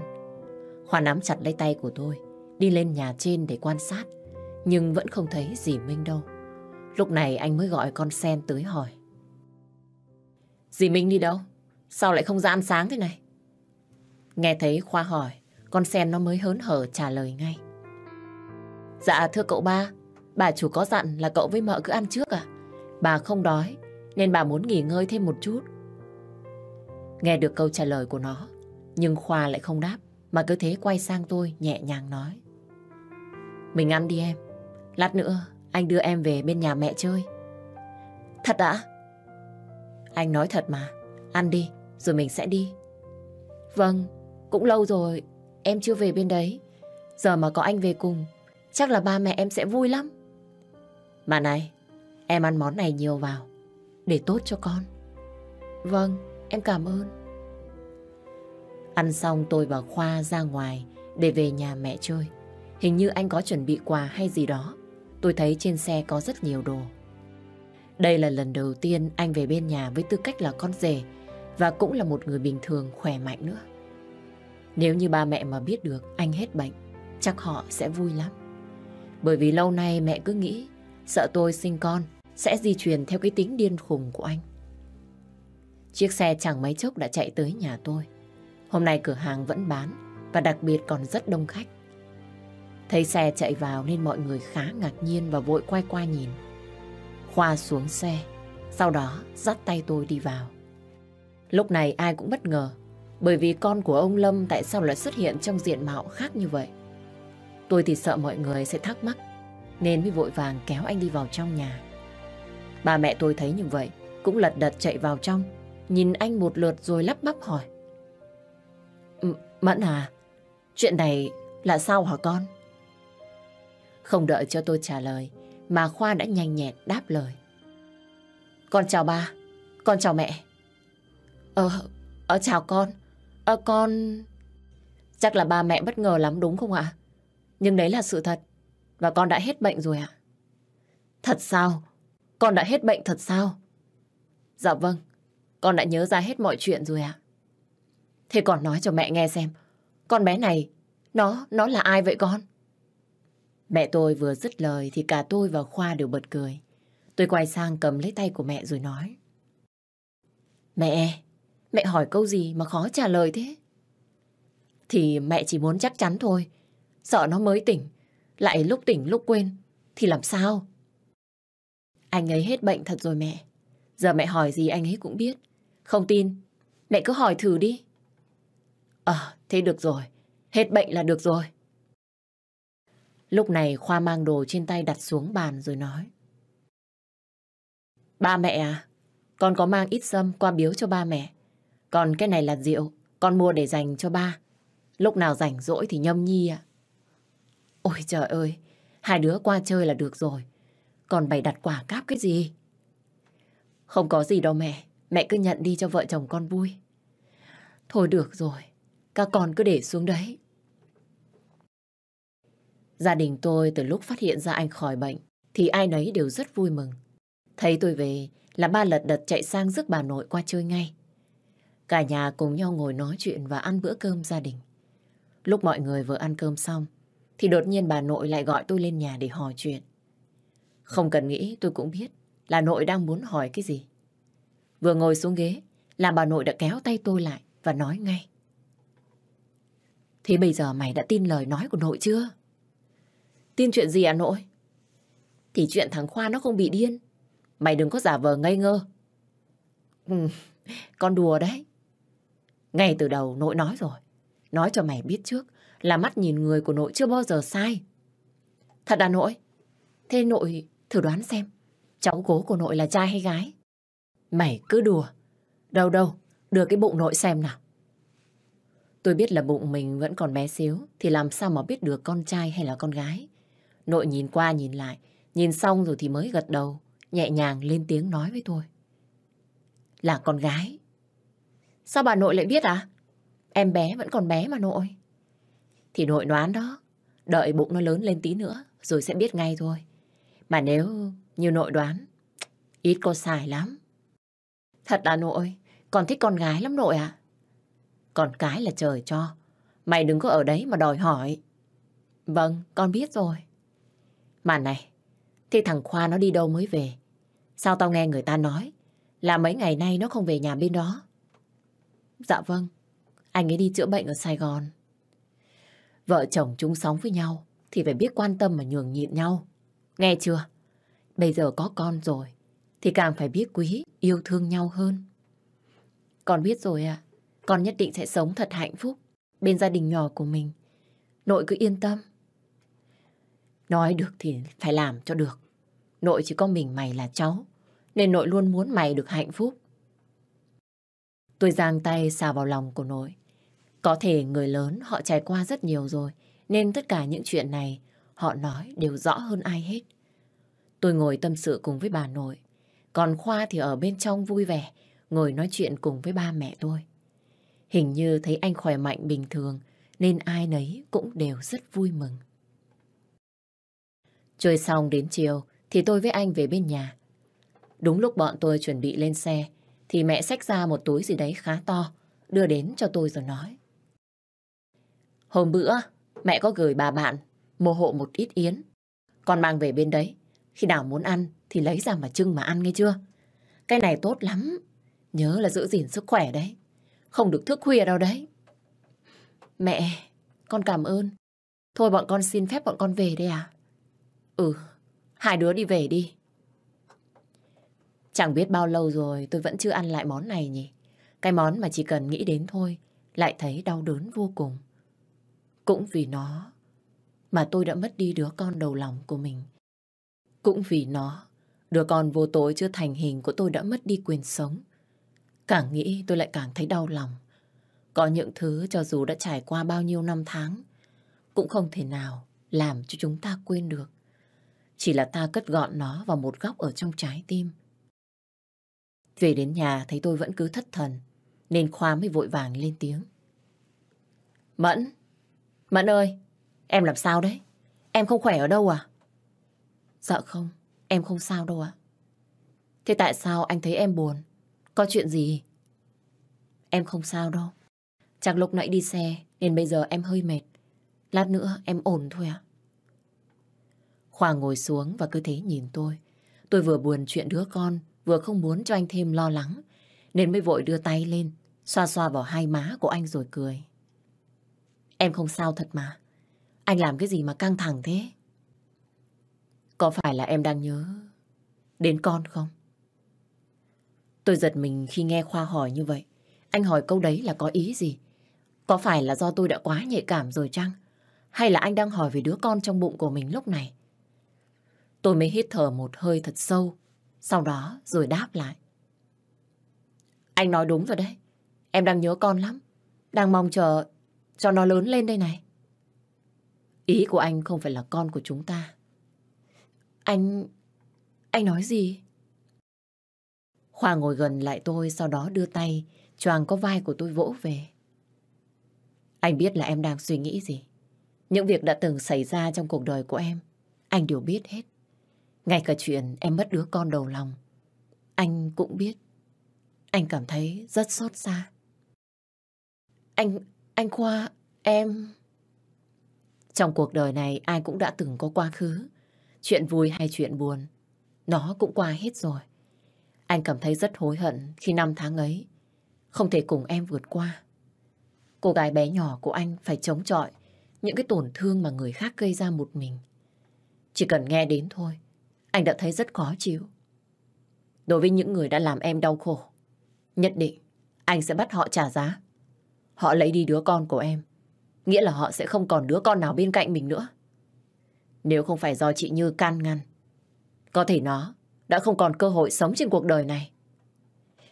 Anh Khoa, anh nói thế có nghĩa là anh đã gặp Tấn rồi sao? Ừ, anh đã gặp hắn. Từ lúc cưới em về đây. Tại sao em không biết gì? Hắn ta có nói gì với anh không?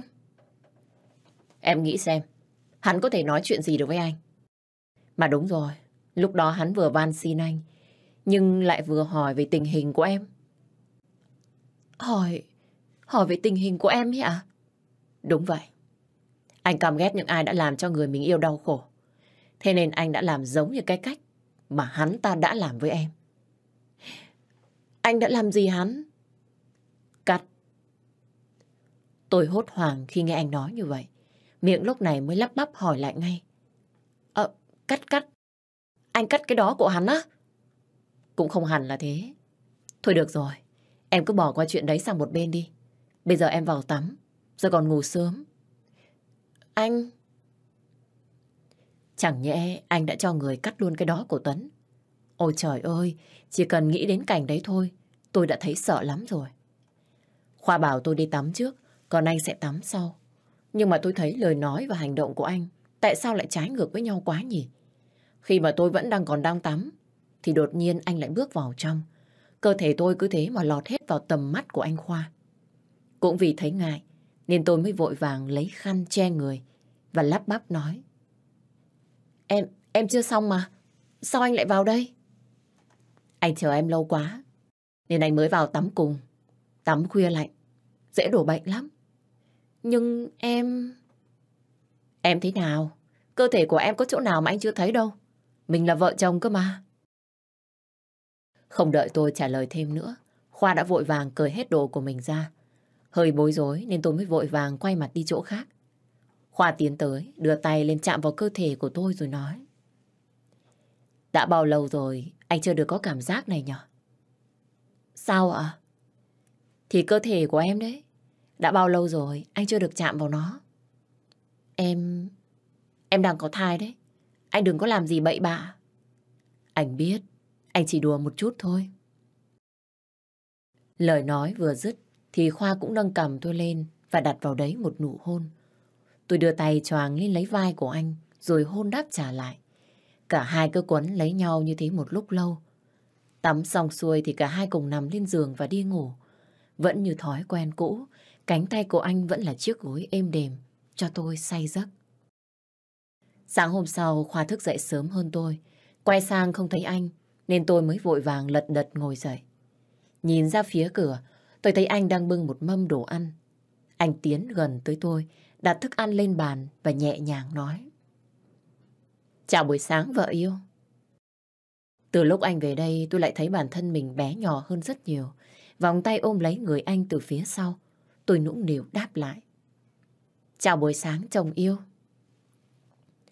Hai chúng tôi cứ như thế mà vui vẻ cùng nhau ăn sáng. Ăn xong hai đứa đi lên nhà trên. Lên nhà tôi lại không thấy gì Minh đâu. Thấy con Sen đi ngang, tôi lại mới hỏi nó ngay. Sen ơi, sáng giờ mày có thấy bà chủ không? Dạ thưa cậu mợ, bà chủ hôm nay đi công chuyện ạ. Con có thấy chú Phú lái xe chở bà đi. Chú Phú sao? Vâng thưa mợ, chú Phú tài xế của nhà mình mà mợ. À nhờ, mợ biết rồi. Thôi, mày đi làm việc đi. Không biết hôm nay bà ta đi đâu nhỉ? Hay hai người đấy lại đang tính toán gì đó mờ ám với nhau? Mà hình như hôm nay Khoa cũng có hẹn nữa. Vừa nghe điện thoại xong thì đã có người tới tìm anh. Chúng tôi dắt nhau ra sau nhà ngồi nói chuyện. Người đàn ông ngồi phía đối diện nhìn tôi cười, sau đó lên tiếng hỏi. Đây là vợ của cậu ba hả? À đúng rồi, tôi quên giới thiệu với anh. Đây là Mẫn, vợ của tôi. Vợ chồng nhà này đúng là xứng đôi vừa lứa. Chồng thì đẹp trai, còn vợ thì lại xinh gái. Chắc là sinh con ra, là tuyệt phẩm lắm cho mà xem. Thấy anh ta khen tôi, tôi mới cười nhẹ một cái, rồi cũng khiêm tốn đáp lại. Anh cứ nói quá, cảm ơn anh đã quá khen. Tôi nói thật đấy, chả nịnh nọt gì đâu. Mợ đẹp thì tôi khen là đẹp. Tôi ra võng ngồi ăn trái cây để cho hai người bàn công chuyện. Đột nhiên lúc này con sen lại xuất hiện. Trên tay còn mang thêm một ít bánh và nước cho Khoa nữa. Đặt vào bàn nó vội vàng lên tiếng. Con mời cậu ba và chú ăn bánh à? Lúc này, lúc sáng con mới làm, nên vẫn còn ấm lắm ạ. Ừ, cứ để đó đi. Dạ, thưa cậu, con có mang nước trà đậu đen mà cậu thích à? Con bé này, kỳ cục thật. Đã mang ra rồi, sao lại còn đứng nói nhiều thế nhỉ? Đã thế nói xong, lại chẳng còn chịu đi. Cứ đứng nép sang một bên rồi nhìn khoa suốt. Tôi thấy chướng mắt, nên tôi mới giả vờ ho lên một tiếng rồi nói. Này, Sen, lại đây. Lại đây mở bảo cái này. Dạ, mợ.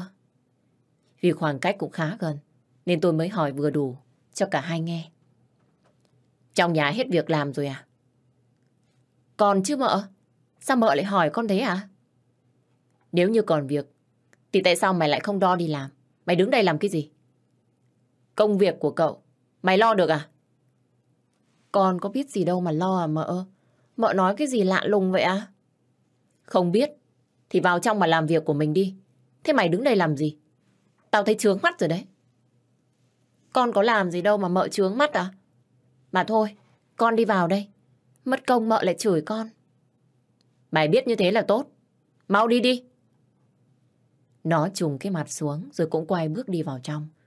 Nằm chờ anh quá lâu nên tôi ngủ quên lúc nào không hay. Chẳng hiểu sao trong giấc mơ tôi lại thấy ba về.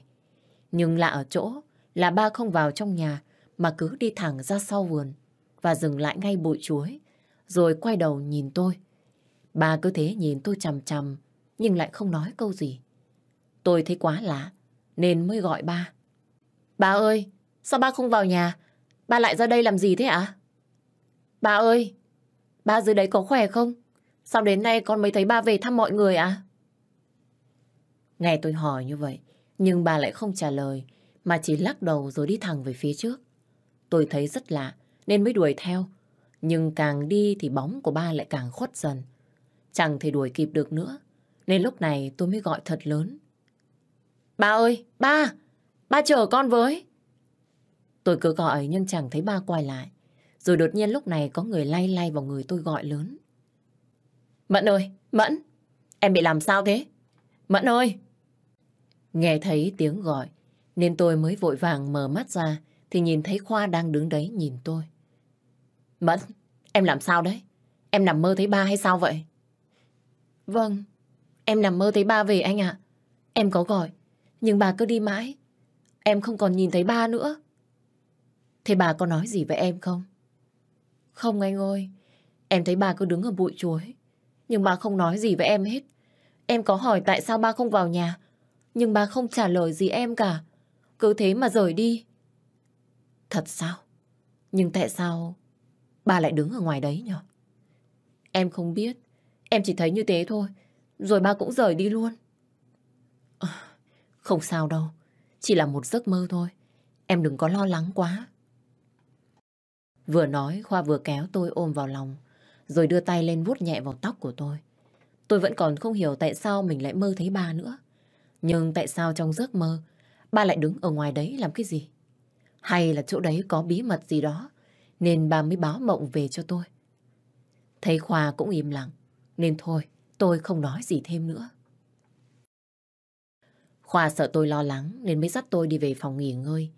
Buổi chiều đấy, thấy anh đã ngủ say nên tôi mới lén đi ra phía sau của bụi chuối để xem có gì không.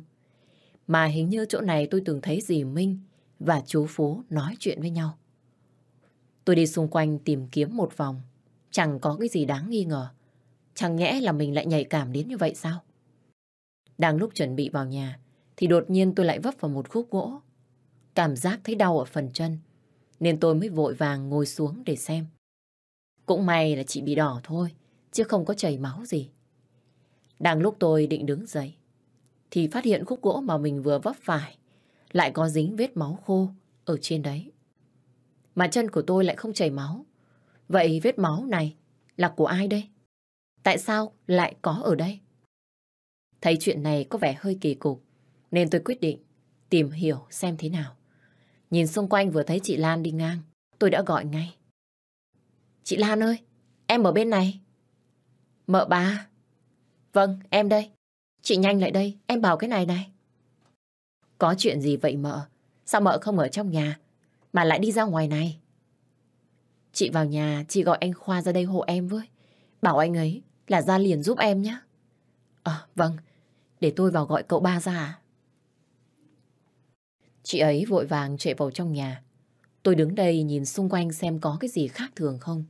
Nhưng mà rõ ràng hôm đó tôi có nghe bà ta nói là ba bị té ở trong nhà cơ mà. Tại sao bây giờ ngoài này lại có vết máu khô? Hay là bà ta đã bịa đặt chuyện gì đấy rồi giấu mọi người chăng? Đang lúc tôi vẫn còn suy nghĩ thì tiếng của Khoa vang lên từ phía sau. Mẫn, tại sao em lại ra đây một mình? Anh Khoa ơi, anh nhìn xem, đây có phải là máu không? Em vừa mới tìm thấy ở đây đấy. Vừa nói tôi vừa cầm khúc gỗ lúc nãy lên, đưa cho anh xem. Lúc này vẻ mặt của Khoa tối sầm lại. Anh vội vàng hỏi tôi. Em tìm thấy nó ở ngoài đây sao? Vâng ạ. Tại lúc nãy em nằm mơ, ừ, cái giấc mơ đấy rất kỳ cục. Nên em mới chạy ra đây xem thử. Không ngờ em thấy cái này ở đây. Mà anh này, em đang nghi ngờ đây chính là máu của ba. Anh có thấy như vậy không ạ? Anh cũng nghĩ như vậy. Để anh cho người xuống lấy mẫu xét nghiệm xem sao. Em, em mong mọi chuyện sẽ được đưa ra ánh sáng. Nếu như ba mà chết oan, thì tội cho ba lắm. Khoa im lặng không trả lời lại, nhưng có lẽ trong lòng anh đang rất buồn. Mọi chuyện có vẻ như sắp được làm sáng tỏ. Ai làm chuyện ác thì nhất định người đấy phải chịu tội, không thể chối bỏ. Tôi và Khoa cầm khúc gỗ ấy đi vào trong nhà. Con sen lúc này mới nhìn chúng tôi cau mày. Cậu ba, cầm cái cây gì thế à? Chuyện của mày đấy à? Không phải chuyện của con, nhưng tại con thấy lạ nên con mới hỏi à. Mày tốt nhất là nên làm chọn bổn phận của mình. Nếu như còn lắm chuyện nữa, thì đừng có trách tao. Ừ, thưa cậu, con biết rồi ạ. Quan sát ngoài sân một lượt, tôi chẳng thấy xe nào về.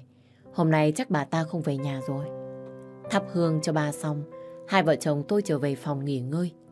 Cũng vì thắc mắc chuyện lúc sáng có người đến tìm anh, nên tôi mới hỏi anh. Khoa này, cái anh lúc sáng ngồi nói chuyện cùng với anh là ai thế? À, anh ấy là luật sư riêng của gia đình. Dạo này anh ấy hơi bận, nên bây giờ mới tới nhà được. Anh ta là luật sư ạ? Luật sư đến đây làm gì thế ạ? Dì Minh lại chia tài sản à? Anh chỉ nhờ anh ấy đến xem hộ một chút chuyện thôi. Nhưng mà anh cũng có nghe nói bà ta gọi luật sư đến để làm giấy tờ giả hay làm cái gì đó. Chắc là bà ấy muốn làm di chúc thay ba để được hưởng tất cả tài sản nhà này ấy mà. Bà ta dám làm thế ạ? Nhưng mà lúc đó, bà có để lại di chúc gì đâu. Theo như anh nghĩ, lúc bà vừa nằm xuống, thì bà ta đã lấy dấu vân tay, cũng không chừng. Nhưng mà bà ta lại quên đi một điều rằng, từ xưa đến nay, ba chỉ làm việc với đúng một luật sư. Nếu như bây giờ người khác đứng ra nhận, thì đấy là giả mạo rồi. Vậy à? Thế cái anh lúc sáng là luật sư của ba à anh? Ừ, là anh ấy. Mà thôi, mấy chuyện này em không cần phải lo tới. Để đấy anh giải quyết. Còn việc của em ý à, là phải ăn uống cho khỏe mạnh. Ừ, em biết rồi ạ. Ngày hôm sau tôi vào khoa thức dậy từ sớm để lên nhà ăn sáng. Vẫn như thường lệ, tôi đưa mắt tìm kiếm dì Minh nhưng không thấy. Xung quanh không có ai nên tôi mới gọi chị Lan lại hỏi ngay. Bà ta chưa về à chị? Đúng rồi mợ, cả đêm qua tôi thức canh, cũng không thấy bà ta về. Rốt cuộc bà ta đi đâu thế nhở? Có khoa ở nhà, mà còn dám đi qua đêm sao? Tôi cũng không biết. Lúc đấy hai người đi ra khỏi nhà thì chỉ còn một mình con sen biết thôi. Dạ, thôi được rồi, chị cứ đi làm việc đi. Thật sự tôi không đoán được bà ta đã đi đâu. Rốt cuộc là hai người đó đang tính toán cái gì? Ở trong căn nhà rộng lớn này, thật sự có quá nhiều chuyện làm cho tôi phải thắc mắc. Bây giờ mà tôi hỏi con sen, thì chắc chắn nó sẽ không nói ra đâu. Để đấy, tôi nhờ Khoa hỏi xem sao. Chồng ơi, em nghe nói con sen nó biết gì Minh đi đâu đấy. Anh thử hỏi nó xem. Con sen á? Nó biết à? Ừ, em vừa nghe chị Lan nói. Anh thử hỏi đi. Ừ, để đấy, anh hỏi nó cho. Nghe theo lời tôi bảo, Khoa mới gọi con Sen vào và hỏi chuyện. Sen này, thế gì Minh đi đâu? Sao thế cậu? À, con con không biết à? Có thật không? Có thật là mày không biết không? Dạ thật. Bà chủ đi đâu? Làm sao mà con biết được ạ? Thế mày có số điện thoại của bà ta không? Nếu mày nói láo nữa, tao đuổi thằng cổ đấy. Ờ, có. Số điện thoại thì con có hả? Đưa đây nhanh lên. Nghe đến việc bị đuổi là nó sợ ngay. Lật đật chạy đi kiếm tờ giấy gì đó, rồi đưa ngay cho anh. Thì ra đó là số điện thoại của bà ta, được nó ghi cẩn thận vào đấy. Khoa ấn theo dãy số đó và gọi ngay. Lúc đầu thì bà ta không bắt máy, nhưng sau một lát cũng nghe. Tôi nghe đây. Là tôi. Ờ, gì cơ? Khoa, Khoa đấy à? Cũng may là bà còn nhớ đến tên và giọng nói của tôi đấy nhỉ? À, thế sao con lại có số của gì vậy? Mà con gọi cho gì có việc gì không? Bà đang ở đâu đấy? Bà ta ấp úng một lúc, sau đó mới trả lời anh. Ờ, à thì gì? Đang trên Sài Gòn có tí việc. Có việc gì con nói luôn đi. Thế bao giờ thì bà về đây? Chắc là khoảng thứ hai tuần sau gì về. Xong việc là gì về ngay. Thôi được rồi, tôi chờ bà về rồi nói chuyện vậy. Ê nhưng mà có chuyện... Chưa để cho bà ta nói hết câu, Khoa đã ngắt máy giữa chừng. Từ hôm qua đến giờ biết là anh lo cho ba, nhưng sao tôi lại thấy tâm trạng của anh cứ bị làm sao vậy? Nhưng giờ không có bà ta ở nhà, tôi thấy thoải mái hơn rất nhiều. Hôm nay tự nhiên tôi lại muốn gặp con, nên mới vội vàng kéo tay của anh. Khoa này, bây giờ mình rảnh rỗi, hay mày làm mình đi khám thai đi anh? Dạo này em thấy bụng của mình cũng lớn hơn rồi. Khoa đưa tay xuống, xoa vào bụng của tôi rồi mỉm cười. Duyệt ngay, bây giờ ba mẹ sẽ đi gặp con nhé, con yêu. Tự nhiên em lại thấy muốn gặp con, với cả cũng chưa biết là con gái hay là con trai anh ạ. Là trai hay gái đều tốt, miễn sao đó là con của chúng ta, thì con nào anh cũng thích. Thôi, mình đi đi em. Hai vợ chồng chúng tôi vui vẻ ra xe và đi đến bệnh viện. Ban đầu tôi định rủ Khoa sẽ khám ở bệnh viện tỉnh thôi. Nhưng tới khi lên xe thì anh lại đi theo hướng về Sài Gòn. Thấy thắc mắc nên tôi mới vội vàng quay sang hỏi anh. Anh ơi, sao mình lại đi hướng này? Bệnh viện ở hướng kia cơ mà. Mình lên Sài Gòn khám cho chắc em ạ. Sẵn tiện, mình đến thăm thằng Bin luôn. Chẳng phải lâu rồi, em chưa gặp nó sao? dạ vâng, sao cũng được ạ. Mà này, sao hôm nay em ngoan thế nhỉ? Anh nhớ rõ ràng ngày xưa, em đâu phải như thế này đâu. Anh nói thế là sao? Ừ, anh thấy thật mà. Mấy hôm nay ở trên này, nghe chị ờ, hai nói em còn khóc lóc cơ. Anh đừng có trêu em. Thế chẳng nhẽ chị hai lại nói sai cho em à? Cái tại lúc đấy em lo cho anh. Anh thì suốt ngày cứ muốn làm anh hùng. Vợ con ở nhà thì chẳng chịu lo. Lại cứ muốn vào trong đấy ngồi. Nghĩ tới em lại bực mình. Thật ra là anh tính hết cả rồi. Chỉ tại lúc đấy em biết quá sớm. Nên mọi chuyện mới thành ra như thế thôi. Chứ anh có làm gì nên tội đâu. Mà phải ở tù. Không làm gì. Mà anh lại bị bắt vào đấy à? Em chả tin. Thôi được rồi. Cho anh xin lỗi vợ. Từ nay về sau, anh nhất định sẽ nghe lời của em. Được chưa? Đang bực mình mà nghe anh nói như vậy. Tôi phải bật cười ngay. Anh còn là giỏi nịnh nọt mà. Tôi chẳng thể nào mà giận anh lâu được. Cứ thế rồi cả hai đứa lại đâu vào đấy. Cười giỡn suốt cả quãng đường đi. Xe chạy thêm được một lát thì cũng tới bệnh viện.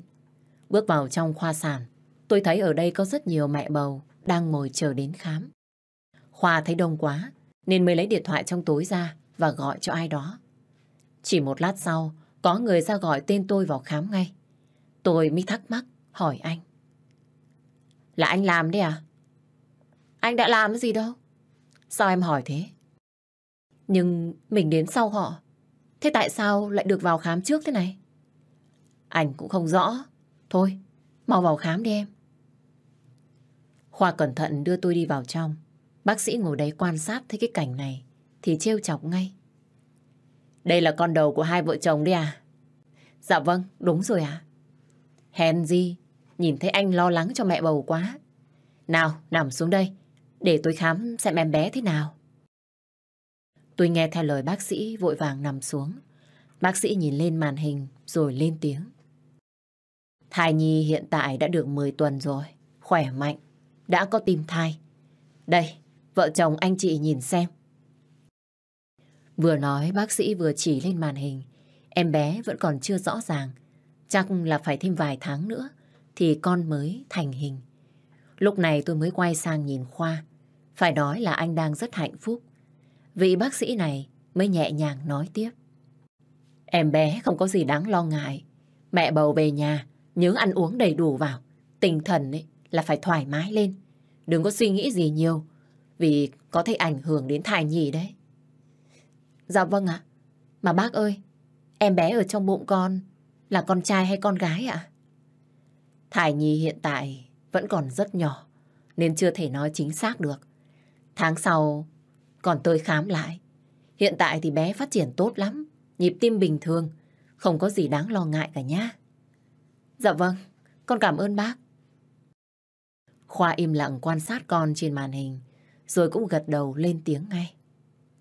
Dạ vâng, tháng sau chúng tôi sẽ đến à? Khám xong hai vợ chồng tôi ra về. Lúc ở trên xe, anh đưa tay xoa xoa vào bụng tôi rồi mỉm cười nói. Tháng sau mình gặp lại, con gái nhá. Bà mong thấy gương mặt của con lắm rồi. Mau mau lớn nhanh, để còn ra đây mà chơi với ba, với má chứ. Mà này, sao anh biết trong bụng em là con gái? Mình vẫn chưa còn siêu âm được cơ mà. Anh là người tạo ra nó, chả nhẽ anh không biết. Anh đã nói con gái là con gái. Nếu như em không tin nè, em cứ chờ thử xem. Ừ, anh đừng có mà điêu.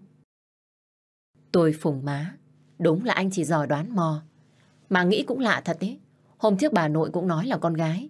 Bây giờ anh cũng bảo là con gái. Chẳng nhẽ lại là con gái thật sao? Mà cũng tốt thôi. Tôi đang rất thích con gái.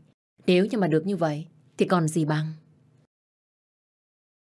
Lúc xe chạy vào đến cổng thì tôi đã nhìn thấy cả gia đình chị Như đang đứng ở đấy chờ tôi. Thấy chúng tôi bước vào thì chị Như mới liền nói ngay. Lâu rồi không gặp mợ ba Bin nhờ. Này thấy mợ khác quá.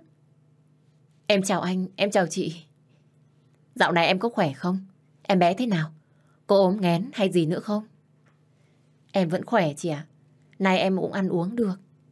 Thế thì tốt. Chắc ở dưới cậu ba chăm sóc kỹ. Mà thôi, Bin mời mợ ba vào nhà đi con. Thằng Bin nghe mẹ nói như thế thì mới lật đật kéo tay tôi vào trong nhà. Hình như là bây giờ nó không còn vui như lúc tôi còn dạy nó nữa. Hơi thắc mắc nên khi vừa ngồi vào ghế là tôi hỏi ngay. Bin ơi, Bin không nhớ mợ bà? à? Nhớ ạ. Nhớ mợ? Thế sao nhìn thấy mợ mà Bin buồn thế? Có ai trêu Bin à? Nghe tôi hỏi như thế thì nó mới vội vàng nói ngay. Là mợ ba đấy à? Sao cơ? Là mợ ba á? Đúng rồi. Hôm trước mẹ Như nói là mợ hứa lên đây chơi với Bin. Nhưng không thấy mợ đâu hết. Mà Bin xin về quê chơi với mợ. Thì mẹ không cho đi. Vừa nói mặt nó vừa dỗi, nhìn rất cưng. Mà tôi có hứa là lên đây chơi đâu. Sao tôi chẳng nhớ gì thế này? Đưa tay lên xoa vào hai má của nó, tôi mới nói. Thôi được rồi, Bin, đừng có buồn mợ ba.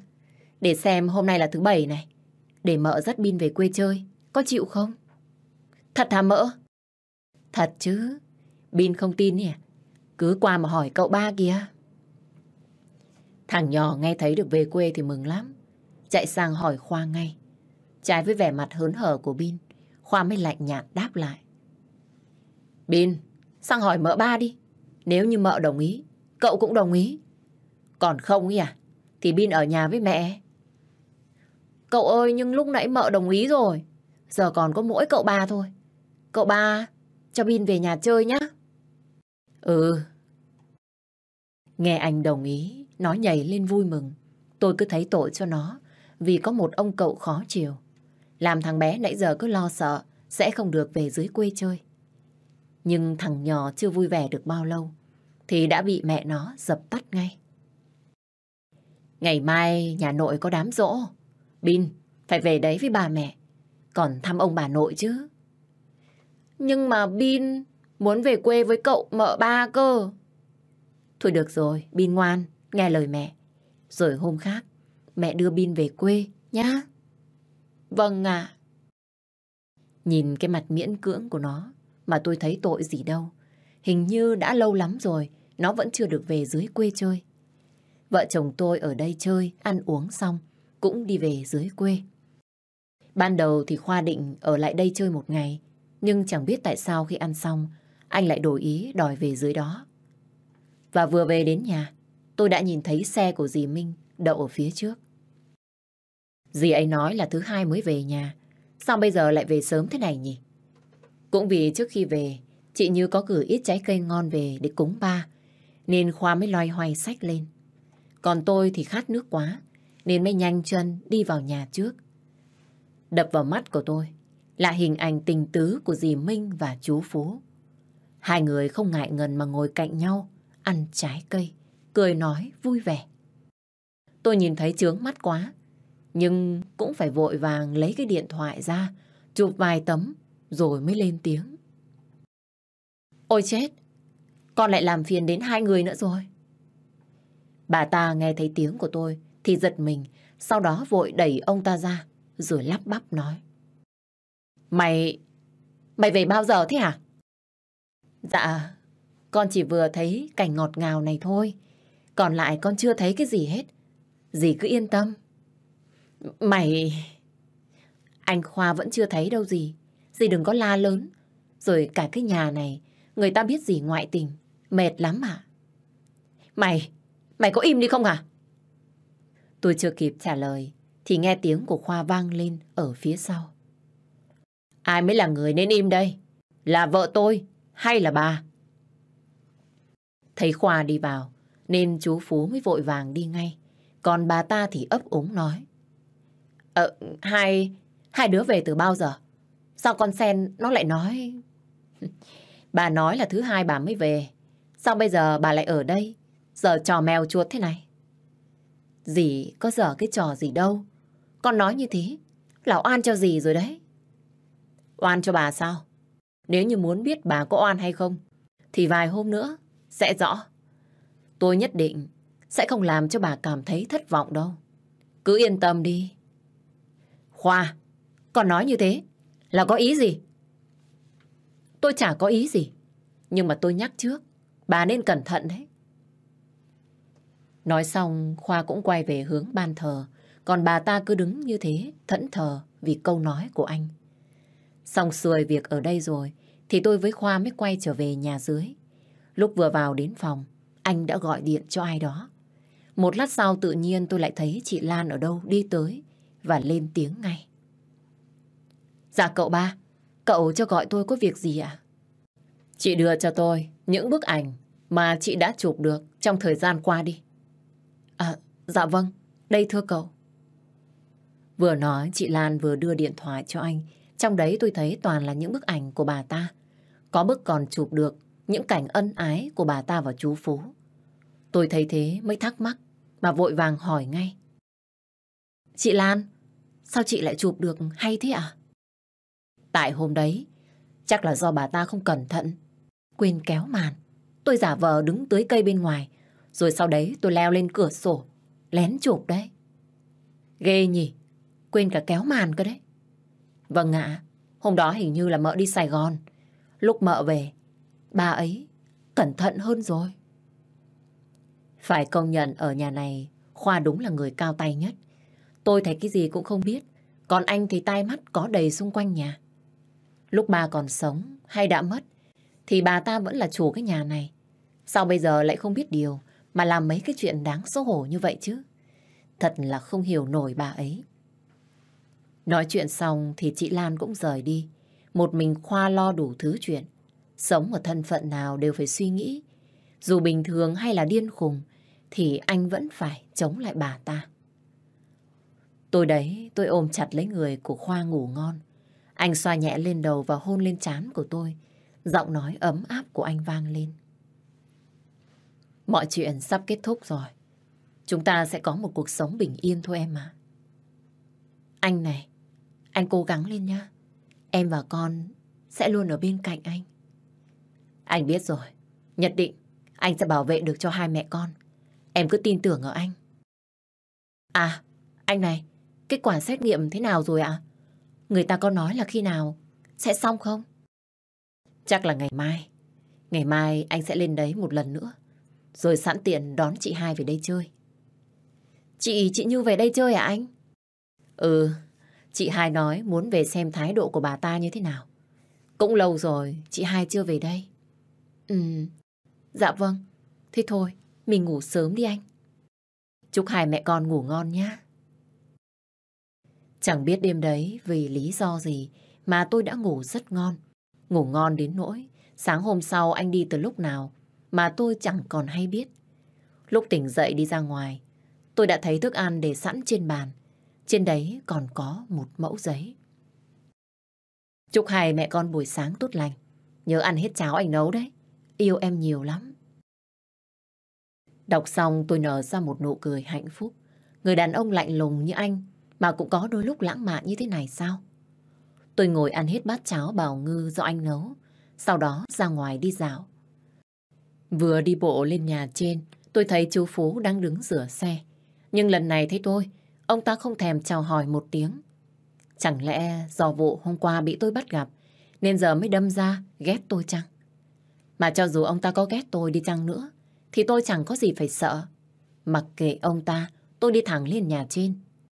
Nhìn thấy dì Minh đang ngồi ăn sáng, nên tôi mới vội đi lại, cất tiếng hỏi. Dì đang ăn sáng đấy à? Sao hôm nay dì ăn trễ quá vậy? Thế mày không nhìn thấy tao đang ăn à? Mà còn hỏi thế? Dạ, thì con thấy nên con mới hỏi dì một tiếng. Sao dì lại khó chịu với con thế ạ? À? Lắm chuyện. Dạo này tao thấy mày cũng lên mặt rồi đấy. Có chồng chống lưng rồi, thì mày lại không xem ai ra cái gì. Không có đâu gì. Con vẫn luôn tôn trọng mọi người. À mà quên, con sẽ luôn tôn trọng những người mà họ tôn trọng con. Còn những người mà sống ác hay làm chuyện xấu ấy, thì chưa chắc con đã để ý đâu ạ. Bà ta không thèm nói lại, chỉ nhếch môi lên cười một cái, rồi đưa mắt nhìn chằm chằm vào phần cổ của tôi. Thấy lạ quá, nên tôi mới vội đưa tay lên sờ vào cổ và nói. Trên người con có dính cái gì sao? Sao gì lại nhìn con chăm chú thế? Mặc dù là có nghe câu hỏi của tôi, nhưng bà ta vẫn không trả lời, mà cứ thế tiếp tục ăn. Tôi không thèm ngồi đấy với bà ta nữa, mà lặng lẽ đứng dậy rồi đi ra ngoài vườn hóng gió. Hôm nay không có Khoa ở nhà, nên tôi thấy hơi buồn. Ngồi xem điện thoại một lát, thì tôi lại thấy bóng dáng của chị Lan chạy vội ra. Vừa thấy tôi, chị ấy đã hốt hoảng. Mợ ba ơi, mợ ba! Có chuyện gì thế chị? Bà chủ, bà ấy bảo con sen, bỏ cái gì vào nồi canh đấy mợ ạ. Chị nói cái gì cơ? Bỏ cái gì à chị? Tôi cũng không biết. Lúc rửa rau, tôi thấy nó đứng lấp ló ở bếp ý. Khi vừa quay lại, thì tôi thấy nó giật mình, cất cái gì vào túi áo. Nó dám sao à chị? Mợ ơi tôi nói thật đấy. Hay là bà ta biết được mợ có thai, nên mới tìm cách sai con sen để hại mợ với đứa bé trong bụng. Chị ơi không thể nào, bởi vì chuyện tôi có thai, có ai biết đâu. Ngoài vợ chồng tôi, thì có chị ở trong nhà này là biết thôi. Mợ ơi, mợ ngây thơ quá. Lúc nãy bà ta nhìn chằm chằm vào phần cổ của mợ. Nếu như phụ nữ có thai ấy, thì cái cổ này nhìn khác lắm. Những người lớn tuổi, họ chỉ cần nhìn sơ là họ biết ngay. Ngay cả tôi, không cần cậu ba nói, tôi cũng biết là mợ có thai đấy thôi. Nghe chị Lan nói mà tôi giật mình. Hèn gì bà ta cứ nhìn tôi lâu như vậy. Hít vào một hơi sâu, tôi trả lời chị. Chẳng nhẽ bà ấy lại dám làm thế với tôi. Nếu như thực sự đúng là như vậy, thì tôi chắc chắn sẽ không bỏ qua cho bà ta. Thôi, mợ ngồi chơi đi. Mà này, lát nữa, mợ vào trong đấy, mợ đừng có ăn cái gì hết đấy. Để tôi đi làm thức ăn riêng cho mợ. Chị đi đi, cảm ơn chị. Khoa vừa ra khỏi nhà, bà ta đã muốn lật mặt với tôi. Bà ấy động vào tôi thì không sao, nhưng mà động vào con của tôi thì nhất định các người sẽ không được yên ổn. Tôi đưa tay lên sờ nhẹ vào bụng. Tôi nhất định sẽ bảo vệ đứa con của mình. Và đúng như lời của chị Lan nói, buổi trưa hôm đấy con sen ra gọi tôi vào ăn. Mặt nó tỉnh bơ, nhìn tôi rồi nói. Mợ ba, bà chủ gọi mợ vào nhà ăn cơm cùng ạ. Hôm nay ai là người nấu? Dạ, là bà Sáu nấu. Nhà này trước giờ có mỗi bà Sáu nấu ăn thôi à? Thật sao? Dạ đúng thưa mợ. Bà Sáu rất giỏi việc nấu nướng. Nên tất cả những món ăn trong nhà đều do một tay bà Sáu nấu hết à? Bà ta đang định gấp lửa bỏ tay người đấy sao? Bà Sáu vốn dĩ rất hiền lành. Nếu như tôi ăn, lỡ xảy ra chuyện gì, thì nhất định bà ta sẽ đổ hết lên đầu của bà Sáu ngay. Tôi không trả lời lại con sen nữa, mà đi thẳng vào nhà luôn.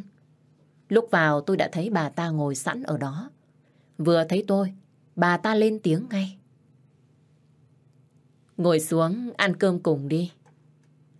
Tôi nhếch môi cười khi không nằm ngoài dự đoán. Miệng tôi mới đáp lại. Dì đang chờ con đấy à? Thì chả phải hôm nay thằng Khoa nó không có nhà. Thấy mày ăn cơm một mình. Tao thấy tội nên tao mới gọi mày vào ăn cùng. Nếu không muốn ăn ấy, thì thôi, tao không ép. Dạ vâng, vậy con mời gì ăn cơm. Tôi nhìn vào mấy món ăn mà trong lòng thầm cười. Chắc bà ấy vẫn còn tưởng là tôi ngây thơ lắm. Cầm đũa lên xới vài hạt cơm trong chén. Nhưng tôi tuyệt nhiên không đụng đến. Ở bên kia, bà ấy cũng ngồi gắp cho có lệ, chứ không ăn món gì. Đến lúc thấy tôi không ăn, bà ta mới khó chịu mà hỏi ngay. Thế sao mày không ăn đi? Cầm đũa không làm cái gì? Mấy món này con nhìn thấy con ngán lắm rồi. Sao gì không ăn đi à? Chống đũa như thế. Ờ, thì tao cũng... Sao ạ gì? Chẳng nhẽ thức ăn. Có vấn đề gì nên gì không ăn à? Thức ăn có vấn đề gì đâu. Mày hỏi lạ lùng. Hay là mày chê đồ ăn của bà Sáu nấu? Con nào có dám chê. Tại con thấy không muốn ăn ấy à. Mà con thấy dạo này dì cũng hơi ốm. Dì ăn nhiều vào.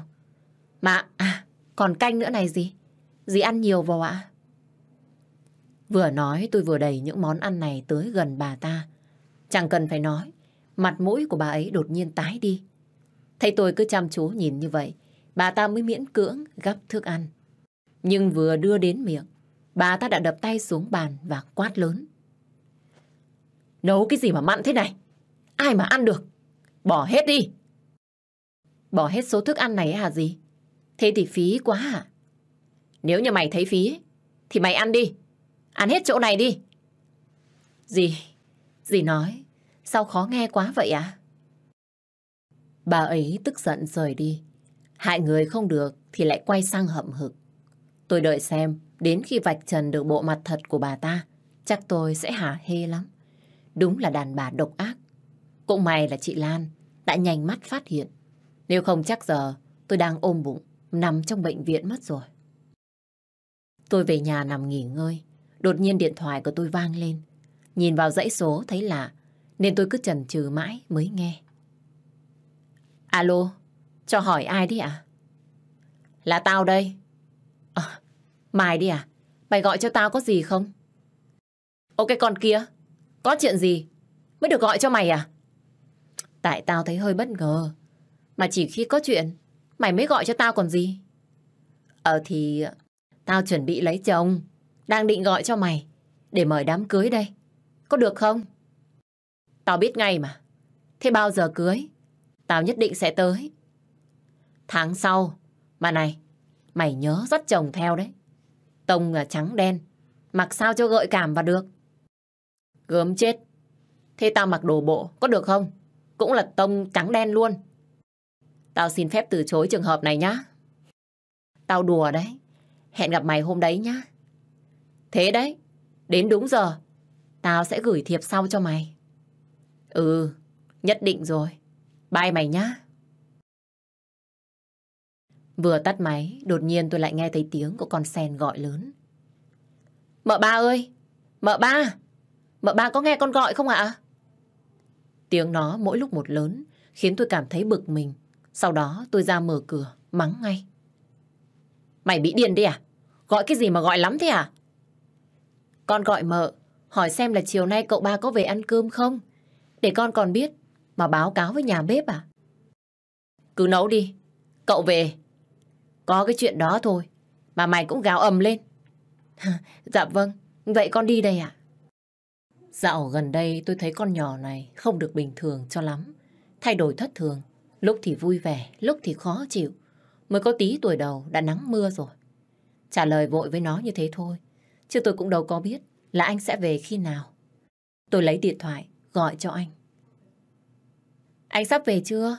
Mọi chuyện ở trên đấy, có ổn không? Ừ, anh đang về đây. Đang chờ chị hai lấy đồ cho Bin rồi về. Mà lát nữa em lên nhà trên. Bảo với bà ta là chờ anh về. Gọi hết người làm ở nhà ra luôn nhé. Nếu ai vắng mặt, thì tự biết hậu quả của mình. Có chuyện gì mà nghiêm trọng thế anh? Đợi anh về, rồi em sẽ rõ. Dạ vâng, thì để em lên, em nói với mọi người. Anh đi đường cẩn thận nhá. Anh biết rồi, lát nữa gặp vợ nhá. Hôm nay anh định kết thúc hết mọi chuyện tại đây sao? Tôi vội vàng đi lên thông báo cho cả nhà. Tối nay chắc chắn có nhiều chuyện để xem đây. Lên đến nhà thì lại thấy bà ta đang chuẩn bị đi đâu đó. Nên tôi mới vội vàng hỏi ngay. Gì? Dì định đi đâu đấy ạ? Tao đi đâu là việc của tao. Tao phải báo cáo với mày à? Từ bao giờ mà mày lại nhiều chuyện như thế hả? Con thấy dì đang loay hoay chuẩn bị, nên con mới hỏi như thế thôi. Hỏi như vậy là nhiều chuyện hả dì? Nếu như thế, con không hỏi nữa à? Thế mày có việc gì? Mày nói nhanh đi. Tao đang có việc gấp. Phải đi ngay bây giờ. Anh Khoa anh vừa gọi về cho con. Nói là mọi người ở nhà đợi anh ấy. Hình như là có chuyện gì đó rất quan trọng. Nên mới cần phải họp mặt đông đủ cả nhà. Họp mặt sao? Mà thôi, có chuyện gì? Cứ để đấy nói sau. Bây giờ tao đang bận lắm. Không có thời gian đâu mà chờ với đợi. Lời bà ấy vừa dứt thì phía bên kia tiếng của chú Phú vang lên. Xong hết chưa bà ơi? Đến giờ chúng ta đi được rồi. Ừ được rồi, đi ngay bây giờ đây. Tôi sợ bọn họ sẽ rời đi, nên lúc này mới vội vàng chặn lại. Khoan đã. Còn gì nữa? Mày mau tránh sang một bên. để người ta còn đi. Anh Khoa nói nếu như hôm nay ai vắng mặt thì sẽ bị xử lý. Còn nếu như gì cứ nhất quyết thì con sẽ gọi cho anh ấy. Dì cũng biết tính anh Khoa rồi. Bà ta nghe tôi nói như thế, chỉ đáp lại một câu rồi bước lên xe. Để tao đợi nó về, nó xử lý sao cũng được. Giờ thì mày làm ơn, mày tránh ra ngay. Ông Phú lập tức đóng cửa rồi nhấn ga chạy đi. Cảm thấy không được ổn nên tôi mới gọi cho Khoa ngay. Anh Khoa, bà ta đi rồi. Em vừa ngắn lại nhưng không được. Chú Phú lái xe đi luôn anh ạ. Thật là không ngờ, hai bọn họ lại nhanh hơn anh nghĩ. Anh nói thế là sao? Bây giờ họ đi mất rồi. Tính thế nào đây anh? Em không cần phải lo. 5 phút nữa, xe sẽ tự chạy vào nhà. Em không hiểu ạ. Anh đang về, có gì lát gặp nhau.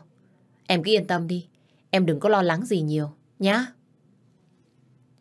Tôi đang không hiểu chuyện gì sắp xảy ra, thì đột nhiên lúc này có hai chiếc xe chạy vào. Một chiếc xe của bà ta và thêm một chiếc xe màu đen đi phía sau. Chẳng nhẽ là người của Khoa sao? Tôi thì cứ đứng như vậy, nhìn bọn họ không chớp mắt. Chắc bà ấy định bỏ trốn, nhưng lại gặp người của anh. Tôi mới đi vào trong, thắp cho bà nén hương, miệng lầm bẩm nói. Nốt hôm nay nữa là ba có thể được siêu thoát rồi. Chắc bà cũng sẽ rất vui khi được chính con trai của mình làm điều đấy, có đúng không ba? Tôi thắp hương xong thì mới gọi mọi người để chờ anh về. Mọi người ơi, mọi người, tạm dừng hết công việc lại đi. Lên nhà tập trung, cậu ba có chuyện muốn nói. Mợ ba, có chuyện gì à mợ? Cậu ba có chuyện nên cần họp gia đình gấp và tuyệt đối không được ai vắng mặt. Mọi người có hiểu chưa? Dạ vâng, chúng tôi biết rồi thưa mợ. Nghe tôi nói ai cũng làm ra vẻ khó hiểu. Chỉ có mỗi con sen là lo sợ. Tôi cùng với mọi người ngồi chờ anh về. Có vệ sĩ của anh canh giữ bên ngoài nên mọi người cũng khá lo lắng. Cứ ngồi xì xào to nhỏ. Tôi quay sang nhìn lên đồng hồ. Đã gần 5 giờ chiều rồi. Mà tại sao anh chưa về? Không biết có xảy ra chuyện gì không? Đột nhiên lúc này nghe thấy bên ngoài có tiếng xe nên mọi người mới vội vàng đứng dậy. Cánh cửa mở ra, người bước xuống đầu tiên là anh, chị hai, Bin và có cả anh luật sư hôm trước. Khoa tiến tới, dắt tay tôi vào trong. Hiện tại cả nhà ai cũng đã có mặt ở đây, chỉ còn mỗi bà ta là chưa xuất hiện. Khoa nhìn xung quanh một lượt, rồi lớn giọng. Sen, mày mau vào gọi bà ta ra đây. Ờ, cậu nói, còn gọi ai ạ? Thế mày nhìn xem, nhà này còn thiếu ai, thì mày gọi người đó. Nhanh lên! Dạ dạ vâng, để con vào, con gọi bà chủ ngay ạ. Vừa nói dứt câu đó, nó chạy ngay vào phòng để gọi bà. Phải đến một lúc sau thì bà ta mới chịu bước ra. Lúc này ánh mắt của bà ta thoáng ngạc nhiên, nhưng rồi cũng lấy lại được bình tĩnh, lên tiếng. Hai đứa mới về đây à? Có chuyện gì sao hôm nay lại tụ tập đông đủ thế này? Mấy người này là ai? Sao họ cũng có mặt ở đây vậy con? Nhà này phải có chuyện thì mới đông vui như vậy được chứ. Hôm nay tôi gọi mọi người tới đây vì có việc cần phải nói. Thứ nhất là về cái chết của ba tôi. Thứ hai là về việc làm giả di chúc của ba tôi. Còn việc thứ ba là việc hãm hại vợ con của tôi. Nghe anh nói như vậy, tất cả mọi người ở đây đều mở to mắt ngạc nhiên. Tôi quay sang bên cạnh, thì thấy sắc mặt của bà ta có vẻ xấu đi. Nhưng việc thứ ba mà anh vừa nói đến, có ý gì nhỉ? Việc đó xảy ra lúc anh không có ở nhà. Sao bây giờ anh lại biết? Hay là chị Lan đã báo cáo với anh trước tôi? Không khí trong nhà đang yên lặng, thì một lần nữa tiếng của Khoa lại vang lên. Bây giờ tôi sẽ giải quyết chuyện đầu tiên. Về cái chết của ba tôi. Tôi biết rất rõ chuyện đấy, không phải là tự nhiên. Mà đấy chính là âm mưu giết người của dì Minh và người tình của mình. Nghe nhắc đến mình, bà ta mới bật lại ngay. Khoa này, còn ăn nói, cho đúng đắn. Chuyện này không phải muốn nói sao cũng được. Tôi vẫn chưa nói hết. Theo những kết quả xét nghiệm, thì trên khúc gỗ ấy có cả máu của ba tôi và cả của ông ta. Việc này hai người định giải thích thế nào đây? Vừa nói anh vừa chỉ tay về hướng của chú Phú. Thấy mọi người đổ dồn ánh mắt về mình. Nên ông ta mới vội vàng lên tiếng thanh minh. Thế tại sao cậu ba lại hướng về tôi như thế? Nếu như người ngoài không biết, lại nghĩ tôi làm gì sai trái thì sao? Máu của ông vẫn còn nằm đấy. Thì tôi nói sai chỗ nào? Ba tôi đã cho ông một công việc. Để rồi cuối cùng ông lại nhẫn tâm, giết chết ba của tôi. Cậu, cậu nói năng cho đàng hoàng. Tôi chả làm gì sai trái với ông chủ cả. Giữa tôi với bà là chuyện càng không thể xảy ra. Còn việc vết máu mà cậu vừa nhắc đến, tôi không hề hay biết.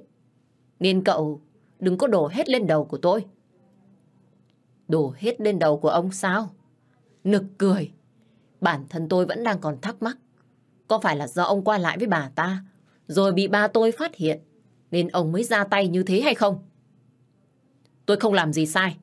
Giữa tôi và bà chủ, chỉ trên danh nghĩa là chủ và tớ thôi. Ngoài ra, không có chuyện tình cảm. Hay lắm, mạnh miệng lắm. Nhưng mà tôi không phải là con nít, cứ nói là sẽ tin. Tôi có thứ này, chắc hai người không chối cãi được đâu. Vừa nói, Khoa vừa đặt lên bàn một sấp ảnh. Bà ta vội lấy lên xem. Tay run run, lật từng tấm hình. Rồi bà ta hét lên. Mày, mày muốn cái gì hả? Số hình này, tại sao mày lại có nó? Bà thấy sao? Đúng chứ? Mày, ngay cả con kia nữa. Tại sao chúng mày lại muốn phá chuyện của tao? Việc của ba mày chết, liên quan gì tới tao? Tao chỉ là người biết trước tụi mày có vài tiếng. Tại sao có thể đổ hết lên đầu của tao? Bà ấy vừa nói vừa chỉ vào mặt của chị Như, Khoa và cả tôi. Bà ta sống ác thì sẽ có người trị tội. Nhưng sao bà ta lại có thể trở mặt phủi tay như thế? Mà sao lúc này bụng của tôi lại quặn lên đau? Không biết là đã ăn trúng cái gì. Tôi đưa tay xuống xoa bụng, rồi tiếp tục nghe mọi người nói. Lúc này Khoa mới ra hiệu cho anh luật sư kia. Anh ta hiểu ý mà lên tiếng ngay. Tôi xin giới thiệu. Tôi là luật sư riêng của ông Lâm. Việc mà ông Lâm mất đột ngột thế này, tôi lấy rất làm đau xót. Nhưng theo như tôi được biết, ông ấy không để lại tài sản cụ thể cho ai. Lời luật sư chưa dứt, thì bà ta đã chen vào. Nói láo, ông ấy để lại di chúc hết tất cả rồi. Ông Lâm đã đưa cho luật sư kia, chứ không phải là người này. Bọn mày, lừa được ai hả? Chị Như bây giờ mới lên tiếng. Bà Minh này, bà suốt ngày ở nhà, thì làm sao biết được luật sư của ba tôi là ai? Để tôi nói trước cho bà nghe. Làm giả giấy tờ, coi chừng vào tù, bóc lịch đấy. Tao không làm giả, là do ba mày để lại cho tao. Lúc chưa chết, ông ấy còn nói rằng nửa tài sản này là của tao hết. Mày là con gái, thì không có phần. Còn thằng Khoa, điên điên khùng khùng. Ai mà tiến nhiệm nó? Nên tất cả những gì liên quan đến ngôi nhà này đều do tao đứng hết. Mày nghe rõ chưa? Khoa nghe xong bật cười, tiến sát lại gần bà ta. Điên đó. Tôi bị điên là vì ai? Chuyện mèo mà gà đồng của bà. Tôi chẳng quan tâm. Mà bà còn dám hại tôi chết. À mà tôi quên. Công việc mà bà âm mưu giết tôi nữa. Có khi bây giờ cộng lại bà có đến bốn tội đấy. Mày, mày bị điên hả Khoa? Tao không làm gì hết. Nếu như mày còn nói nữa, tao sẽ báo công an đấy. Cái tội của mày, cái tội phỉ báng, vu khống cho người khác, thì mày cũng biết hậu quả rồi đấy. Bà muốn gọi công an sao? Hừ, đừng có tưởng, chỉ một mình mày biết gọi.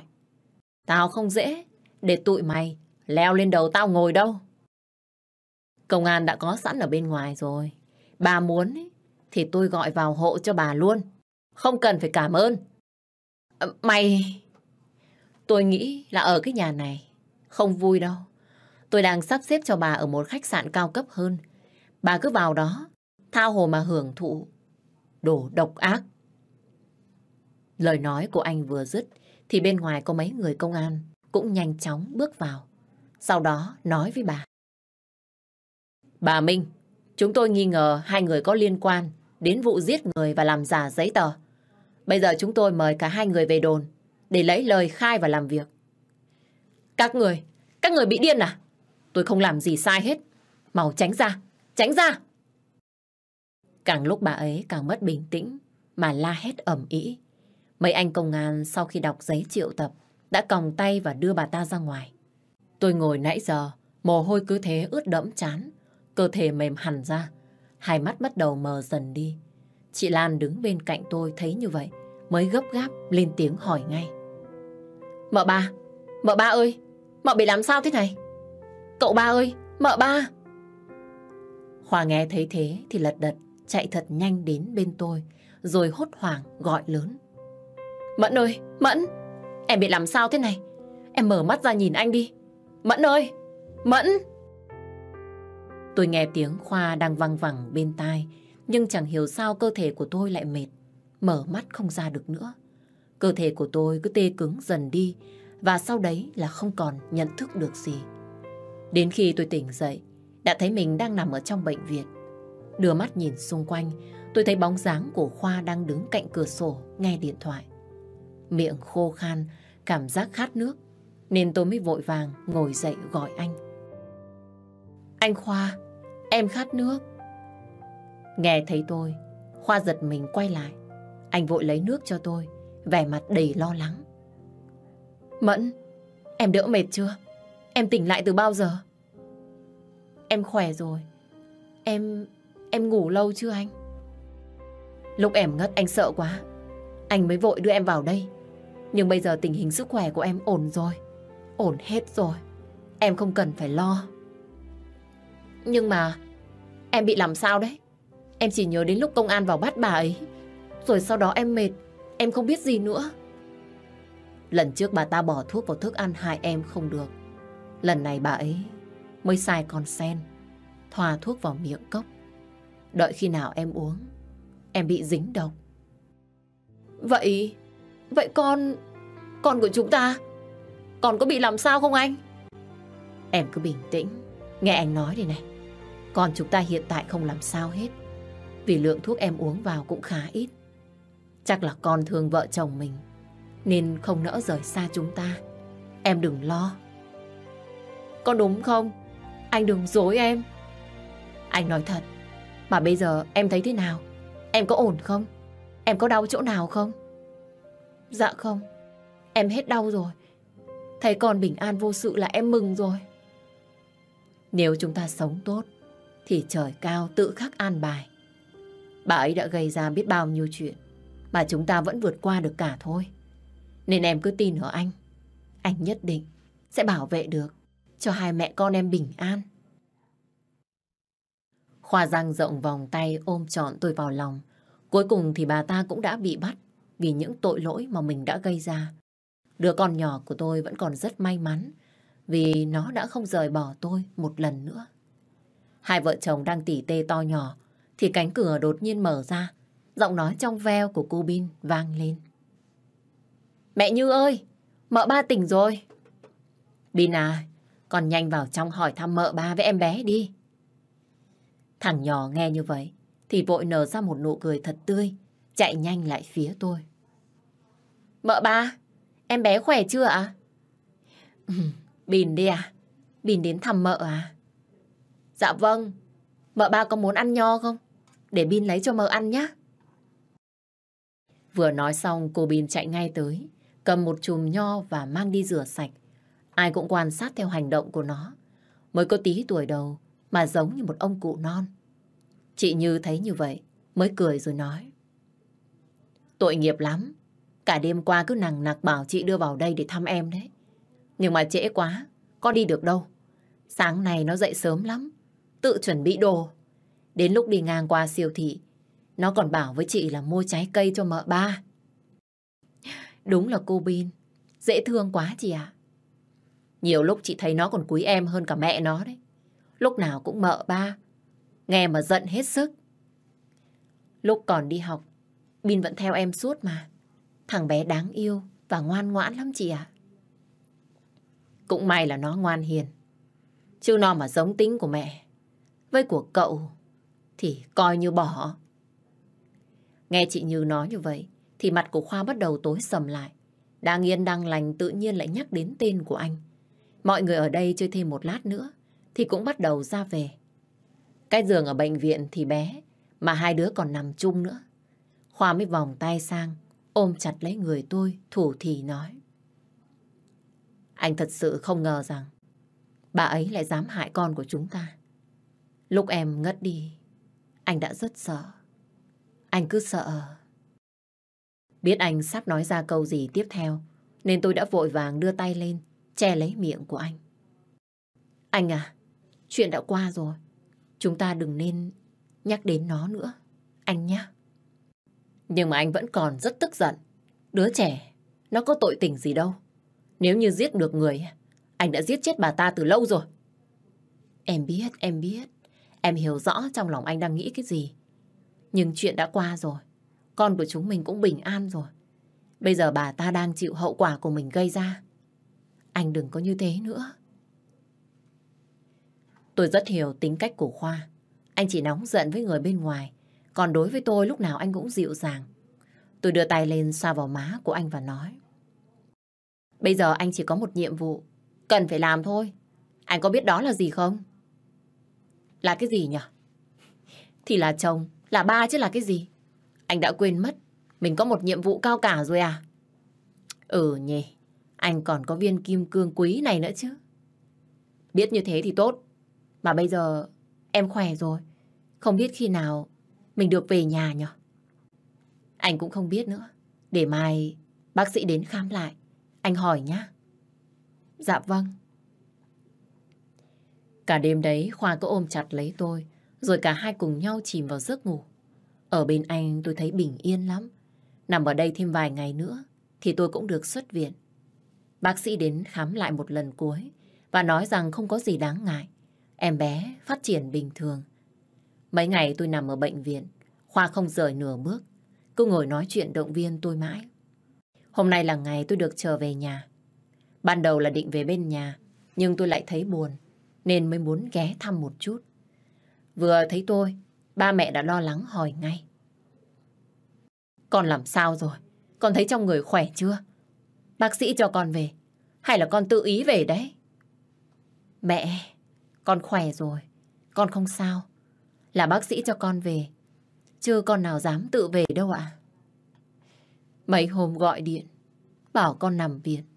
Bà mẹ sợ đến chết. Cũng may thằng Khoa nó gọi về nó báo con ổn. Nên không cần ba mẹ phải lên. Chứ bà mẹ định lên đấy rồi. Con không sao đâu, con khỏe rồi. Vừa nói tôi vừa nắm lấy tay mẹ đi vào trong nhà. Đúng là chẳng đâu sướng bằng nhà mình. Thấy tôi vừa bệnh viện về, ai cũng cưng chiều hết. Muốn ăn cái gì, muốn uống cái gì, chỉ cần nói một tiếng là có ngay. Đang lúc nằm nghỉ, thì đột nhiên mẹ kéo tay tôi lại, nói nhỏ. Này, chuyện nhà bên đấy giải quyết hết rồi hả con? Dạ vâng, con nằm ở bệnh viện, cũng là nhờ một tay của bà ấy gây ra đấy. Ở đời này có nhân quả mẹ nhỏ. Ai ác ấy, bị trời trừng phạt ngay. Vào trong đấy rồi, để xem bà ta còn dám làm cản nữa không. Thế bây giờ vợ chồng con tính ở đâu? Về lại Sài Gòn hay là để ngôi nhà ở dưới này? Con cũng không biết. Để xem anh Khoa anh tính thế nào mẹ. Giờ nhà chỉ còn có hai đứa. Đi đâu cũng được. Nhưng nhớ là phải về thăm bà, thăm ba mẹ. Nghe chưa? Vâng, con biết rồi mà. Mẹ đừng lo.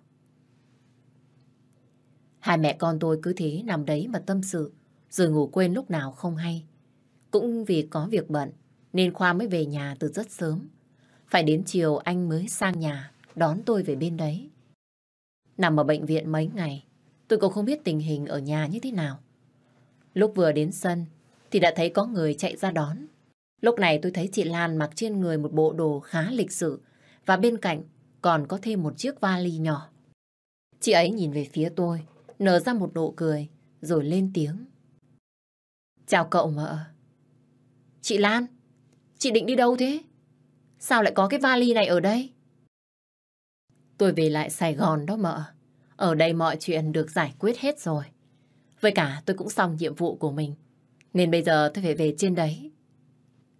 Thế tại sao chị không ở đây làm luôn? Về trên đấy rồi, lại mất công đi xin việc. Tại cậu ba lo lắng, nên lúc đó mới lệnh cho tôi xuống đây làm việc và bảo vệ cho mợ thôi. Chứ đây không phải là công việc chính của tôi.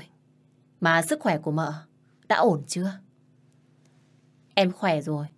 Giờ chị đi, em hơi buồn. Ở đây em chả có ai quen thân cả. Vẫn còn có cậu ba. Cậu ấy sẽ luôn bên cạnh, chăm sóc và yêu thương cho mợ. Vâng ạ. Thế chị đi cẩn thận nhé. Khi nào chị rảnh rỗi, chị nhớ về đây thăm em nhé. Tôi biết rồi. Xin phép cậu mợ, tôi đi nhé.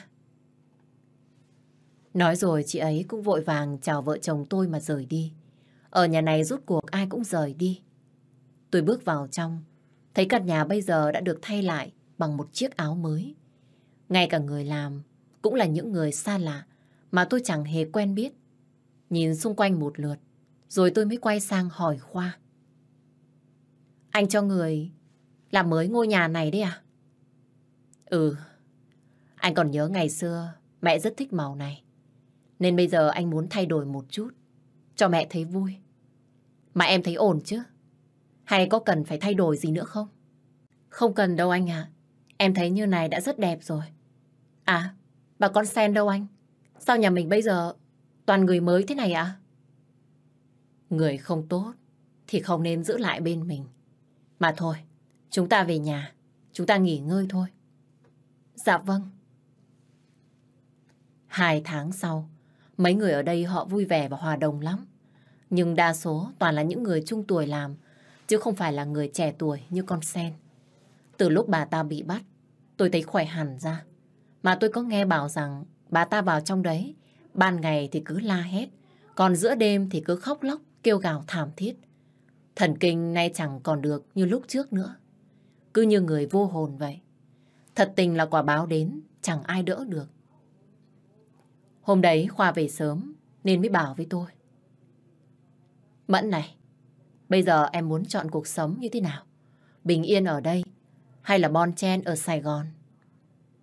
Em chọn cuộc sống bình yên bên anh. Anh cũng thế.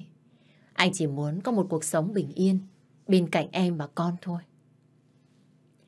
Vừa nói tôi vừa đưa tay lên nhéo vào mũi anh một cái, rồi đặt nhẹ lên môi của anh một nụ hôn hạnh phúc. Ngày hôm sau, cuối cùng cũng đến ngày cưới của con Mai. Vì là bạn thân, nên tôi nhất định phải đến sớm. Tôi mặc trên người một bộ váy nhẹ nhàng, đứng trước gương, xoa cái bụng hơi nhô của mình. Đang định lấy đôi giày cao gót ra, thì đột nhiên Khoa ở phía sau lên tiếng, khiến cho tôi giật mình. Em mang đôi này đi, mang thai, mà lại đi mấy cái đôi cao gót như thế, không tốt đâu. Nhưng mà mặc váy, đi giày cao gót mới hợp. Anh nói vợ nghe này, cho dù em có xinh đẹp hay xấu xí, thì ở trong lòng anh nhé, em là số một. Những người khác nghĩ thế nào, anh cứ mặc kệ. Vừa nói Khoa vừa đặt xuống một đôi giày búp bê, lại còn tự tay mang vào chân cho tôi nữa. Nhìn cảnh này tôi cứ nghĩ là mình đang mơ mộng, giống như ở trong những bộ phim. Hai vợ chồng chuẩn bị xong xuôi thì rời đi. Chiếc xe chạy tới nhà hàng nơi tổ chức bữa tiệc. Bước vào trong vừa thấy tôi là con Mai, nó đã nói ngay. Cái bụng này đã thấy rồi này. Em bé được mấy tháng rồi đấy Mẫn? Năm tháng rồi đấy. Nhưng sao tao thấy nó nhỏ nhỏ nhỉ? Nhỏ cái gì mà nhỏ? Người ta đang phát triển theo thời gian. Mày muốn đùng một cái rồi đẻ hay sao? Phải được thế thì cũng đỡ. Chứ mang thai mà ăn nhiều quá. Tao cũng hơi lo cho cơ thể của tao sau này. Cái con hầm này. Đâu? Để tao sờ một cái lấy hên nào. Chẳng biết ai chỉ cho cái con này mà nó lại làm như vậy. Nó đưa tay sờ vào bụng của tôi rồi lại đặt vào bụng của nó. Nhìn rất là buồn cười. Chẳng phải là Khoa mà ngay cả Hoàng, chồng của nó cũng đều phải lắc đầu. Bọn tôi ngồi vào bàn ăn nhập tiệc. Tôi đưa ly rượu vang lên mời nó và nói. Chúc con bạn thân trăm năm hạnh phúc, sớm sinh quý tử, để còn làm xui với vợ chồng tao. Làm xui á? Ơ này, thế biết là trai hay gái chưa mà lại quyết định như thế? Ai, Tao là con gái mày à? Chắc chắn hai vợ chồng mày phải đẻ con trai đấy. Con gái à? Thế chúc mừng nhá. Cảm ơn mọi người. Tôi nghe bảo là mẹ bầu có thể uống được một chút rượu nên mới đưa lên nhấm nháp thử. Đã bao lâu rồi mình chưa được thử mấy cái này nhỉ?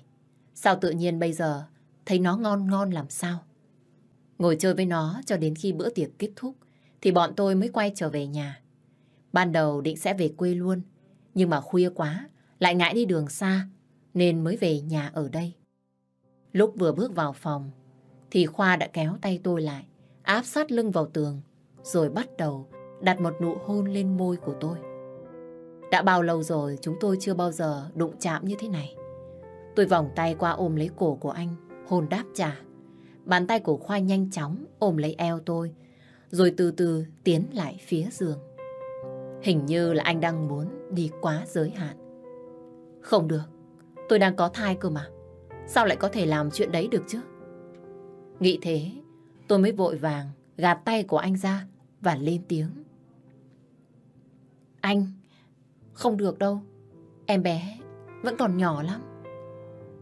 Anh đã đọc các bài viết trên mạng rồi. Không sao đâu.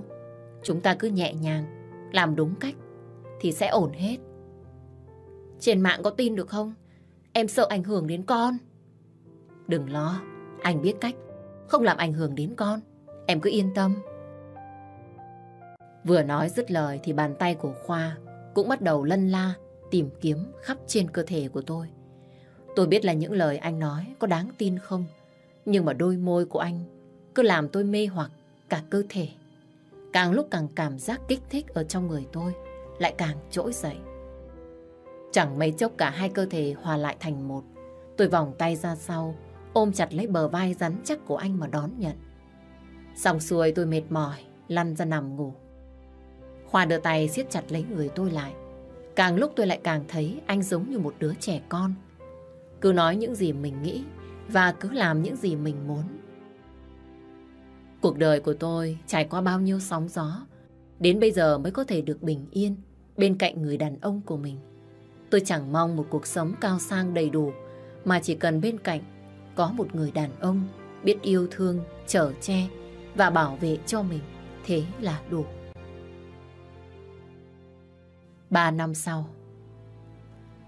Ba ơi! Mẹ ơi! Gạo gọi gì đấy? Thế con đang làm gì ở đấy? Con đang tưới rau. Ba mẹ, lại đây chơi với con ạ? À? Ba đến ngay đây. Khoa nghe tiếng của con gái Diệu thì mới vội vàng chạy nhanh đến và bế ngay. Hai bà con họ cứ thế cùng nhau cười đùa, vui vẻ dưới vòi nước. Chả hiểu tưới rau kiểu gì mà cả người đều ướt hết. Tôi mang len ra đàn thêm vài chiếc tất cho gạo vào mùa đông tới. Nhìn thấy cảnh tượng mà hai ba con của nó vừa gây ra, thì tôi mới vội vàng lên tiếng. Này, hai ba con đừng có nghịch nữa. Nhà chỉ còn có mấy luống rau. Tới nữa là Hỏng hết rau của mẹ. Khoa nghe tôi nói như vậy, thì mới tắt nước rồi nói. Mẹ nói cái gì? Nghe chưa? Gạo, nào, bố con mình đi vào thôi. Không mẹ đánh đòn, nguy hiểm lắm. Này cái anh kia, em đã bao giờ đánh con đâu. Anh có nói quá lên thế hả? Anh phải nói quá như thế. Thì gạo nó mới thương anh nhiều hơn thương em chứ. Em hiểu chưa? Khoa đúng là càng lúc càng nghiện con gái. Lúc nào anh cũng kiếm cớ này nọ để lấy lòng con. Chỉ cần sơ hở một cái là anh lại bảo rằng ba thương con, ba yêu con nhiều hơn cả mẹ nữa. Giết rồi bé gạo nó chả thèm bám lấy tôi. Một tay anh chăm sóc nó từng ngày. Ba năm qua cuộc sống của tôi thú vị lắm. Tất cả cũng là nhờ có anh đã chăm sóc và yêu thương tôi. Mặc cho ngày tháng cứ trôi qua, chỉ cần ba người chúng tôi ngồi đây, ngắm bình minh và hoàng hôn cùng nhau, như thế là đủ. Quý vị và các bạn thân mến, Tâm An vừa mới gửi đến cho quý vị và các bạn chọn bộ câu chuyện Bão Lòng được viết bởi tác giả Cỏ Ba Lá. Cảm ơn tất cả quý vị đã đồng hành cùng với Tâm An trong câu chuyện này. Phải nói là câu chuyện này lấy đi nước mắt của Tâm An rất nhiều, bởi vì thương cho cô gái tên là Mẫn Lúc đầu cứ nghĩ rằng cô gái này mạnh mẽ, khi mà bước đến với một cuộc sống mới quên đi chuyện quá khứ. Nhưng mà những gì ở quá khứ lại không hề buông tha cho cô. Và cách chúng ta làm duy nhất đó chính là đối mặt. Đối mặt giống như cô gái tiên mẫn này cũng giống như là đối mặt với tất cả những cuộc sống ở xung quanh chúng ta. Nếu như chúng ta không thể nào quên được quá khứ thì phải đối mặt với nó và vững vàng hơn trong tương lai. Cảm ơn tất cả quý vị đã đồng hành cùng với Tâm An và sau khi mà lắng nghe xong câu chuyện này, quý vị có cảm nhận như thế nào? Hãy để lại comment cho Tâm An và mọi người được biết với nhé. Và chúc cho quý vị có những giây phút nghe chuyện vui vẻ. Tâm An sẽ gặp lại quý vị vào những câu chuyện tiếp theo. Xin chào và hẹn gặp lại.